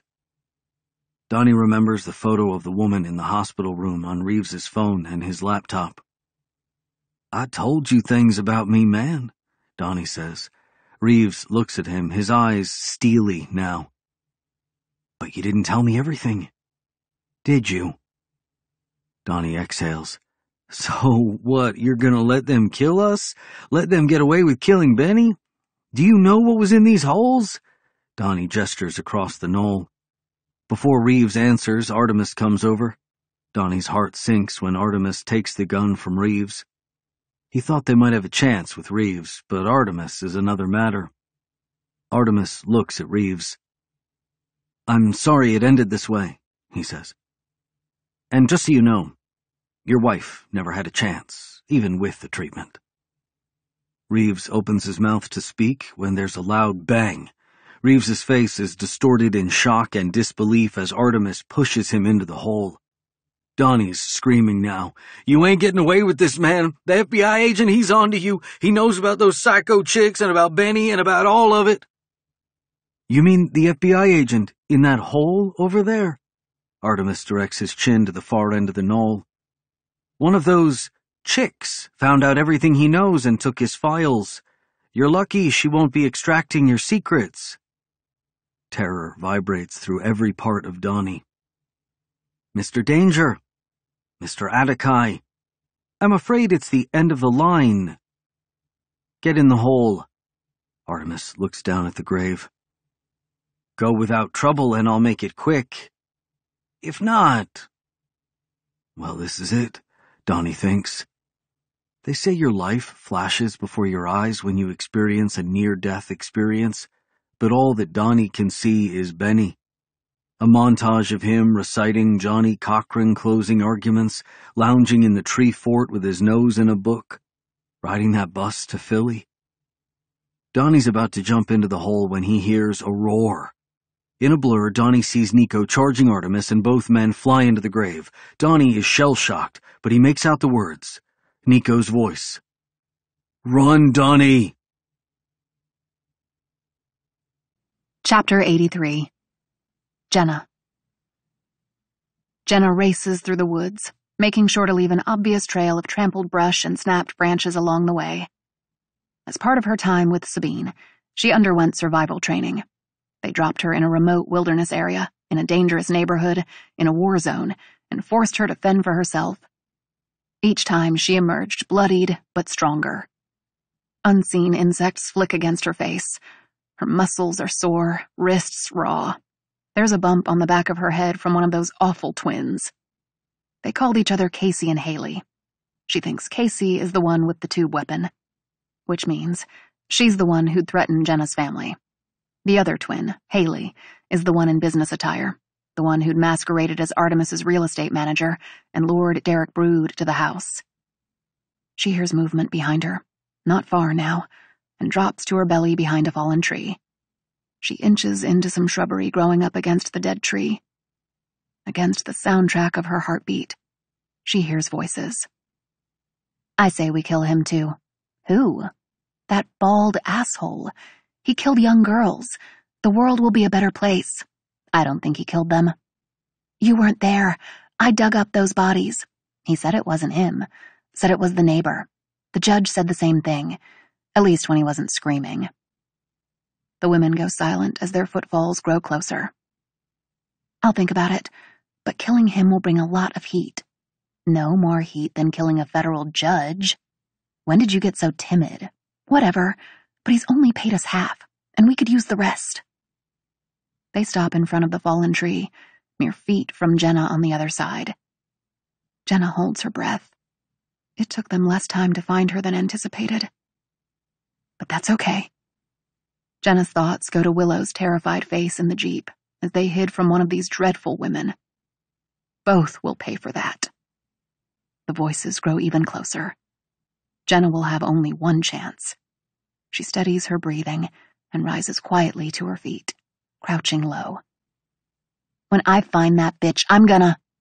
The words are stolen from the woman's throat as Jenna springs up from behind the down tree, her arms extended like a T and hits both twins in their throats with knife hand strikes. The twins reach for their necks and double over in unison, like some twisted TikTok video. Their barking coughs as Jenna knees the one on the right, Haley, in the face, taking her to the ground. That should hold her for the moment. Jenna knows her right-handed strike was the strongest, but in unison neither is the crippling blow a single thrust would have been. Which means she needs to move. It's Casey that Jenna is most worried about, the one Jenna struck with her weaker hand. As she turns to look, Casey is coming at her, brandishing the cattle gun like a fencer with a rapier, the device whooshing, the steel rod retracting and firing, sliding in and punching out.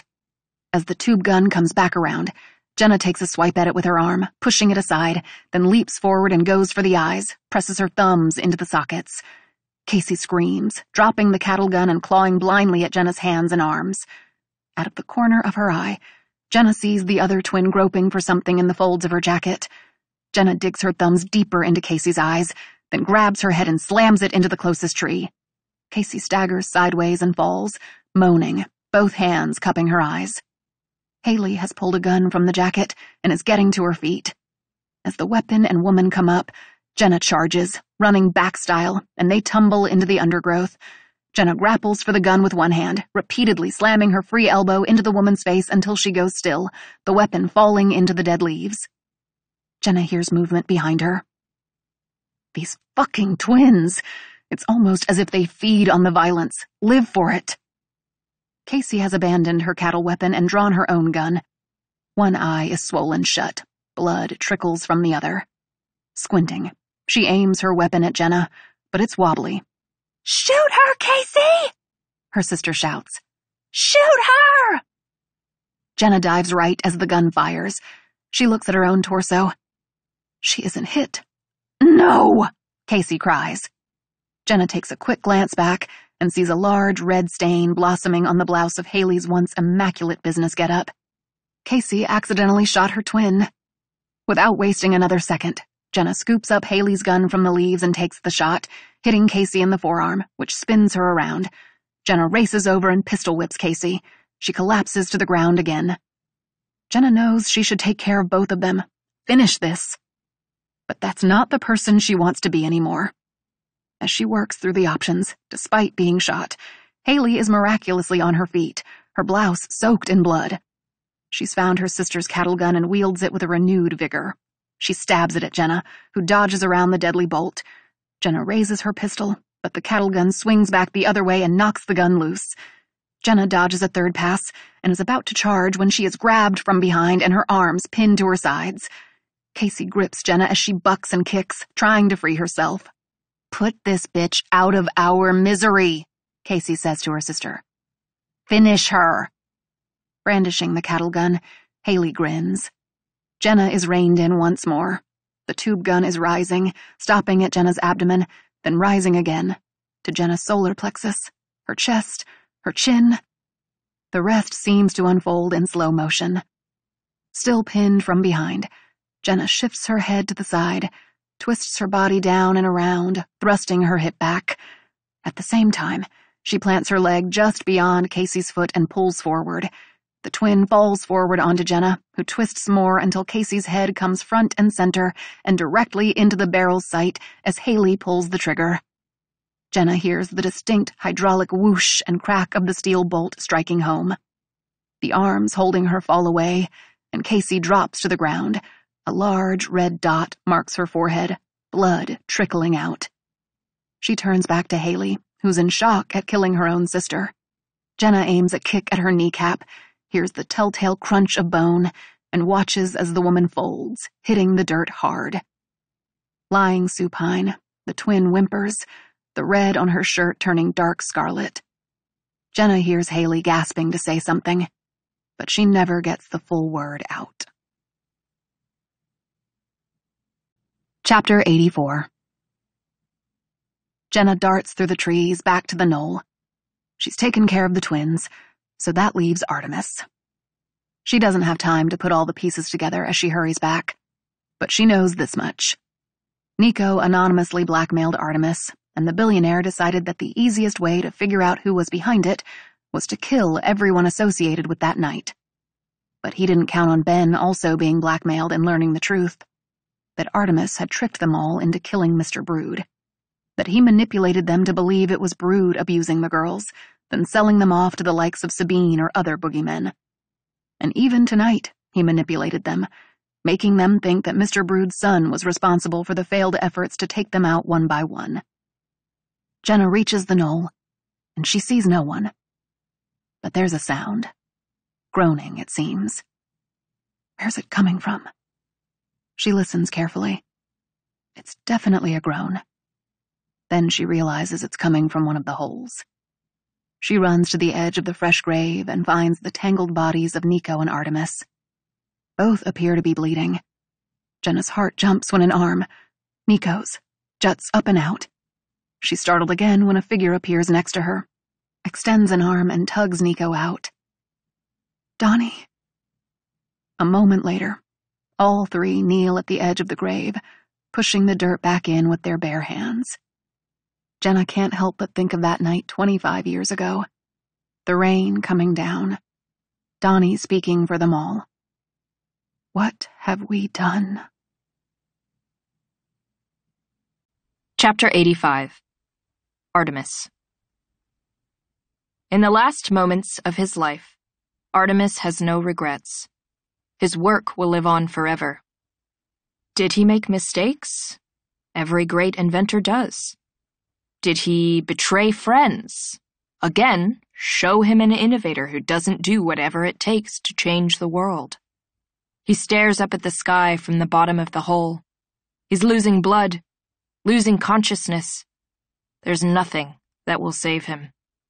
As he takes his last breath, dirt raining down on him, his mind retreats to the house where it all started. I think you are making a mistake, Artemis says to Mr. Jones. They're in Park Jones's dining room, which is jammed with computer monitors and equipment. Let me worry about that, he says, tapping on the keyboard. He's wearing a cardigan and plucking at his mustache. The other kids are right. With his sweater, glasses, and mustache, he looks like Ned Flanders.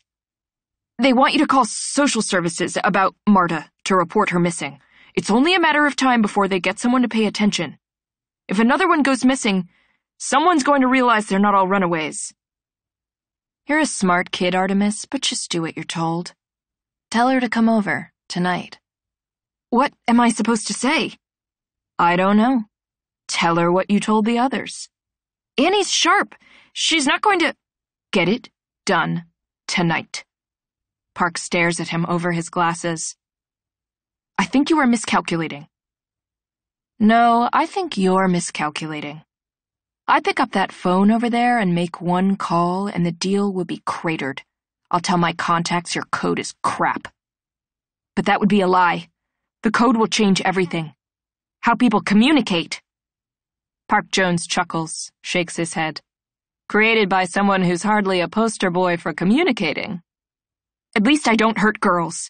You and Mr. Brood. Watch yourself. No, I think you'd better watch yourself. I know where the bodies are buried. Quite literally. You should choose your next words carefully, Artemis Templeton.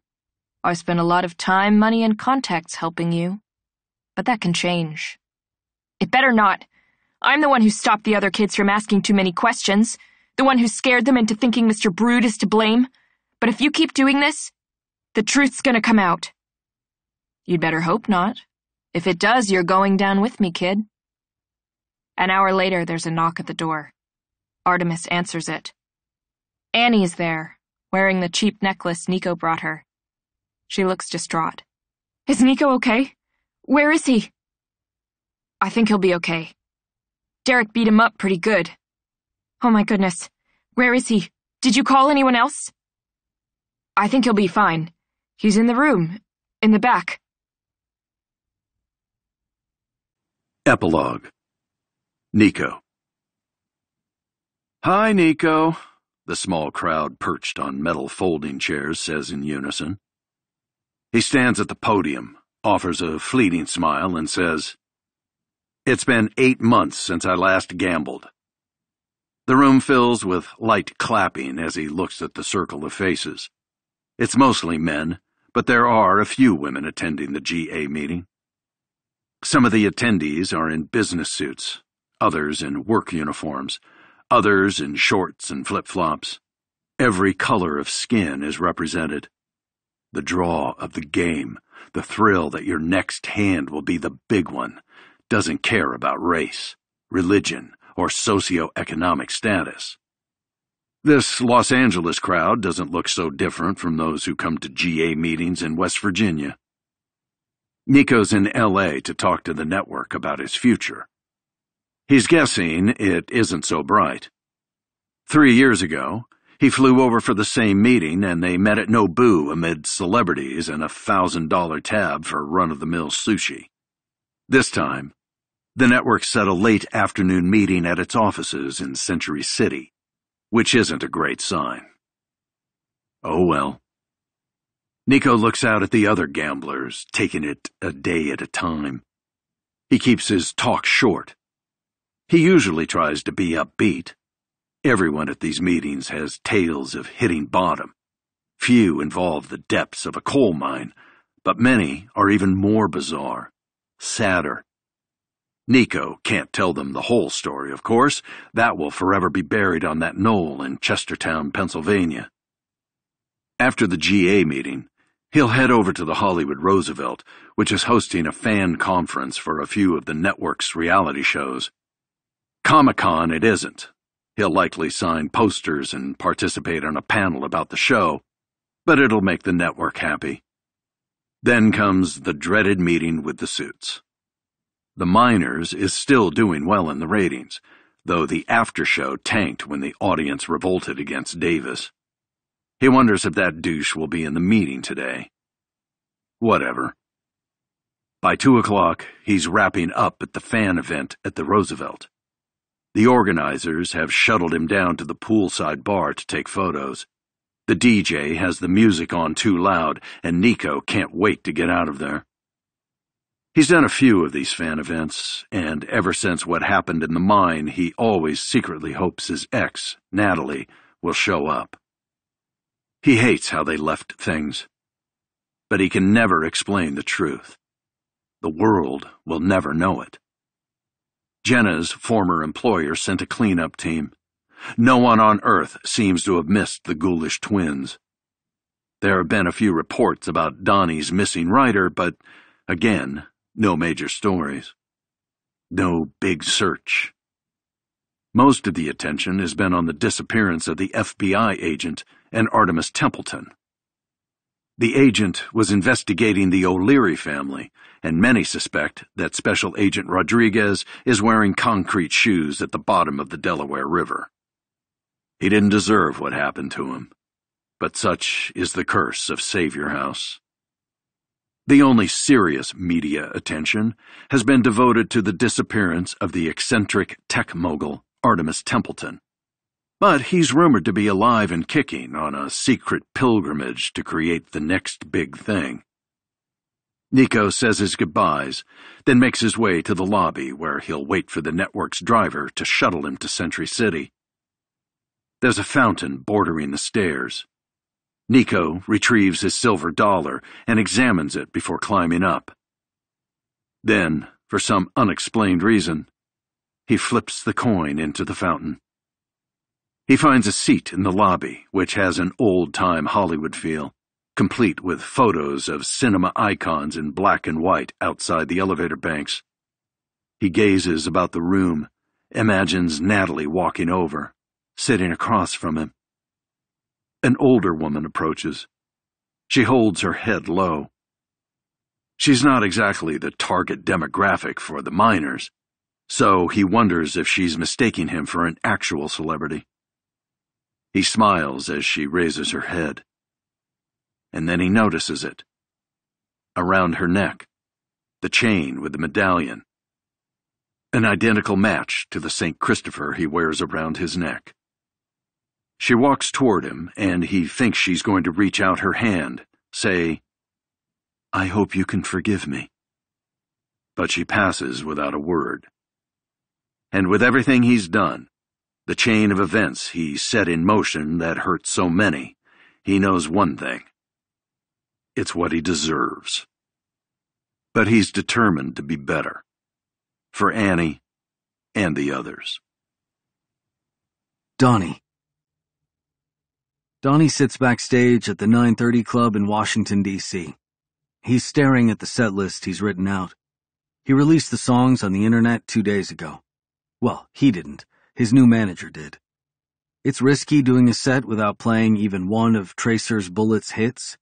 The crowd might revolt. But if they want to hear Tracer's Bullet, watch Tom shake his aging ass on stage, they should go buy a cruise ticket. He examines the set list again. He named the song collection. There's no such thing as albums anymore. Savior House. Eight new songs from Donnie Danger. Drowning. Brother from Another Mother. That's what she said. Finding Mom. High in the Trees. Ghost Rider. Overboard. The Innocents. A knock comes on the dressing room door. In pops Pixie. He poached her from Tracer's bullet. She was happy to be off the cruise ship circuit and away from Tom. Her eyes are alight with pre-show energy. I sneaked a peek at the crowd and, ah, I don't want to know. If there's only ten people out there or a thousand, I'm going to give it everything I got. Pixie doesn't say anything for a moment, but she looks worried. Before we go on, I wanted to thank you. Thank me? Hell, what for? For including me? These songs, they're... Pixie's eyes well up. Don't you go getting sentimental on me. She shakes it off. Okay. If I'm not being sentimental, maybe I should ask whether you need... that?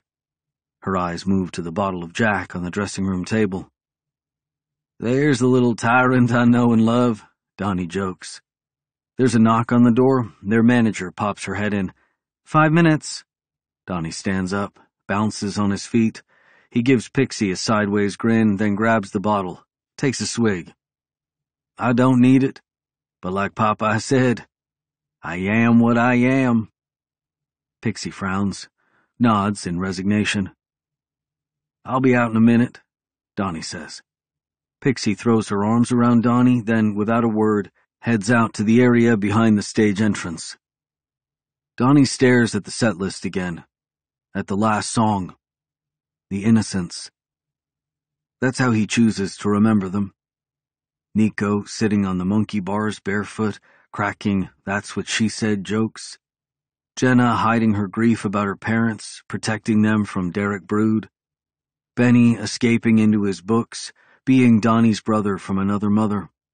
Even Artie, brutally bullied, manipulated by a man who claimed to understand his unconventional mind. Donnie looks at himself in the mirror, which is bordered by light bulbs like an old-time Hollywood dressing room. He doesn't need self-affirmations to pump himself up. He has the songs. Out loud, he says, I'm not scared anymore, Benny. And in the reflection behind him appears a tall black man. Donnie whirls around. No one's there, of course. But in his head, he hears Ben's voice. The world looks brand new.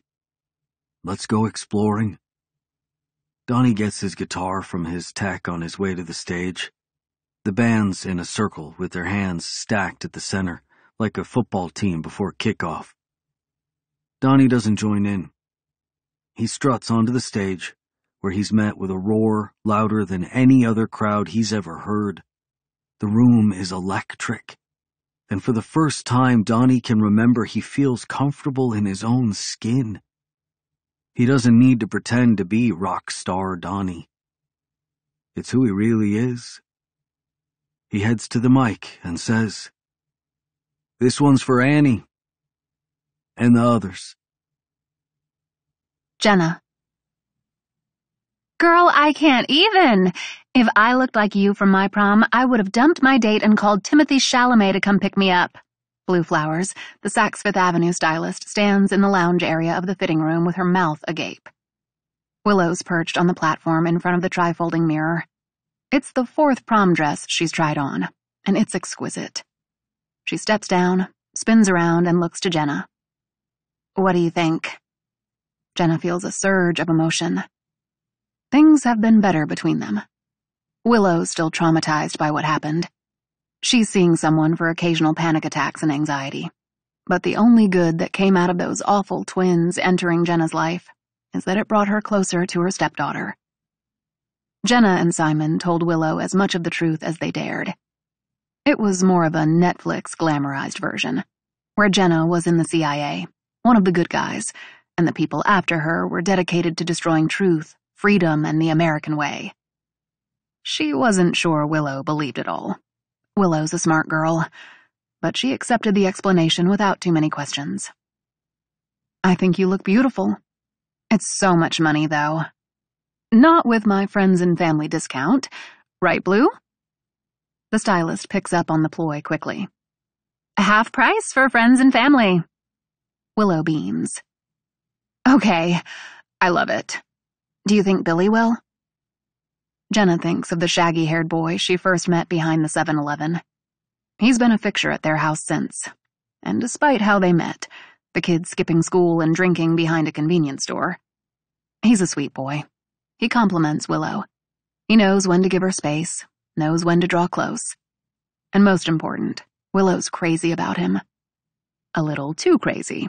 So Jenna and Simon are constantly on guard, listening for when it gets too quiet while the kids are watching television alone in the basement. He's going to love it. He better, or I'm calling Timothy for you, Blue Flowers chimes in. Jenna pays the tab, while Willow's in the changing room.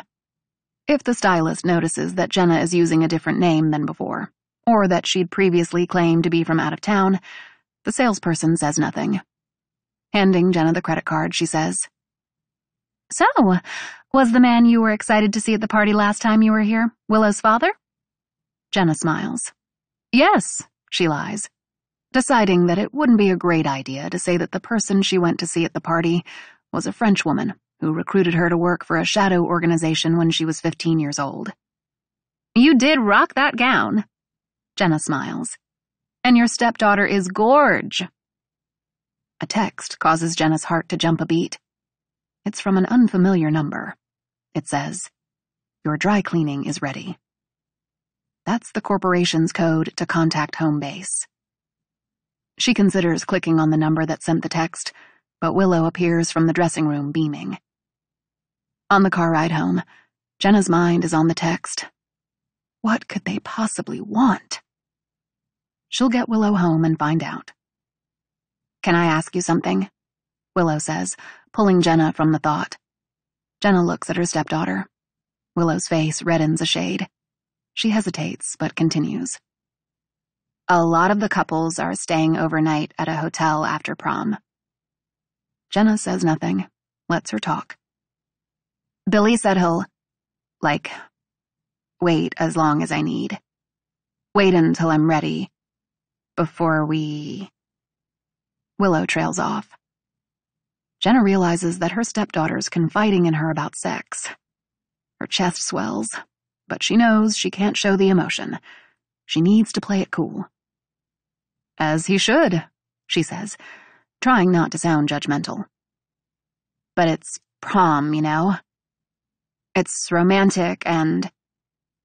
Again, she doesn't finish the sentence. Jenna smiles. I understand. You'll all be dressed up, taking limos downtown, getting photographed at the monuments at sunset.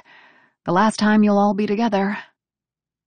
So, how do I know if I'm ready? Jenna blows out a breath.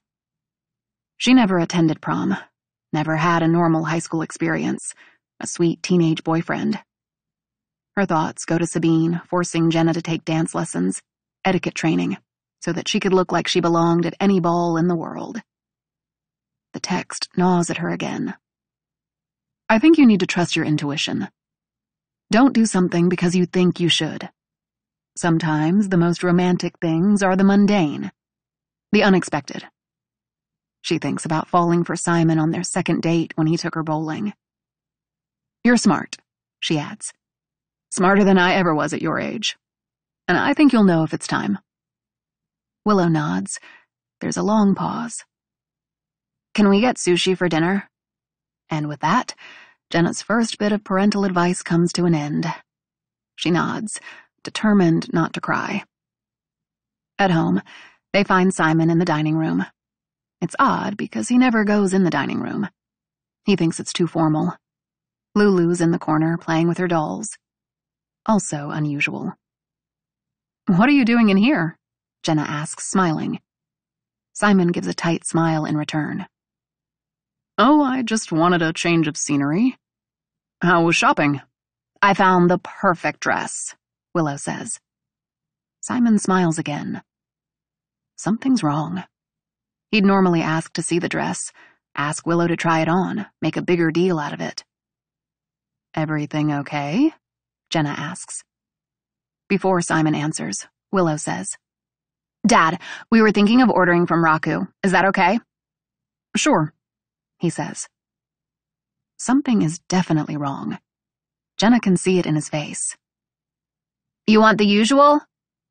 Willow's already scrolling the DoorDash app. Yes, but also get me this new roll I've been hearing about. What's it called? Willow says, scrolling the menu. Simon's glance fixes on the door leading to the kitchen. I think it's called Alas Babylon. Adrenaline courses through Jenna. She looks at Lulu, who's still playing dolls on the floor, to Willow, still distracted ordering dinner on her phone. Simon isn't visibly restrained, so there's a reason he's not doing anything. He'd fight to the death for his family yet his hands are folded calmly on the table. He looks down and makes a mushroom cloud explosion gesture with his hands. Now Jenna understands. There's an explosive device.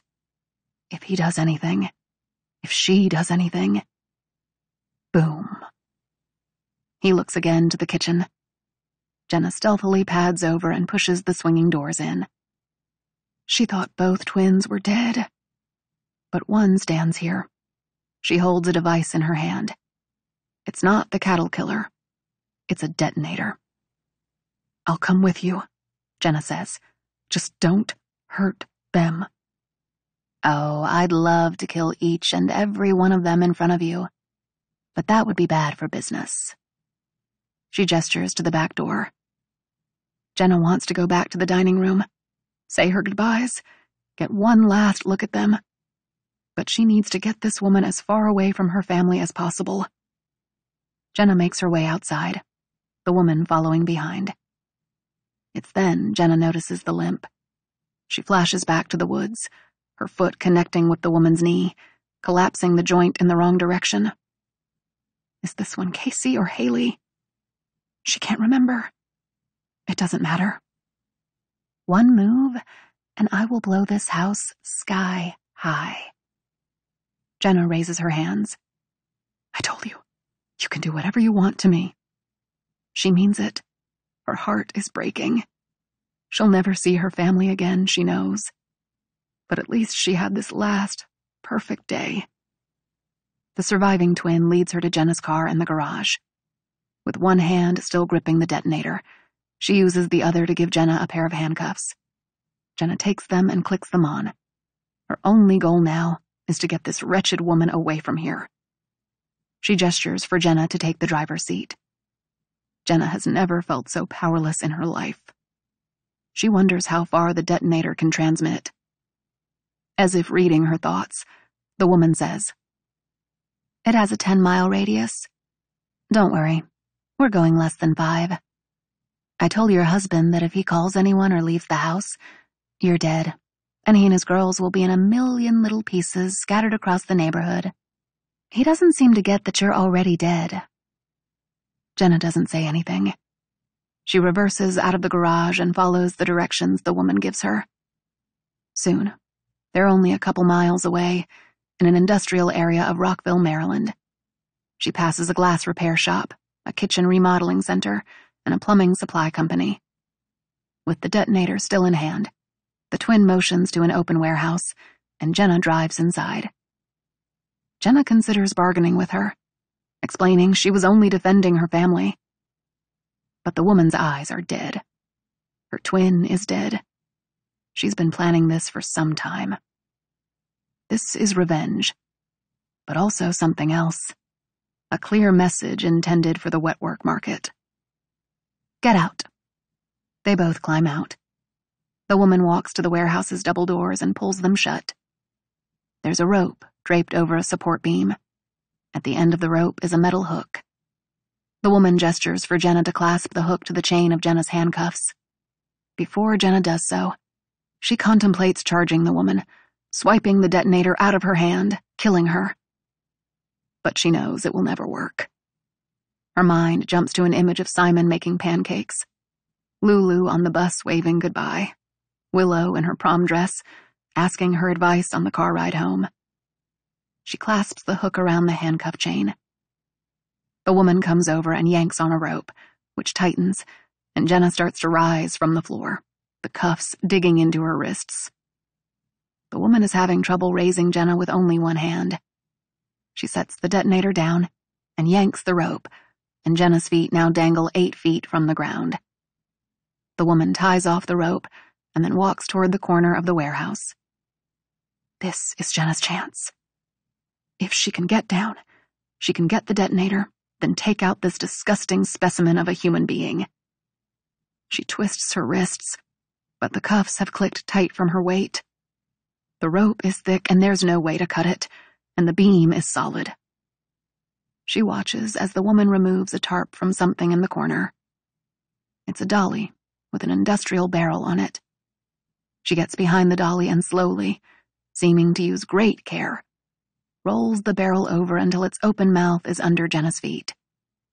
If Jenna could get lower, she could wrap her legs around the woman and snap her neck. But she's too high. The woman moves away from the barrel and back to the rope. Do you know there are six types of screams? Jenna doesn't respond. For my sister's sake, I wanted to hear you make every single one of them. This was the best I could come up with. That's when Jenna understands. Inside the barrel is liquid. Acid. She's going to lower her into it, slowly. A wave of panic smashes into her. She starts to buck and kick, flails for what seems like an eternity. She finally stops in exhaustion and looks at the woman, who has a smile on her face. She's getting off on the terror. It's then that Jenna decides she won't give her the pleasure. She gives up the fight and closes her eyes. As she feels the rope lowering, she says a prayer for Simon, for Willow, for Lulu, for her parents. She's had a better life than she deserved, given all she's done. She will not cry, and she sure as hell won't scream. The rope lowers slowly. It jerks to a stop. The woman is toying with her. Jenna keeps her eyes closed. She won't give her the satisfaction. But then she hears something. Movement. A familiar voice. A French accent tinged with Russian. Her eyes pop open and she sees Sabine. She's accompanied by a man who swiftly puts a black bag over the twins' head. The man turns and Jenna sees Michael give her what can only be described as a casual wave. He picks up the detonator and carefully places it in a metal box. Sabine looks up at her. Jenna isn't sure if this is real or if it's a hallucination, her mind protecting her from comprehending that she's being melted in a vat of acid. Just like when you were a teenager, ignoring my calls, Sabine says. Jenna remembers the text when she was at Saks. The corporation was trying to warn her. One of Michael's men.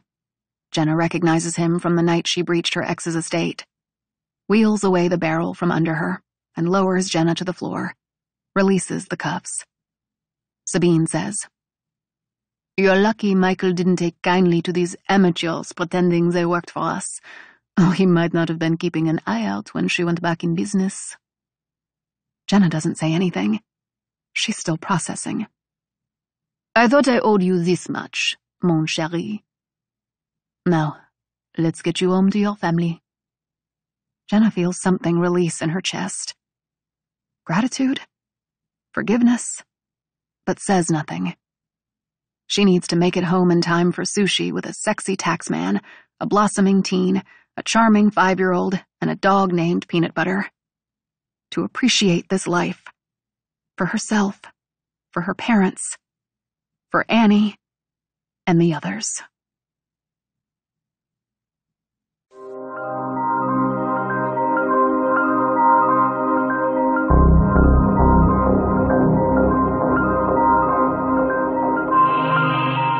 This is Brittany Pressley.